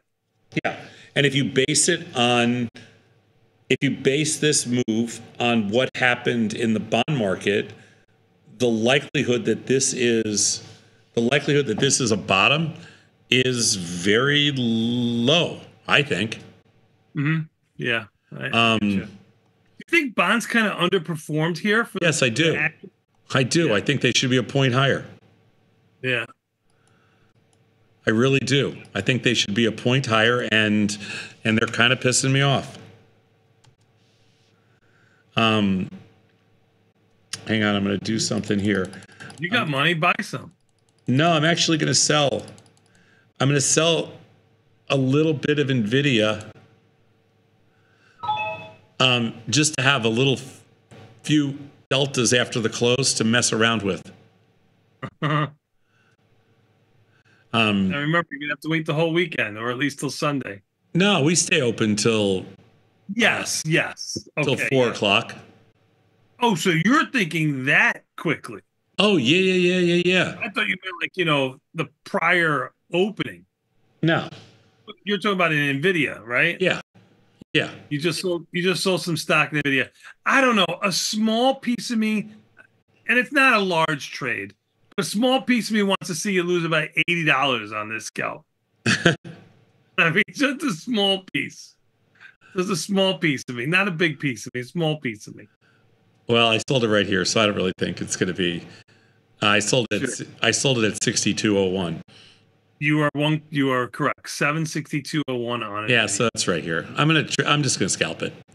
Scalpy, scalpy, scoopy, scoopy, whatever. We got like you know a few seconds left in the day. We'll have a little fun with this. I'll have a little fun with this. You got eight minutes. You got you got some time. I know. I only sold a tiny bit. I've got more to sell. Um, all right. Looking el- looking elsewhere. Uh, bum, bum, bum, bum. How about, how about any buckers today? J.P. Morgan up four dollars. What do you think? Weird, but I'll give it to them. Um, Netflix 555 didn't go anywhere all day except drifted a little bit lower. I guess getting out on the um, I guess getting her out on the opening was probably fine in there. Um, Let's see what else do I have here. Um, what else? Not sure there's much. I mean, I I I think we're gonna find that today was pretty. I mean, I don't know why I traded so much today because I didn't really like. I was made a lot of Almost two million adjustments. S and P's. It, it was plenty of action. Yeah, we we traded two million S and P futures today total as an industry, which is obviously the top end of the range, um, not the highest, but the top end of the range. And I think the option volume, because it's expiration, everything else is going to be big. Anytime the Nasdaq's down, you know, over two percent, you're going to have a pretty big, you're going to have pretty heavy volume. I was getting filled for the most part, really good all day. I mean, I was giving up. Yeah, there was plenty of movement. So if you put something in close, buy or sell, you were getting filled. Yeah, yeah. I was like, I was like a penny away. You know, I felt like I was a penny away most of the time, Yeah. which is about bad. Tesla laying off laying off more people? Stock can't catch a bid at all. Down three dollars and change. Trading on or near its lows by about sixty cents. I did not get long any more Tesla today. I did buy. I did buy some Apple. I guess that's about all I actually got. I got long today. Um, Russell up on the day, crazy. Russell's up on the day, and even the S and P's are down on the day. They've been weak all day. Yeah, crazy. Um, yeah, pretty wild. We can do a quick public service announcement every Friday. What do we do? Um, Friday afternoon, we do a little um, uh, boot slapping in America with Dylan Ratigan. Boot strapping in America. That is that is that is correct. That is Yeah. correct. So, Sorby Force, non-metal batteries. non-metal batteries. Non-metal battery. That's right. What is a non-metal battery? Huh. I don't know, but it's safe, cost efficient, and of course, environmentally friendly. Well, there you go. I I have more to learn. Um, You'll be you'll be able to do that in in about five minutes. all right, I covered my Nvidia.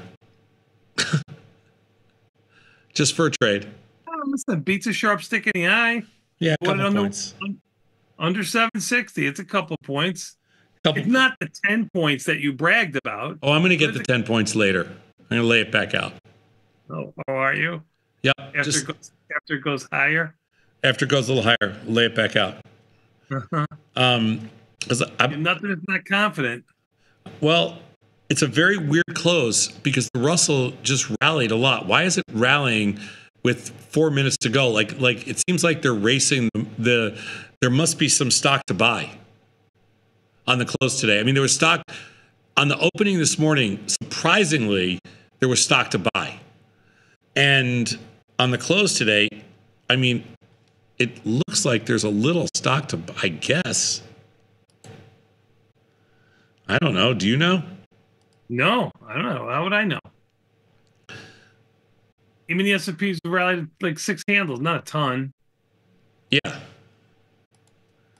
It's weird. Um, anyway, um, we're just playing around with whatever's left on the whatever left on our plates with you know a few minutes to go in the day. Um, by the way, not only is there bootstrapping um, after the close today with Dylan Ratigan, and Dylan does a great job interviewing some of these uh, bootstrappers, but on Sunday night at 4:55, uh, it should be busy. Uh, Sunday night at 4:55, we do a show called First Call. Um, we started the Sunday night shows. Nobody else can have claim to that, even though um, I see other networks beginning to pick it up. But um, we are the Trailblazers. Anyway, Sunday night, 4:55. Tony is sitting in for Victor this week because Victor is traveling. So it'll be the Bat, myself, along with Pete Mulmat, Ilya Spivak, and you never know how busy it's going to be Sunday night. We may bring in somebody very special, or we may just may have May killed. just keep it with, with, with, with us, whatever you want to just call us. yeah, we'll see what happens. Um, we'll see what happens, and hopefully we can, um, uh, you know, get something good going on Sunday night. It'll be fun. So Sunday night, four fifty-five, and uh, no masters, no excuses, no. I don't think there's anything else on except little, little stuff. So anyway, so Nvidia, you know, I just covered it, right? Yeah. It just rallied six dollars. You said it was going to. You're you're in the groove. It looked like there was just a little bit of stock to buy. So I bought it back at 59, 64 now. So now, Now you're gonna get in trouble. now we give it to him. what time is it? You care, you care about no SAP is after the close on the 22nd. I don't care about, you mean SAP? Yeah, I don't care about SAP with your money. it's after the close on Monday. It's okay. SAP is one of my least favorite companies in the entire world, only because we got suckered into buying their software once. And I will tell you unequivocally, the worst trade we've ever made in the software industry ever. Uh-huh. The biggest ripoff ever was buying SAP software and trying to figure out how to integrate it and spending like, I don't even know how many tens of millions of dollars we spent trying to figure it out and threw it in the garbage. Worst trade, easily worst trade ever. Anybody that buys SAP and figures out how to use it, God bless. Let us know. Godspeed. All right, now we're a tiny few deltas short here on the close. Trying to Less get than a some. minute to go. Yeah, I'm trying to get some in in Nvidia off at 65. Have not done it yet. Don't want to have to go down to the market, but it looks like I'm going to have to. Do do do do do do. We still use SAP, by the way. Here we do. yes, uh, obviously you don't have the amount of pull that you used to have. I did when we owned it. Um, That's how you get all your flights, probably. Yes. Uh, I did not get filled. Bummer. Come on, boys. Oh darn. Well, I hope you're happy. The Russell uh, sold off by two handles. It's only up three. Even the S&P is down 46. Nasdaq down 367. That's two percentage points to everything else that's down or up less than one percentage point. Even the S&P is up 200. Volatility only up by 50 cents, and bonds only up 15 Sosnoff. Gold flat, uh, up 490, and oil flat, uh, up two cents. Crazy day. Not the way I thought it super a super weird close. Hold on ex i did not get filled. Bummer. In um oh i did. Nvidia. 63 Oh, you sold it on the curb. oof. Oof. oof All right. Let's Just for a take a little- quick 90. just for a little fun on the curb when he says that that means post market That's correct. it doesn't mean illegally No, it does not. No, it does not. Let's take a quick 90 second break. We'll give you some time for bootstrapping with Dylan Ratigan next. Thomas, have a great weekend. Get some sleep.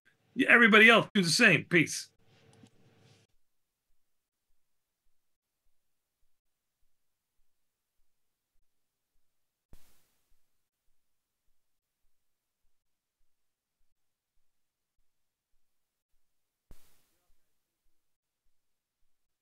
I'm Dylan Ratigan. I've interviewed nearly every CEO and most world leaders during the past 25 years. And now I'm bootstrapping. I'm turning my attention to the new CEOs and the irrepressible entrepreneurs leading the next generation of innovation in the world.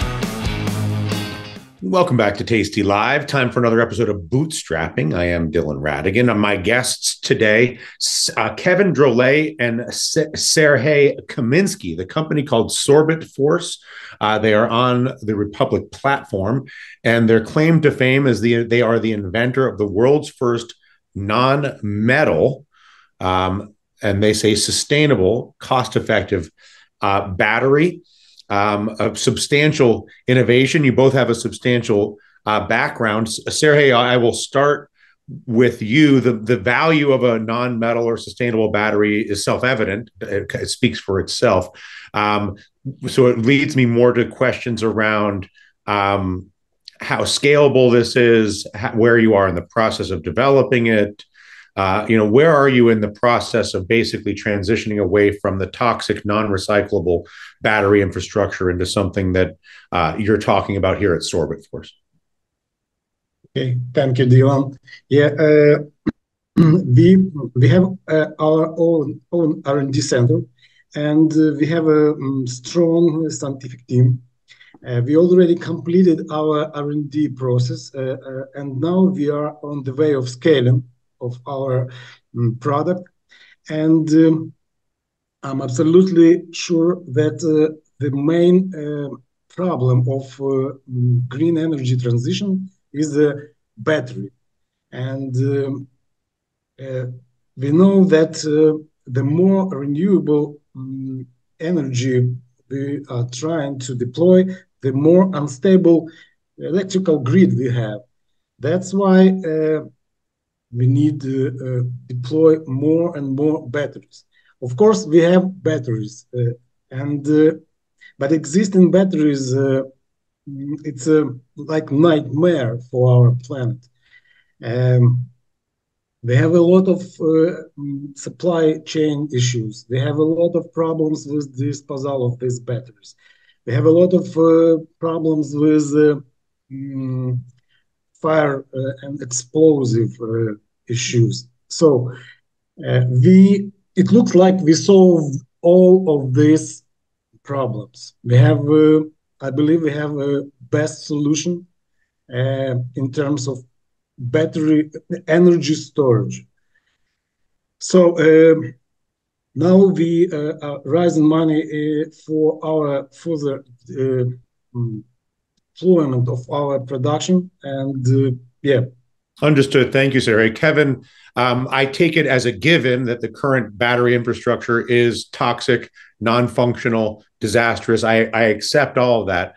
My curiosity in speaking to you is to understand what exactly it is that you have, not so much an understanding of why what exists now is a problem. I, I accept that what exists now is a problem. What I don't understand is what you're doing. Right. So, uh, for the past seven years, so Serhey pulled together a team of scientists and engineers, uh, originally Ukraine, people that have had a lot of experience with lithium ion technology, and developed a battery that's made from carbon, water, and salt. So they've developed a porous uh, carbon material. Uh, Serhey is materials expert, and this battery, you know, that is the difference. It's a battery that doesn't have a supply chain um, it can be produced in a local area. It can be produced from um, raw materials, recycled plastics, agricultural waste, salt from desalination plants in a local uh, market. Uh, so that mitigates a lot of issues uh, that exist, including, like, quite frankly, geopolitical issues of you know who's producing what where, as the need for storage will only amplify as we electrify the world. So um, and, and, is this battery is this battery currently a prototype or is it in production? Um, what it would, what would be required to bring it into production at scale, and where are you in that process? We already have uh, small uh, equipment. It's a low volume production, and we are preparing for starting this low volume production. It's more like a pilot production, and uh, we already started this production and what would be required in terms of the infrastructure transition to support scaling the deployment of this type of battery technology let's assume that the, the all the science is intact and that the I'm assuming the barrier to implementation at scale would have more to do with the supply chain itself um, and the ability to to scale its production. Is are there what are the challenges on that side?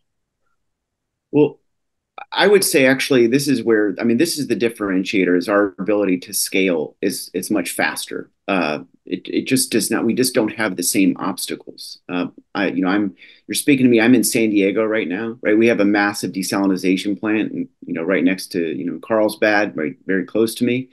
Um, there's you know agricultural waste, you know, all over the place that can be turned into, you know, the products that make up this battery. So you think about it, you can actually create a factory, and we're going to be creating pilot projects uh, in Arizona, working with data centers uh, and some other places. But you can create the battery that eliminates uh, a lot of what you know today's technology needs in order to scale. The, the vast majority of it, the materials. So then, so then what's the barrier to scaling, or is there no barrier to scaling? Well, Actually, we have that, no sorry. barriers. Yes, it's uh, only uh, the only one barrier is uh, mm, money. So we need uh, money to move faster. That's why we are uh, uh, raising money to move faster and to accelerate our. So, so, so if Elon Musk called you today and said, "I want to transition all Teslas to this battery," there's no barrier to that. Absolutely absolutely. We have no. Uh, we are working to to remove all barriers.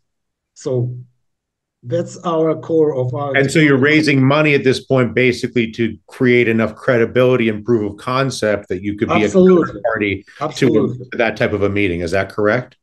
Yes, absolutely. This is the main barrier: is to start uh, this. Uh, start production, start having uh, uh, real mm, batteries uh, in real real life. And do you have data about you know the the function of the battery and the stability of the function of the battery, Sergey, over time? Of course, we have tons of uh, testing. The tests we have uh, already confirmed uh, all of technical parameters, and now we are um, we, are, we need to produce big batteries. Uh, it's it's more than 100 kilowatt hour, and uh, to deploy this battery in, with our um, partners, for example, it can be data center, and uh, we will um, invite all uh, people.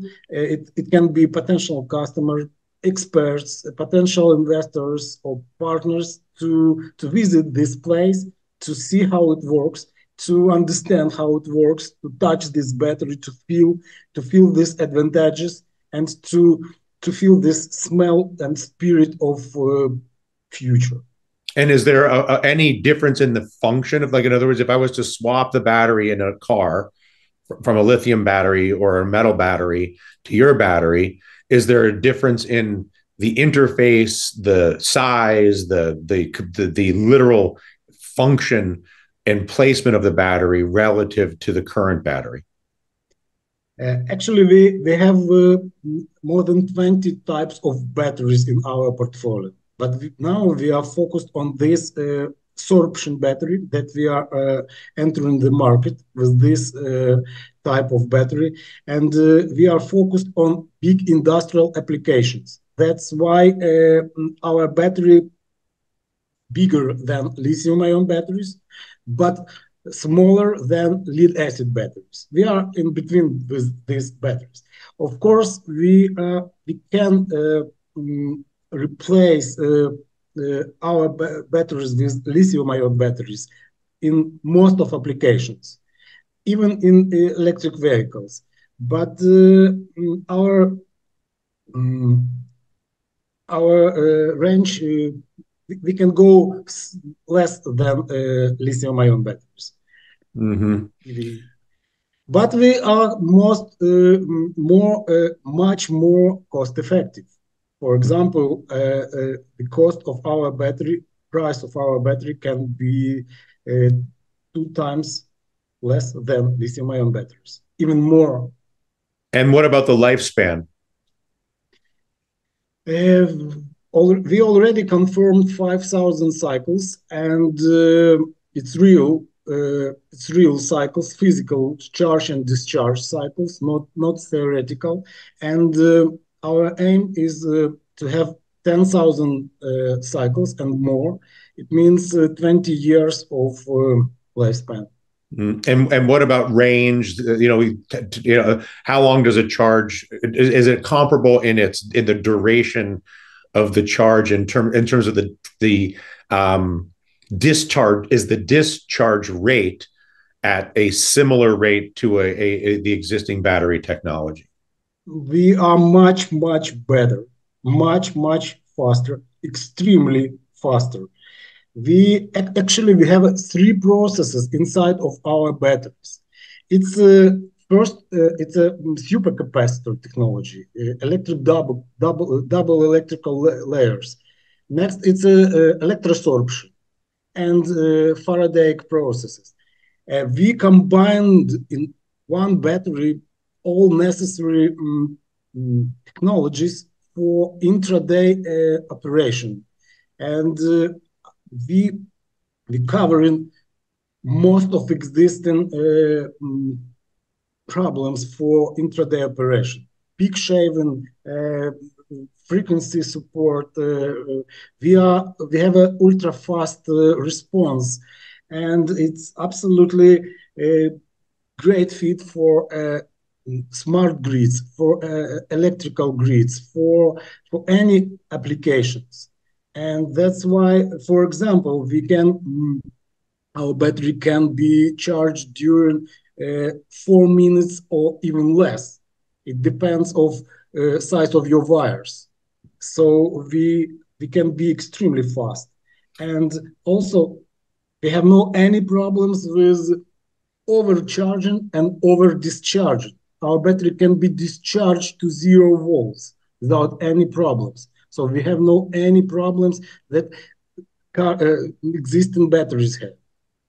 Uh, uh, Kevin, what is the use of funds of the current raise? So with the current raise, we're going to be uh, investing into pilot projects. So we have uh, some partnerships we're working on for pilot projects in the U.S. Uh, and also potentially in Europe and potentially in Australia. Um, but the you know as Serhey said mentioned earlier, what's really important is for people to be able to see the technology because we are you know new battery technology in the sense of you know not being what exists. There is skepticism does this work? Does this work as long? And so people want to see that proof of concept. Um, while we already have you know we're out of r&d we have a smaller version of the uh, battery that's great. Um, but we do want people to see a larger version on the 100 kilowatt level. And so this is great. I mean for you know you think about uh, data centers there's just a massive need data gets lost there's a lot of power outages so this is a, a backup we were actually named named uh, you know uh, number one battery backup techno emerging technology. Um, so that's one, and then the other is that there's also the option for homes. I mean, a 30 kilowatt battery to support a solar system, let's say in California or other places. You know, Sorbiforce has the advantage of at scale we're much cheaper uh, per kilowatt hour, uh, but also we're safer. And we just don't have the same. Uh, Meaning, meaning that there's no fire risk.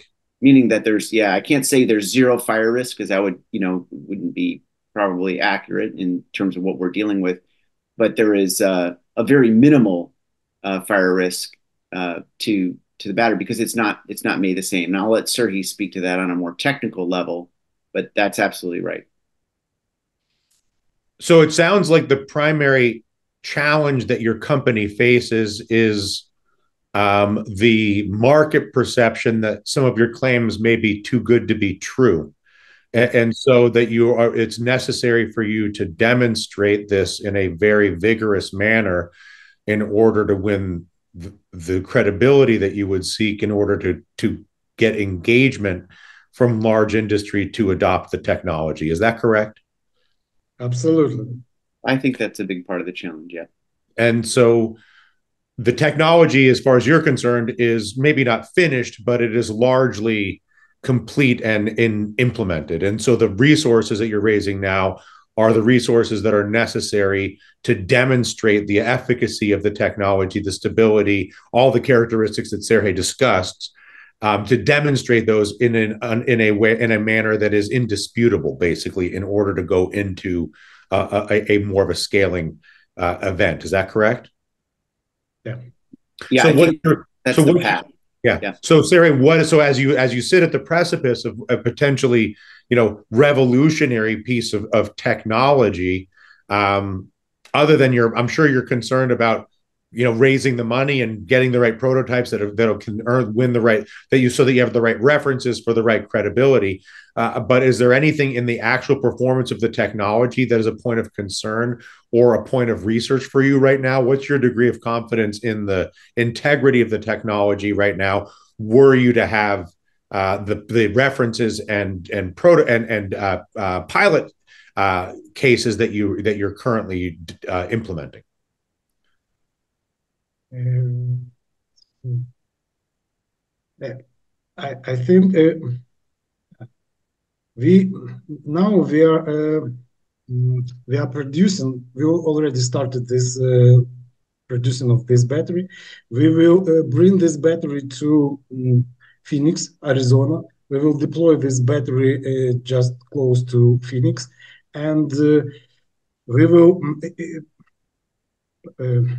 potentially mm, have good uh, cooperation with the data center, as Kevin mentioned before. And uh, but actually, I'm not sure that I understand your. But is there anything on the technological side you're concerned with at this point? technological side? Are you Uh, are you confident that this is that you've solved this basically, and now you're just waiting to Absolutely. Yeah, yeah. It's just a question of uh, time to to do this. All of these things we already have. Uh, mm, we already have confirmed all of uh, our technical parameters. So it's just a question of money and time. That's it. We already absolutely mm, sure that we have great product. How much money and how long, Kevin, to to to prove it out? Uh, well, our current raise, uh, we're looking to raise $1.5 million based on our valuation um, on the Republic platform, which will be closing in uh, about 20 days. Um, we're raising that. Um, that will allow us to create you know, three pilot projects, 100 kilowatt hour batteries, um, and you know take care of some of the other costs that are associated with production, but getting the, those things set up. We also uh, need funds for to complete our patents. Um, currently, we have one provisional U.S. patent on the materials. We also, our team has 25 uh, patents that we're holding, um, and we're applying for four other patents. So patent work is actually very important. We have a you know very good law firm that we work with uh, for patents, but we put a lot of resources into into that uh, effort. Um, and then certifications are also very important. Um, so getting battery cert, and that's you know all of that costs money. So these are all the step by step process and some of our milestones for 2024. And, so, and what about time? When do you think you'll be ready to take a meeting with any any with everybody from Volkswagen to uh, you know uh, a home builder and, and everybody in between and all the and Amazon? I mean, I think we're you know we're we're having meetings like every day uh, with uh, you know folks that are interested in doing things at a massive scale. I mean, uh, we were laughing that uh, we had an EV uh, charging company ask us if they could purchase fifty million dollars worth of batteries. Right, we're we're not quite at that point yet. Um, so those conversations we're having right now. Uh, it will take some time to scale, and we're going to do step by step and make sure that you know every part of the process we go through. We don't you know feel we don't feel the need to rush the process, but we do feel that there is a massive investment opportunity in in what we're developing, and we've been told that you have the holy grail of batteries, uh, et cetera, et cetera. So.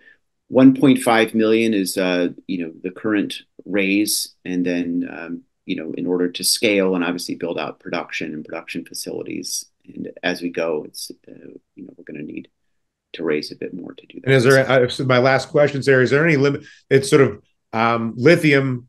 Obviously, is one of the famous limiting resources to the current battery production, and also comes with political components and, and all the rest of it.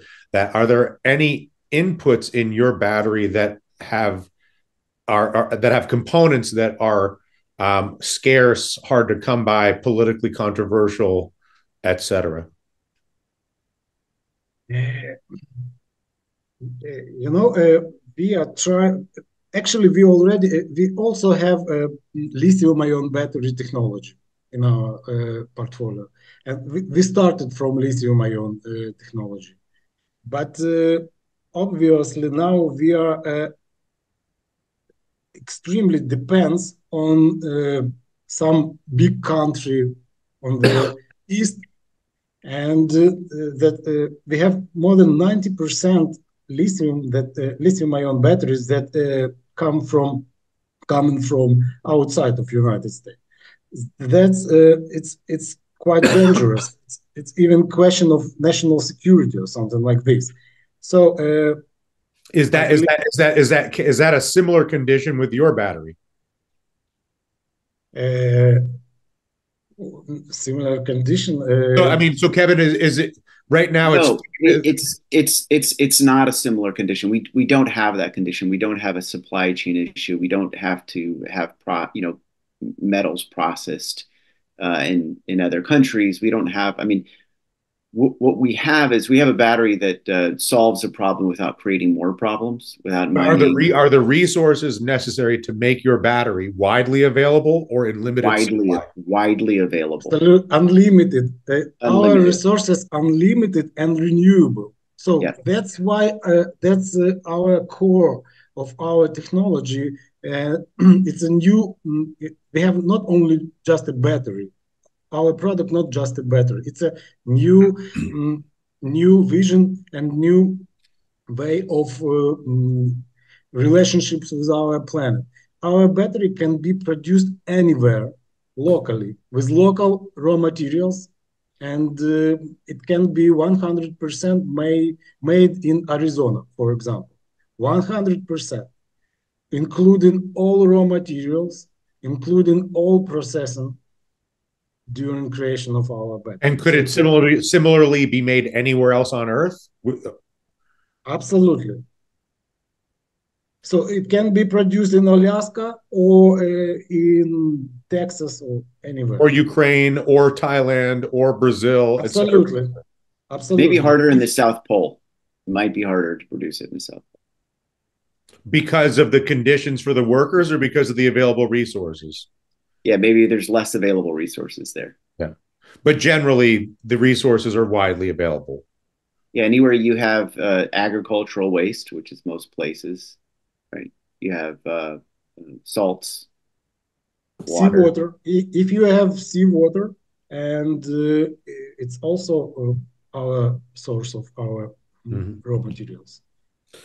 Um, and what is the meaning of the name Sorbiforce? Is my last question we uh, uh, it's uh, we have a electrosorption process in it's our core technology.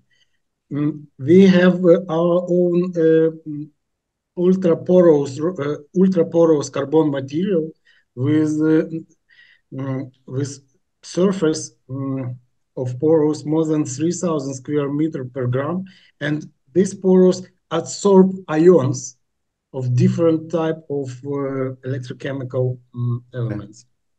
I, I, this is actually my last question. So clearly, you're a, a brilliant electrical engineer and inventor. Um, and so, when you're done with this, can I ask you to work on? See, all these. My life is surrounded by wires. If you could create wireless electricity when you're done with this, we would we would all be very grateful. I started from there. From, I started from there. Good. Actually, this battery, this battery, uh, it's uh, just the first step to absorption energy, but it will be later. Yeah, we need because if once once it's wireless electricity, they're going to look at us like idiots walking around with all these cords everywhere. I, you know, it's time to move on. So I, I'm grateful for your um, your efforts and your contributions. And I congratulate you on your inventions and I appreciate your time today. Um, thank you both, uh, Sergey Kaminsky, Sorbiforce is the company, and Kevin Drolet uh, out of San Diego. Gentlemen, thank you very much. I do wish you all the best with the raise. Congratulations again. Um, I am Dylan Ratigan. This is Bootstrapping, uh, and we are back with more tastylive right after this.